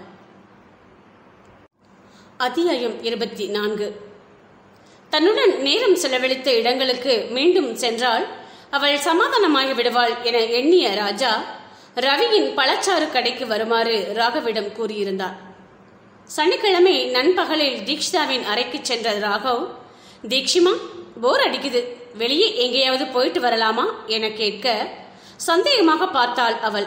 ஏனென்றால் ராகவ் எப்போதும் அவளை வெளியே அழைத்துச் செல்ல விரும்பி நச்சரிக்கும் ரகம் அல்ல. அவனது தாய் கூறினால் அழைத்துச் செல்வான். அவளாகவே எங்காவது செல்ல விரும்பினால் அழைத்துச் செல்வான். இப்படி இருக்க அவனாகவே வந்து அழைக்கையில் சிறிது சந்தேகம் தோன்றியது. ஏன்? திடீர்னு அத்தான் இதுவரைக்கும் நீங்க இப்படியெல்லாம் நடந்துகிட்டதே இல்லையே. இதை ரெண்டு ஆங்கிளில் யோசிக்க தோணுது. ஒன்று நான் ராஜாவோட பேசாமல் இருக்கிறதால நீங்கள் அட்வான்டேஜ் எடுத்துக்க நினைக்கலாம். இல்லைனா ராஜாவுக்காக நீங்க என்னை வெளியே கூட்டிட்டு போகலாம். முதல் காரியத்தை நீங்க செய்யறதுக்கு நூறு சதவீதம் வாய்ப்பில்லை. ஸோ நீங்க என்னை வெளியே அழைச்சிட்டு போறது ராஜாவை மீட் பண்றதுக்காக கரெக்டா என அனைத்தையும் உடைத்து பேச ஒரு கணம் திகைத்தான் ராகவ். அதில்ல தீக்ஷிதா நான் என்ன சொல்ல வரேன்னா என ராகவ் ஏதோ கூற வாயெடுக்க உள்ளே வாங்காத்தான். என அழைத்தவள் கதவை தாளிட்டு வந்து பேசத் தொடங்கினாள். ராஜா விஷயத்துல நான் எவ்வளோ வீக்குன்னு உங்களுக்கு தெரியாது அத்தான் அவனை பார்த்தா எல்லா கோபத்தையும் விட்டுட்டு திரும்பவும் பழைய மாதிரி அவன் மேல பைத்தியமா சுத்த ஆரம்பிச்சிடுவேன். என்னோட பலவீனத்தை மறைக்கிறதுக்காகத்தான் போல் போலியாக கோபம்னு முகமுடி போட்டுட்டு சுத்துறேன் என்றவளின் கண்களில் கீச்சாக கண்ணீர். தீக்ஷிமா இவ்வளோ சென்சிட்டிவா இருக்கிற நீ ஏன் அவனை அவாய்ட் பண்ற? அப்படி என்னடா கோபம் உனக்கு? ராஜா பாவம்டா. அவனிடத்துல நான் இருந்திருந்தா நிச்சயமா இவ்வளோ தூரம் இறங்கி வந்திருக்கவே மாட்டேன். உன் லிமிட்ல இருன்னு நீ சொன்ன ஒரு ஒத்த வார்த்தையிலேயே உண்மையில் இருந்த இன்ட்ரெஸ்ட் தொலைஞ்சு போச்சுது எனக்கு. ஆனா அவன் எவ்வளோ ஹர்ட் பண்ணினாலும் நீதான் வேணும்னு வர்றான்ல? இப்படியெல்லாம் பண்றது தப்புமா?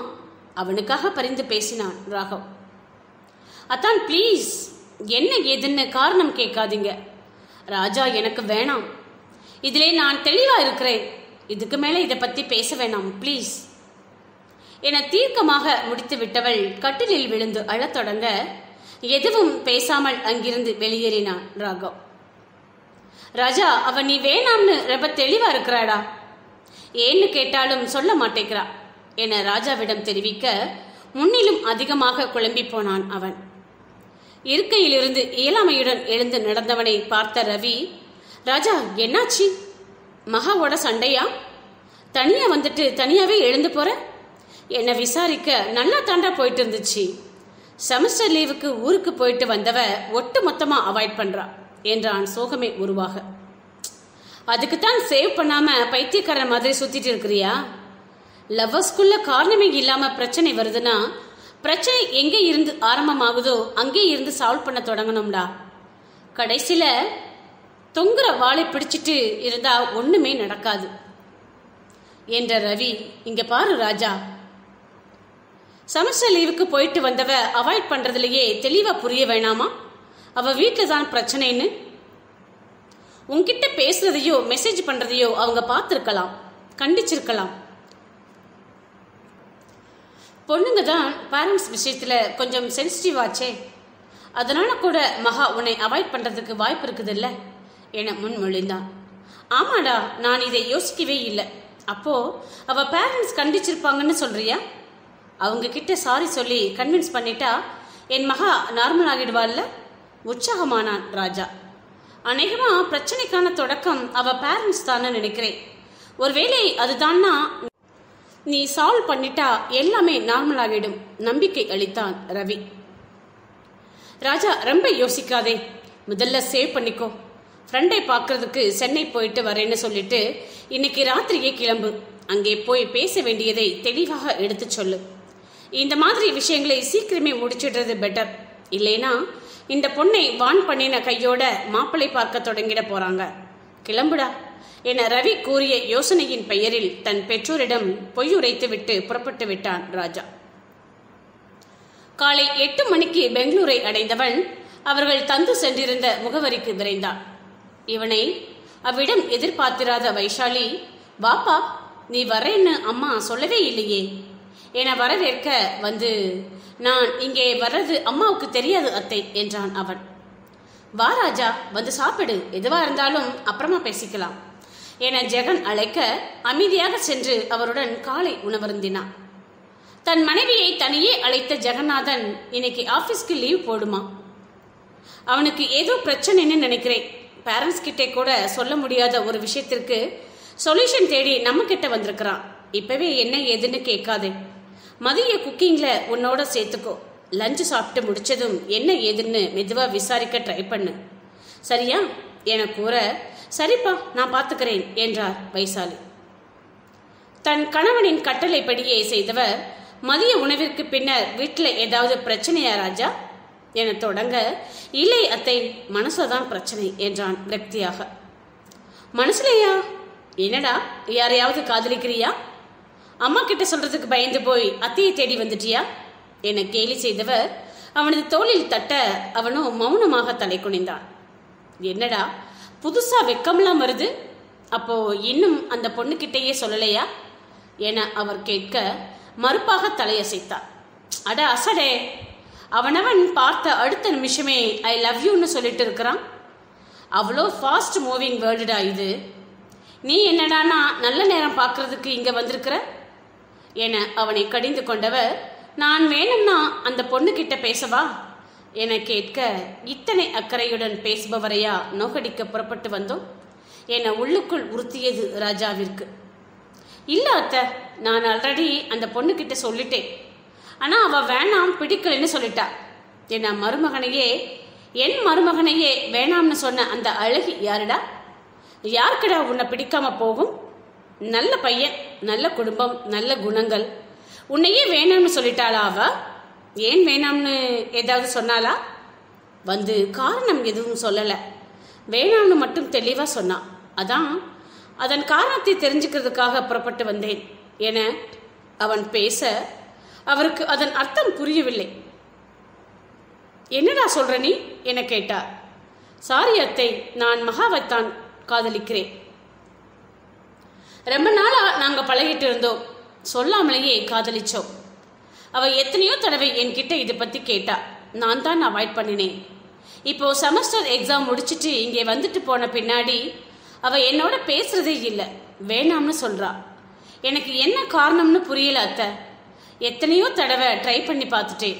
அதான் நேரடியாக உங்ககிட்டயே கேட்டுட்டு போகலாம்னு வந்துட்டேன். என்னை உங்களுக்கு பிடிக்காத அத்தை? அதனால தான் மகாவே என்னோட பேசக்கூடாதுன்னு சொல்லிட்டீங்களா? உங்களோட கோபம் நியாயமானது தான் இந்த மாதிரி ஒருத்தன் தான் நம்மளோட பொண்ணுக்கு புருஷனா வரணும்னு உங்களுக்குள்ள சில எதிர்பார்ப்புகள் இருந்திருக்கலாம். நான் அதை பூர்த்தி பண்ணாமலும் இருந்திருக்கலாம். எதுவாக இருந்தாலும் என்கிட்ட சொல்லுங்க அத்தை. என்னால் முடிஞ்ச அளவுக்கு மாற்றிக்க ட்ரை பண்ணுறேன் மகாவை மிஸ் பண்ண தோணலை எனக்கு. அதனால தான் என்ன பிரச்சனை வந்தாலும் பரவாயில்லைன்னு சொல்லிட்டு புறப்பட்டு வந்துட்டேன். என ராஜா முழுவதும் பேசி முடிக்க வைசாலிக்கு தலையை சுற்றி கொண்டு வந்தது. சிலையாக அமர்ந்திருந்தவர் எழுந்து விட்டார். அமைதியாக வெளியே வந்தவர் தன் கணவனுக்கு அழைத்து விஷயத்தை தெரிவிக்க சரிம்மா நீ அவன்கிட்ட வேற எதுவும் பேசாதே. நான் இப்பவே புறப்பட்டு வரேன் என்றார் அவர். வைஷாலி வெளியே சென்றதும் குற்ற உணர்வில் தவித்தான் ராஜா உண்ட வீட்டுக்கு ரெண்டகம் பண்ணிட்டேனே. என தன்னைத்தான் திட்டியவாறே எழுந்தவன் பையுடன் வெளியே வர ராஜா எங்க போற? வெயிட் பண்ணு. அவர் வந்துட்டு இருக்கிறார் என தடுத்தார் வைஷாலி. அறைக்குள் அமர்ந்திருந்த ராஜாவிடம் வந்த ஜெகன் நீ சொல்றது எனக்கே ஷாக்கிங்கா இருக்குது ராஜா. எவ்வளோ தைரியமா பேசுற நீ? நாங்கெல்லாம் காதலிக்கிற பொண்ணோட அண்ணனை பார்த்தாலே பயந்து ஓடுவோம். நீ ரொம்ப நல்ல பையன். உன் அப்பா அம்மா உன்னை நேர்மையா வளர்த்துருக்குறாங்க. அதனால தான் லவ் பண்ற பொண்ணை கன்வின்ஸ் பண்றேன்னு டார்ச்சர் பண்ணாம நேரடியா வந்திருக்கிற. அந்த தைரியத்தையும் நேர்மையையும் பாராட்டுறேன். ஆனா ஒரு பொண்ணோட அப்பாவா இதை ஏத்துக்க கொஞ்ச நாள் பிடிக்கலாம் என தொடங்கினார். ராஜா கேள்வியாக அவனை பார்க்க ஒரு விஷயத்தை முன்னாடியே சொல்லிடுறேன் ராஜா. நாங்க காதலுக்கு எதிரிகள் இல்லை. நானும் உங்க அத்தையும் லவ் மேரேஜ் தான்னு உனக்கே தெரியும். உன் பேரண்ட்ஸ் ஆல்சோ காதலுக்கு எதிரிகள் இல்லை. ஸோ நீ ஏன் இவ்வளோ பதட்டமா இருக்கிற? அண்ட் இன்னொரு விஷயம் உங்க காதலை எங்களுக்கு இப்பத்தான் தெரியும். தீக்ஷிமா என்கிட்ட எதுவுமே சொல்லலையே. அப்படியே சொல்லி இருந்தாலும் படிக்கிற வயசுல லவ் வேணாம்னு சொல்லியிருப்போமே தவிர நீயே வேணாம்னு சொல்லியிருக்க மாட்டோம் என்றார் தெளிவாக. ராஜா எனக்கு உன்னை பத்தி பெரிய அளவுல தெரியாது. ஆனா உன் பேரண்ட்ஸ் பத்தி ரொம்ப நல்லா தெரியும். அப்படி இருக்கிறப்போ நான் ஏன் தீக்ஷிமா விஷயத்துல வில்லன் மாதிரி நடந்துக்கணும்? மேபி இந்த விஷயத்துல ஏதோ மிஸ் அண்டர்ஸ்டாண்டிங் நடந்திருக்குது. என்ற ஜெகன் வயசுமா மணி ஆறாச்சதுல தீக்ஷி ஹாஸ்டல் வந்திருப்பா. கால் பண்ணு என கட்டளையிட்டா அவள் அழைப்பை ஏற்றதும் தீக்ஷிமா அப்பா உங்ககிட்ட பேசணுமா? என அலைபேசியை தன் கணவரிடம் தந்தார் வைஷாலி.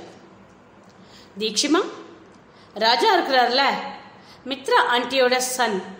என ஜெகன் தொடங்க எதிர்முனையில் பதற்றமடைந்தார் தீக்ஷிதா அப்பா யார் சொல்றதையும் கேட்டு நீங்க தப்பான முடிவுக்கு வந்துடாதீங்கப்பா. நான் உங்க பொண்ணு. உங்க பொண்ணு மட்டும்தான். ராஜா என்னோட நல்ல ஃப்ரெண்டு அதுக்கு மேல வேற எதுவுமே இல்லை. என அவள் பேசியதை கேட்ட ராஜா எதுவும் பேசாமல் எழுந்து விட்டான். அவனது கையை பிடித்து தடுத்த வைஷாலி சாரி ராஜா இப்படியெல்லாம் நடக்கும்னு நான் எதிர்பார்க்கல. என் பொண்ணோட எந்த செயலாவது உனக்குள் சலனத்தை ஏற்படுத்தி இருந்தா எங்களை மன்னிச்சிடுப்பா. இதுக்கு மேல அவளை டிஸ்டர்ப் பண்ணாதே. என வேண்ட நான் விஸ்வாவோட புள்ள அத்தை. அப்படியெல்லாம் எதுவும் செய்ய மாட்டேன். இனி கனவுல கூட உங்க பொண்ணை தொந்தரவு செய்ய மாட்டேன் என உறுதி அளித்துவிட்டு விடைபெற்றான் ராஜாவால் அழுகையை அடக்க இயலவில்லை. தான் தவறான இடத்தில் நேசத்தை காட்டி ஏமாந்து விட்டோம் என்பது ஒருபுறம் வலிக்க தனது முட்டாள்தனத்தினால்தான் அவளது நேசம் கைமீறி போய்விட்டது என நொந்து கொண்டான் அச்சோ இப்போ அப்பாவுக்கும் கெட்ட பெயர் எல்லாம் என்னாலதான் என அழுதவாறே பேருந்தில் பயணித்தான் மறுநாள் காலையில் அவன் வீட்டிற்குள் நுழைகையில் கையில் பெல்ட்டுடன் அமர்ந்திருந்தார் அவனது தந்தை. டே ஏண்டா இங்க வந்த? வராதேன்னு எத்தனை மெசேஜ் பண்ணினேன் பார்க்கலையா? என செல்வா கண்களால் எச்சரிக்க அவனை பார்த்து விட்டார் விஸ்வா. அவர்களது மகன் தங்கள் வீட்டிற்கு வந்து சென்றதை செய்தியாக ஜெகன் தெரிவித்திருக்க இங்கோ அது பிரளயத்தை உண்டு பண்ண காத்திருந்தது. அவர் அனல் தெரிக்கும் கண்களுடன் எழுந்து கொள்ளும் முன்னரே ஓடி வந்து அடிக்கத் தொடங்கிவிட்டார் மித்ரா. எங்கடா போன? எங்க போன? சென்னை போறேன்னு சொல்லிட்டு போனவனுக்கு பெங்களூர்ல என்ன வேலை? நல்லா வளர்த்துருக்குறோம்னு கர்வத்தில் திரிஞ்ச எங்க சந்தோஷத்தை ஒட்டு மொத்தமாக குழி தோண்டி புதைச்சிட்டு வந்து நிற்கிறியே என அவர் அழ. ஐயாவுக்கு இப்பவே தனியா போய் பொண்ணு கேட்குற தைரியம் வந்துடுச்சா? என்றவாறே நெருங்கினார் விஸ்வா டே நாங்கள்லாம் உயிரிழத்தானே இருக்கிறோம்.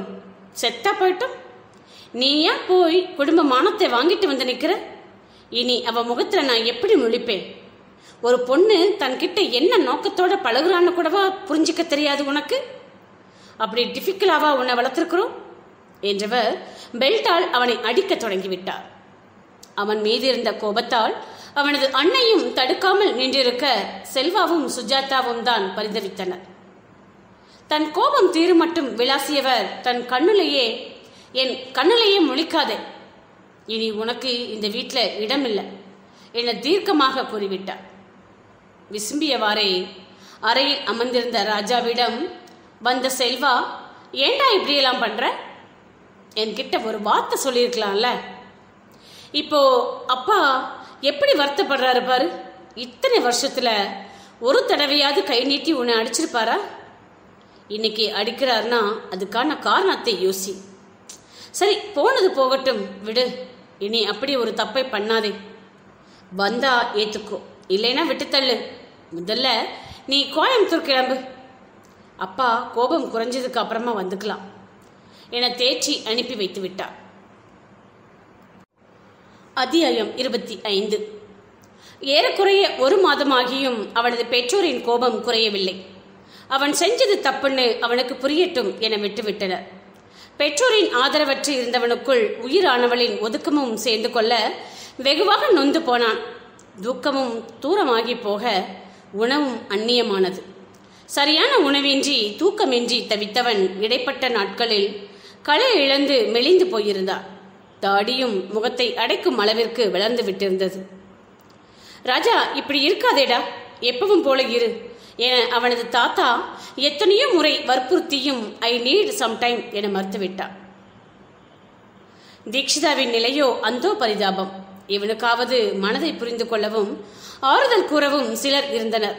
அவளுக்கு எவரும் இலர் உணர்வுகளை பகிர்ந்து கொள்ள இயலாமலும் தலைவனின் பிரிவினாலும் பசலை பூத்து உடல் வாடியது. பூமிகா எத்தனை முறை கேட்டும் பதிலளிக்க மறுத்துவிட்டாள். ஆற்றாமையால் ராஜாவிற்கு அழைத்த பூமிகா அண்ணா ஏன்னா இப்படி? உங்களுக்குள்ள என்னதான் பிரச்சனை? என விசாரிக்க அது பத்திலாம் பேச வேணாமா? அவ என்னை காதலிக்கலைன்னு ரொம்ப தெளிவா சொல்லிட்டா. நானும் இதெல்லாம் வேணாம்னு முடிவு பண்ணிட்டேன். என்ன விரக்தியுடன் பேசினான் என்ன சொல்றீங்க? அவ காதலிக்கலையா? அண்ணா உங்களை லவ் பண்றேன்னு என்கிட்ட எத்தனை தடவை சொல்லியிருக்கிறா தெரியுமா? அதெல்லாம் விடுமா அது பழைய கதை. காதலிக்கன்னு சொல்றவளை சும்மாவா விட்டீங்க? உங்க கூட பேசினது பழகுனது எல்லாம் சொல்லி கன்வின்ஸ் பண்ண வேண்டியது தானே? வேணாமா ஒரு பொண்ணு நம்பிக்கையின் பேரில் நம்ம கிட்ட நடந்துகிட்டதை பின்னாடி நம்மோட சுய லாபத்திற்காக எவிடன்ஸா காட்டுறது அசிங்கத்திலும் அசிங்கம். அதை நான் செய்ய விரும்பவில்லை. புரியுதுண்ணா. ஆனா நீங்க இல்லாம அவ எப்படி? எனக்கு தெரியுமா அவளால முடியாதுன்னு. ஆனா இருந்துடுவேன்னு அவளே சொல்றாளே. அதுக்கு மேல நான் என்ன சொல்றது? இதோ இந்த ஒன்றரை மாதமா என்னோட பேசாம தானே இருக்கிறா. இனியும் அப்படியே பழகிக்குவா.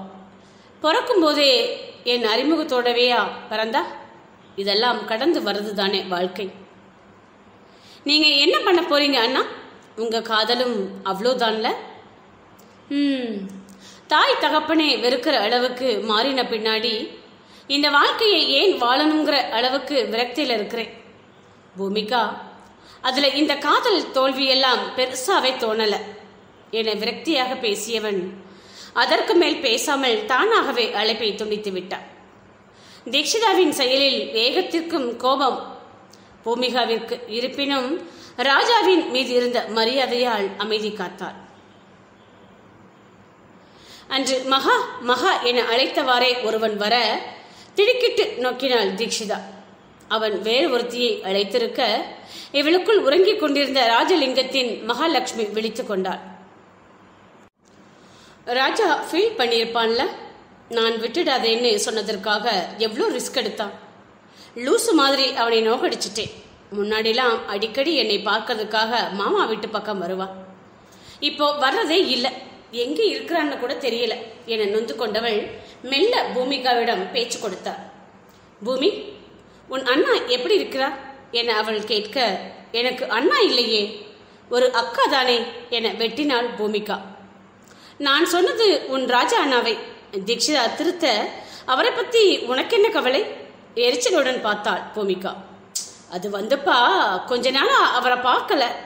என்னாச்சோ ஏதாச்சோன்னு மனசுக்குள்ள ஒரே பதட்டமா இருக்குது. என் முடிவுல தெளிவா இருக்கிறேன். இருந்தாலும் அவர் சந்தோஷமாக இருக்கிறாரான்னு தெரிஞ்சுக்க வேண்டி மனசு அடிச்சுக்குது. முடிஞ்சா அவருக்கு கால் பண்ணி எப்படி இருக்கிறாருன்னு சொல்றியா?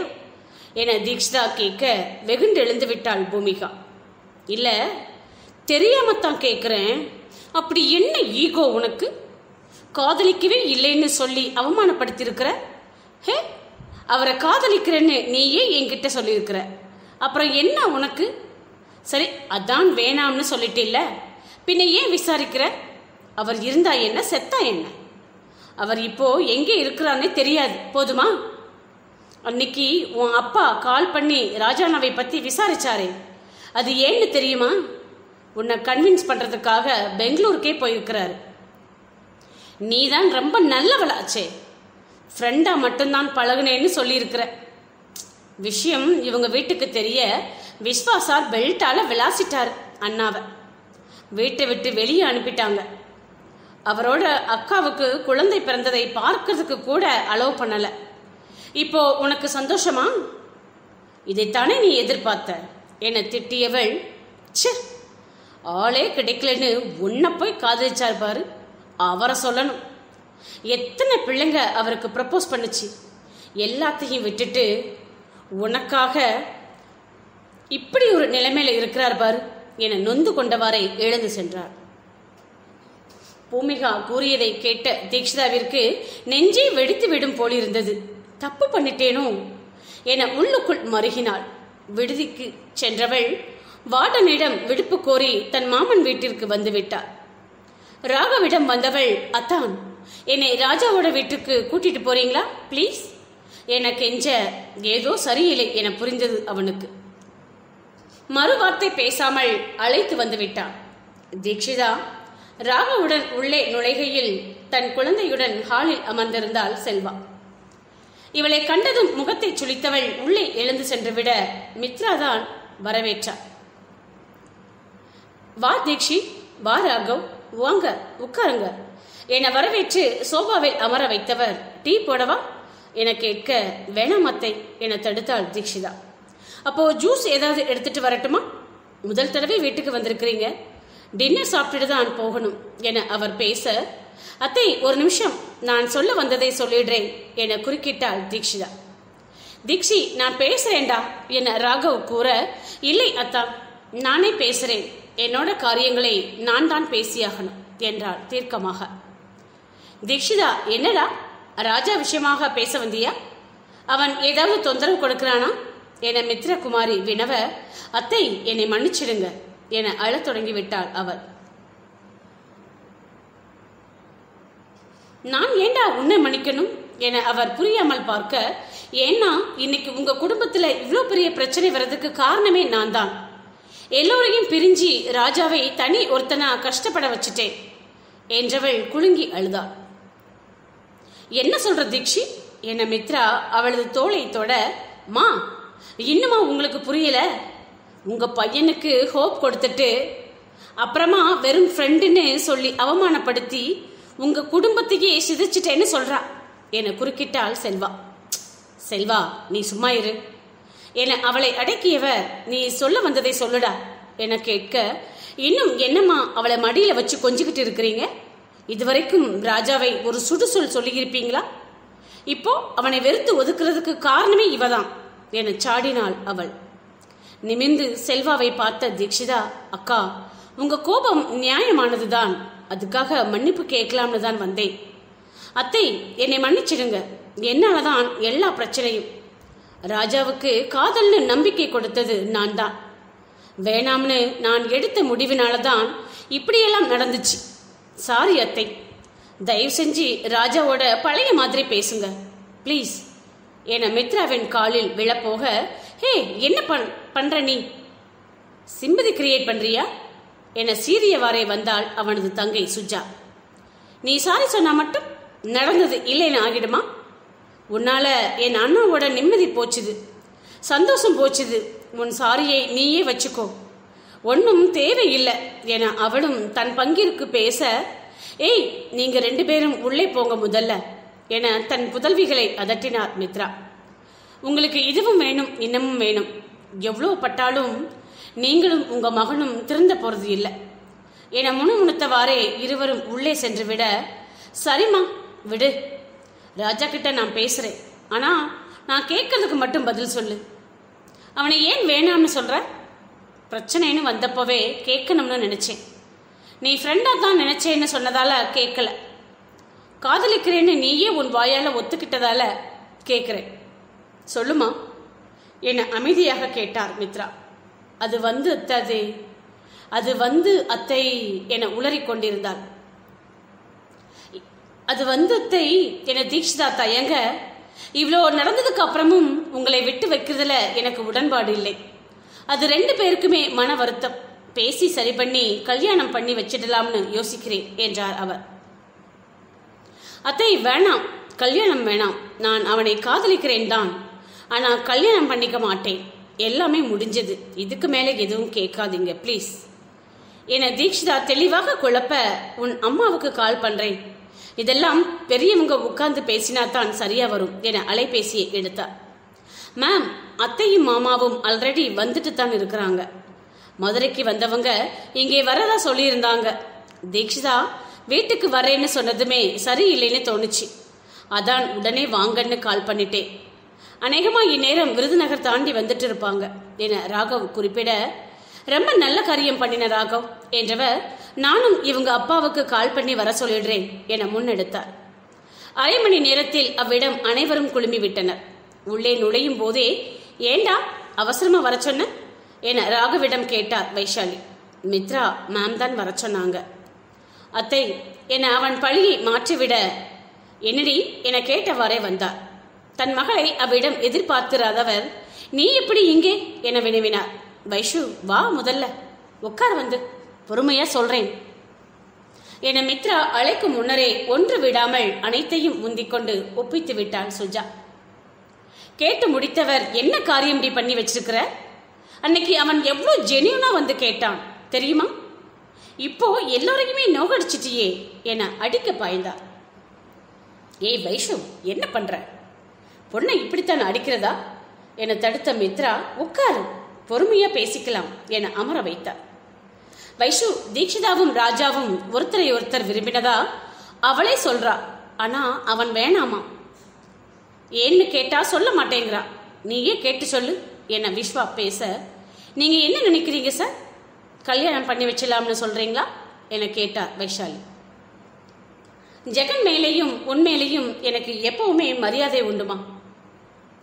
வைஷாலி மித்ராவுக்குமே சம்பந்தம் பண்ணிக்கணும்னு உள்ளுக்குள்ள ஒரு எண்ணம் இருந்துச்சு. இப்போ அதுக்கான நேரம் கூடி வந்துருச்சுன்னு நினைச்சிக்க வேண்டியதுதான். அவங்களாவே பேசி பழகி விரும்ப ஆரம்பிச்சிருக்கிறாங்க. அவங்களுக்குள்ள ஏதோ பிரச்சனைன்னு வேணாம்னு சொல்லிட்டா. அப்படியே விட்டுடுறதா பெரியவங்கன்னு நாம எதுக்கு இருக்கிறோம்? இப்படியே விட்டுட்டா அப்புறம் பின்னாடி மிஸ் பண்ணிட்டோமோன்னு ஃபீல் பண்ணுவாங்க. என விஸ்வா எடுத்துரைக்க நீங்க சொல்றதும் சரிதான் சார் என ஆமோதித்தார் வைஷாலி. மா அதான் வேணாம்னு சொல்றேன்ல விடுங்கம்மா என தீக்ஷிதா இடையில் நுழைய அதான் ஏன்னு சொல்லு என கேட்டார் அவர். அதை சொல்ற நிலைமையில நான் இல்லைம்மா. ப்ளீஸ் அதை கேட்காதீங்க. எந்த காலத்திலும் நான் சொல்ல போறது இல்லை என்றாள் உறுதியாக. உன்கிட்ட வேலிட் ரீசன் இருந்தா அதை வெளிப்படையாக சொல்லு. இல்லைனா நாங்க எங்களோட கருத்தை தான் உன் மேல திணிப்போம். சொல்லு தீக்ஷிதா எல்லார் முன்னாடியும் சொல்றதுக்கு சங்கோஜமாக இருந்தா அப்பா கிட்டே தனியா சொல்லு என ஜெகன் கேட்க அவளோ மௌனமானாள். என்னங்க? இவ வேற எதையோ மனசுல வச்சுக்கிட்டு வேணாம்னு சொல்றா? என்னன்னு தெளிவா சொல்ல சொல்லுங்க. அதை நாம முடிஞ்ச அளவுக்கு சரி பண்ணி முயற்சி பண்ணுவோம். என வைஷாலி பேச ஐயோ அம்மா நான் எடுத்திருக்கிற இந்த முடிவே உனக்காகத்தாமா என்றாள் தீக்ஷிதா இயலாமையுடன்.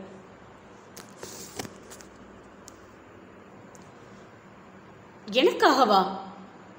எனக்காக முடிவெடுக்கிற அளவுக்கு அம்மணி பெரிய ஆளாகிட்டீங்களா அப்படி என்ன நல்லதுன்னு சொல்லுங்களேன் கேட்போம். என அவளது அன்னை சற்றே கேலியாக கேட்க மா சொன்னா புரியாதுமா? என விம்மினாள் அவள்.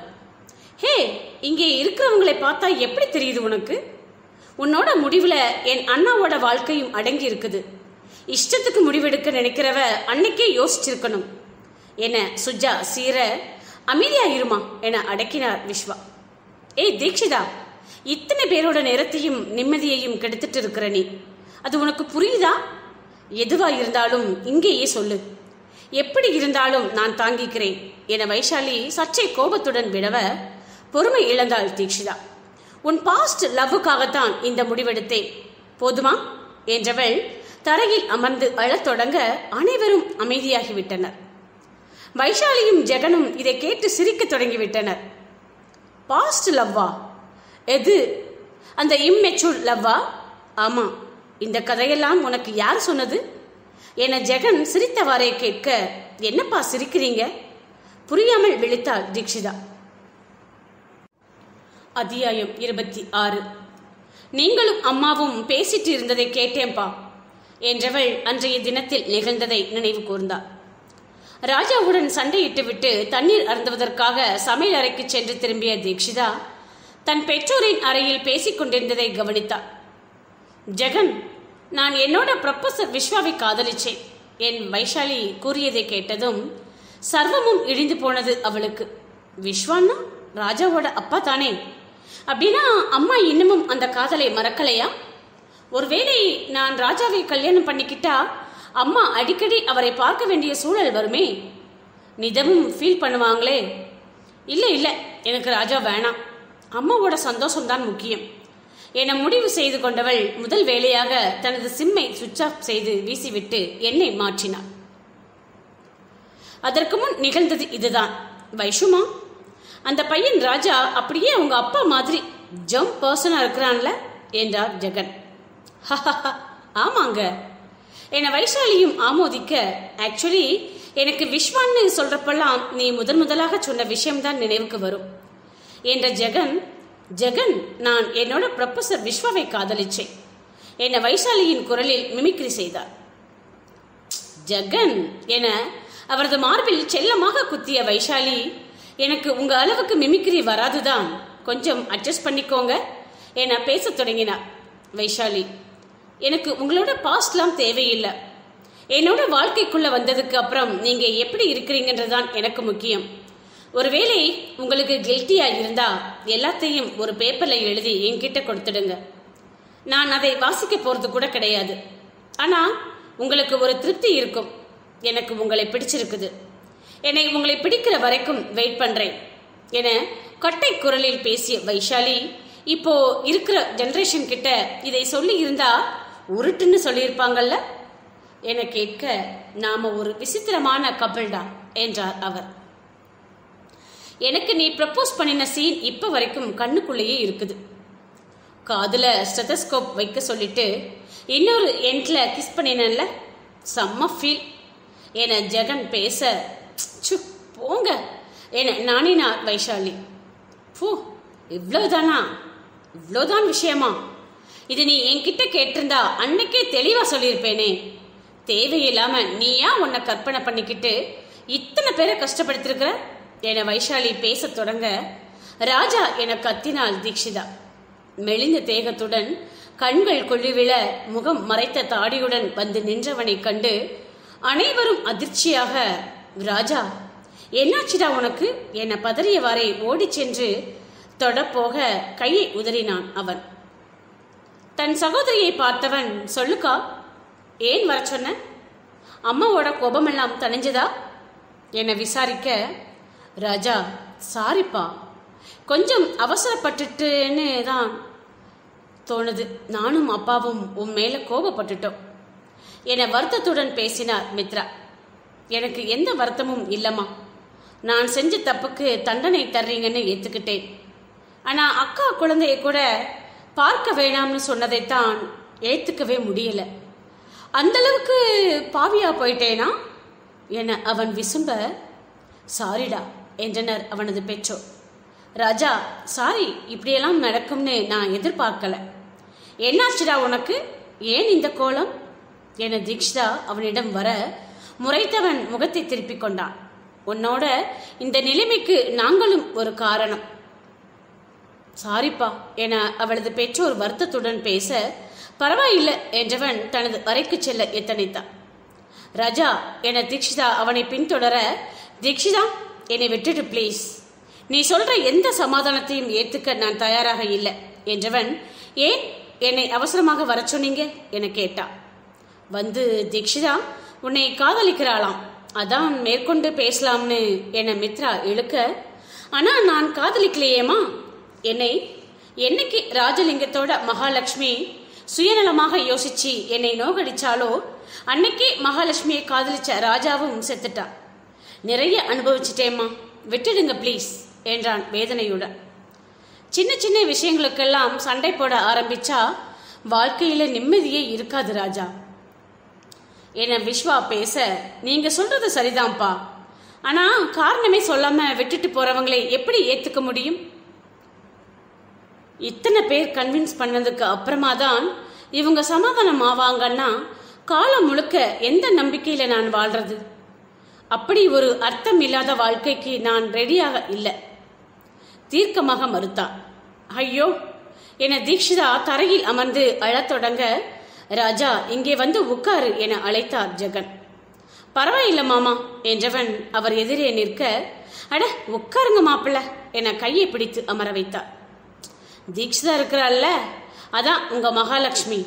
நானும் அவங்க அம்மாவும் பேசினத அரைக்குறையா பே கேட்டுட்டு ஏதேதோ கற்பனையில உங்களை ஹர்ட் பண்ணியிருக்கிறா.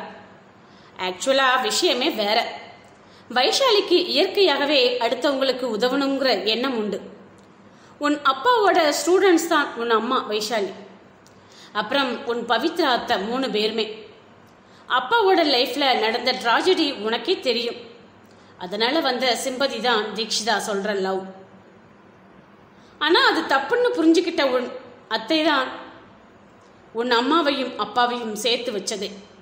என பேசினார் ஜெகன்.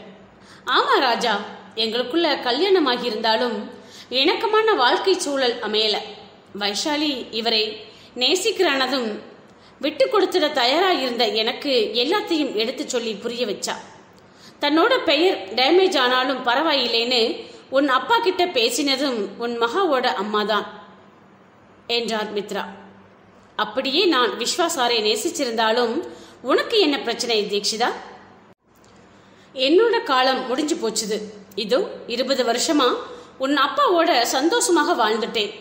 எனக்காக தியாகம் பண்றேன்னு உன்னோட சந்தோஷத்தை இழக்கணுமா? பெத்தவங்களுக்கு பிடிக்காதுன்னு காதலை தியாகம் பண்றது வேற. பிடிக்கும்னு காதலை விட்டு தரது வேற. தியாகம் பண்றதும் ரெண்டு குடும்பத்தோட மரியாதை போயிடும்னு காதலை சொல்லாம தள்ளி போடுறதையும் இங்கே தான் பார்க்குறேன் நாங்க எல்லோரும் சேர்ந்து உங்களை கன்வின்ஸ் பண்ண வேண்டியதாக இருக்குது. எல்லாம் விசித்திரமயம் என வைஷாலி சலித்து கொள்ள அமைதியாக இருந்தான் ராஜா. ராஜா ஒருவேளை தீக்ஷா இடத்துல நீ இருந்திருந்தாலும் இதைத்தான் முடிவெடுத்திருப்ப. அவ தன் அம்மாவுக்காக தியாகம் பண்றதாக நினைச்சிட்டு தன்னையே கஷ்டப்படுத்தி இருக்கிறா நீயாவது ஓப்பனா சொல்லிட்ட. அவ எத்தனை நாள் உள்ளுக்குள்ளேயே மருகி இருப்பான்னு யோசிச்சு பாரு. நீ ஹர்ட்டாகி இருக்கிற இல்லைன்னு சொல்லல. கொஞ்சமாவது அவளோட சைட்ல இருந்தும் யோசி. உன் மனசுக்கிட்டேயே கேளு. உன் மகா எவ்வளோ ஸ்பெஷல்னு காதலிக்கலை வெறுத்துட்டேன்னு சொல்றதெல்லாம் இப்போ நடந்த விஷயங்களை மனசுல வச்சுக்கிட்டு சொல்ற சால்ஜாப்பு. அமைதியாக சுய அலசல் பண்ணு. புரியும். என மித்ரா மீண்டும் தீக்ஷிதாவிற்காக பரிந்து பேசினார். தீக்ஷிதா நீ பண்ணினதும் தப்பு தாண்டா ஏதாவது விஷயங்கள் உறுத்துதுன்னா அதை உடனே வெளியே இறக்கி வச்சிடணும். கூடவேவா சுமந்துட்டு இருப்ப அம்மா கிட்ட ஷேர் பண்ணலைனா கூட ராஜா கிட்ட சொல்லியிருக்கலாமே. உனக்காக எந்த எல்லைக்கும் போக துணிகிறவன் இதையும் புரிஞ்சுக்கிட்டு ரொம்ப மெச்சூர்டா ஹேண்டில் பண்ணியிருப்பானே. இத்தனை மனக்கசப்புகளும் மனஸ்தாபங்களும் வந்திருக்கவே வந்திருக்காது. என்னைக்குமே ஒருத்தரை நேசிக்கிறோம்னா முழு மனசோட எல்லாத்தையும் ஒப்படைச்சிடணும். எல்லாத்துக்கும் அவங்க கிட்ட தீர்வு கிடைக்கும்னு நம்பணும். என்ன பிரச்சனை வந்தாலும் எவ்வளோ சண்டை போட்டாலும் அவங்க தான் நம்மோட டெஸ்டினேஷனாக இருக்கணும். இதுதான்டா ஹெல்த்தி ரிலேஷன்ஷிப் சீக்ரெட் சின்ன பசங்க மாதிரி சண்டை போட்டுட்டு வேணாம்னு சொல்கிறதெல்லாம் இனி உங்களுக்குள்ள வேணாம். புயலே வந்தாலும் கையை பிடிச்சிக்கிட்டு உன்னோட தான் இருப்பேன். சேர்ந்தே எல்லாத்தையும் சமாளிப்போங்கிற புரிதல் மட்டும் வந்துட்டா அப்புறம் எல்லாமே சக்சஸ் தான் என அறிவுரை வழங்கினார் விஸ்வா சரி இப்போ என்னதான் முடிவு பண்ணியிருக்கிறீங்க? ரெண்டு பேரும் என ஜெகன் கேட்க ராஜாவை பார்த்தார் தீக்ஷிதா எனக்கு கொஞ்சம் டைம் வேணும் மாமா என எழுந்து கொண்ட ராஜா தனது அறை நோக்கி செல்ல ராஜா ராஜா என்றவாறே பின்னால் ஓடினாள் தீக்ஷிதா அவங்களா பேசி ஒரு முடிவுக்கு வந்தா மட்டும்தான் அது நிலைக்கும். இப்போ நாம கன்வின்ஸ் பண்ணினா திரும்பவும் பழைய குருடி கதவை திருடினே தான் வந்து நிற்கும். அவங்களே பார்த்துக்கட்டும். என அனைவரும் தத்தமது வேலைகளை கவனிக்க சென்று விட்டனர். நின்று முறைத்தவன் இப்போ எதுக்கு பின்னாடியே வர்ற நீ? என கேட்க சாஜ் சாரிடா. ராஜா என்றாள் வருத்தத்துடன். சாரியெல்லாம் வேணாம் தீக்ஷிதா நான் உங்களை மன்னிச்சிட்டேன். இனி உங்க வேலையை பாருங்க என்றவன் அரை கதவை திறக்க முற்பட கையை நீட்டி தடுத்தாள். ஏ கையை எடு. எனக்கு வேலை இருக்குது என்றவன் அவள் முகத்தை பாராமல் நின்றிருக்க நோ எதுவா இருந்தாலும் என் முகத்தை பார்த்து பேசு என்றாள் பிடிவாதமாக. நீதான் என்னை மன்னிச்சிட்டில்ல? அப்போ நார்மலா பேச வேண்டியது தானே என அவள் உரிமையுடன் கேட்க பேசுறதுக்கு என்ன இருக்குதுன்னு சொல்லு பேசுறேன் என முரண்டு பிடித்தான் அவன் ச்சே உன்கிட்ட பேசுறதே வேஸ்ட் நீ என்னோட ராஜா இல்ல. என் முகம் சுருங்கினா கூட பரிதவிக்கிறவன். இன்னைக்கு என்னை அள வச்சு ரசிக்கிறான். என்னோட கண்ணீர் அவனை அசைச்சு பார்க்கல. அவன் செத்துட்டான். என்னோட ராஜா செத்துட்டான் என்றவள் விம்ம தொடங்க நீதாண்டி அவனை கொன்ன? உன்னோட அவசர புத்தி தான் அவனை அணு அணுவா துடி துடிச்சி சாக வச்சது என சாடினான் ஐயோ அதையே சொல்லி நோகடிக்காத ப்ளீஸ். தப்பு பண்ணிட்டேன். அதுக்கு தான் சாரி சொல்றேனே. இன்னும் என்ன பண்ணணும் சொல்லு? காலில் விழுந்து மன்னிப்பு கேட்கணுமா? என அவள் பேசிக்கொண்டிருக்க அவனோ சட்டை செய்யாமல் கதவை திறந்து கொண்டு உள்ளே சென்று விட்டான் இந்த முறை அவளுக்குள் உறங்கி கிடந்த ஈகோ விழித்துக் கொண்டது. ஓஹோ. அவ்வளோ இலக்காரமா போச்சுதா உனக்கு? இத்தனை தடவை சாரி கேட்டும் உன் மனசு இறங்கலல்ல? அப்படிதானே? நீ என் மேல காட்டின அன்பு அக்கறையோட வேலிடிட்டி முடிஞ்சு போச்சுது இல்லையா என வாசலில் நின்றவாறே அவள் கத்தி கொண்டிருக்க ஏய் இப்போ எதுக்கு கணச்சிட்டு இருக்கிற? என கேட்டா. கணக்கிறேனா? அப்போ நான் என்ன கழுதையா? என அவள் வாதிடத் தொடங்க திரும்பவும் ஆரம்பிக்காதீங்க. தீக்ஷிதா உங்களோட இன் இன்னசென்ஸில் மயங்கி நான் இழந்ததெல்லாம் போதும். இதுக்கு மேலே எதையும் இழக்க தயாராக இல்லை. இழக்கிறதுக்குன்னு எதுவும் இல்லை. உயிர் மட்டும்தான் இருக்குது. அதுதான் வேணும்னா அதையும் எடுத்துக்கோங்க. தயவு செஞ்சு என்னை விட்டுடுங்க. என அவள் முகத்தை கூட நிமிர்ந்து பாராமல் கதவை அடைத்து விட அழுதவாறே கீழே வந்தாள் ராஜலிங்கத்தின் மகாலட்சுமி. சோஃபாவில் அமர்ந்தவள் குலுங்கி குலுங்கி அழத் தொடங்க அவளது அன்னையோ அவளை சமாதானம் செய்யாமல் அமர்ந்திருந்தார். ஏய் என்னடி நீ? பொண்ணு அழுரா கள்ளு மாதிரி உட்கார்ந்திருக்கிற? என ராஜாவின் அன்னை மித்ரகுமாரி தன் தோழியும் தீக்ஷிதாவின் அன்னையுமான வைஷாலியை உழுக்க கொஞ்ச நேரம் அழட்டும் அப்போதான் தன்னோட அவசரத்தினாலே எப்படிப்பட்ட விளைவுகள் ஏற்பட்டிருக்குதுன்னு இவளுக்கு புரியும். இப்போ கூட இவளுக்காக புத்தி வந்திருக்கும்னு எனக்கு தோணல. யாராவது ஏதாவது ராஜாவை பத்தி சொல்லி இருப்பாங்க உடனே கண்ணை கசக்கிக்கிட்டு ஓடி வந்திருப்பா. என வருத்தத்துடன் தன் ஆதங்கத்தை பதிவு செய்தார் அவர். என்ன வைஷாலி இப்படியெல்லாம் பேசுற? அவ உன் பொண்ணுமா? என விஸ்வா அவரது தவறை சுட்டி காட்ட என் பொண்ணுங்கிறதால தானே உங்க பையனை லவ் பண்ணியிருக்கிறா? ஹிஸ்டரி ரிட்டர்ன்ஸ் என நமட்டு சிரிப்புடன் பேசினார் வைஷாலி. இதை கேட்டதும் விஸ்வா சங்கடத்தில் நெளிய அடி பாவி என வாயில் விரல் வைத்தார் மித்ரா. சரி சரி. டிராவல் பண்ணதில் டயர்டாக இருக்குது. ஃப்ரெஷ் ஆகணும் ரூம் எங்கே? என வைஷாலி தன் தோழியை பார்க்க வைஷு உட்காரப்பா. நீயும் ஜெகனும் தீக்ஷிதா கிட்ட பேசுங்க. பாவம் அவ அழுதுட்டே இருக்கிறா பாருங்க என்றார் விஸ்வா இல்ல விஸ்வா உண்மையா? தீக்ஷிமா பண்ணினதுல எங்களுக்கும் வருத்தம் தான் இப்படியெல்லாம் நடக்கும்னு முன்னாடியே தெரிஞ்சிருந்தா ராஜே ராஜா அங்கே வந்த விஷயத்தை உங்ககிட்ட சொல்லி இருக்கவே மாட்டோம். லவ் பண்ண மறுக்கிற பொண்ணை டிஸ்டர்ப் பண்ணக்கூடாதுன்னு நேரடியா அவளை பெத்தவங்க கிட்டேயே வந்து பேசின ஜெனியூன் ஆனவனை மாட்டி கொடுத்து இத்தனை நாள் குடும்பத்திலிருந்து பிரித்து வச்சது ரொம்ப கஷ்டமாக இருக்குது. தீக்ஷி ஃபீல் பண்ணுறான்னு வருத்தமாக இருக்குது தான் ஆனாலும் அவள் பண்ணின தவறுக்கான விளைவுகளை அவளே ஃபேஸ் பண்ணி பழகட்டும். அவள் செஞ்சது தப்புன்னு சொல்ல வரல. தானாவே அஷ்யூம் பண்ணிக்கிட்டதுக்கு பதிலாக எங்ககிட்ட என்னென்ன பேசியிருக்கலாம்னு சொல்கிறோம் சொல்றோம். தன்னோட அம்மா விஸ்வாவோட அப்பாவை லவ் பண்ணினதை இன்னமும் மறக்கலைன்னு நினைச்சுக்கிட்டு ராஜாவை வேணாம்னு சொல்லியிருக்கிறா அப்படின்னா அந்த துளி இடைவெளியில எங்களோட புனிதமான இல்லறத்தின் மகத்துவத்தை அவமதிச்சிருக்கிறான்னு தானே மறைமுகமா அர்த்தப்படுது. இத்தனை வருஷமா தன் அம்மாவும் அப்பாவும் எந்த மாதிரியான அந்யோன்யத்துல வாழ்ந்தாங்கன்னு பக்கத்திலே இருந்து பார்த்தவளுக்கு இப்படியெல்லாம் தோணி இருக்குதுன்னா என்ன சொல்றதுன்னு எனக்கு தெரியல. அவளாவே எல்லாத்தையும் அனலைஸ் பண்ணி புரிஞ்சுக்கிட்டும் விடுங்க என்ற அவளது தந்தை ஜெகன் நானும் பிரஷாயிட்டு வந்துடுறேன் என தன் மனைவியை பின்தொடர்ந்து சென்று விட்டார். அத்தியாயம் இருபத்தி ஏழு. விசும்பியவாறே அமர்ந்திருந்த தீக்ஷிதாவின் இரு மருங்கிலும் சென்று அமர்ந்தனர். ராஜாவின் பெற்றோர் இங்கே பாரு கண்ணா அப்பா அம்மா பேசுறதையெல்லாம் மனசுல வச்சுக்காத. நீ அவங்களை தப்பா அண்டர்ஸ்டாண்ட் பண்ணிக்கிட்டு ராஜாவையும் கஷ்டப்படுத்திட்டேன்னு ஆதங்கத்துல பேசுறாங்க. உன் அம்மாவோட கோபத்தை பத்தி உனக்கு தெரியாதா? கொஞ்ச நேரத்துல சமாதானம் ஆகிடுவாங்கம்மா நீ அழாதே முதல்ல கண்ணத்தொட என்றார் விஸ்வா மாமா சாரி மாமா. எல்லாம் என்னோட தப்பு தான் ராஜா ரொம்ப ஜெனியூன் படிக்கிறப்போ லவ் பண்றது தப்பு. அப்பாவுக்கு பிடிக்காதுன்னு ரொம்ப தெளிவா இருந்தான். நான் தான் புரிஞ்சுக்காம பண்ணிட்டேன். என அவள் வருத்தத்துடன் பேச ஆதரவாக தலை கோதிய மித்ரா போய் முகத்தை கழுவிட்டு வா டீ போடுறேன் என்றார் வேணாம் அத்தை.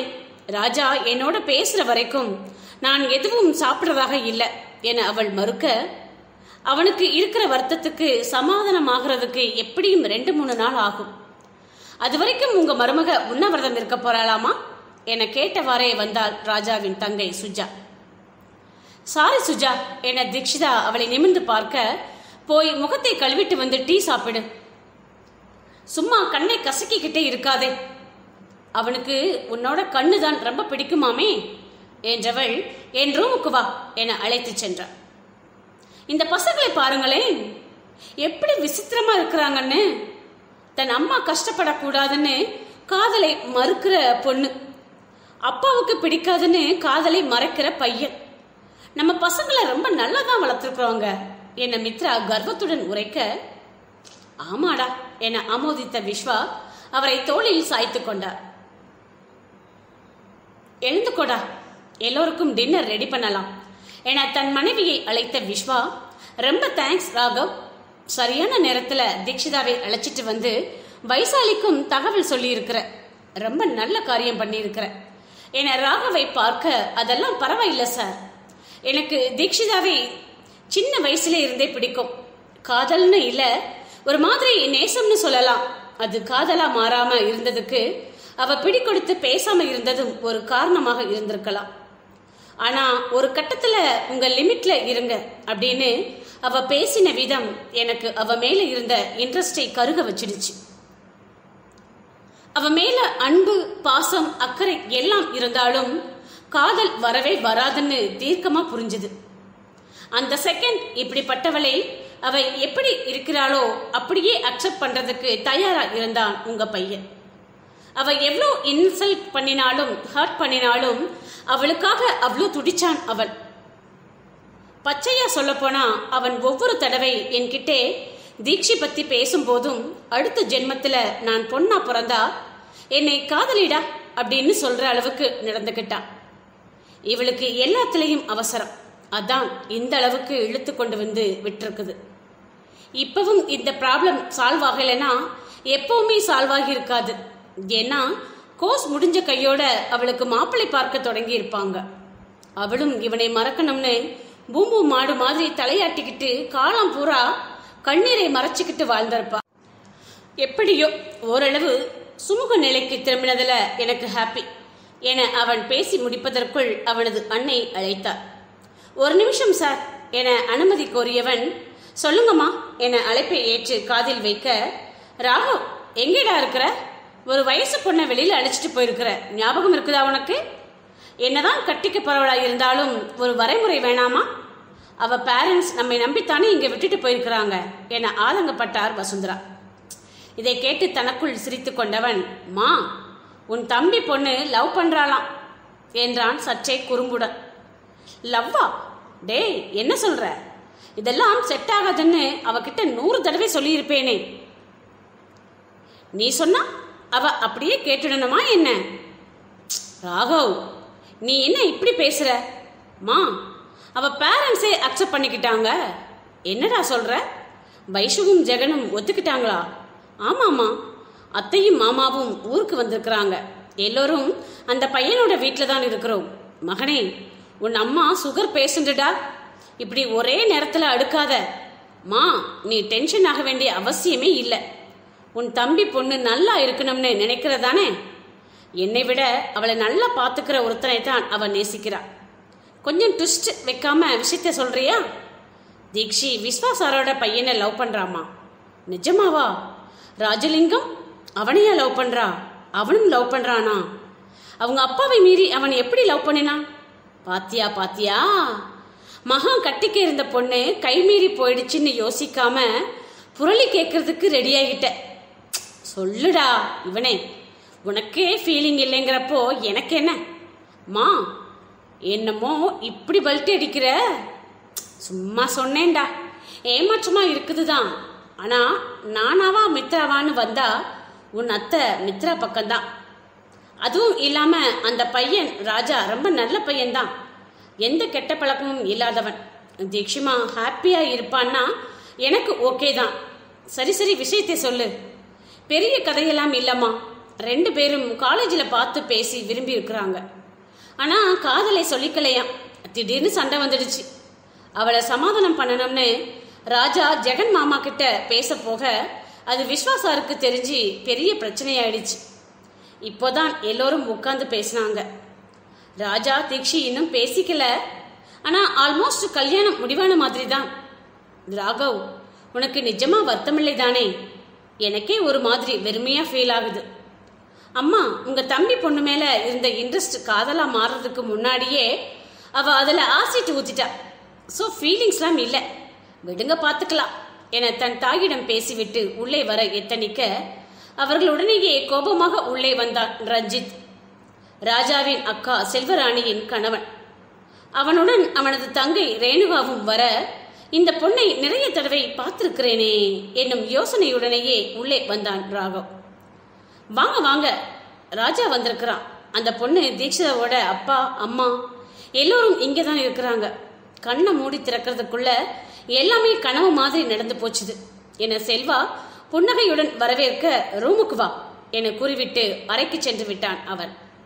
தன் மைத்துணியை கண்ணுற்றவள் உட்கார ரேணும் சுஜாவை டீ போட்டு தர சொல்றேன். உன் அண்ணா கிட்ட பேசிட்டு வந்துடுறேன் என கூற ஏன் அண்ணி நீங்களும் இவ்வளோ செல்ஃபிஸா நடந்துக்கிறீங்க?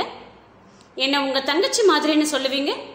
ஒரு தடவை கூட என் சார்பில் நீங்க பேசினதே இல்லையே என அங்கலாய்த்தாள் அவள். என்னடா சொல்ற? உனக்காக நான் என்ன பேசல? என அவள் புரியாமல் நெற்றி சுருக்க நான் ராஜா அத்தானை காதலிக்கிறேன் என்றவாறே சோஃபாவில் அமர்ந்தாள் ரேணுகா. ஏய் ரேணு அவன் இன்னொரு பொண்ணை விரும்புறாமா?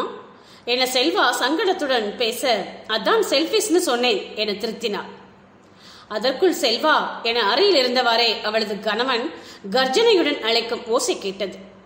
ஹா வரேன் ரஞ்சித் என்றவள் வேகமாக அறைக்கு செல்ல அவனோ கண்கள் சிவக்க அமர்ந்திருந்தான் என்ன நினைச்சிட்டு இருக்கிறீங்க நீயும் உங்க குடும்பமும்? வேணாம்னு போனவளை அப்படியே விட வேண்டியதுதானே இப்போ இந்த கன்வின்சிங் படலம் தேவைதானோ? என அவன் சற்றே கோபத்துடன் வினவ அது இல்ல ராஜா அந்த பொண்ண என ஏதோ கூற வாயெடுத்தவள். ஓ இவன் விரும்பினா? அப்படியே நீங்களும் மண்டையை ஆட்டிடுவீங்களா? ஒரு பையனை லவ் பண்றேன் அண்ணா. கேம்பஸ் இன்டர்வியூல செலக்ட் ஆகிட்டு வந்து யாருன்னு சொல்றேன். அவனை உனக்கும் ரொம்ப பிடிக்கும்னு முன்னாடியே சொல்லியிருந்தா ரேணு. நானும் இவ்வளோ பேசண்டா இருக்கிறாளேன்னு காத்துட்டு இருந்தேன். இப்போ திடீர்னு கால் பண்ணி ராஜா எங்க காலேஜில் படிக்கிற தீக்ஷிதாவை லவ் பண்றானா? நான் அவனைத்தான் இத்தனை நாளா நேசிச்சுட்டு இருந்தேன்னு அழுறா. ஒழுங்கா உன் அப்பா அம்மா கிட்ட சொல்லி அந்த பொண்ணையும் அவ பேரண்ட்ஸையும் புறப்பட சொல்லு என அவன் கராராக உரைக்க மௌனமாக கட்டிலில் அமர்ந்தாள் செல்வா. கொஞ்சமாவது மனசாட்சியோட பேசுங்க ரஞ்சித். ரேணுவோட அண்ணாவா நீங்க யோசிக்கிறது சரியாக இருந்தாலும் நியாயம்னு ஒன்று இருக்குதுல்ல? இவன் ஒன்றும் தீக்ஷிதாவை ஒருதலையாக லவ் பண்ணல. ரெண்டு பேரும் உயிருக்குயிரா நேசிச்சிட்டு இருக்கிறாங்க ஏதோ சண்டைனால பிரிஞ்சவங்களை சேர்த்து வைக்கிறதுக்கு தான் கன்வின்ஸ் பண்ணிட்டு பண்ணிட்டு இருக்கிறாங்க என அவள் தன்னால் இயன்ற மட்டும் தனகனின் காதலை தன் அவனுக்கு உணர்த்த முயன்று கொண்டிருக்க அப்போ என் தங்கச்சி? என இயலாமையுடன் கேட்டான் அவன். இதுக்கு என்ன பதில் சொல்றதுன்னு எனக்கு தெரியல ரஞ்சித். ஒரு அண்ணியா அவளோட நியாயமான காதலுக்கு ஆதரவு தெரிவிக்க வேண்டியது என்னோட கடமை. ஆனா இங்கே நான் ஒரு அக்காவும் கூட. அதுவும் இல்லாம சராசரி மனுஷியா யோசிக்க நினைச்சா கூட தராசு தீட்சிதா பக்கம்தான். இந்த எமோஷனல் திங்ஸ் எல்லாம் மண்டைக்குள்ள ஏத்திக்காம அமைதியாக உட்கார்ந்து யோசிச்சு பார்த்தா எல்லாமே உங்களுக்கு புரியும் என்றவள் அதற்கு மேல் எதுவும் பேசாமல் எழுந்து கீழே சென்று விட்டாள் ரேணுகாவின் அருகே அமர்ந்தவள். பாரு ரேணு. ராஜா எந்த வகையிலேயும் உனக்கு ஹோப் கொடுத்திருக்க மாட்டான்னு நம்புறேன். அதையும் மீறி அவனோட நடவடிக்கைகள் ஏதாவது உனக்குள் சலனத்தை ஏற்படுத்தி இருந்தா அதுக்கு நான் மன்னிப்பு கேட்டுக்கிறேம்மா. என்னை மன்னிச்சிடு. தயவு செஞ்சு ரியாலிட்டியை புரிஞ்சுக்க முயற்சி பண்ணு. என வருத்தம் தோய்ந்த குரலில் உரைக்க சுஜாவுடன் வெளியே வந்த தீக்ஷிதாவை முறைத்தாள் ரேணுகா. அத்தியாயம் இருபத்தி எட்டு. ஏய் ரேணு எப்போ வந்த? என புன்னகையுடன் அருகில் அமர்ந்த சுஜா தீக்ஷி இவ ரேணுகா. ரஞ்சித் அத்தானோட தங்கச்சி. உங்க காலேஜில் தான் பிஇ ஃபைனல் இயர் பண்றா. என தீக்ஷிதாவிடம் அறிமுகம் செய்து வைக்க முற்பட்டாள் ஓ என கேட்டுக்கொண்டவள் இயல்பாக ரேணுவை பார்க்க அவளோ அலட்சிய பார்வை ஒன்றை வீசினாள். அக்கா நீ பேசிட்டு இரு. நான் ரெண்டு பேருக்கும் டீ எடுத்துட்டு வரேன். என சுஜா எழுந்து கொள்வதற்குள் அனைவருக்கும் தேநீர் எடுத்து வந்து விட்டார் விஸ்வா அடடே ரேணு நீ எப்போடா வந்த? டீ எடுத்துக்கோ என வரவேற்றவர் செல்வா மாப்பிள்ளை ரூம்லேயே இருக்கிறார்.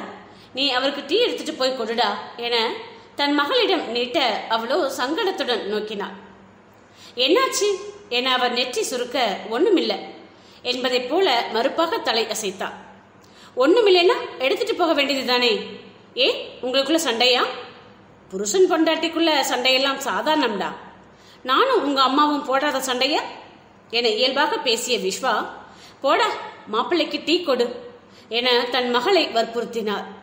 அவளோ யோசனையுடன் அமர்ந்திருக்க சுஜாமா நீ போய் அத்தானுக்கு டீ கொடு டைம் எடுத்து ரிலாக்ஸ் ஆகிட்டு உட்கார்ந்து பேசுங்க என தெரிவித்த விஸ்வா சமையல் அறைக்குள் சென்று விட்டார். சுஜா தன் அக்காவின் அறைக்கு சென்றுவிட செல்வா தன் தந்தையை பின்தொடர்ந்து சென்றுவிட கூடத்தில் ரேணுகாவும் தீக்ஷிதாவும் மட்டுமே அமர்ந்திருந்தனர் கருவளையம் படர்ந்த கண்களுடன் சோர்வாக அமர்ந்திருந்த தீக்ஷிதாவை கண்ணுற்ற ரேணுகா உன் பெயர் தீக்ஷிதா தானே? கிளாசிக்கல் நல்லா ஆடுவல்ல?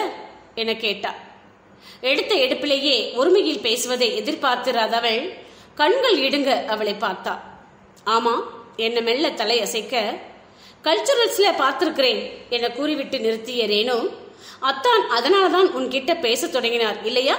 என கேட்டா நீங்க என்ன சொல்ல வர்றீங்கன்னு எனக்கு புரியல. என தீக்ஷிதா மெல்லிய குரலில் உரைக்க உங்க காதலுக்கு கிளாசிக்கல் டான்ஸ் தானே அடித்தளமா இருந்துச்சுன்னு கேட்கிறேன் என திருத்தினாள் ரேணு. அப்படியெல்லாம் இல்ல அதுக்கு முன்னாடியே தெரியும். ஓ என்னவோ இருந்துட்டு போகட்டும். நடந்தது நடந்தது போச்சுது. இனி நடக்க போறது பேசுவோம். ஏன் திரும்ப வந்த? அப்படியே போயிருக்க வேண்டியது தானே? இல்ல நீங்க என்ன கேக்குறீங்க ரேணு? சண்டை போட்டுட்டு போனவ ஏன் திரும்ப வந்தேன்னு கேக்குறேன். காதல்ல ஊடல் சாதாரணம்தான். புரிஞ்சிக்காம சண்டை போட்டேன். புரிஞ்சதால திரும்ப வந்தேன். உங்களுக்கு என்ன பிரச்சனை? சி தீக்ஷிதா நான் சுத்தி வளைச்சு பேச விரும்பல. நேரடியா விஷயத்துக்கு வந்துடுறேன். மூணரை வருஷத்துக்கு முன்னாடி எங்க ஸ்கூலுக்கு பக்கத்து காலேஜில் இருந்து கேன்வாஸ் வந்திருந்தாங்க. அப்போ ஒருத்தர் ரொம்ப கைண்டா பேசினார். எல்லோருக்கும் அவரை ரொம்ப பிடிச்சு போச்சுது. அவரோட ஆட்டிடியூட் லுக் எல்லாமே பெர்ஃபெக்ட் அந்த செகண்ட்ல இருந்தே அவரை நேசிக்க ஆரம்பிச்சிட்டேன் நான். எனக்கு கிடைச்ச பிடிஎஸ் சீட்டை கூட வேணாம்னு சொல்லிட்டு அவர் படிக்கிற காலேஜ்லேயே சேர முடிவு பண்ணி அங்கேயே சேர்ந்தேன். அவரை தினமும் பார்க்கணுங்கிறதுக்காகவே லீவ் போடாம போவேன். அப்போதான் என் அண்ணாவுக்கு ஒரு அலையன்ஸ் வந்துச்சு. அந்த கல்யாணம் கூடி வந்துடணும்னு அவ்வளோ வேண்டினேன். கல்யாணமும் ஆச்சுது. இவர் எனக்கு சொந்தக்காரராகவும் ஆகிட்டா. படிச்சு முடிச்சு நல்ல வேலைக்கு போயிட்டா சொந்தக்காரராக இருந்தவர் சொந்தமா ஆகிடுவார்னு நம்பிக்கையோட படிப்புல கான்சென்ட்ரேட் பண்ணிட்டு இருந்தேன். அப்போதான் என் அண்ணா தலையில குண்டை தூக்கி போட்டார். அவர் உன்னை நேசிக்கிறார்னு. ஒருதலை காதல் தானே அப்படியே மறந்து போயிடும்னு இருந்தா திரும்பவும் வந்து நிக்கிற? இதுல நான் யாரை குற்றம் சொல்லட்டும்?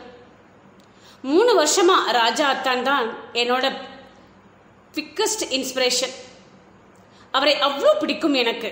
அவருக்காக கிளாசிக்கல் டான்ஸ் கூட கத்துக்கிட்டேன். அவருக்கு என்னென்ன பிடிக்குமோ அத்தனைக்கும் ஏத்த மாதிரி என்னை நானே மாத்திக்கிட்டேன். இன்னும் தெளிவா சொல்லணும்னா நீ அவரோட வாழ்க்கையில வர்றதுக்கு முன்னாடியே அவர் என்னோட வாழ்க்கையில வந்துட்டார். உன்ன மாதிரி நான் அவரோட சண்டை போட மாட்டேன். வேணாம்னு சொல்ல மாட்டேன். வீட்டை விட்டு வெளியே துரத்தி வைக்க மாட்டேன்.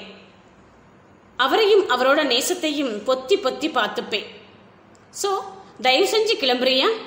எனக்கு ராஜா அத்தான் வேணும். ரேணுகா தன் ஆழ் மனதின் நேசத்தை தெளிவாகவும் தீர்க்கமாகவும் எடுத்துரைக்க கேட்டுக்கொண்டிருந்த தீக்ஷிதாவின் கண்களில் கீற்றாக கண்ணீர்.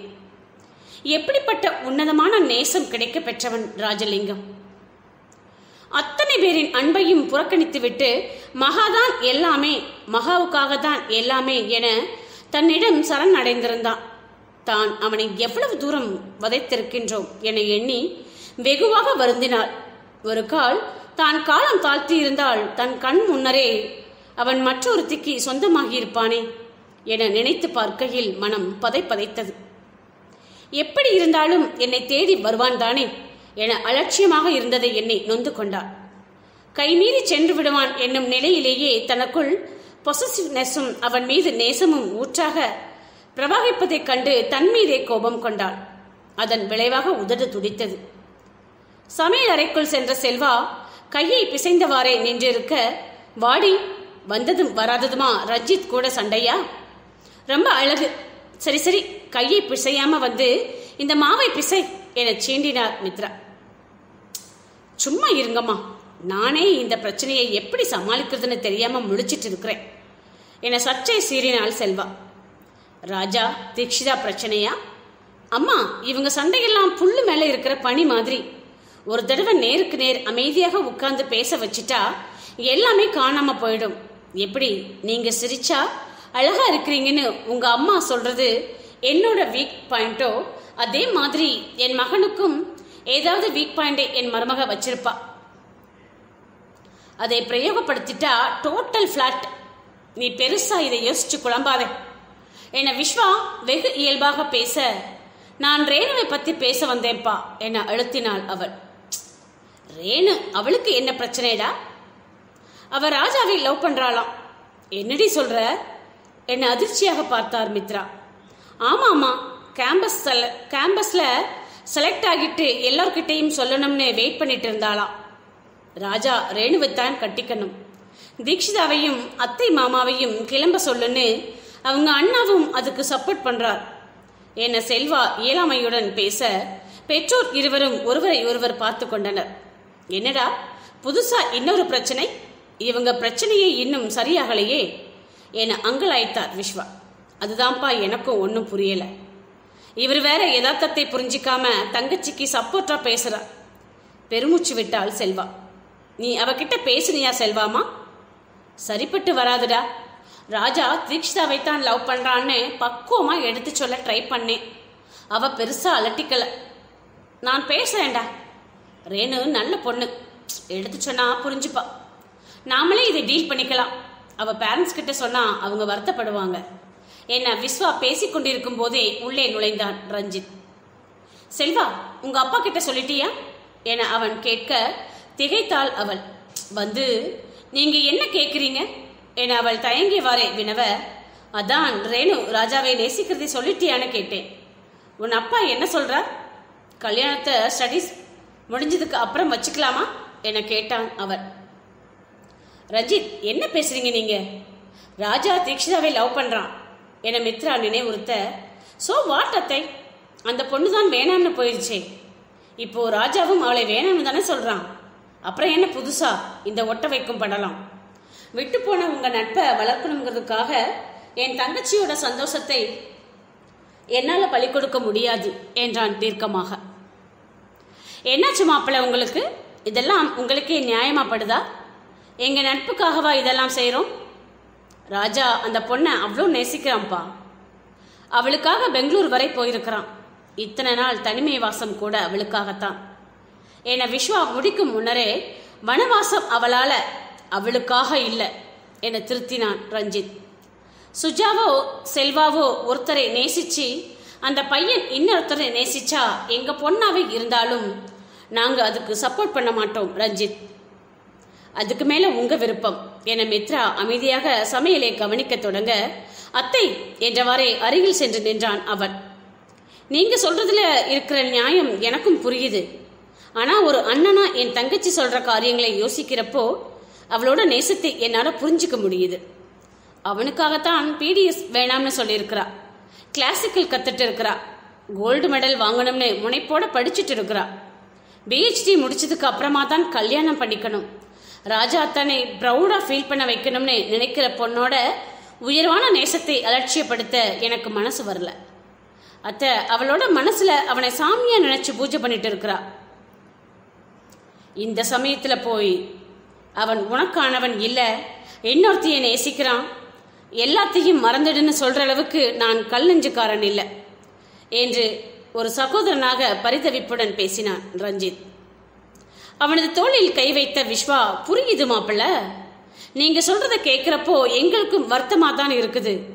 இவ்வளோ ஆத்மாத்மா நேசிக்கிற பொண்ணோட நேசம் காணல் நீராக போகுதுன்னு நினைக்கிறப்போ மனசு பரிதவிக்குது. ஆனாலும் எதார்த்தம்னு ஒன்று இருக்குதுல்ல. ராஜா தீக்ஷிதாவை தானே விரும்புறான். இப்போ வேணாம்னு சொல்றானா ஏதோ கோபத்துல சொல்றான். ரெண்டு நாள் கழிச்சு கோபமெல்லாம் தணிஞ்ச பின்னாடி மகா மகான்னு அவளையே நினைச்சு உருகத்தான் போறான். அவன் வந்து நின்ன கோலத்தை பார்த்தீங்க தானே? நாம அவசரப்பட்டு ரேணுவுக்கும் ராஜாவுக்கும் கல்யாணம் பண்ணி வச்சுட்டு அதுக்கு பின்னாடி தீக்ஷிதாவோட நினைப்பு வந்தா இவன் வெளிப்படுத்தாம உள்ளுக்குள்ளேயே புழுங்கிக்கிட்டு இருந்தா? அது எல்லோருக்குமே சங்கடம் தான் மாப்பிள்ளை ரெண்டு நாள் போகட்டும். எல்லாமே நார்மல் ஆகட்டும். ராஜா என்ன முடிவெடுக்கிறானோ அதுக்கு நான் தடை சொல்ல மாட்டேன்.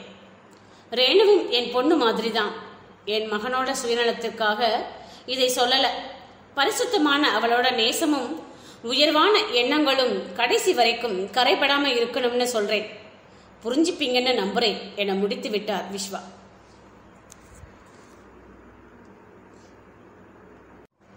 அத்தியாயம் இருபத்தி ஒன்பது. அனைவருக்கும் இரவு உணவு தயாராக இருக்க சுஜா அத்தை மாமாவை சாப்பிட கூட்டுட்டு வா. தீக்ஷிதா ரேணு நீங்களும் வந்து உட்காருங்க. செல்வாமா மாப்பிள்ளையை அழைச்சிட்டு வா. ராஜா நீயும் வா என குரல் கொடுத்தார் விஸ்வா அனைவரும் உணவு மேஜையில் குழும ராஜாவை மட்டும் காணவில்லை. தீக்ஷிதாவின் கண்கள் அவனை தேடி அலைபாய்ந்து கொண்டிருக்க அவனை கூப்பிடலையா? என தன் கணவனிடம் கேட்டார் மித்ரா. இல்லையே கூப்பிட்டனே. என்றவர் ராஜா ராஜா என கத்தி அழைக்க அவனிடமிருந்து எந்த பதில் மொழியும் இல்லை. சூழ்நிலையை புரிந்து கொண்ட வைஷாலி ராஜா சாப்பிடவா? என அழைக்க தனது அறை வாசலில் நின்றவாறே கீழே பார்த்தான் ராஜலிங்கம். நீங்க சாப்பிடுங்க அத்தை. நான் அப்புறமா சாப்பிட்டுக்கிறேன். என அவன் தவிர்க்க என்னால தானே எல்லாமே. நான் வேணும்னா போயிடுறேன் ராஜா. நீ உன் ஃபேமிலி கூட உட்கார்ந்து சாப்பிடு என முந்திக் கொண்டு உரைத்தார் தீக்ஷிதா அவளை ஒரு பொருட்டாக கூட மதியாதவன் அத்தை இவங்க கூடவெல்லாம் உட்கார்ந்து சாப்பிட்ற தகுதியை எப்பவோ நான் இழந்துட்டேன். என்ன தப்பு செஞ்சாலும் கண்டிக்கிற அப்பா அடிப்பார்னு எதிர்பார்க்கவே இல்லை. நான் செஞ்சது தப்புன்னு அடிச்சா. அதை ஏத்துக்கிட்டேன். ஆனா அதுக்காக என் அக்காவோட குழந்தையை கூட பார்க்க அலோவ் பண்ணாம இருந்தது இன்னமும் ரணமாக வலிக்குது. இதுவரை எந்த சூழ்நிலையிலேயும் அம்மாவும் அப்பாவும் என்னை கை நீட்டி அடிச்சதே இல்லை. ரெண்டு பேரும் அடிச்சு நாயை போல விரட்டினதுலயே மொத்தமா நொந்து போயிட்டேன். வாழவே பிடிக்கல. இயல்பு நிலைக்கு திரும்புறதுக்கு கொஞ்ச நாள் ஆகலாம். என்னை கம்பல் பண்ணாதீங்க ப்ளீஸ் என அறைக்குள் சென்று கதவை பூட்டிக்கொள்ள எனக்கு சாப்பாடு வேணாம் ராஜா. இவ்வளோ வருத்தப்படுறதுக்கு நான் தான் காரணம். அதுக்காக எனக்கு நானே தண்டனை கொடுத்துக்கிறேன் என எழுந்து சென்று விட்டாள் தீக்ஷிதா இவங்க ரெண்டு பேரும் ஏன் தான் இப்படி இருக்கிறாங்க? என ஜெகன் அங்கலாய்க்க ராஜாவை நாங்க பாத்துக்கிறோம் நீங்க சாப்பிடுங்க ஜெகன் என்றார் மித்ரா. அண்ணா இன்னும் ரெண்டு நாள் இல்லை. ரெண்டு வருஷம் ஆனாலும் ராஜா அத்தான் இவளை மன்னிக்க மாட்டார்னு தான் தோணுது. என ரேணு தன் சகோதரனிடம் நம்பிக்கையுடன் குறிப்பிட நல்லதே நடக்கும்னு நம்புவோம் என ரேணு என குறிப்பிட்டான் அவன். இரவு உணவிற்கு பின்னர் விஸ்வாவும் மித்ராவும் தங்களது மகனின் அரைக்கதவை தட்டினர். ராஜா அம்மா வந்திருக்கிறேன். கதவு தர. என மித்ரா தெரிவிக்க கதவை திறந்தவன் எதுவும் பேசாமல் உள்ளே சென்று விட்டான். ராஜா என மித்ரா உடைந்த குரலில் அழைக்க கலங்கிய கண்களுடன் நிமிந்து பார்த்தான் அவன். சாரிப்பா என விஸ்வா தழுதழுத்த குரலில் பேச அவனோ அமைதியாக நின்றிருந்தா. நாங்க செஞ்சது சரின்னு சொல்ல வரலப்பா. தப்புதான். நம்ம மகன் நட்புக்கும் காதலுக்கும் வித்தியாசம் தெரியாதவனா இருந்துட்டானேன்னு ஆதங்கம் ஒரு பக்கம். அவ்வளோ தூரம் போய் நம்மை அவமானப்படுத்திட்டானேன்னு வருத்தம் ஒரு பக்கம்னு எல்லாமே சேர்ந்து உன்னை கஷ்டப்படுத்திட்டோம். நீ இவ்வளோ காயப்பட்டிருப்பன்னு தெரிய வர்றப்போ ரொம்ப வருத்தமாக இருக்குதுப்பா. கை நீட்டி அடித்ததை கூட உரிமையோட கண்டிக்கிறதுன்னு எடுத்துக்கிட்டாலும் அக்கா குழந்தையை பார்க்க அலோவ் பண்ணாதது பெரிய பாவம்தான்ப்பா. அதுக்கு நாங்கள் எந்த நியாயமும் சொல்ல போகிறது இல்லை. எங்களை மன்னிச்சிடுப்பா என தன்னால் இயன்ற மட்டும் வருத்தத்தை எடுத்து எம்ப முயன்றார் விஸ்வா. ராஜா தாத்தாவோட ஞாபகமாத்தான் உனக்கு அவரோட பெயரை வச்சிருக்கிறோம்னு உனக்கே தெரியும். அவரோட மறு ரூபமா உன்னை பார்க்கறதால தான் இதுவரைக்கும் சுடுசொல் சொன்னதே இல்லை. சின்ன வயசுல இருந்தே நீ எல்லாத்துலேயும் பெர்ஃபெக்ட்பா எல்லாத்துலேயும் பெஸ்டா இருப்ப. ரொம்ப பெருமையாக இருக்கும். அப்படிப்பட்டவன் ரொம்ப சாதாரணமா நட்புக்கும் காதலுக்கும் வித்தியாசம் தெரியாம ஒரு பொண்ணு கிட்ட போய் விழுந்துட்டானேன்னு ஆதங்கம் தான்ப்பா. எல்லாத்துக்குமே காரணம். எங்க பையனை யாரும் தப்பா பேசிடக்கூடாதுன்னு தான் இப்படியெல்லாம் பண்ணிட்டோம். சாரிப்பா என தன் பங்கிற்கு பேசினார் மித்ரா. சில நிமிட மௌனத்திற்கு பின்னர் பேசத் தொடங்கினான் ராஜா. நீங்க சொல்ற மாதிரி அவ என்னை ஃப்ரெண்டா மட்டும்தான் பார்த்தானே வச்சுக்கலாம். அப்படின்னா என் அளவில் அது காதல் தோல்விதானே? உங்களோட மகன் காதல் தோல்வியில் துடிப்பான் அவனுக்கு ஆறுதல் சொல்லணும்னு தோணலையா உங்களுக்கு? என அவன் கேள்வியாக பார்க்க பெற்றோரிடம் பதில் இல்லை. அமைதியாக தலை குனிந்தனர். எனக்குத்தான் முதல்ல அவளை பிடிச்சிருந்துச்சு.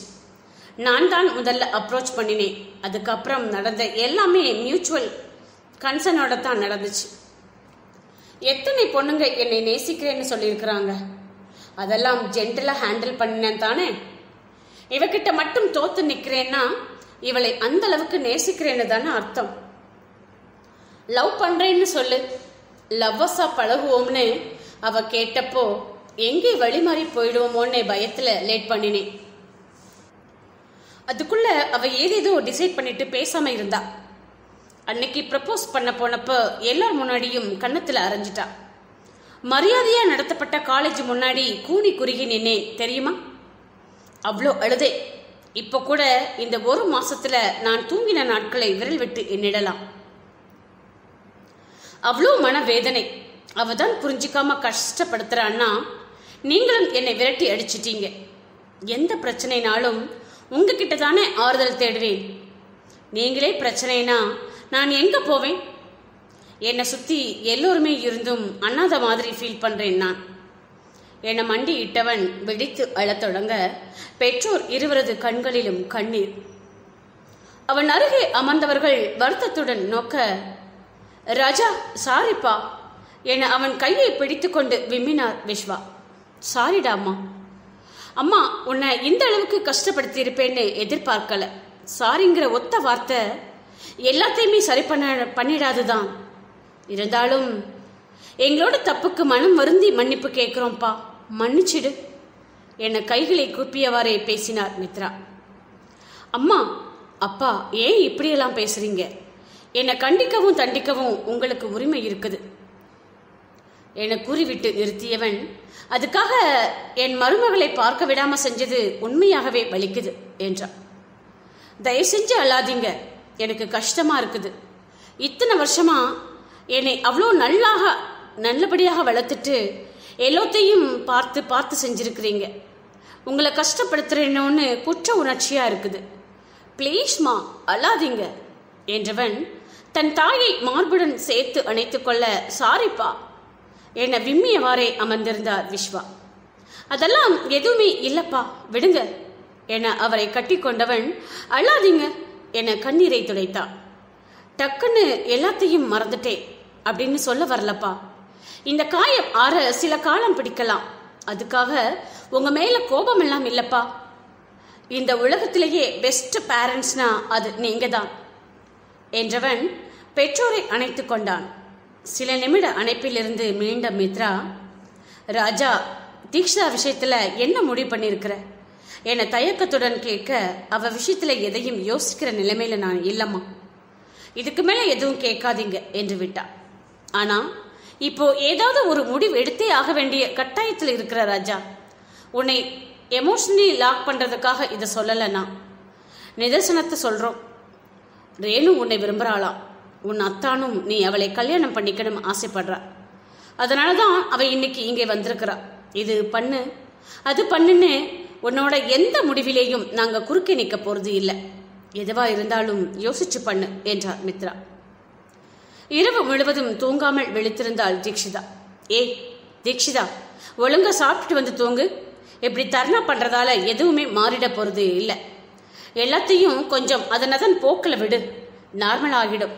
நீ சாப்பிடாம இருந்தா ராஜா மனசு மாறிடுவானா? ஏன்னா சுஜா கேட்க என்னால் தானே அவன் இவ்வளோ கஷ்டப்படுறான்? என்றாள் விம்மலுடன் ஆமா உன்னால தான் கஷ்டப்படுறான். அதை இல்லைனாலும் இல்லைன்னுலாம் சொல்ல மாட்டேன். அதுக்கு தீர்வு இது கிடையாது. அமைதியாக பேசுங்க. இல்லைன்னா டைம் எடுத்து யோசியுங்க. தயவு செஞ்சு வைத்த காயப்படாதீங்க. அஸ் அ டாக்டரா இதை நான் அலோவ் பண்ண மாட்டேன். என அவள் அறிவுறுத்த ரேணு ராஜாவை லவ் பண்றாளாம் என்றாள் தீக்ஷிதா மெலிதான குரலே. இதை கேட்டு சிரித்த சுஜா இது என்ன புதுசா? என் ஃப்ரெண்ட்ஸ் ரெண்டு பேர் எப்பவோ அவனுக்கு ப்ரப்போஸ் பண்ணாங்க. இவன் அட்வைஸ் பண்ணி அனுப்பி விட்டுட்டான். ரேணுவையும் சமாளிச்சிடலாம். ஆனா அவ அத்தனோட தங்கச்சிங்கிறதுனால கொஞ்சம் பார்த்து தான் ஹேண்டில் பண்ணணும். நீ ஒரி பண்ணாம தூங்கு என்றாள். தீக்ஷிதா இன்னும் தூங்காமல் விழித்திருப்பதை கண்ணுற்றவள் ராஜாவுக்கு உன்னை எவ்வளோ பிடிக்கும் தெரியுமா? நீனா அவனுக்கு ரொம்ப இஷ்டம். உனக்கு கிளாசிக்கல் டான்ஸுக்காக பூ கட்ட கத்துக்கிறேன்னு அக்கா கிட்ட சொல்லியிருக்கிறான்.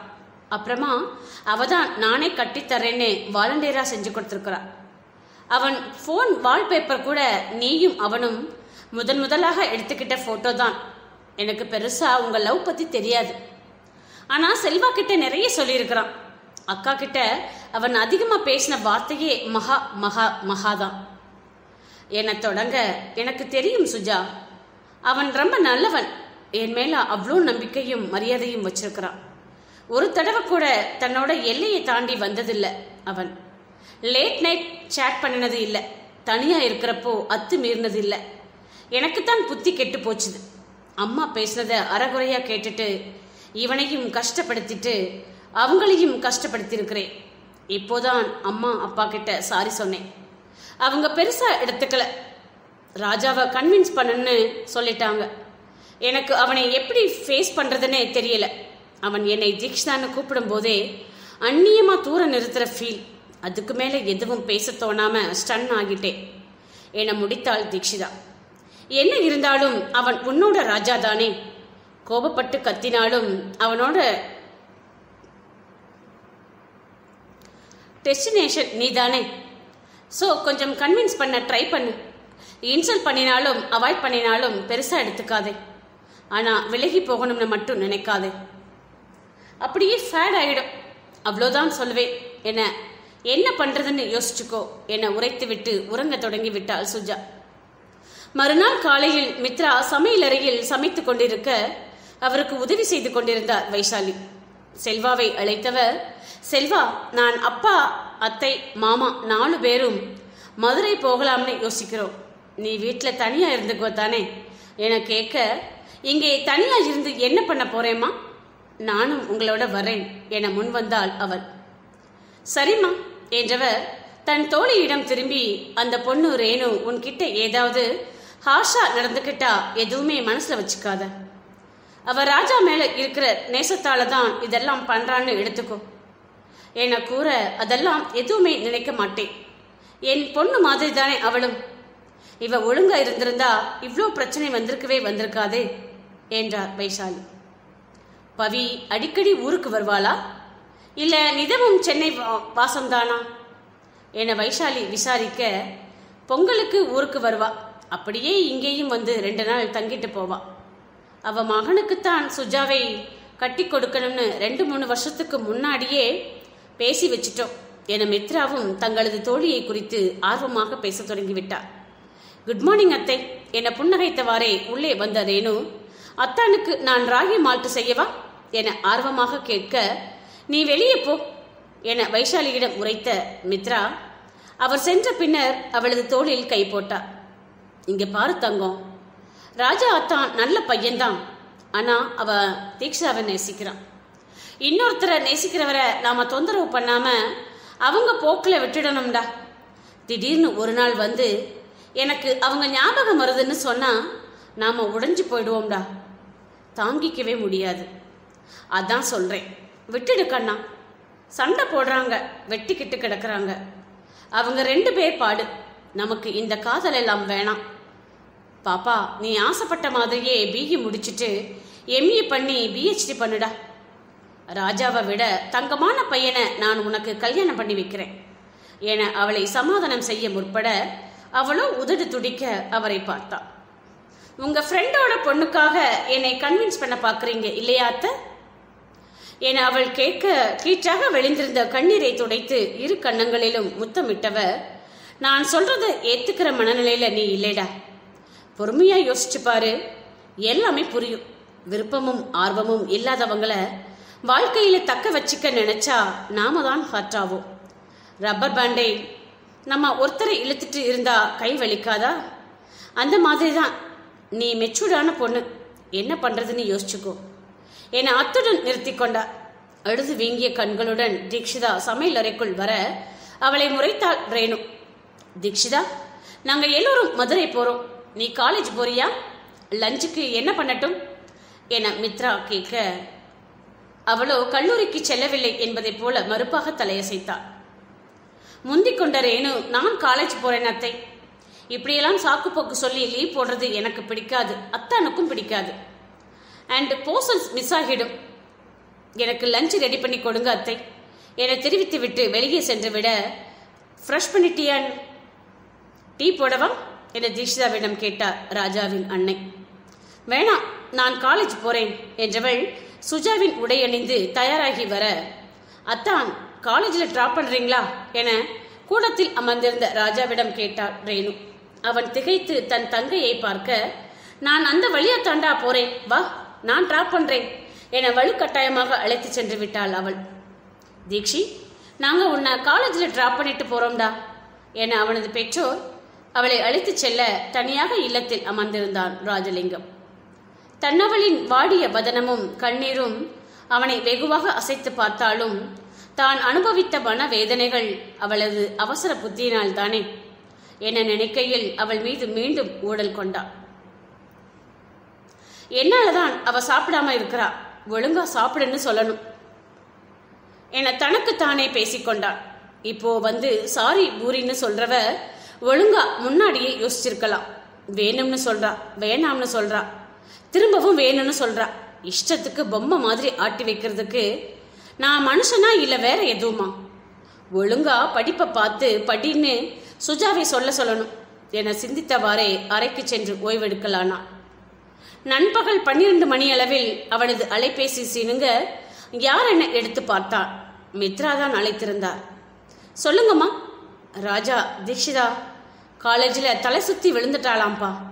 அவளோட ஸ்டாஃப் அட்வைசர் வைசாலி அத்தைக்கு கால் பண்ணினாங்க. ராகவ் அவளை அழைச்சிட்டு வர்றதுக்காக போயிருக்கிறான் கொஞ்சம் என்னென்ன போய் பார்க்குறியா அத்தையும் மாமாவும் ரொம்ப பயப்படுறாங்க. இதை போறமா என்னை புறப்பட்டவன் செல்லும் வழி நெடுக என்னால தான் அவளுக்கு இப்படி ஆகிடுச்சு நான் பேசுறதால தானே இப்படி பிடிவாதம் பிடிச்சி மயங்கி விழுந்திருக்கிறா அப்படி என்ன வீம்பு அவளுக்கு? ஒழுங்கா கண்ணத்துல ரெண்டு அடி போட்டு சாப்பிடுன்னு சொல்லணும்.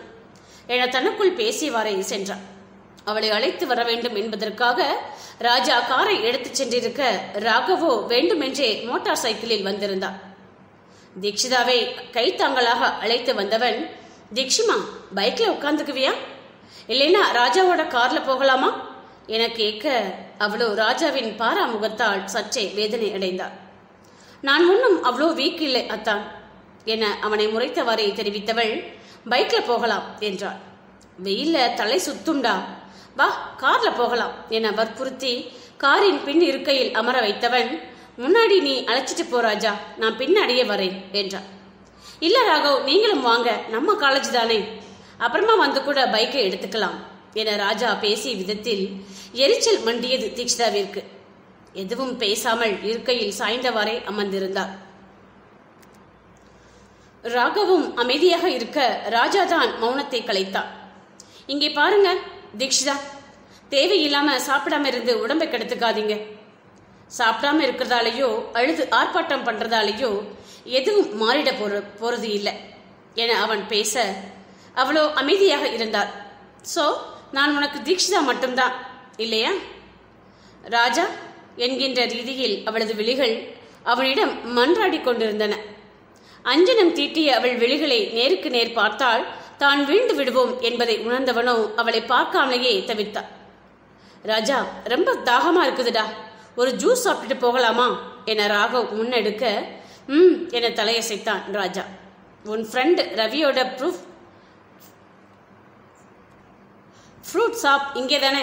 போகலாம் வா என அவன் முன்னே நடக்க இருவரும் அவனை பின்தொடர்ந்தனர்.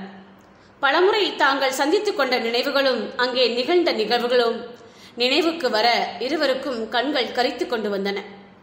பெரிய தப்பு பண்ணிட்டேன் ராஜா. என்னோட முட்டாள்தனத்தினாலே உன்னை பக்கத்தில் வச்சுக்கிட்டும் நேசத்தை பரிமாற முடியாம தவிக்கிறேன்டா. ஒரே ஒரு தடவை வாய்ப்பு கொடேன் ப்ளீஸ் என அவள் மானசீகமாக அவனிடம் கெஞ்ச அவனோ ஏண்டி அவசரப்பட்ட? நீ மட்டும் பைத்தியக்காரத்தனம் பண்ணாம இருந்திருந்தா இந்நேரம் சூழ்நிலையே வேற மாதிரி இருந்திருக்கும். இப்ப பாரு என் வழியை தாண்டி உன்னை நெருங்க முடியாம தவிக்கிறேன்.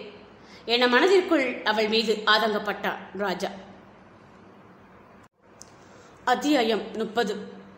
ராகவும் ரவியும் எத்தனை பிரயத்தனப்பட்டும் இருவரும் ஒற்றை வார்த்தை கூட உதிர்க்கவில்லை. இதழ்கள் இரண்டு பிளாஸ்திரி போட்டதைப் போல ஒட்டி கொண்டிருந்தன மீண்டும் காரில் செல்லுகையில் சிறிது தூரம் சென்ற பிற்பாடு ராஜா ஒரு நிமிஷம் காரை நிறுத்தடா. இம்பார்ட்டன்ட் கால் ஒன்று பேசணும் என எவருக்கோ அழைத்து பேசினான் ராகவ். ஒரு முக்கியமான வேலை இருக்குதுடா. மினிஸ்டரோட பினாமி ஒருத்தரை பார்க்க வேண்டியது இருக்குது நீ தீக்ஷியை பத்திரமா வீட்டுக்கு அழைச்சிட்டு போயிடு. நான் அத்தைக்கு கால் பண்ணி சொல்லிடுறேன் என பரபரப்பாக பேசியவன் தனது டிரைவருக்கு அழைத்து அவ்விடமிருந்து காரில் புறப்பட்டு விட்டான். ராகவ். அவன் சென்ற பின்னர் மிதமான வேகத்தில் காரை செலுத்திக் கொண்டிருந்தான் ராஜா. ஏ தீக்ஷிதான்னு சொல்ற? என அவள்தான் மௌனத்தை கலைத்தாள். அதுதானே உங்களோட பெயர்? என அவன் கேட்க இத்தனை நாளா அப்படித்தான் சொல்லிட்டு கூப்பிட்டு இருந்தியா? என ஆதங்கத்துடன் வினவினாள் அவனது மகாலட்சுமி. அதெல்லாம் எதுவும் நினைவில் இல்லைங்க. எல்லோரும் உங்களை தீட்சிதான்னு கூப்பிடுறாங்க. ஸோ நானும் அப்படியே கூப்பிடுறேன். வேண்டுமென்றே வெட்டி பேசினான். ஸோ இனி இப்படித்தான் இல்லையா ராஜா? எப்படின்னா தீட்சிதான்னு. ஆ ஆமாம் அப்போ நமக்குள்ள எதுவுமே இல்லை. அப்படிதானே அப்படின்னு நீங்க தான் சொன்னீங்க தீக்ஷிதா நான் இல்லை. ப்ளீஸ் ராஜா அதையே சொல்லி சொல்லி என்னை நோக்கடிக்காதே அன்னைக்கு இருந்த மைண்ட் செட்டில் அப்படி பண்ணிட்டேன். உன்னை ஹர்ட் பண்ணணும்னு என்றைக்குமே நான் நினச்சதில்லை. ஆனால் இப்போ வரைக்கும் என்னை ஹர்ட் பண்ணுறதை மட்டும்தான் பண்ணிட்டு இருக்கிறீங்க மிஸ் தீக்ஷிதா நான் பாட்டுக்கு அந்த வாட்சை கொடுத்துட்டு விலகிட்டேன். நீங்கள் தான் பேசுனீங்க. அப்புறம் நீங்களே அவாய்ட் பண்ணினீங்க. திரும்ப நீங்களா வந்தீங்க. சாரி சொன்னீங்க. மாமான்னு நெருக்கமாகினீங்க. திரும்பவும் போடா நாயேன்னு விரட்டிட்டீங்க. இதுல என்னோட தப்பு என்ன இருக்குது சொல்லுங்க? உங்க மேல உண்மையான அன்பை காட்டினதை தவிர நான் செஞ்ச தப்பு என்ன? சரி நீங்க சொல்ற மாதிரியே எடுத்துக்கலாம். உங்க அம்மா என் அப்பாவை நேசிச்சதை மறக்க முடியாம இருக்கிறாங்கன்னே வச்சுக்கலாம். என்ன பண்ணுறதுன்னு உங்களுக்கு தெரியல. அப்படின்னா நீங்கள் என்கிட்ட சொல்லியிருக்கலாமே. நானும் தானே உங்களோட காதலில் சம்மந்தப்பட்டிருக்கிறேன் என்னை கேட்காம நீங்களே முடிவெடுத்துக்கிட்டா எப்படிங்க? என்ன பிரச்சனையாக இருந்தாலும் ராஜா கிட்ட சொன்னால் சொல்யூஷன் கிடைக்கும். அவன் எல்லாத்தையும் சால்வ் பண்ணிடுவான்னு நம்பிக்கை இல்லைன்னா இந்த அர்த்தமில்லாத பந்தம் ஏன் தொடரணும்? அவன் பேச பேச அவளிடம் பதில் இல்லை. வாயை மூடி விம்மியவாறே அமர்ந்திருந்தாள். யார் என்ன சொன்னாலும் விட்டுடாதேன்னு கண்ணை கசக்கினது இப்போ வரைக்கும் நீங்காம நினைவிலேயே நிற்குது அதெல்லாம் யோசிச்சுத்தானே நேர்ல வந்தேன். அந்த இடத்துல என்னோட சுயமரியாதையை பத்தி ஒரு செகண்ட் யோசிச்சிருந்தா கை நீட்டி அடிச்சிருப்பீங்களா தீக்ஷிதா அத்தனை பேர் முன்னாடி அடிச்சிட்டு நீங்க பாட்டுக்கு போயிட்டீங்க. அந்த அளவுக்கு இன்டீசெண்டா நடந்துக்கிற ஆளா நான்? இத்தனை நடந்தும் உங்க அப்பாவை மீட் பண்ண போனேன். ஃப்ரெண்டு மட்டும்தான்னு ரொம்ப அசால்ட்டாக சொல்லிட்டீங்க. உங்கள் பேரண்ட்ஸை நிமிர்ந்து பார்க்கவே குற்ற உணர்ச்சியாக இருந்துச்சு எனக்கு. சரி அதை கூட நீங்கள் சொல்கிற மாதிரி ப்ரிகாஷனில் சேர்த்துக்கிட்டாலும் ஏன் என் அக்கா விஷயத்தில் எனக்கு நடந்த அநீதிக்கு காரணமா இருந்ததுதான் என் முன்னாடி முள்ளாக உறுத்துது. என் அப்பா அம்மா குடும்பம்தான் எனக்கு எல்லாமேனே உங்களுக்கு நல்லா தெரியும். அக்காவோட குழந்தையை வாங்கி கொஞ்சனும் அவளோட டெலிவரி டைமில் உடன் இருக்கணும்னு எவ்வளோ ஆசைப்பட்டேன் தெரியுமா? என் அக்கா தான் தாயான பூரிப்பில் குழந்தையை வாங்குறதை கண்ணால் ரசிக்கணும்னு ஏங்கி தவிச்சிட்டு இருந்தேன். ஆனால் ஒரு மாதமாகியும் அவளோட குழந்தையை கண்ணால் பார்க்கக்கூட முடியாத அளவிற்கு தூரமாக்கிடுச்சு. உங்களோட செயல்கள். இப்போ கூட நீங்களாவா என்னை தேடி வந்தீங்க? பூமிகா பேசினதால வந்தீங்க. இல்லைனா இன்னும் எத்தனை வருஷம் ஆனாலும் உங்களுக்கு உங்களோட தவறுகள் புரிஞ்சிருக்காது. இப்படி பிக்கல் பிடுங்கள் நிறைஞ்ச நேசம் எனக்கு வேணாம் தீக்ஷிதா அதுக்காக உங்களை வெறுப்பேத்துறதுக்கு ரேணுவுக்கு ஹோப் கொடுக்கற மாதிரி நடந்துப்பேன்னு நினைக்காதீங்க. நான் அந்த மாதிரி சீப் கேரக்டர் இல்லை. அவளுக்கு எப்படி எடுத்து சொல்லி புரிய வைக்கணுமோ அப்படி புரிய வச்சுக்கிறேன். நீங்க உங்களை வருத்திக்காம நல்லா சாப்பிட்டு படிப்புல கான்சென்ட்ரேட் பண்ணுங்க. என நீண்ட நெடியதொரு உரையாற்றி முடிப்பதற்குள் இல்லத்தை அடைந்திருந்தனர். அங்கே பூட்டியிருந்த வாசலில் ரேணு அமர்ந்திருக்க நீ எப்போ வந்த ரேணு? காலேஜில் எப்படி லீவ் தந்தாங்க? என விசாரித்தவரே காரில் இருந்து இறங்கினான் ராஜா. பிளேஸ்மெண்ட் செல் மீட்டிங்குக்காக லோக்கல் பொலிட்டிஷியன் ஒருத்தரை மீட் பண்ணுறதுக்காக ஓடி வாங்கினோம் திடீர்னு வேலை வந்துடுச்சுன்னு மீட்டிங் கேன்சல் பண்ணிட்டார். ஸோ இங்கே வந்துட்டேன் என தோலை குலுக்கினாள் அவள். சரிம்மா என்றவன் கார் கதவை திறந்து தீக்ஷிதா ரூமுக்கு போயிடுவீங்களா? என கேட்க அவளோ கலங்கிய வெளிகளுடன் அவனை ஏறிட்டு பார்த்தாள். அவளது விழிகளை ஏறிட்டு பார்த்தால் பிடித்து வைத்திருக்கும் பிடிவாதம் அனைத்தும் காற்றோடு பறந்து போகும் என உணர்ந்தவன் வேறு புறம் திரும்பிக் கொள்ள நான் அழைச்சிட்டு போறேன் அத்தான் என முன்வந்தார் ரேணு. பரவாயில்லை நானே போயிடுவேன் என்றவள் தட்டு தடுமாறி அறைக்கு செல்ல முற்பட அத்தான் வாங்க லஞ்சு சாப்பிடலாம் என அழைத்தாள் ரேணு. இல்லைம்மா பசிக்கல. அப்புறமா சாப்பிட்றேன். என அவன் தவிர்க்க அட உட்காருங்க அத்தான். நேத்து நைட்ல இருந்து நீங்க சரியாவே சாப்பிடல என்றவள் அவனுக்கு தட்டில் உணவை எடுத்து வைத்தாள். டூ மினிட்ஸ் வெயிட் பண்ணுங்க. உங்களுக்கு பிடிச்ச முட்டையை கலக்கி செஞ்சு எடுத்துட்டு வரேன் என்றவள் சமையல் அறைக்குள் ஓட படிகளில் நின்றவாறே அவனை பார்த்திருந்தாள் தீக்ஷிதா ஏய் ரூமுக்கு போடி. உன் பார்வையால என்னை வதைக்காதே. ஏற்கனவே குற்ற உணர்ச்சியில் இருக்கிறேன். என அவன் மனதிற்குள் மருக அவளோ ஏண்டா என்னை இவ்வளோ காயப்படுத்துற? எப்பவும் என்னை கஷ்டப்படுத்த மாட்டேன்னு சொன்னவன் இந்த ரெண்டு நாளா அதை மட்டும் செஞ்சிட்டு இருக்கிற தப்பு பண்ணிட்டேன்னு அக்செப்ட் பண்ணிக்கிட்டேனே அப்போ உன்னோட நேசம் அவ்வளோதானா என ஏக்கம் தோய்ந்த விழிகளுடன் நின்று கொண்டிருந்தாள் தீக்ஷிதா அத்தான் பெப்பர் தூக்கலா? உங்களோட ஃபேவரட் கலக்கி சாப்பிடுங்க.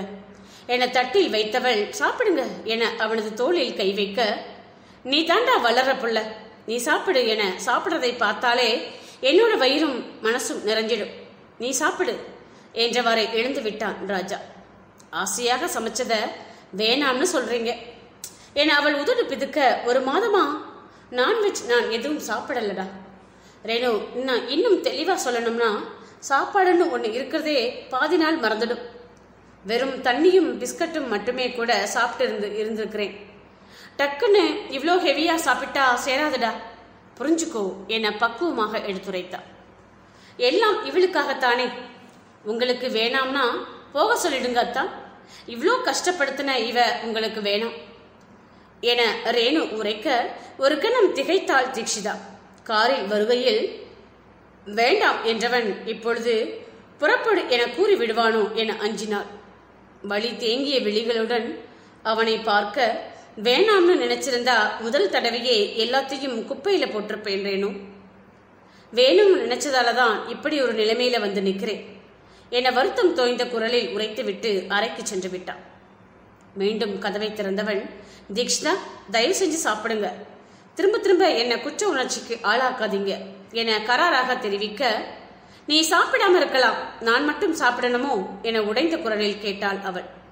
நான் ஒன்றும் மயங்கி விழல என்றவன் கதவை அடைத்துக் கொள்ள உணவருந்தி முடித்த ரேணு தன் பையில் இருந்து சலங்கையை வெளியில் எடுத்தாள். கூடத்தில் அமர்ந்திருந்த தீக்ஷிதா புரியாமல் நெற்றி சுருக்க அத்தானுக்கு கிளாசிக்கல் டான்ஸ்னா ரொம்ப பிடிக்கும். மனசளவுல நொந்து போயிருக்கிறவரை என்னால முடிஞ்ச அளவுக்கு கன்சோல் பண்ண போறேன் என உடை மாற்றிக்கொள்வதற்காக செல்ல தனது அறைக்கு சென்ற தீக்ஷிதா காலில் சலங்கையை கட்டினான். என்னோட டான்ஸ் உனக்கு பிடிக்கும்னு சொல்லுவல்ல? இதையே என்னோட பிரம்மாஸ்திரமா பிரயோகிக்கிறேன் ராஜா. இதுக்கு மேல எனக்கு என்ன பண்றதுன்னு தெரியல. இதுக்கப்புறமும் உன்னோட மனசு மாறும்னு எனக்கு நம்பிக்கை இல்லை. உன் மகா மேல நீ வச்சிருந்த நேசம் உண்மைனா உண்மையே உன்னையும் அறியாமல் நீ என்னை தேடி வருவ. இல்லைனா உன்னோட உணர்வுகளுக்கு மதிப்பு கொடுத்து விலகி போயிடுவேன் நான். நீ இல்லாம வாழ்றது வலிக்கும் தான். ஆனாலும் என்னோட தவறுக்கான தண்டனையாக அதை நினைச்சுக்கிறேன். என தனக்குள்ளாகவே பேசியவள் எழுந்து நிற்க அவளது சலங்கையின் ஓசை அவனது இதயத்தில் எதிரொலித்தது. மகா மகா டான்ஸ் ஆட போறாளா? என உள் மனம் குதூகலிக்க அத்தான் என்றவாறே கதவை தட்டினார் ரேணு. கதவை திறந்தவன் அவளது தோற்றத்தை பார்த்ததும் நீதான் சலங்கை கட்டியிருக்கிறதா? அப்போ மகா இல்லையா? என சற்றே பின்வாங்கினான் அத்தான் ஏனோ இப்போ பரதம் ஆடணும்னு தோணுது. நீங்க பார்க்க வர்றீங்களா? அட்லீஸ்ட் கொஞ்சமாவது உங்களோட மனசுல இருக்கிற பாரம் குறையும்ல? என அவள் அழைக்க அவனுக்கோ மகாவின் நினைவுகள் மனதை அலைக்கழித்தன. பைத்தியக்காரி. எல்லாமே உன்னால தாண்டி உன்னை தாண்டி நினைவுபடுத்துது. நீ பைத்தியக்காரத்தனம் பண்ணாம இருந்திருந்தா இந்நேரம் இதெல்லாம் அவசியமே இருந்திருக்காது. என மனதிற்குள் வசைப்பாட வாங்க அத்தா என அவன் கைப்பிடித்து அழைத்தாள் ரேணு.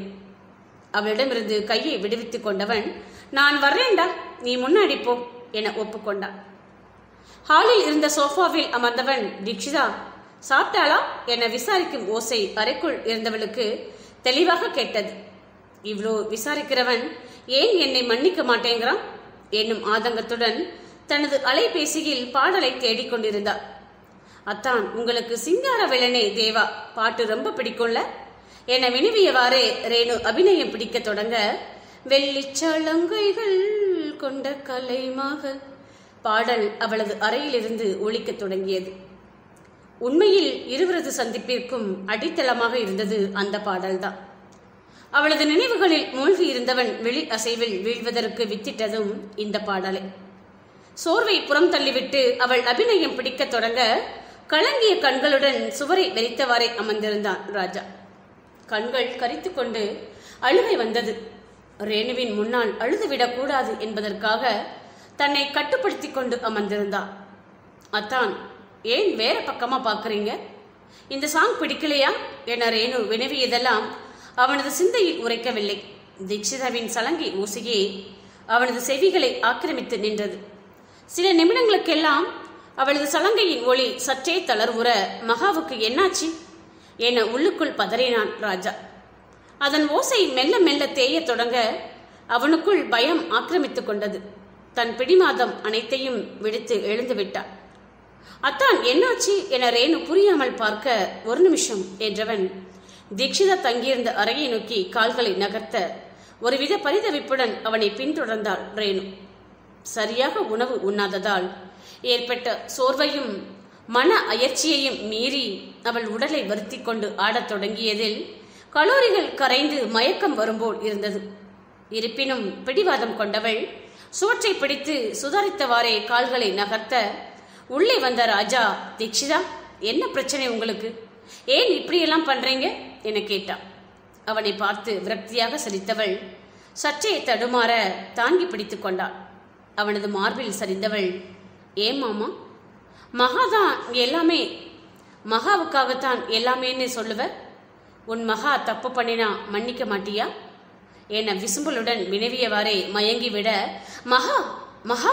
என கன்னத்தில் தட்டினான் ராஜா. ஏய் கண்ணு திறந்து பாரு குட்டிமா. மகா தப்பு பண்ணினா மன்னிப்பேண்டா. ஆனா தப்பு பண்ணினா கோச்சுக்கு கூட உன் மாமாவுக்கு உரிமை இல்லையா? என ஒற்றை நொடியில் அவளது காலடியில் சரணடைந்து விட்டிருந்தது அவனது ஒட்டுமொத்த கோபமும். அருகில் இருந்த தண்ணீர் குடுவையை எடுத்தவன் அவளது முகத்தில் பேச்சு அடிக்க அவளோ விழித்துக் கொள்ளவில்லை. அவனுக்குள் ஒருவித பயம் ஊடுருவியது.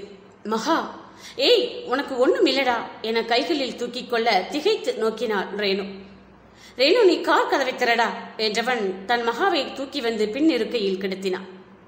தன் தங்கை பணிபுரியும் தனியார் மருத்துவமனை நோக்கி விரைந்தவன். செல்லும் வழியிலேயே அவளுக்கு அழைத்து விஷயத்தை தெரிவித்து விட்டான்.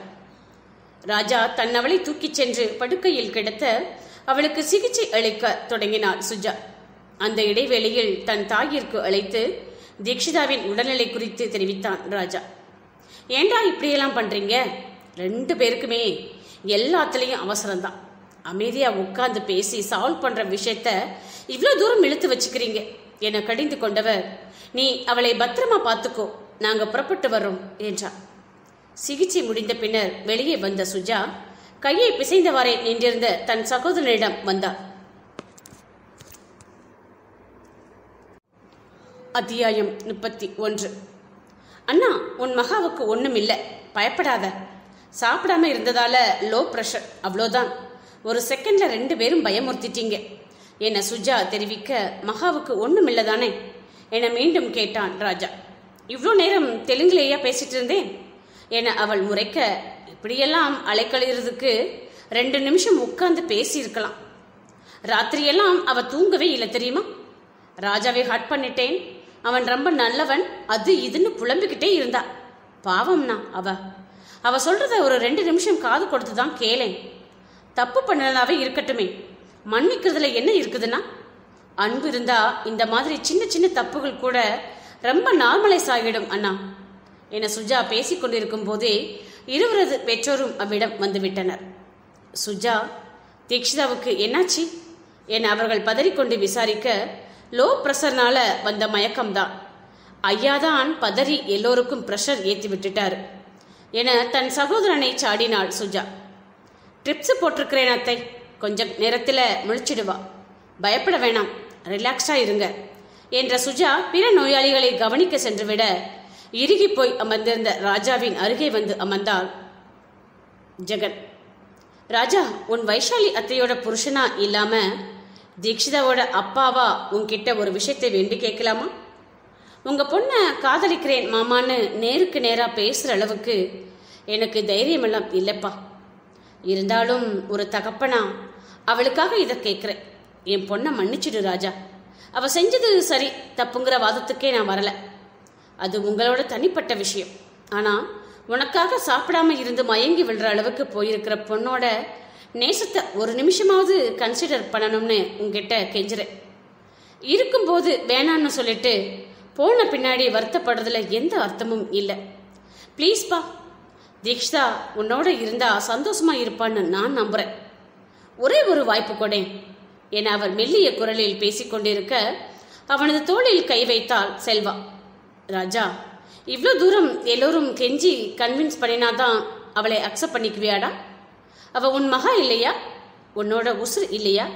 என அவள் கேள்வியாக நோக்க அவனோ மறுப்பாக தலையசைத்தான் இந்த தலையசைப்பை நாங்க என்னென்னு எடுத்துக்கட்டும்பா? மகா வேணாம்னு சொல்றியா? இல்ல கன்வின்ஸ் பண்ண வேணாம்னு சொல்றியா? என மித்ரா கேட்க எதுவும் பேசாமல் கண்களை மூடி இருக்கையில் சாய்ந்து கொண்டான் ராஜா.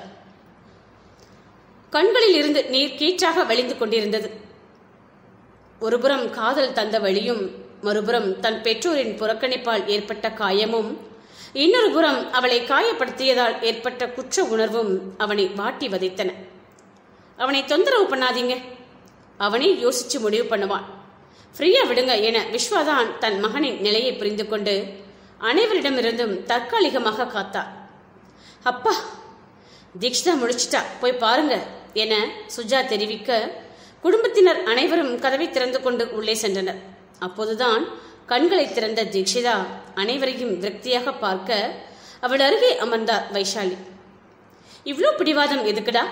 இத்தனை பேர் உங்களோட காதலுக்கு ஆதரவாக இருக்கிறப்போ இதெல்லாம் தேவைதானா? ஏன் இப்படி பண்றீங்க ரெண்டு பேரும்? என வருத்தத்துடன் பேசியவாறே தலை கோத எழுந்திர தீக்ஷிமா ஜூஸ் குடி என்றார் ஜெகன். ம் வேணாம் என அவள் மறுக்க போட்டேனா சாப்பிடாம மயங்கி விழுந்து எல்லோரையும் கலங்க வச்சுட்டு ஜூஸ் வேணாமா? என சற்றே கண்டிப்புடன் குறிப்பிட்ட மித்ரா ஒரு டம்ளரில் பலரசத்தை அவளிடம் நீட்டினார். அவளோ அதை பெற்றுக்கொள்ளாமல் அறையில் ஓரமாக நின்றிருந்த ராஜாவை வெறித்துக் கொண்டிருக்க அவனோ தலையை குனிந்தவாறே நின்றிருந்தான் சூழ்நிலையை கிரகித்து கொண்டு ஏதாவது பேசணுமா ராஜா? நாங்க வேணும்னா வெளியில இருக்கவா என கேட்டார் விஸ்வா. மெலிதாக தலையசைத்தவன் அவள் காலருகே அமர அனைவரும் அவ்விடம் விட்டு வெளியேறினர். சில நிமிடங்கள் அவ்விடம் மௌனமே ஆளுகை செய்ய மாமா என மெலிதான விசம்பலுடன் அழைத்தாள் மகாலட்சுமி.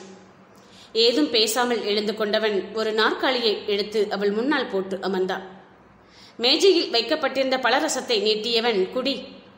உன்னோட உண்ணாவிரதத்தை முடிச்சுக்கோ என்றான். மாட்டே என அவள் மறுப்பாக தலையசைக்க குடி மகா என்றான். சற்றே கனிவான குரலில் மகான்னா சொன்ன? என அவள் சந்தேகமாக பார்க்க அவள் கையை பிடித்து டம்ளர் டம்ளரை திணித்தவன் குடி என்றான் சற்றே கராராக. பெற்றுக்கொண்டவள் அருந்தாமல் அவனையே பார்த்து கொண்டிருக்க குடிடா என கரத்தில் அழுத்தம் தந்தான். அதில் என்ன உணர்ந்தாலோ எதுவும் பேசாமல் சிப் சிப்பாக அருந்த தொடங்கினான் அவன் அவளையே பார்த்து கொண்டிருக்க என்ன? என்னும் விதமாக ஒற்றை புருவம் உயர்த்த அவ்வளவுதான். ராஜாவின் கோட்டை மொத்தமாக சரிந்து விட்டது. ஒண்ணுமில்லை என்றவன் வேறுபுறம் திரும்பிக் கொள்ள அவ்வளோ இன்னமும் குடித்து முடித்தபாடில்லை. ஊசி தொண்டை தாளி வயிறுன்னு சொல்றது இவளுக்குத்தான் போல. ஒரு டம்ளர் ஜூஸை குடிக்கிறதுக்கு எவ்வளோ நேரம்? என மானசீகமாக அவளை வசிப்பாடியவாறே பாடியவாறே அமர்ந்திருந்தவன் ஒரு டம்ளர் ஜூஸ் குடிக்க இவ்வளோ நேரமா உனக்கு? என சற்றே எரிச்சலுடன் கேட்டான். ஏன்? என்பது போல் புருவங்களை நெறித்தவள் கண்களை உருட்டி கேள்வியாக அவனை பார்க்க அதற்கு மேல் அவனுக்கு பொறுமை இல்லை. அவள் கையில் இருந்த டம்ளரை பிடுங்கி வீசியவன் அவளது இதழை தன் வசமாக்கியிருந்தார் இதுகாரும் பிரிந்திருந்த ஏக்கத்திற்கும் வேதனைக்கும் மருந்தாக.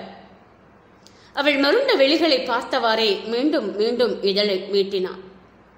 அவளும் அவனது பிரிவினால் ஏற்பட்ட வேதனையை வெளிநீராக வெளியேற்றிக் கொண்டிருந்தாள் அவளை தன் மார்போடு அணைத்துக் கொண்டவன் ஆதுரமாக தலையை கோதியவாறே கண்ணீர் உகுக்க அவளோ கண்ணீரால் அவன் மேற்சட்டையை நனைத்துக் கொண்டிருந்தாள் அவள் அழுகையின் வெம்மையை உணர்ந்தவன் அவள் முகத்தை நிமிர்த்த நிதம் ஒரு கதை பேசும் அவளது வெளிகள் இப்பொழுது வழியில் துடித்துக் கொண்டிருந்தன.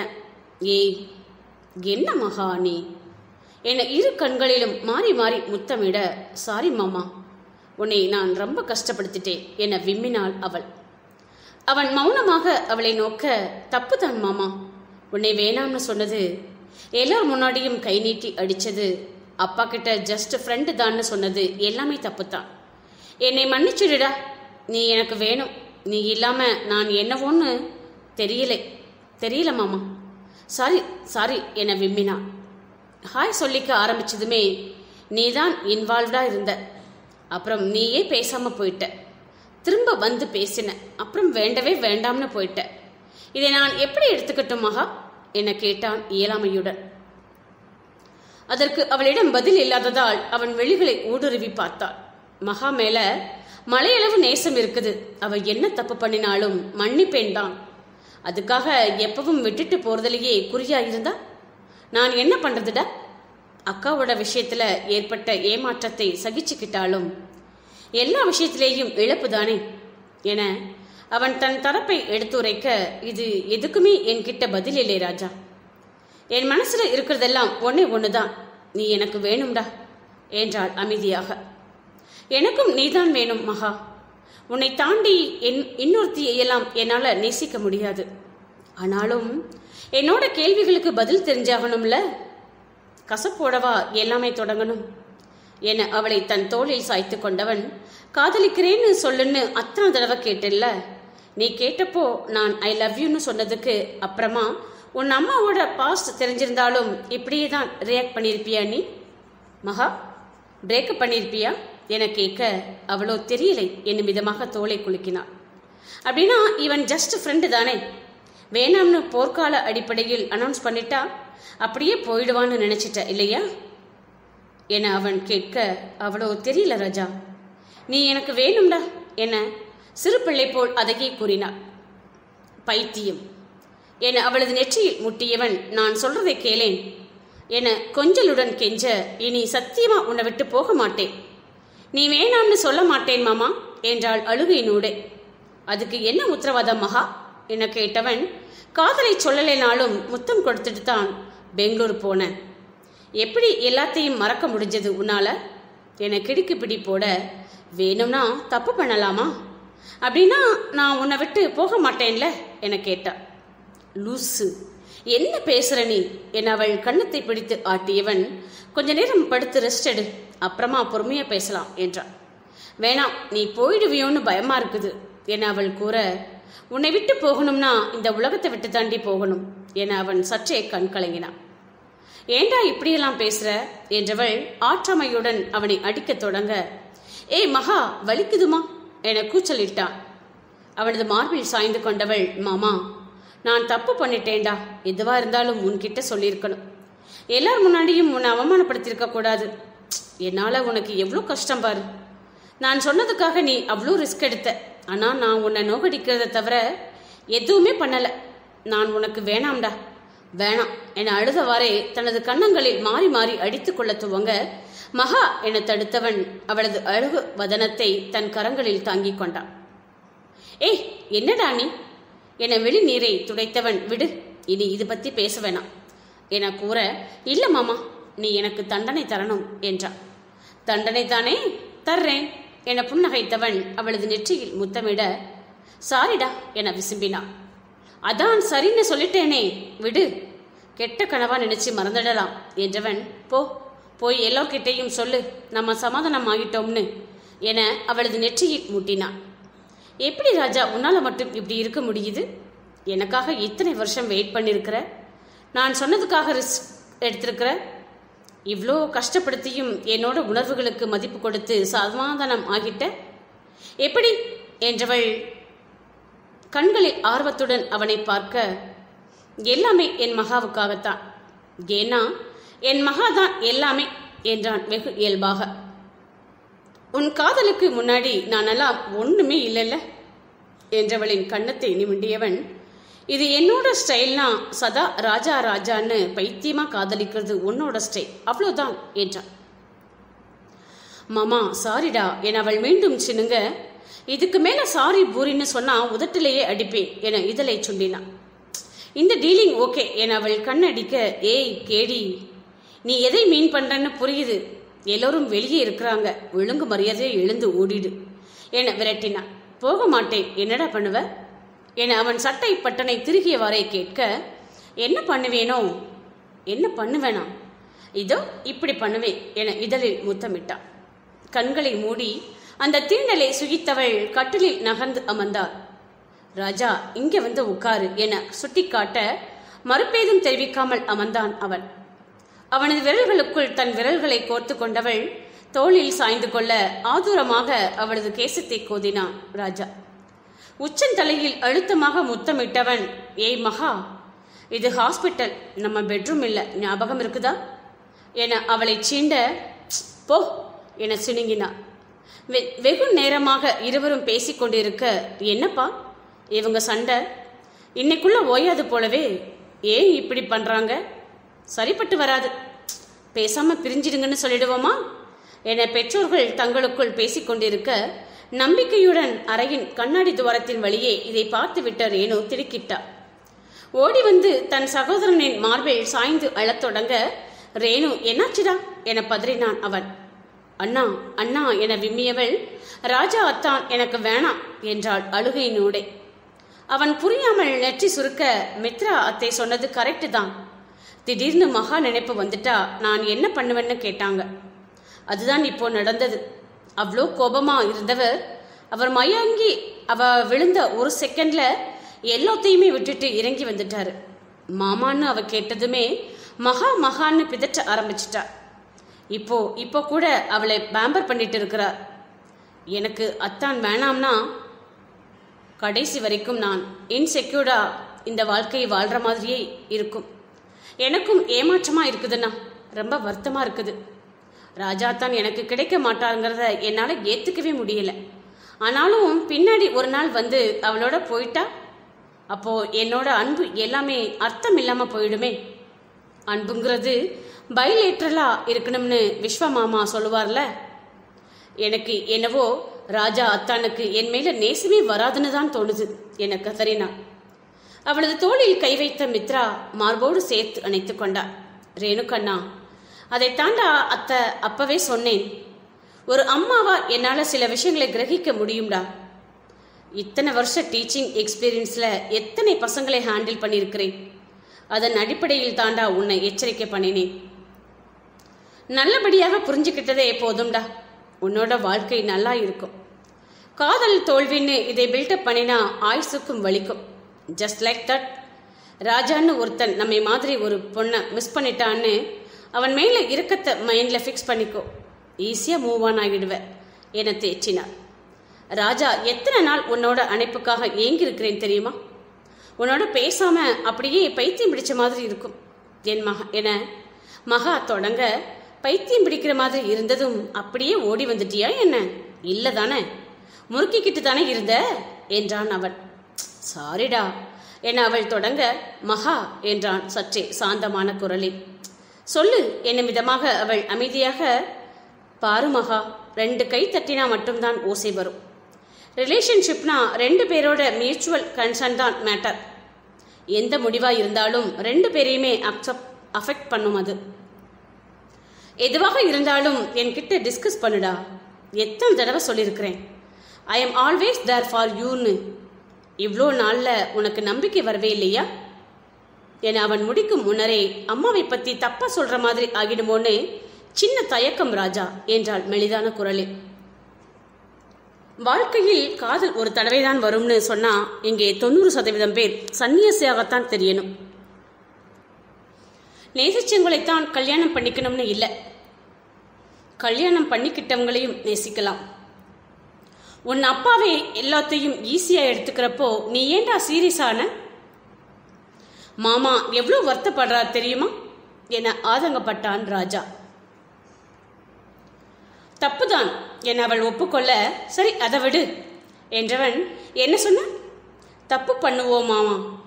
எல்லாம் உனக்கு ஈஸியா போச்சதில்ல என அவளது உதட்டை பிடித்து ஆட்ட உன்னை சமாதானம் பண்றதுக்கு என்ன சொல்றதுன்னு தெரியல என்றாள் மெல்லிய குரலில். உதைப்பே என கண்டித்தவன் எல்லாத்துக்கும் ஒரு வரம்பு இருக்குது மகா. இனியாவது எல்லாத்தையும் யோசிச்சு டிசைட் பண்ணு என கூற நான் எல்லா விஷயத்திலையும் கிளியரா தான் இருக்கிறேன். உன்னோட விஷயத்துல தான் வீக் ஆயிடுறேன் என உதடு பிதுக்கினான்.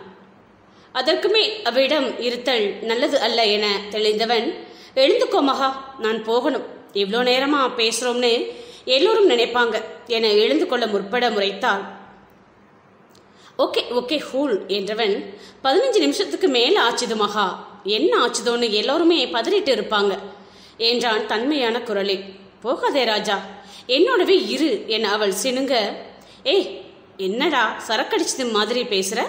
என நெற்றி முட்டினான். மாமா லவ் யூ என அவள் மெல்லிய குரலில் உரைக்க.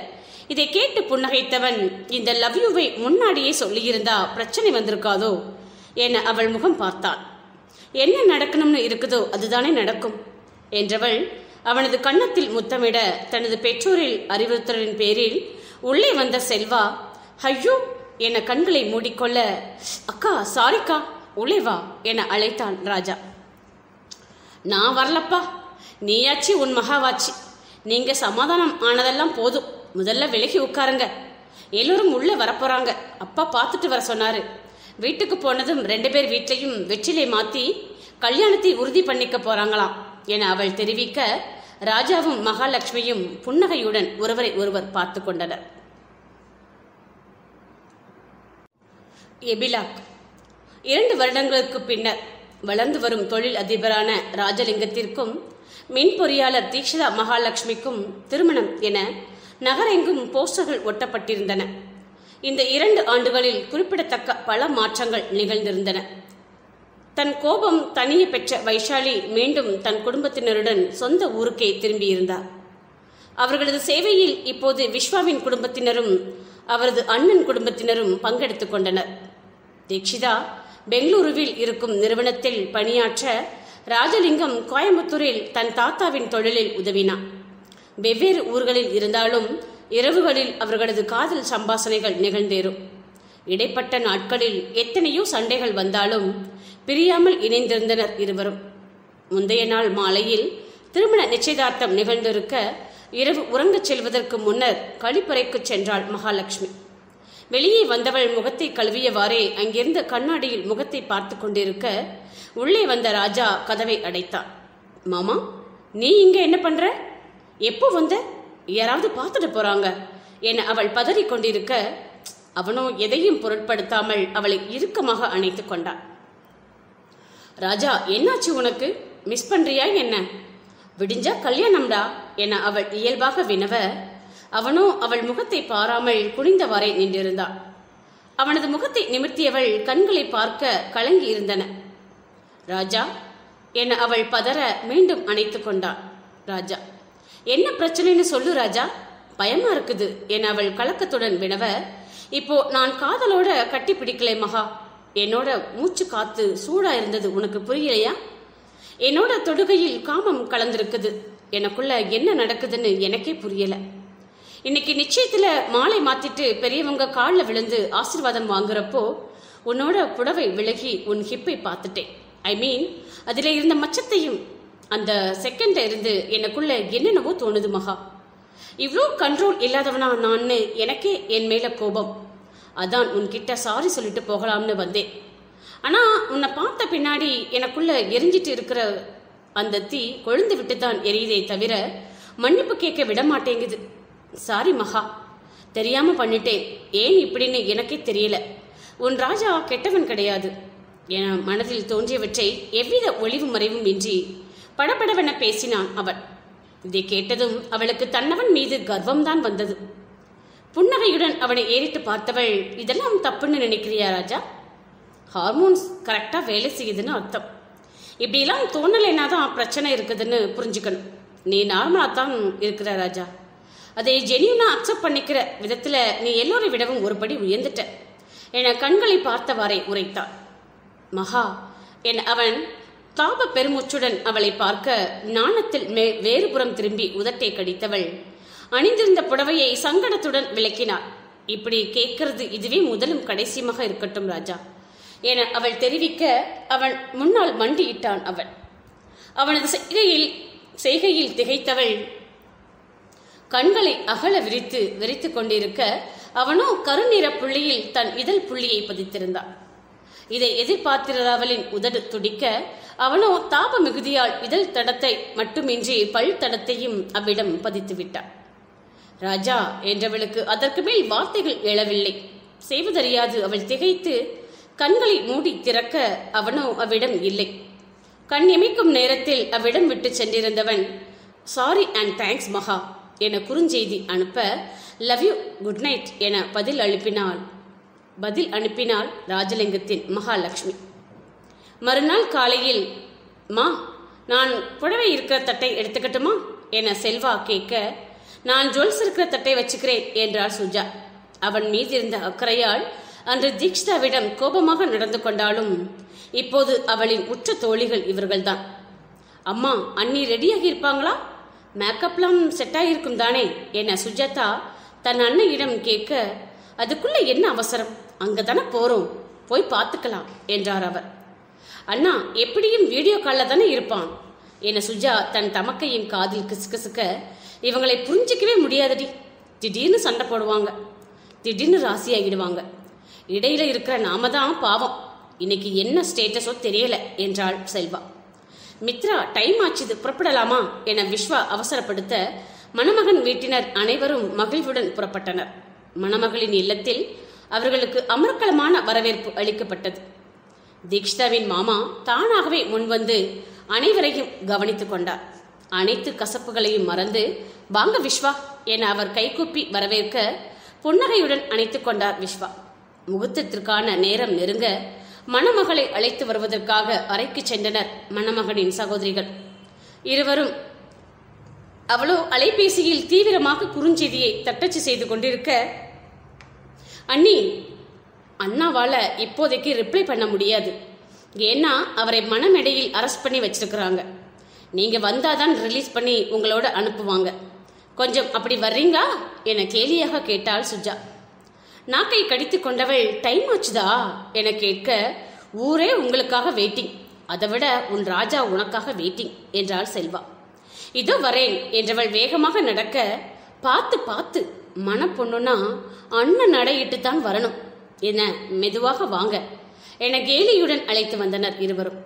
ஆர்வத்துடன் காத்திருந்த ராஜாவின் அருகே அமர்ந்த மகா அவனை பார்த்து மெளிதாக புன்னகைக்க பதிலுக்கு கண்களை சிமிட்டு சிரித்தான் அவன். அன்பும் அரணும் உடைத்தாயின் இல்வாழ்க்கை பண்பும் பயனும் அது என ஜெகனின் தந்தை மங்கள நானை ஆசிர்வதித்து ராஜாவிடம் நீட்ட பவ்யமாக பெற்றுக்கொண்டான் அருகில் அமர்ந்திருந்த தன் மகாவின் மணிக்கழுத்தில் மங்கள நாணை முடிச்சிட கைகளை குப்பியவாறு அமர்ந்திருந்தவளின் கண்களில் கீற்றாக கண்ணீர். ஏ மகா என்னது இது?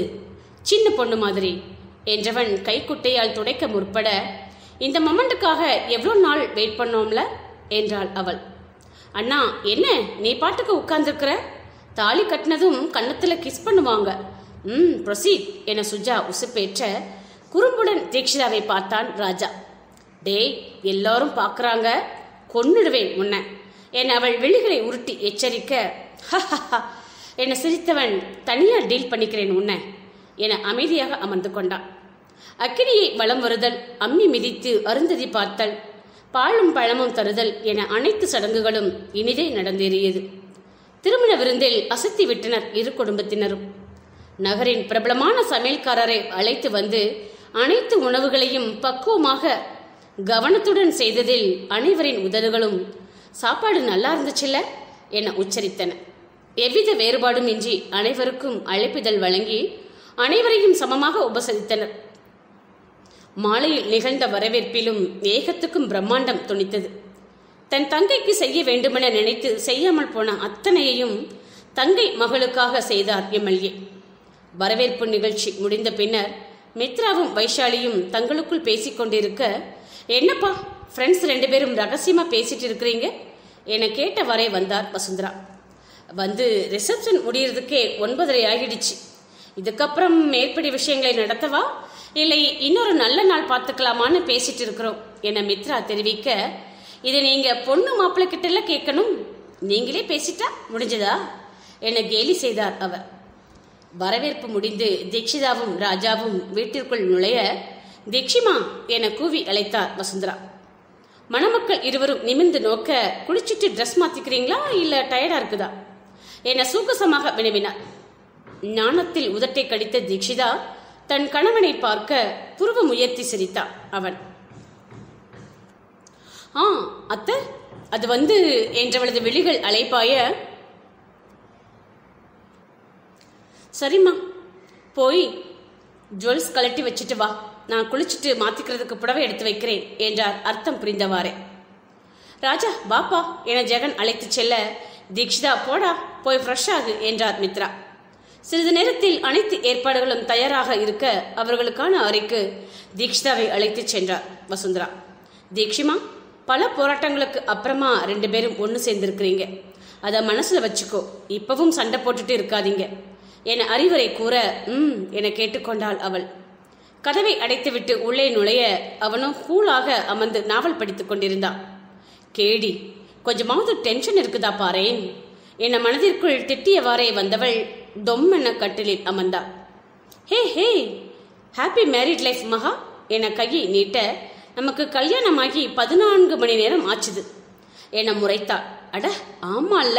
மறந்தே போயிட்டேன் என நெருங்கி அமர்ந்தவன் சோ என இழுக்க அவனது கையில் அடித்தவள் சாம்பிராணி போட்டன்னா கொன்னுடுவேன் என எச்சரித்தாள்.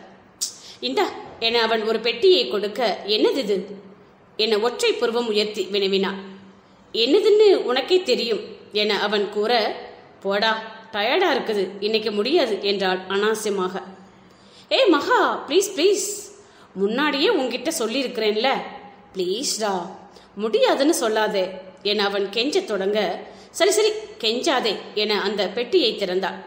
அதில் இரண்டு சலங்கைகள் இருக்க ஆனா காலையில இருந்து நின்றுட்டே இருந்ததுல கால் வலிக்குது மாமா என சளைத்து கொண்டான் அப்போ பரவாயில்ல நாளைக்கு பார்த்துக்கலாம் என அவன் முகத்தை சுருக்க உடனே ஐயாவுக்கு கோபம் வந்துடுமே. ஆடேன் ஆடு தொலைக்கிறேன் என கன்னத்தில் முத்தமிட்டு கால்களில் அணிந்து கொண்டான் குட்டிமா கிளாசிக்கல் ட்ரெஸ் போட்டுக்கிறியா? நான் வேணும்னா ஹெல்ப் பண்ணவா? என அவன் ஆர்வமாக கேட்க தெரியும்டா உன் பிளான் என்னன்னு. அதெல்லாம் தேவையில்லை. நான் இப்படியே ஆடுறேன் என அவனது கண்ணத்தை கிள்ளினாள் அவன் பாடலை ஒழிக்க விட அவள் நளினத்துடன் அபிநயம் பிடிக்கத் தொடங்கினாள்.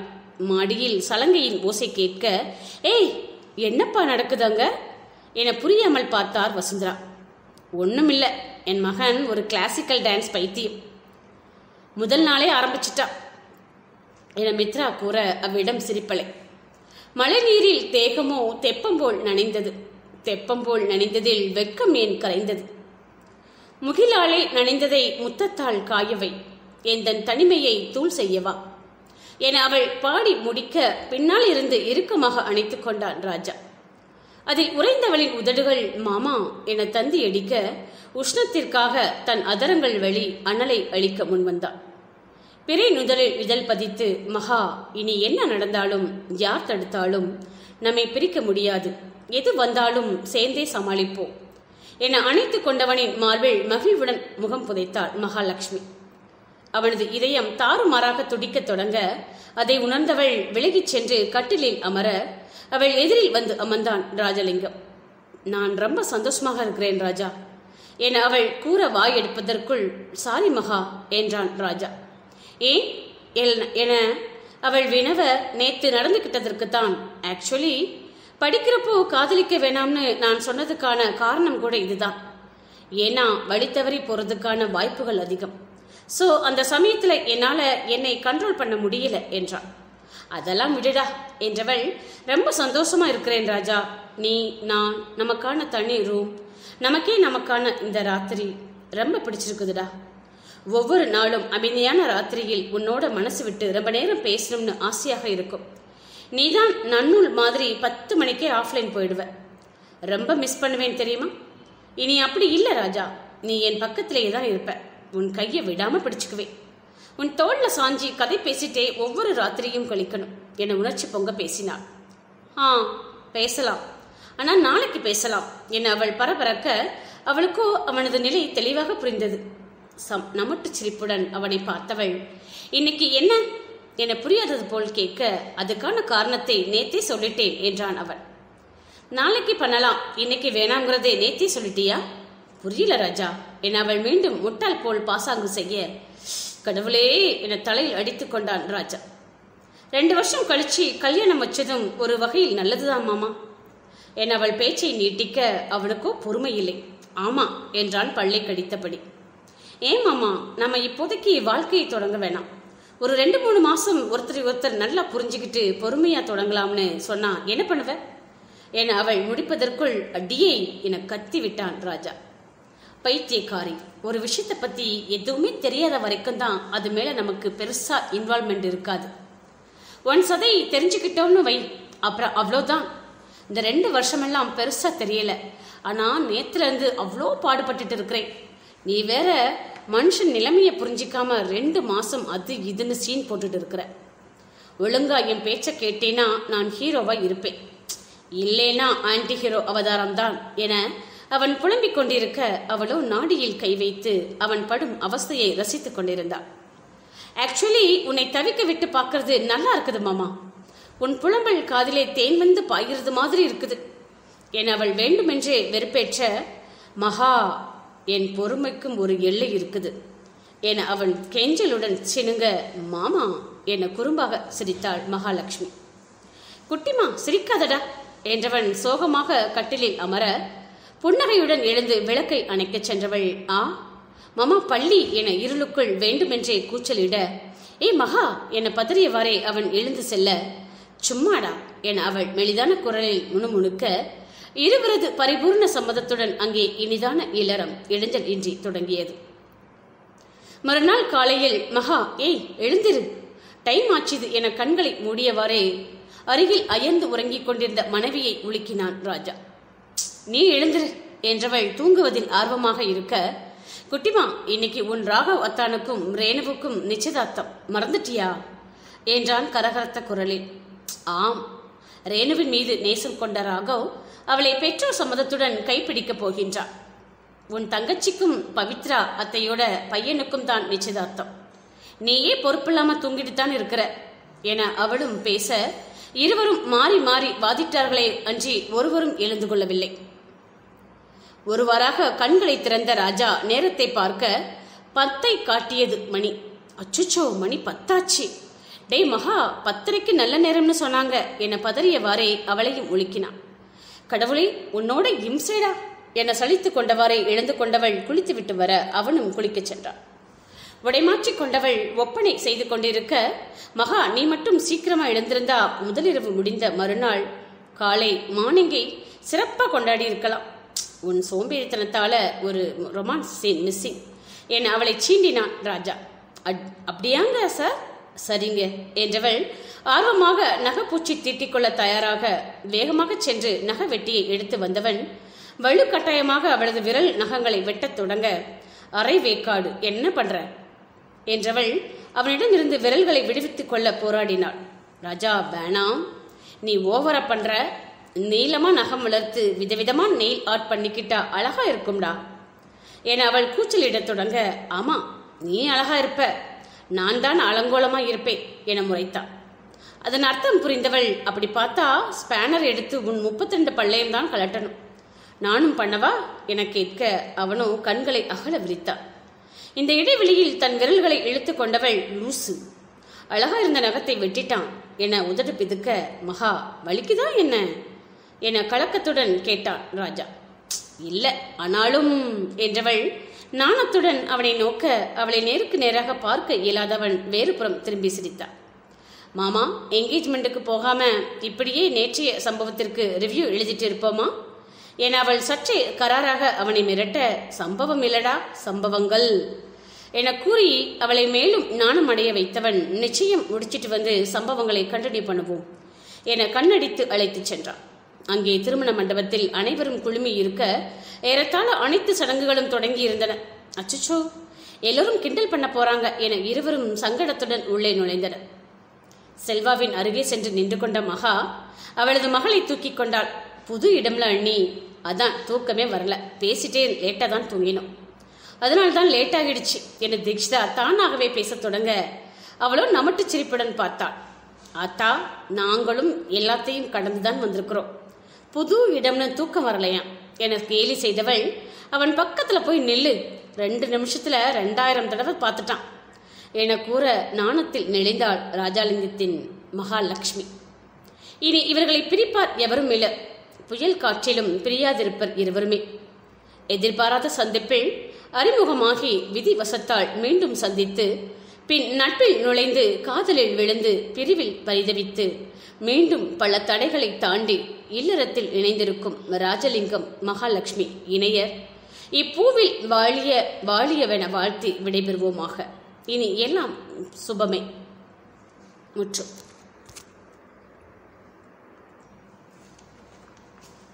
எல்லோரும் படிக்கிற வயதில் தன் நிலை மாறாமல் இருந்தால் பொக்கிஷமான வாழ்வு அமையும் அனைவருக்குமே. ஆண் பெண் இருவரும் தங்கள் குற்றங்களை ஒத்துக்கொண்டு தன் சுய அலசல் மூலம் தங்களை மாற்றிக்கொண்டால் நலமே. பெரியவர்களையும் மதித்து தன் சுய குணங்களையும் அலசி ஆராய்ந்து தன்னை திருத்திக் கொள்பவர்கள் வாழ்வில் என்றும் வசந்தமே. நன்றி வணக்கம். மீண்டும் அடுத்த கதையில் உங்களை சந்திக்கும் வரை காத்திருங்கள் உங்கள் ஸ்வீட் சுந்தரியின் குரல் ஒலிக்கு. நன்றி வணக்கம்.